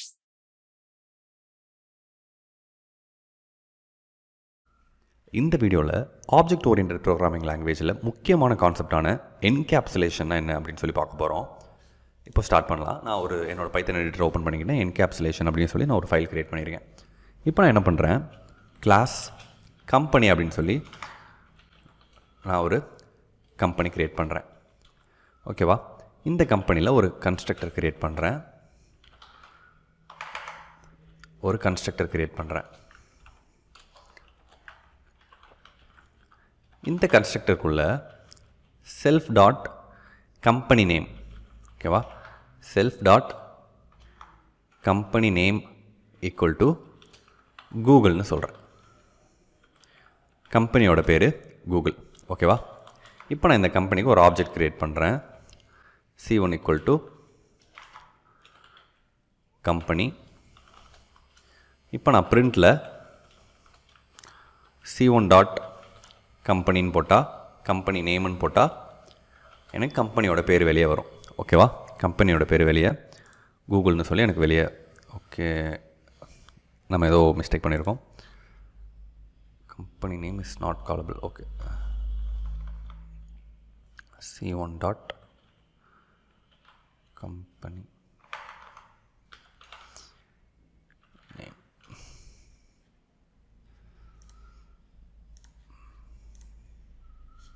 நான் டைப்பிங் எரர் பண்ணியிருந்தேன். ஸோ அதை சரி பண்ணிட்டேன். இப்போ வந்து எனக்கு கூகுள் அப்படின்னு சொல்லி எனக்கு வெளியே வந்து பிரிண்ட் ஆயிருக்கு. ஓகேவா இப்போ நான் என்ன பண்ணலாம்? என்னோடய கம்பெனி பேரை யாராவது இந்த ஆப்ஜெக்ட் க்ரியேட் பண்ணி யாராவது என்ன பண்ணலாம்? C one dot company name equal to Google அப்படின்னு சொல்லி என்னோடய கம்பெனி பேரை மாற்றி எழுத முடியும். ஆப்ஜெக்ட் க்ரியேட் பண்ணி என்னோடய கம்பெனி பேரை யார் வேணாலும் இப்படி மாற்றி எழுதலாம். கரெக்டா இப்போது கூகுள் அப்படின்னு சொல்லி யார் வேணாலும் என்னோடய கம்பெனி பேரை மாற்றி எழுத முடியும். அந்த மாதிரி என்னோடய கம்பெனி பேரை யாருமே மாற்றி எழுதக்கூடாது. என்னோடய கம்பெனி நேம் கூகுள்னா கூகுளாக தான் இருக்கணும். அப்படின்றப்ப யாருமே இந்த வேரியபிளை அக்சஸ் பண்ணக்கூடாது. கரெக்டாக யாராலையுமே இந்த வேரியபிளை ஆக்சஸ் பண்ண முடியக்கூடாது. செல்ஃப் டாட் கம்பெனி நேம் அப்படின்றது கூகுள் அப்படின்னா கூகுள்னு தான் இருக்கணும். இதை அச்சீவ் பண்ணுறதுக்கு இப்போ நான் என்ன பண்ண போகிறேன் ஆக்சஸ் மாடிஃபையர்ஸ் யூஸ் பண்ண போகிறேன் அதாவது இப்போ நான் என்னென்னு சொல்கிறேன் இப்போ கவனிங்க. இப்போ நான் செல்ஃப் டாட் கம்பெனி நேமுக்கு முன்னாடி டபுள் அண்டர் ஸ்கோர் போடுறேன் ஓகேவா செல்ஃப் டாட் கம்பெனி நேமுக்கு முன்னாடி டபுள் அண்டர் ஸ்கோர் போடுறேன். இப்போது இது ப்ரைவேட் வேரியபிளாக மாறிடுது.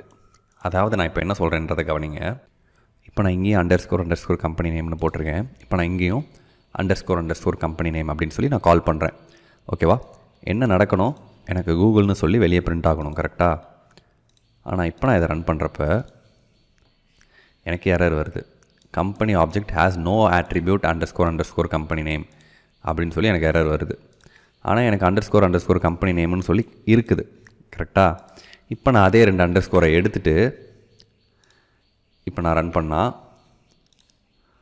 எனக்கு இது எனக்கு கூகுள்னு சொல்லி எனக்கு அவுட்புட் வெளியே வருது. அதாவது நம்ம அண்டர் ஸ்கோர் அண்டர் ஸ்கோர் போடுறதுனால இது ப்ரைவேட்டாக மாறிடுது. அண்டர் ஸ்கோர் அண்டர் ஸ்கோர் போடுறதுனால இந்த வேரியபிள் ப்ரைவேட்டாக மாறிடுது. இந்த ப்ரைவேட் வேரியபிளை கிளாஸ்க்குள்ளே இருக்கிற ஏதாவது ஒரு மெத்தடை வச்சு மட்டும்தான் ஆக்சஸ் பண்ண முடியும். அதாவது இப்போ நான் என்ன சொல்கிறேன்னு கவனிங்க. இப்போ நான் டெஃப் கம்பெனி நேம் அப்படின்னு சொல்லி நான் ஒரு ஃபங்க்ஷன் க்ரியேட் பண்ணுறேன் இந்த ஃபங்க்ஷனுக்குள்ளே print self dot underscore underscore company name அப்படின்னு சொல்லி நான் க்ரியேட் பண்ணியிருக்கேன். இப்போ நான் C one dot company under company name அப்படின்னு சொல்லி நான் இந்த ஃபங்க்ஷனை கால் பண்ணுறேன் இப்போ என்ன நடக்குதுன்னு பாருங்கள் எனக்கு கூகுள்னு பிரிண்ட் ஆகிட்டு அதுக்கப்புறம் எரர் வந்திருக்கு. அதாவது இப்போ நான் இங்கே என்ன நடந்திருக்குன்னு சொல்லி இப்போ நான் எக்ஸ்பிளைன் பண்ணுறேன் கவனிங்க.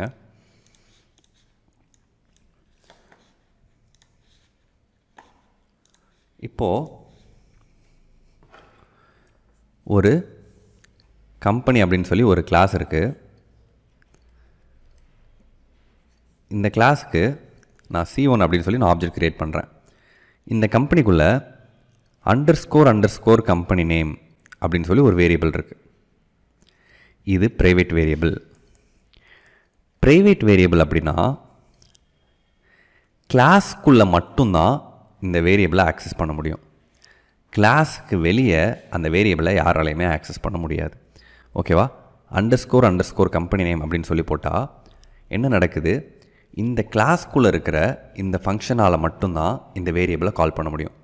நான் இந்த அண்டர்ஸ்கோர் அண்டர்ஸ்கோர் கம்பெனி நேமை நான் இங்கே பிரிண்ட் போட்டு வழக்கமாக பண்ணுற மாதிரி வெளியே பிரிண்ட் பண்ண ட்ரை பண்ணுறப்ப எனக்கு இந்த எரர் வருது. Company object has no attribute அப்படின்னு சொல்லி எனக்கு எரர் வருது. ஆனால் C one dot company name அப்படின்னு சொல்லி நான் இந்த ஃபங்க்ஷனை கால் பண்ணுறப்ப இந்த ஃபங்க்ஷன் என்ன பண்ணுது? Self dot underscore underscore company name அப்படின்ற இந்த வேரியபிளை இந்த ஃபங்க்ஷனால் அக்சஸ் பண்ண முடியுது. ஏன் அப்படின்னா இந்த ஃபங்க்ஷன் கம்பெனி அப்படின்ற கிளாஸ்க்கு உள்ளே இருக்குது ஓகேவா private variables can be accessible within the class கிளாஸ்க்கு உள்ள ப்ரைவேட் வேரியபிள் ஆக்சஸ் பண்ண முடியும். கிளாஸ்க்கு வெளியே நம்மளால் ஆக்சஸ் பண்ண முடியாது. ஓகேவா இப்போ நான் கிளாஸ்க்குள்ளே இந்த ஃபங்க்ஷனை கால் பண்ணுறப்ப இது வந்து எனக்கு வெளியே கூகுள் அப்படின்னு சொல்லி எனக்கு வெளியே பிரிண்ட் பண்ணியிருக்கு ஓகேவா இப்போது நான் இதை கால் பண்ணுறப்ப எனக்கு கூகுள் அப்படின்னு சொல்லி எனக்கு வெளியே பிரிண்ட் ஆகும். இப்போது யாராலையுமே என்னோடய கம்பெனியோட பேரை மாற்ற முடியாது ஓகேவா? ஏன் அப்படின்னா நான் வந்து இதை ப்ரைவேட்டாக மாற்றி வச்சுருக்கேன். ப்ரைவேட் அக்சஸ் பண்ண முடியாது. ஸோ இந்த இந்த ஃபங்க்ஷன் நேமை கால் பண்ணி தான் என்னால் வந்து இந்த கம்பெனி நேமை என்னால் வெளியே பிரிண்ட் பண்ண முடியும். இதை தான் என்கேப்சுலேஷன் அப்படின்னு சொல்லி சொல்கிறோம் அதாவது இந்த வேரியபிளை நம்ம ஹைட் பண்ணிட்டோம் ஓகேவா? கிளாஸுக்கு வெளியே இருந்து பார்க்குறவங்களுக்கு இந்த வேரியபிள் தெரியாது. ஆனால் அவங்களுக்கு இந்த ஃபங்க்ஷன் தெரியும். இந்த ஃபங்க்ஷன் பப்ளிக்காக இருக்குது இந்த வேரியபிள் ப்ரைவேட்டாக இருக்குது இந்த ப்ரைவேட் வேரியபிள் அக்சஸ் பண்ணணும் அப்படின்னா இந்த ஃபங்க்ஷன் வழியாக தான் அக்சஸ் பண்ணி ஆகணும். இந்த மாதிரி பர்டிகுலர் வேரியபிள்ஸ் ஆர் ஃபங்க்ஷனுக்கு ஆக்சஸை ரெஸ்ட்ரிக்ட் பண்ணி டேட்டாவை ஹைட் பண்ணுறது தான் என்கேப்சுலேஷன் அப்படின்னு சொல்லி சொல்கிறோம் இதே மாதிரி எப்படி இந்த பப்ளிக் அண்டு ப்ரைவேட் இருக்கோ இப்போ நீங்கள் இதே கம்பெனி நேமை ரெண்டு அண்டர் ஸ்கோர் இல்லாமல் போட்டிங்க அப்படின்னா இது பப்ளிக் ரெண்டு அண்டர் ஸ்கோரோட போட்டிங்க அப்படின்னா இது ப்ரைவேட் இதே நான் ஒரே ஒரு அண்டர் ஸ்கோர் மட்டும் போட்டேன் அப்படின்னா இதை ப்ரொடெக்டட் அப்படின்னு சொல்லி சொல்கிறோம் இதை ப்ரொடெக்டட் அப்படின்னு சொல்லி சொல்கிறோம் இப்போ நான் ஒரே ஒரு அண்டர் ஸ்கோர் மட்டும் போட்டு இதை நான் ரன் பண்ணுறேன் ஒரே ஒரு அண்டர் ஸ்கோர் மட்டும் நான் போட்டு இப்போ நான் இதை ரன் பண்ணுறேன் C one dot underscore company company ஒரே ஒரு அண்டர் ஸ்கோர் மட்டும் போட்டு நான் இந்த வேரியபிள் ஆக்சஸ் பண்ண ட்ரை பண்ணுறேன் ஒரே ஒரு அண்டர் ஸ்கோர் மட்டும் போடுறப்ப எனக்கு ஒர்க் ஆகுது. இதை ப்ரொடெக்டட் அப்படின்னு சொல்லி சொல்கிறோம் ஒரே ஒரு அண்டர் ஸ்கோர் மட்டும் போடுறத ப்ரொடெக்டட் அப்படின்னு சொல்லி சொல்கிறோம் இதை இந்த ப்ரொடெக்டட் வேரியபிளை நம்மளால் சைல்ட் கிளாஸ் மூலமாகவும் அக்சஸ் பண்ண முடியும். இந்த ப்ரொடெக்டட் வேரியபிள் கிளாஸ் இந்த கிளாஸாலையும் இந்த ப்ரொடெக்டட் வேரியபிள் ஆக்சஸ் பண்ண முடியும். எந்தெந்த கிளாஸ்லாம் இந்த கிளாஸை டிரைவ் பண்ணுதோ அதாவது இன்ஹெரிட் பண்ணுதோ அந்த கிளாஸஸாலையும் இந்த அண்டர் ஸ்கோர் கம்பெனி நேமை அக்சஸ் பண்ண முடியும். இப்போ நான் கிளாஸ் பின்னு சொல்லி இந்த கம்பெனியை நான் இன்ஹெரிட் பண்ணுறேன் அப்படின்னா இப்போது நான் இந்த கிளாஸ் பிக்கு இந்த கிளாஸ் பிக்கு நான் ஒரு வேரியபிள் க்ரியேட் பண்ணுறேன் கிளாஸ் பிக்கு நான் ஒரு ஆப்ஜெக்ட் சாரி ஆப்ஜெக்ட் க்ரியேட் பண்ணுறேன் இப்போ நான் இந்த ஆப்ஜெக்டை வச்சு இப்போ நான் க்ரியேட் பண்ணேன் இந்த ஆப்ஜெக்டை வச்சு இப்போ இந்த கிளாஸுக்கு ஆப்ஜெக்ட் க்ரியேட் பண்ணியிருக்கேன். இந்த ஆப்ஜெக்டை வச்சு நான் இந்த அண்டர் ஸ்கோர்னு போட்டிருக்கிற இந்த வேரியபிள் ஆக்சஸ் பண்ண ட்ரை பண்ண போகிறேன் என்னால் ஆக்சஸ் பண்ண முடியுது. ஓகேவா இதுதான் public protected and private access modifiers இதை யூஸ் பண்ணி நம்ம என்கேப்சுலேஷனை அச்சீவ் பண்ண முடியும். ஓகேவா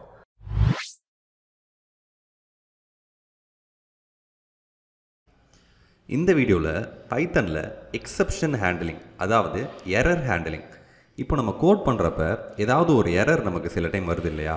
ரெட் கலரில் நமக்கு வந்து அவுட்புட்டில் சம் எரர் வரும்.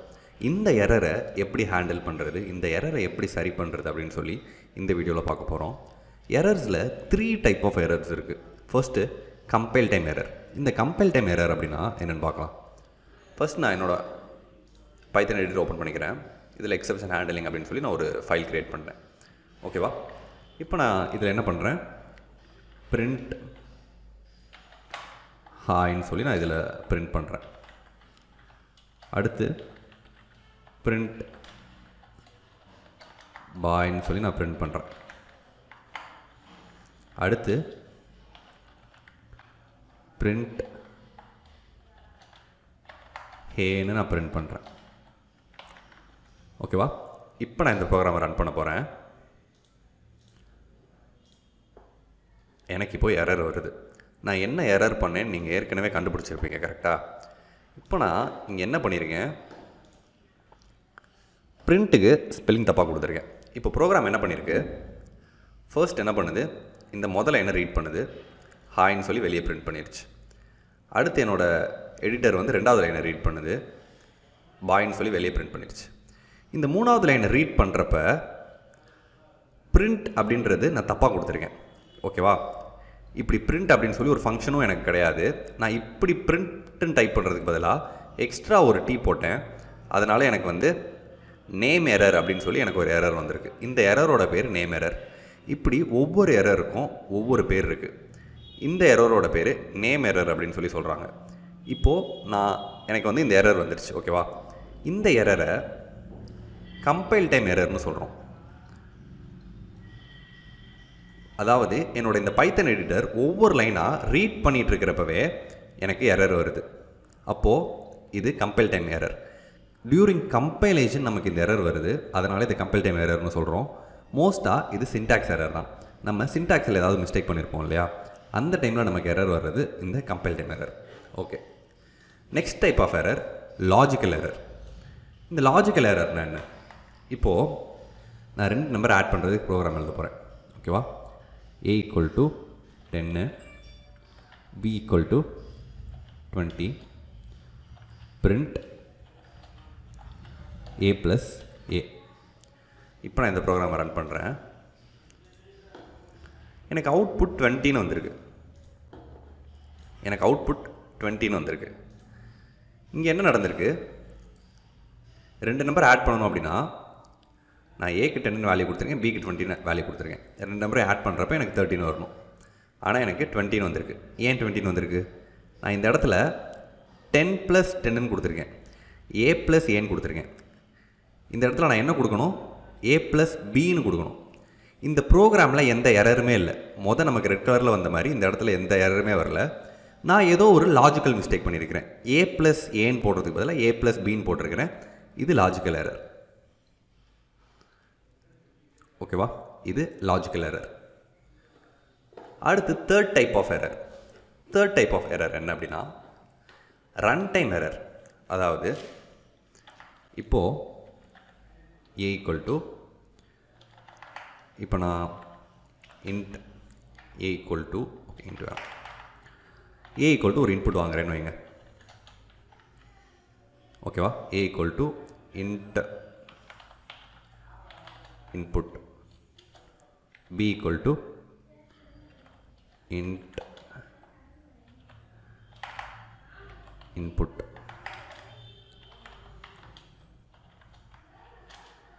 Print a plus b. இப்போ நான் இந்த ப்ரோக்ராமை ரன் பண்ணுறேன் என்ன நடக்குதுன்னு பாருங்கள் இந்த ப்ரோக்ராம் எனக்கு பக்காவாக ஒர்க் ஆயிடுச்சு. அதாவது கம்பைலேஷன் எரர் எனக்கு வரல. சின்டாக்ஸ் எல்லாமே கரெக்டாக தான் இருக்குது கம்பைல் டைம் எரர் வரல. ஓகேவா இப்போ நான் இந்த ப்ரோக்ராம் ரன் பண்ணுறேன் இந்த ப்ரோக்ராம் ரன் ஆகிட்டுருக்கு ஓகேவா இந்த ப்ரோக்ராம் இப்போது ரன் ஆகிட்டுருக்கு ஏக்கு எனக்கு இன்புட் கேட்குது இப்போ நான் ஏக்கு ஒரு இன்புட் கொடுக்க போகிறேன் டென் அப்படின்னு சொல்லி நான் ஏக்கு இன்புட் கொடுக்குறேன். அடுத்து எனக்கு பிக்கு இன்புட் கேட்குது இந்த டைம் நான் ஹாய்ன்னு சொல்லி நான் டைப் பண்ணுறேன் இப்போ நான் என்ட்ரு பண்ணுறப்ப எனக்கு எரர் வருது. Invalid literal for int with base 10 high. So இப்போ இங்கே என்ன நடக்குது? நான் ப்ரோக்ராமை ரன் பண்ணிட்டேன். ப்ரோக்ராம் ரன் ஆகிட்டுருக்கு ப்ரோக்ராம் ரன் ஆகிட்டுருக்கிறப்ப ஃபஸ்ட்டு ஏக்கு என்ன ஒரு இன்புட் கொடுத்தேன்? ஏக்கு வந்து டென் அப்படின்னு ஒரு இன்புட் கொடுத்தேன். அடுத்து பிக்கு இன்புட் கேட்குது பிக்கு நான் என்ன இன்புட் கொடுக்குறேன்? ஹாய்னு சொல்லி இன்புட் கொடுக்குறேன். நான் கொடுத்த ஹாய் இந்த இடத்துல இன்டிஜர் கிடையாது.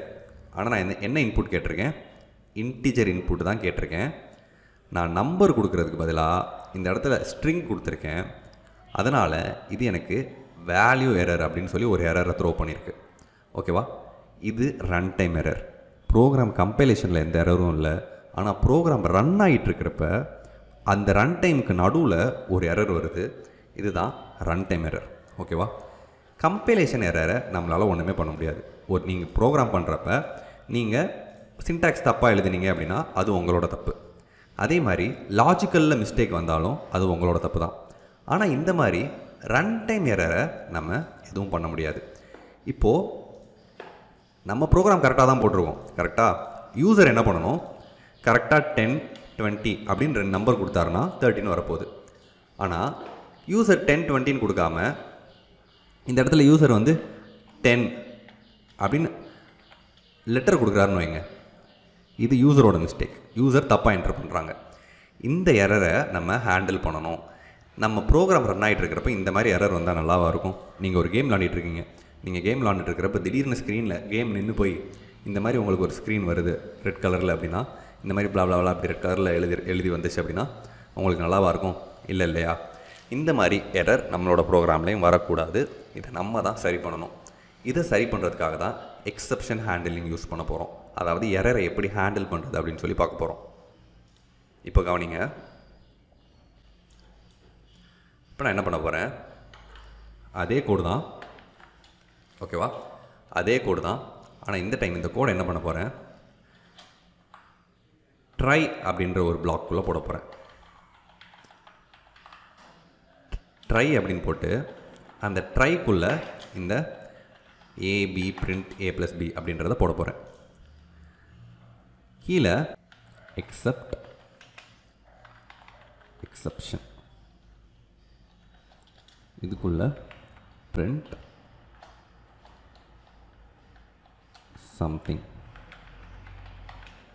ஓகேவா இப்போ நான் இந்த ப்ரோக்ராம் ரன் பண்ணி காட்டுறேன். என்ன நடக்குதுன்னு பாருங்கள் இப்போ நான் இந்த ப்ரோக்ராம் ரன் பண்ணுறப்ப அதே மாதிரி எனக்கு ஃபஸ்ட்டு ஏக்கு இன்புட் கேட்குது இப்போ நான் ஏக்கு டென்னு ஒரு இன்புட் கொடுக்குறேன்.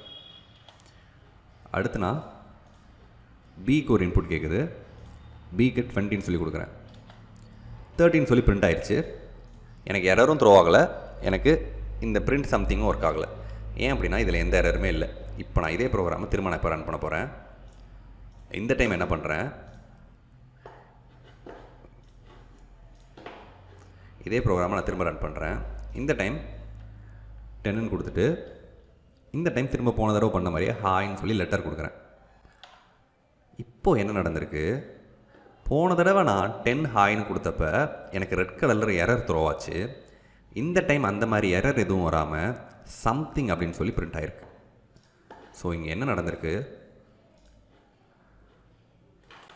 ப்ரோக்ராம் என்ன பண்ணுது? ஃபஸ்ட்டு ட்ரை அப்படின்ற பிளாக் இருக்கிறதுனால இப்போது ஏக்கு இன்புட் கேட்குது நான் டென்னு கொடுத்துட்டேன்.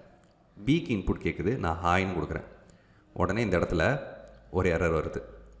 இந்த எரர் வந்தோடனே ப்ரோக்ராம் என்ன பண்ணுது? கீழே எக்ஸப்ட் அப்படின்ற இந்த பிளாக்குள்ளே போகுது. இந்த பிளாக்குள்ளே நம்ம என்ன சொல்லியிருக்கோம்? பிரிண்ட் சம்திங்னு சொல்லியிருக்கோம். ஓகேவா பிரிண்ட் சம்திங்னு நம்ம சொன்னதுனால அந்த சம்திங் வெளியே பிரிண்ட் ஆகிருக்கு இப்படி தான் நம்ம எரரை ஹேண்டில் பண்ணுவோம். ஓகேவா இப்போ நான் அடுத்து என்ன பண்ண போகிறேன் எக்ஸப்ஷன் அஸ் ஈன்னு கொடுக்க போகிறேன் ஓகேவா? இந்த எக்ஸப்ஷன் அஸ் இ அப்படின்ற இந்த இ என்ன ரிட்டர்ன் பண்ணுது அப்படின்னு சொல்லி பார்க்கலாம். எக்ஸப்ஷன் அஸ் இன்னு போட்டுட்டு கீழே வந்து கமா இ e அப்படின்னு சொல்லி நான் கொடுக்குறேன். இப்போ நான் இதை ரன் பண்ணுறேன் இப்போ நான் அதே மாதிரி டென்னுன்னு கொடுக்குறேன். கீழே வந்து ஹாய்னு கொடுக்குறேன். இப்போது invalid literal for int with base ten hi அப்படின்னு சொல்லி இந்த இ என்ன பண்ணுது? என்ன எக்ஸப்ஷனோ என்ன எக்ஸப்ஷன் வருதோ அந்த எக்ஸப்ஷனை எனக்கு இங்கே கொடுக்குது. ஓகேவா இப்போ நான் அடுத்து என்ன பண்ண போகிறேன் ஏ ஈக்குவல் டு இன்ட் இன்புட்டுன்னு போடாமல் ஏ ஈக்குவல் டு இன்புட்டுன்னு மட்டும் போடுறேன். ஓகேவா பி ஈக்குவல் டு இன்புட்டுன்னு மட்டும் போடுறேன். இப்போது இது ரெண்டுமே ஸ்ட்ரிங்காக நம்மளோட இன்புட்டை எடுத்துக்கும். ஓகேவா? இப்போ நான் இன்டிஜர்னு போடலை. வெறும் இன்புட்டுன்னு தான் போட்டிருக்கேன். இப்போது இந்த ஏவும் பியும் ஸ்ட்ரிங்காக என்னோடய இன்புட்டை எடுத்துக்கும் இப்போ நான் இந்த ப்ரோக்ராம் ரன் பண்ணுறப்ப இப்போ நான் ஹாய்னு சொன்னேன்னா இந்த ஹாய் ஏல ஸ்டோர் ஆயிரும். பாய்னு சொன்னேன்னா இந்த பாய் பியில் ஸ்டோர் ஆயிரும். ஏ ப்ளஸ் பின்றப்ப ஹாய் பாய் அப்படின்னு சொல்லி பிரிண்ட் ஆகும் இப்போ நான் ஏ ப்ளஸ் பின்னு போடாமல் ஏ டிவைடட் பை பின்னு போடுறேன். ஓகேவா? ஹாய் டிவைடட் பை பாய்ன்னு போடுறேன். நம்பராக இருந்தால் மட்டும்தான் இந்த டிவிஷன் ஒர்க் ஆகும். ஆனால் இப்போது இங்கே ரெண்டு லெட்டர் இருக்குது இப்போ என்ன நடக்குதுன்னு சொல்லி பார்க்கலாம். இப்போ நான் ரன் பண்ணிட்டு அதே மாதிரி ஹாய் சொல்கிறேன் அதே மாதிரி பாய் சொல்கிறேன் இப்போ எனக்கு அன்ஸ் சம்திங்னு சொல்லி எனக்கு எரர் த்ரோ ஆயிருக்கு. Unsupported operand type for STR STR S STR STR அப்படின்றது ரெண்டு ஸ்ட்ரிங்கு இந்த ஆப்பரண்டை வந்து இந்த ஸ்ட்ரிங்க்கு யூஸ் பண்ண முடியாது அப்படின்னு சொல்லி இந்த எரர் வந்து எனக்கு த்ரோ ஆயிருக்கு. ஓகேவா? இப்போ நான் உங்களுக்கு இன்னொன்று காட்டுறேன். இப்போ இது எல்லாத்தையுமே கிளியர் பண்ணிவிட்டு ஏ ஈக்குவல் டு இன்ட் இன்புட்டுன்னு போடுறேன். அப்போது இன்டிஜர் இன்புட் தான் எக்ஸ்பெக்ட் பண்ணுறேன் கரெக்டாக அப்போ A equal to integer input அதாவது ஏதாவது நம்பர் கொடுக்கணும் அப்படின்னு சொல்லி சொல்கிறேன் ஆனால் இப்போ நான் நம்பர் கொடுக்காம ஹாய்ன்னு சொல்லி கொடுக்குறேன். எனக்கு வேல்யூ எரர் அப்படின்னு சொல்லி எனக்கு எரர் வந்து வெளியே வருது. ஓகேவா? வேல்யூ எரர்னு சொல்லி வருது. இப்போ நான் என்ன பண்ண போகிறேன் இந்த ஏவை ட்ரை பிளாக்குக்கு உள்ளே போடுறேன். எக்ஸப்ட் எக்ஸப்ட் எக்ஸப்ஷன் அப்படின்னு சொல்லி நான் ஏற்கனவே சொன்னேன் இல்லையா? இந்த மாதிரி எக்ஸப்ஷனை ஹேண்டில் பண்ணுறதுக்கு இப்படி போடுறதுக்கு பதிலாக இந்த எக்ஸ் இந்த எரரோட பேரை நான் போட போகிறேன் வேல்யூ எரர் அப்படின்னு சொல்லி இந்த எரரோட பேரை நான் போடுறேன். ஓகேவா? வேல்யூ எரர் அஸ் இன்னு போட்டு பிரிண்ட் வேல்யூ எரர் கமா இன்னு சொல்லி போடுறேன். இப்போ நான் இந்த ப்ரோக்ராம் ரன் பண்ணுறேன் இப்போ நான் அதே மாதிரி ஹாயின்னு கொடுக்குறேன். இப்போ எனக்கு வேல்யூ எரர் அப்படின்னு சொல்லி இந்த வேல்யூ எரர் வந்து பிரிண்ட் ஆயிருக்கு. இப்போது கவனிங்க. பி ஈக்குவல் டு ஓகே இப்போது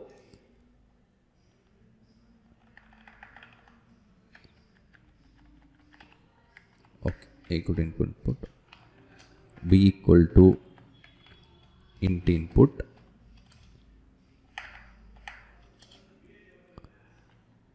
c equal to okay c equal to input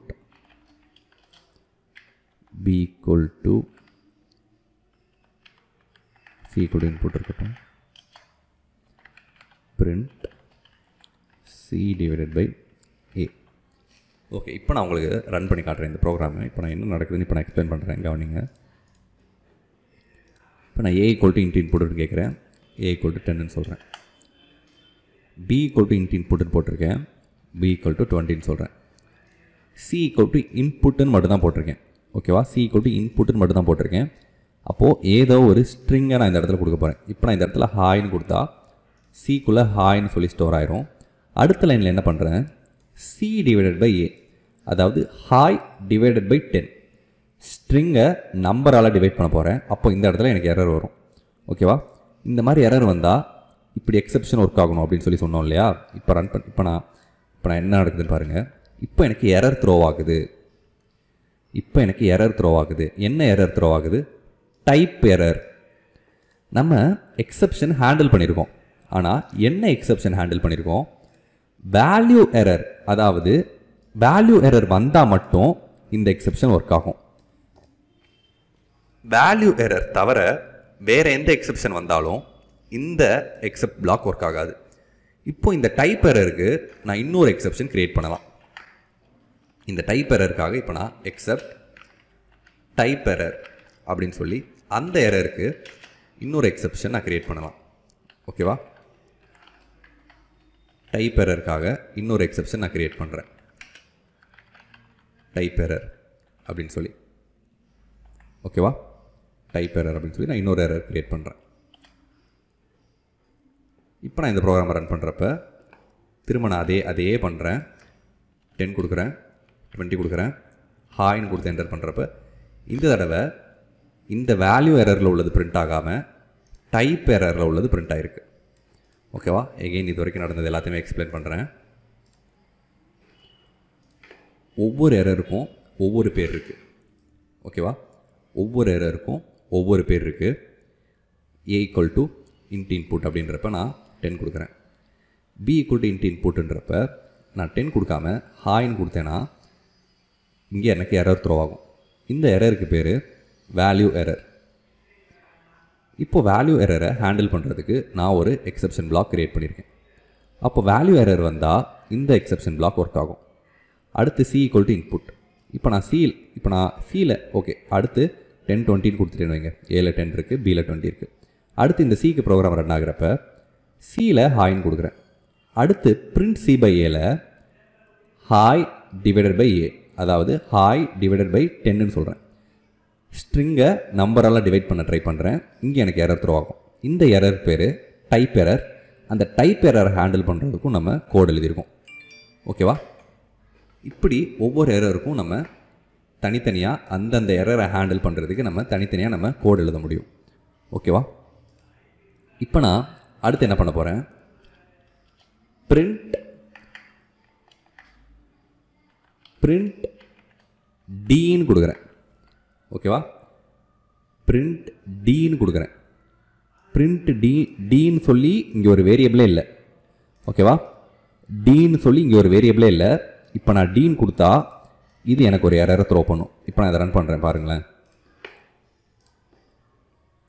first ஏக்கு இன்புட் கேட்குது டென் கொடுக்குறேன். பிக்கு இன்புட் கேட்குது டுவெண்ட்டி கொடுக்குறேன்.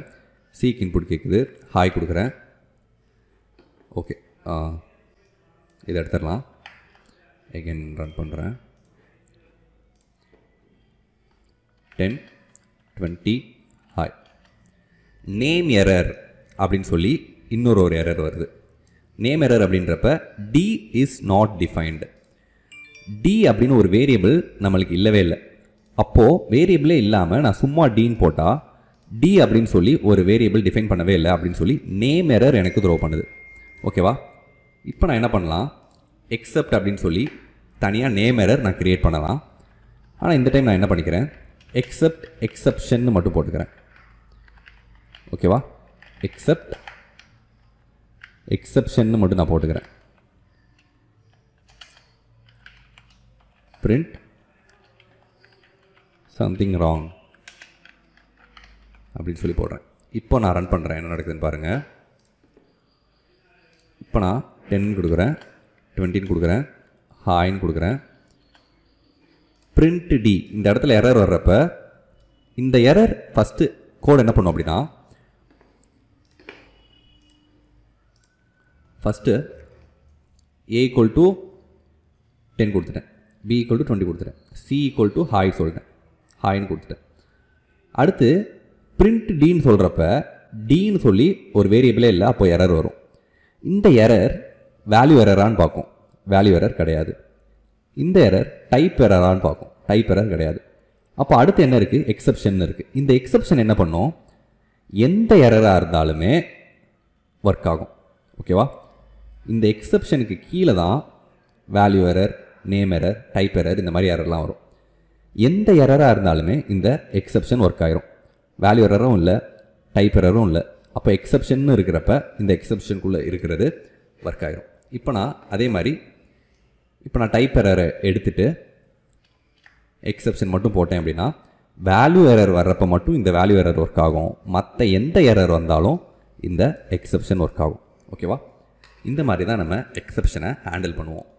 இப்போ அடுத்து ஃபைனலி அப்படின்னு சொல்லி ஒரு பிளாக் பற்றி சொல்ல போகிறேன் இந்த ஃபைனலி அப்படின்றது என்ன அப்படின்னா பிரிண்ட் டன் இப்போ நான் இந்த ப்ரோக்ராமை ரன் பண்ண போகிறேன் ஏக்கும் பிக்கும் இப்போ நான் இன்புட் கொடுக்க போகிறேன் ஓகேவா ஏக்கும் பிக்கும் இன்டிஜர் இன்புட் கொடுக்கணும். ஏக்கும் பிக்கும் இப்போ நான் இன்டிஜர் இன்புட் கொடுக்க போகிறேன் ஏக்கும் பிக்கு இப்போ நான் இன்டிஜர் இன்புட் கொடுக்க போகிறேன் ஏக்கு வந்து டென்னு கொடுக்குறேன். பிக்கு வந்து டுவெண்ட்டின்னு சொல்கிறேன் எந்த எரருமே இல்லை ஓகேவா ஃபைனலியில் இருக்கிற டன் ஒர்க் ஆயிடுச்சு இப்போ நான் திரும்ப இந்த ப்ரோக்ராம் ரன் பண்ணுறேன் இந்த டைம் ஏக்கு டென் கொடுக்குறேன். பிக்கு ஹாய்னு சொல்லி கொடுக்குறேன். டுவெண்ட்டி தான் கொடுக்கணும் ஹாய்னு சொல்கிறேன் அப்போது இது வேல்யூ எரர் இப்போ எனக்கு இந்த வேல்யூ எரர் ஒர்க் ஆகும்.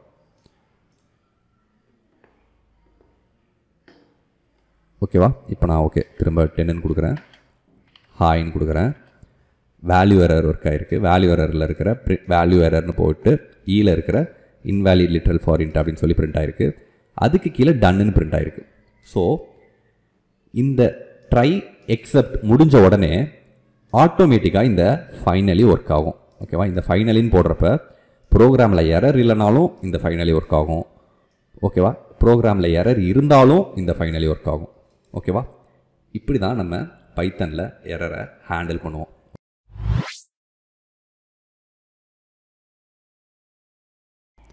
இந்த வீடியோவில் ஃபைல் ஹேண்ட்லிங் பற்றி பார்க்க போகிறோம் அதாவது ஒரு ஃபைலில் எப்படி டேட்டாவை ஸ்டோர் பண்ணுறது ஃபோல்டர் ஒன்று க்ரியேட் பண்ணுறேன் என்னோடய டாக்குமெண்ட்ஸில் ஃபைல்ஸ் அப்படின்னு சொல்லி ஒரு ஃபோல்டர் க்ரியேட் பண்ணுறேன் ஓகேவா என்னோட டாக்குமெண்ட்டில் ஃபைல்ஸ் அப்படின்னு ஒரு ஃபோல்டர் க்ரியேட் பண்ணுறேன் இந்த ஃபோல்டருக்கு உள்ள ஒரு டெக்ஸ்ட் ஃபைல் க்ரியேட் பண்ணுறேன் டெக்ஸ்ட் டாக்குமெண்ட் ஒரு டெக்ஸ்ட் டாக்குமெண்ட் க்ரியேட் பண்ணுறேன் இந்த டெக்ஸ்ட் டாக்குமெண்ட்டுக்கு ஃப்ரூட்ஸ் அப்படின்னு சொல்லி ஒரு பேர் வச்சுக்கிறேன். இப்போ இந்த டெக்ஸ்ட் டாக்குமெண்ட் ஓப்பன் பண்ணி இதில் apple orange okay apple orange grape அப்படின்னு சொல்லி ஒரு மூணு ஃப்ரூட்டோட நேம் வச்சிட்டேன். ஓகேவா ஆப்பிள் ஆரஞ்சு கிரேப் அப்படின்னு சொல்லி மூணு ஃப்ரூட்டோட நேம் வச்சிட்டேன்.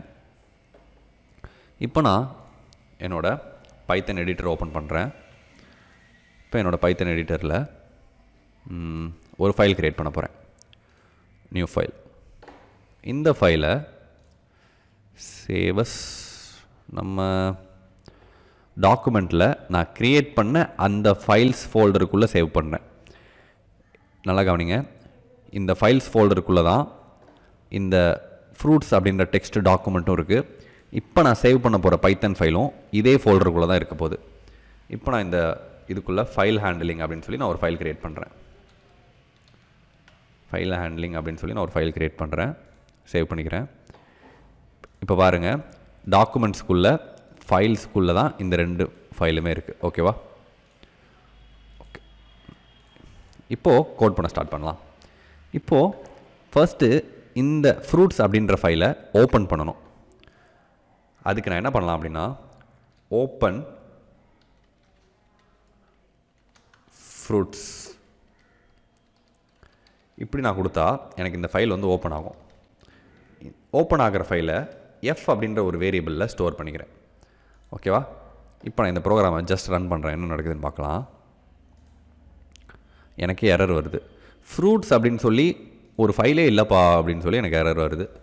ஆனால் ஃப்ரூட்ஸ் அப்படின்னு சொல்லி ஃபைல் இருக்குது நம்ம என்ன பண்ணல அப்படின்னா நீங்கள் எந்த ஃபைல் ஓப்பன் பண்ணாலுமே அதோட எக்ஸ்டென்ஷன் அதாவது இப்போ இந்த ஃப்ரூட்டோட ஃபைல் பார்த்தீங்க அப்படின்னா இதோட ப்ராப்பர்ட்டிஸ் போய் நான் பார்த்தா எனக்கு டாட் டிஎக்ஸ்டி இது வந்து ஒரு டெக்ஸ்ட் டாக்குமெண்ட் டாட் டிஎக்ஸ்டி அப்படின்னு இருக்குது ஸோ அந்த எக்ஸ்டென்ஷனை நான் இங்கே கொடுக்கணும். ஃப்ரூட்ஸ் டாட் டிஎக்ஸ்டி இப்போ நான் இதை ரன் பண்ணுறேன் இப்போ வந்து எனக்கு எந்த எரரும் வரல. ஆனால் எதுவுமே பிரிண்ட் ஆகலை. இந்த எஃப்க்குள்ளே என்ன ஸ்டோர் ஆகிருக்குன்னு சொல்லி பிரிண்ட் பண்ணி பார்க்கலாம். பிரிண்ட் எஃப் ஏதோ something name equal to fruits dot text mode equal to R இதனால் கவனிச்சுக்கோங்க மோட் ஈக்குவல் டு ஆர் சொல்கிறேன் இது என்னன்னு. என்கோடிங் ஈக்குவல் டு இப்படி கொடுத்துருக்கு. இப்போது உள்ளே இருக்கிற ஆக்சுவல் கண்டென்ட்டை நான் பார்க்கணும். அப்படின்னா எஃப் டாட் ரீட் அப்படின்ற ஃபங்க்ஷனை நான் கால் பண்ணால் இப்போ என்னால் உள்ளே இருக்கிறது எல்லாத்தையுமே ரீட் பண்ண முடியும். இப்போ நான் கண்டென்ட்னு ஒரு வேரியபிள் க்ரியேட் பண்ணி அந்த வேரியபிள்குள்ளே எஃப் டாட் ரீடோட அவுட்புட்டை போட போகிறேன் இப்போது இந்த கண்டென்ட்டை பிரிண்ட் பண்ணலாம்.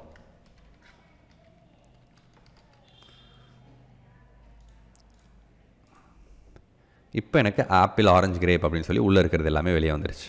ஓகேவா ஆப்பிள் ஆரஞ்சு கிரேப் அப்படின்னு சொல்லி உள்ளே இருக்கிறது எல்லாமே வெளியே வந்துருச்சு. சரி ஓகே இப்போ அடுத்து நான் என்ன பண்ண போகிறேன் பிரிண்ட் பண்ணதுக்கப்புறம் நான் உள்ளே ஏதாவது எழுதணும். ஓகேவா உள்ளே ஆல்ரெடி ஆப்பிள் ஆரஞ்சு கிரேப்புன்னு இருக்குது ஆப்பிள் ஆரஞ்சு கிரேப்புன்னு சொல்லியிருக்கு. இப்போ நான் இதுக்குள்ளே நான் ஏதாவது எழுதணும். ஓகேவா என்ன எழுத போகிறேன் எஃப் டாட் ரைட் உள்ளே ஏதாவது எழுதணும் அப்படின்னா எஃப் டாட் ரைட் ஃபைலை ஃபஸ்ட்டு க்ரியேட் பண்ணுறோம் ஓகேவா ஃபைலை ஃபஸ்ட்டு ரீ ஓப்பன் பண்ணுறோம் ஓகே ஃப்ரூட்ஸ்ன்ற ஃபைலை ஃபஸ்ட்டு ஓப்பன் பண்ணுறோம் அதுக்கப்புறம் அந்த ஃபைலை ரீட் பண்ணணும் அப்படின்னா எஃப் டாட் ரீட் அப்படின்னு சொல்லி போட்டால் இந்த ஃபைலை நம்மளால் ரீட் பண்ண முடியுது. ரீட் பண்ணுற வேல்யூவை கண்டென்ட் அப்படின்ற வேரியபிளில் ஸ்டோர் பண்ணி அதை பிரிண்ட் பண்ணுறேன் அடுத்து எஃப் டாட் ரைட் அப்படின்றப்ப இந்த ஃப்ரூட்ஸ் டாட் டெக்ஸ்ட்குள்ளே ஆல்ரெடி ஆப்பிள் ஆரஞ்சு கிரேப்னு இருக்குது அந்த டெக்ஸ்ட் ஃபைலுக்குள்ளே நான் ஏதாவது எழுதணும். அப்படின்றப்ப இப்போ நான் இங்கே வந்து அடுத்து பனானா அப்படின்னு சொல்லி நான் ரைட் பண்ணுறேன் இப்போ நான் இதை ரன் பண்ணுறப்ப எனக்கு என்ன வருது?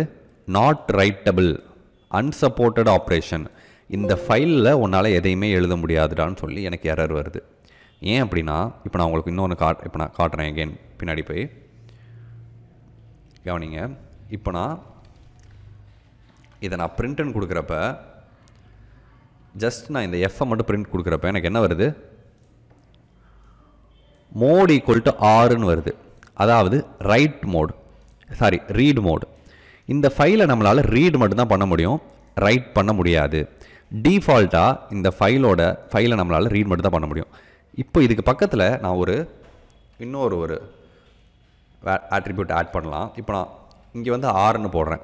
ஓகேவா இப்போ நான் ஆறுன்னு போட்டால் எனக்கு திரும்ப அதே தான் கிடைக்கும். ஆர் அப்படின்ற மோடில் ரைட் ரீட் மோடு இருக்குது இப்போ நான் இதிலே இந்த இடத்துல இப்போ நான் டபிள்யூன்னு போட்டால் இப்போது இதை நான் ரன் பண்ணுறேன் என்ன நடக்குதுன்னு பாருங்கள் இப்போ மோடு வந்து டபிள்யூன்னு இருக்குது டபிள்யூனா இப்போது okay. இப்போ மோடு வந்து டபிள்யூன்னு இருக்குது டபிள்யூ அப்படின்றப்ப இப்போ என்னால் ரைட் பண்ண முடியும். இப்போ என்னால் இந்த ஃபைலுக்குள்ளே ரைட் பண்ண முடியும். ஆனால் இப்போ நான் இதுக்குள்ளே எஃப் டாட் ரைட்டுன்னு போட்டு இதுக்குள்ளே இப்போ நான் பனானான்னு போடுறேன். எஃப் டாட் ரைட்டுன்னு போட்டு இதுக்குள்ளே இப்போ நான் பனானான்னு போடுறேன். இப்போ நான் இதை ரன் பண்ணுறேன் என்ன நடக்குதுன்னு பார்க்கலாம். அவுட்புட்டில் எதுவுமே பிரிண்ட் ஆகலை. ஓகேவா எஃப் டாட் ரைட் பனானான்னு போட்டேன். அவுட்புட்டில் எதுவுமே பிரிண்ட் ஆகலை. சரி நம்ம ஃபைலுக்குள்ளே ஏதாவது க்ரியேட் ஆகிருக்கான்னு சொல்லி நம்ம ஃபைலை ஓப்பன் பண்ணி பார்க்கலாம். இது ஆல்ரெடி கிரியேட் ஆனது. க்ளோஸ் பண்ணிக்கலாம். இப்போ நான் இந்த ஃபைலை ஓப்பன் பண்ணி பார்க்குறேன். இந்த ஃபைலுக்குள்ளே எதுவுமே இல்லை. மொத ஆப்பிள் நம்ம க்ரியேட் பண்ண அந்த மூணு ஃப்ரூட் ஆப்பிள் ஆரஞ்சு கிரேப் இருந்துச்சு. இப்போ நான் எஃப் டாட் ரைட் பனானான்னு கொடுத்துருக்கேன். நான் டைப் பண்ண பனானாவும் உள்ள இல்லை. இதுக்கு முன்னாடி இருந்த எந்த டேட்டாவுமே உள்ள இல்லை. ஏன் அப்படின்னா நம்ம ஃபைலை ஓப்பன் பண்ணோம் அப்படின்னா ஃபைலை நம்ம க்ளோஸ் பண்ணணும். அப்போ தான் நம்ம ரைட்டில் எழுதுறது அந்த ஃபைலில் ரிஃப்ளெக்ட் ஆகும். இப்போ நான் எஃப் டாட் க்ளோஸ் கொடுக்குறேன். இப்போ நான் எஃப் டாட் க்ளோஸ் கொடுக்குறேன்.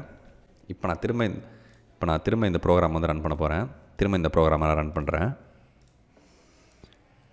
எந்த அவுட்புட்டும் வரல.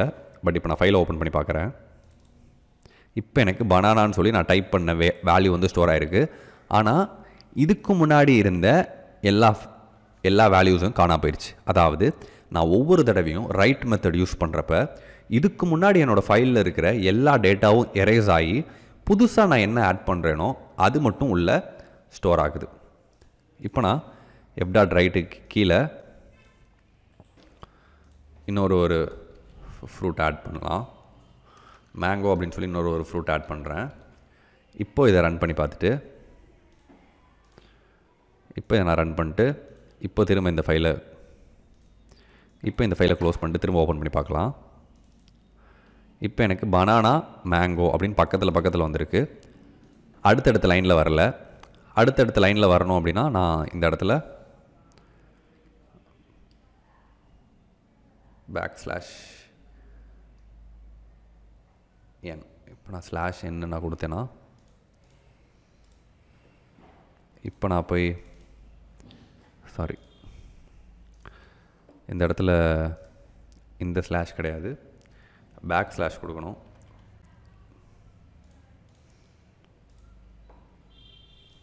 இப்போ போய் பார்த்தேன் அப்படின்னா பனானா மேலே இருக்குது மேங்கோ கீழே இருக்குது இப்போ நான் உள்ள ஃபைலுக்குள்ளே பனானா மேங்கோ அப்படின்னு நம்ம ரைட் பண்ணதை நான் எகெயின் ரீட் பண்ணி பார்க்க போகிறேன் எஃப் டாட் ரீட் எகெயின் நான் ரீட் பண்ணி பார்க்குறேன். இப்போ நான் இந்த ப்ரோக்ராம் ரன் பண்ணுறப்ப எனக்கு எரர் வருது. Input output operation on closed file file ஒரு தடவை க்ளோஸ் ஆயிடுச்சுன்னா அதுக்கப்புறம் அந்த ஃபைலை நம்மளால் ரீட் பண்ணவும் முடியாது ரைட் பண்ணவும் முடியாது. ஸோ எகெயின் நான் வந்து இப்போ இந்த ஃபைலை ரீட் பண்ணணும் அப்படின்னா நான் திரும்பவும் இப்போது இந்த ஃபைலை நான் ஓப்பன் பண்ணணும். இப்போ நான் எஃப் டாட் ரீடுன்னு சொல்லி கொடுக்குறேன். எஃப் டாட் ரீடுன்னு சொல்லி நான் கொடுக்குறேன். இப்போ நான் இந்த ப்ரோக்ராம் ரன் பண்ணுறப்ப திரும்பவும் எரர் வருது. நாட் ரீடபிள் அன்சப்போர்ட்டட் ஆப்ரேஷன் இப்போ நம்ம என்ன சொல்லியிருக்கோம்? இந்த ஃபைலோட மோட் என்னவாக இருக்குது டபிள்யூன்னு இருக்குது ஓகேவா இந்த ஃபைலோட மோட் டபிள்யூன் இருக்குது அதாவது ரைட் மட்டும்தான் இருக்குது இப்போ நான் இதை பிரிண்ட் பண்ணி காட்டுறேன். பிரிண்ட் எஃப்னு நான் கொடுக்குறப்ப மோட் பார்த்தீங்கன்னா டபிள்யூ ரைட் மோடில் மட்டும்தான் இருக்குது இப்போ நான் திரும்ப இதை ரீட் மோடில் மாற்றலாம் அதுக்கு பதிலாக இப்போ நான் என்ன பண்ணலாம் அப்படின்னா ஆர் ப்ளஸ்ன்னு சொல்லி நான் போடுறேன்.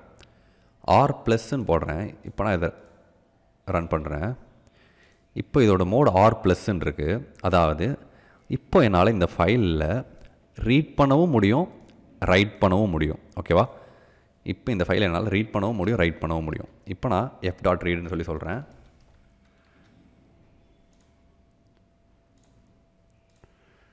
இப்போ நான் இந்த ப்ரோக்ராம் ரன் பண்ணுறப்ப என்னால் ரீட் பண்ண முடியுது. பனானா மேங்கோ அப்படின்னு சொல்லி. ஓகேவா ஆனால் ஒன்று கவனிச்சிங்க அப்படின்னா ஃபஸ்ட்டு என்ன இருந்துச்சு? ஃபஸ்ட்டு நம்மளோட ப்ரோக்ராமில் ஆப்பிள் ஆரஞ்சு கிரேப் இருந்துச்சு. நம்ம ரைட் பண்ணுறப்ப ஆல்ரெடி ஃபைலுக்குள்ளே இருந்த டேட்டா ஆல்ரெடி ஃபைலுக்குள்ளே இருந்த டேட்டா எரேஸ் ஆகிட்டு அதுக்கு மேலே இந்த பனானாவும் மேங்கோவும் வந்திருக்கு. இப்போ நான் இந்த ப்ரோக்ராமில் இப்போ நான் இந்த ப்ரோக்ராமை இப்போ நான் திரும்ப இந்த இடத்துல பனானா மேங்கோவை எடுத்துகிட்டு இப்போ நான் இதுக்குள்ளே ஹாய் பாயின்னு போடுறேன்னு வைங்களேன். இப்போ நான் இந்த ப்ரோக்ராமை ரன் பண்ணுறப்ப நான் திரும்ப இந்த ஃபைலை ஓப்பன் பண்ணி பார்க்குறேன். ஏற்கனவே இருந்த பனானா மேங்கோ போயிருச்சு இப்போ எனக்கு ஹாய் பாய்னு வந்திருக்கு. ஓகேவா அப்போ நம்ம ரைட் மெத்தட் யூஸ் பண்ணுறப்ப ஆல்ரெடி இருக்கிற டேட்டா போயிடுது ஆல்ரெடி இருக்கிற டேட்டா போயிட்டு புதுசாக நம்ம எழுதுகிற டேட்டா அதில் ஓவர் ரைட் ஆகுது. ஓகேவா ஓவர் ரைட் ஆகுது. இப்போ நான் இந்த இடத்துல டபிள்யூ எடுத்துகிட்டு ஏ போட்டேன் அப்படின்னா அப்பண்டுன்னு அர்த்தம். அதாவது ஆல்ரெடி இருக்கிற டேட்டாவில் நம்மளோட புது டேட்டா போய் ஆட் ஆகிக்கும் இப்போது ஹாய் பாய்னு இருக்குது இப்போ நான் மெத்தட் வந்து என்ன கொடுத்துருக்கேன்? ரைட் மெத்தட் இல்லாமல் ஏன்னு சொல்லி அப்பன் மெத்தட் கொடுத்துருக்கேன். மோட் ஏ அப்படின்னா அப்பண்ட் ஆல்ரெடி இருக்கிற டேட்டாவோட அப்பண்ட் ஆகிக்கும் இப்போ நான் இந்த ஹாய் பாய்க்கு பதிலாக இப்போ நான் இங்கே ஆப்பிள் ஆரஞ்சுன்னு கொடுக்குறேன். ஆப்பிள் ஆரஞ்சுன்னு கொடுக்குறேன். இங்கேயும் நம்ம பேக் ஸ்லாஷ் என் போட்டுக்கலாம். அப்போ தான் அடுத்தடுத்த லைனுக்கு வரும். ஓகேவா இப்போ நான் இந்த ப்ரோக்ராமை ரன் பண்ணுறப்ப இந்த ஹாயும் பாயும் எனக்கு கிளியர் ஆகாது. இந்த ஹாய் பாய் அப்படியே இருக்கும். அது கூடவே எனக்கு இந்த ஆப்பிளும் ஆரஞ்சும் அந்த ஃபைலில் ஆட் ஆகிருக்கும் இப்போ நான் ரன் பண்ணி காட்டுறேன் பாருங்களேன். அவுட்புட் பாருங்கள் ஹாய் அப்படியே இருக்குது பாய் அப்படியே இருக்குது ஆப்பிளும் ஆரஞ்சும் சேர்ந்துருக்கு. இப்போ நான் இந்த ஃபைல் ஓப்பன் பண்ணி காட்டுறேன். ஹாய் இருக்குது பாய் இருக்குது பட் நம்ம புதுசாக ஆட் பண்ண ஆப்பிளும் ஆரஞ்சும் அது கூடவே ஆட் ஆகிருக்கு இது இ- இப்படி தான் நம்ம அப்பன் பண்ணுவோம் ஓகேவா இன்னொரு மெத்தட் இதில் என்ன அப்படின்னா நான் ரீடுன்னு மொத்தமாக சொல்கிறேன் ஒவ்வொரு லைனாக நான் ரீட் பண்ணணும் அப்படின்னா நான் ரீட் லைனுன்னு நான் பிரிண்ட் பண்ணேன் அப்படின்னா அந்த ஃபைலில் ஃபஸ்ட் லைன் மட்டும் எனக்கு பிரிண்ட் ஆகும். அதாவது இந்த ஃபைலில் ஹாய் மட்டும் எனக்கு பிரிண்ட் ஆகும். நான் ரீட் லை லைன்னு கொடுத்தேன்னா. இப்போ பாருங்கள் இப்போ நான் இந்த ப்ரோக்ராம் ரன் பண்ணுறேன் ஹாய் அப்படின்னு சொல்லி ஃபஸ்ட் லைன் மட்டும் எனக்கு பிரிண்ட் ஆகிருக்கு ஓகேவா இதுதான் ஃபைல் ஹேண்ட்லிங் இப்படி தான் நம்ம ஃபைலை ஓப்பன் பண்ணி ஃபைலில் நம்ம ரைட் பண்ண முடியும். நம்ம இப்படி தான் ஃபைலில் ரீட் பண்ண முடியும். So guys we are at the last video of the series இந்த சீரீஸ்லேயே இதுதான் கடைசி வீடியோவாக இருக்க போகுது. ஸோ இந்த பைத்தன் சீரீஸில் நீங்கள் நிறையா கற்றுக்கிட்டீங்க பைத்தன் எப்படி கோட் பண்ணுறது அப்படின்னு சொல்லி எல்லாமே கற்றுக்கிட்டீங்க உங்களுக்கு யூஸ்ஃபுல்லாக இருந்துச்சு அப்படின்னு சொன்னால் ப்ளீஸ் இன்ஸ்டாகிராமில் எங்களுக்கு ஒரு மெசேஜ் பண்ணுங்கள் அது இன்னும் நல்ல நிறைய வீடியோஸ் மேக் பண்ணுறதுக்கு எங்களுக்கு ஹெல்ப்ஃபுல்லாக இருக்கும்.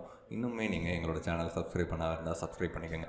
அடுத்து என்னென்ன இந்த மாதிரி டியூட்டோரியல் வேணும் அப்படின்னு சொல்லி கமெண்ட் செக்ஷனில் எங்களுக்கு தெரியப்படுத்துங்க. Thank you happy learning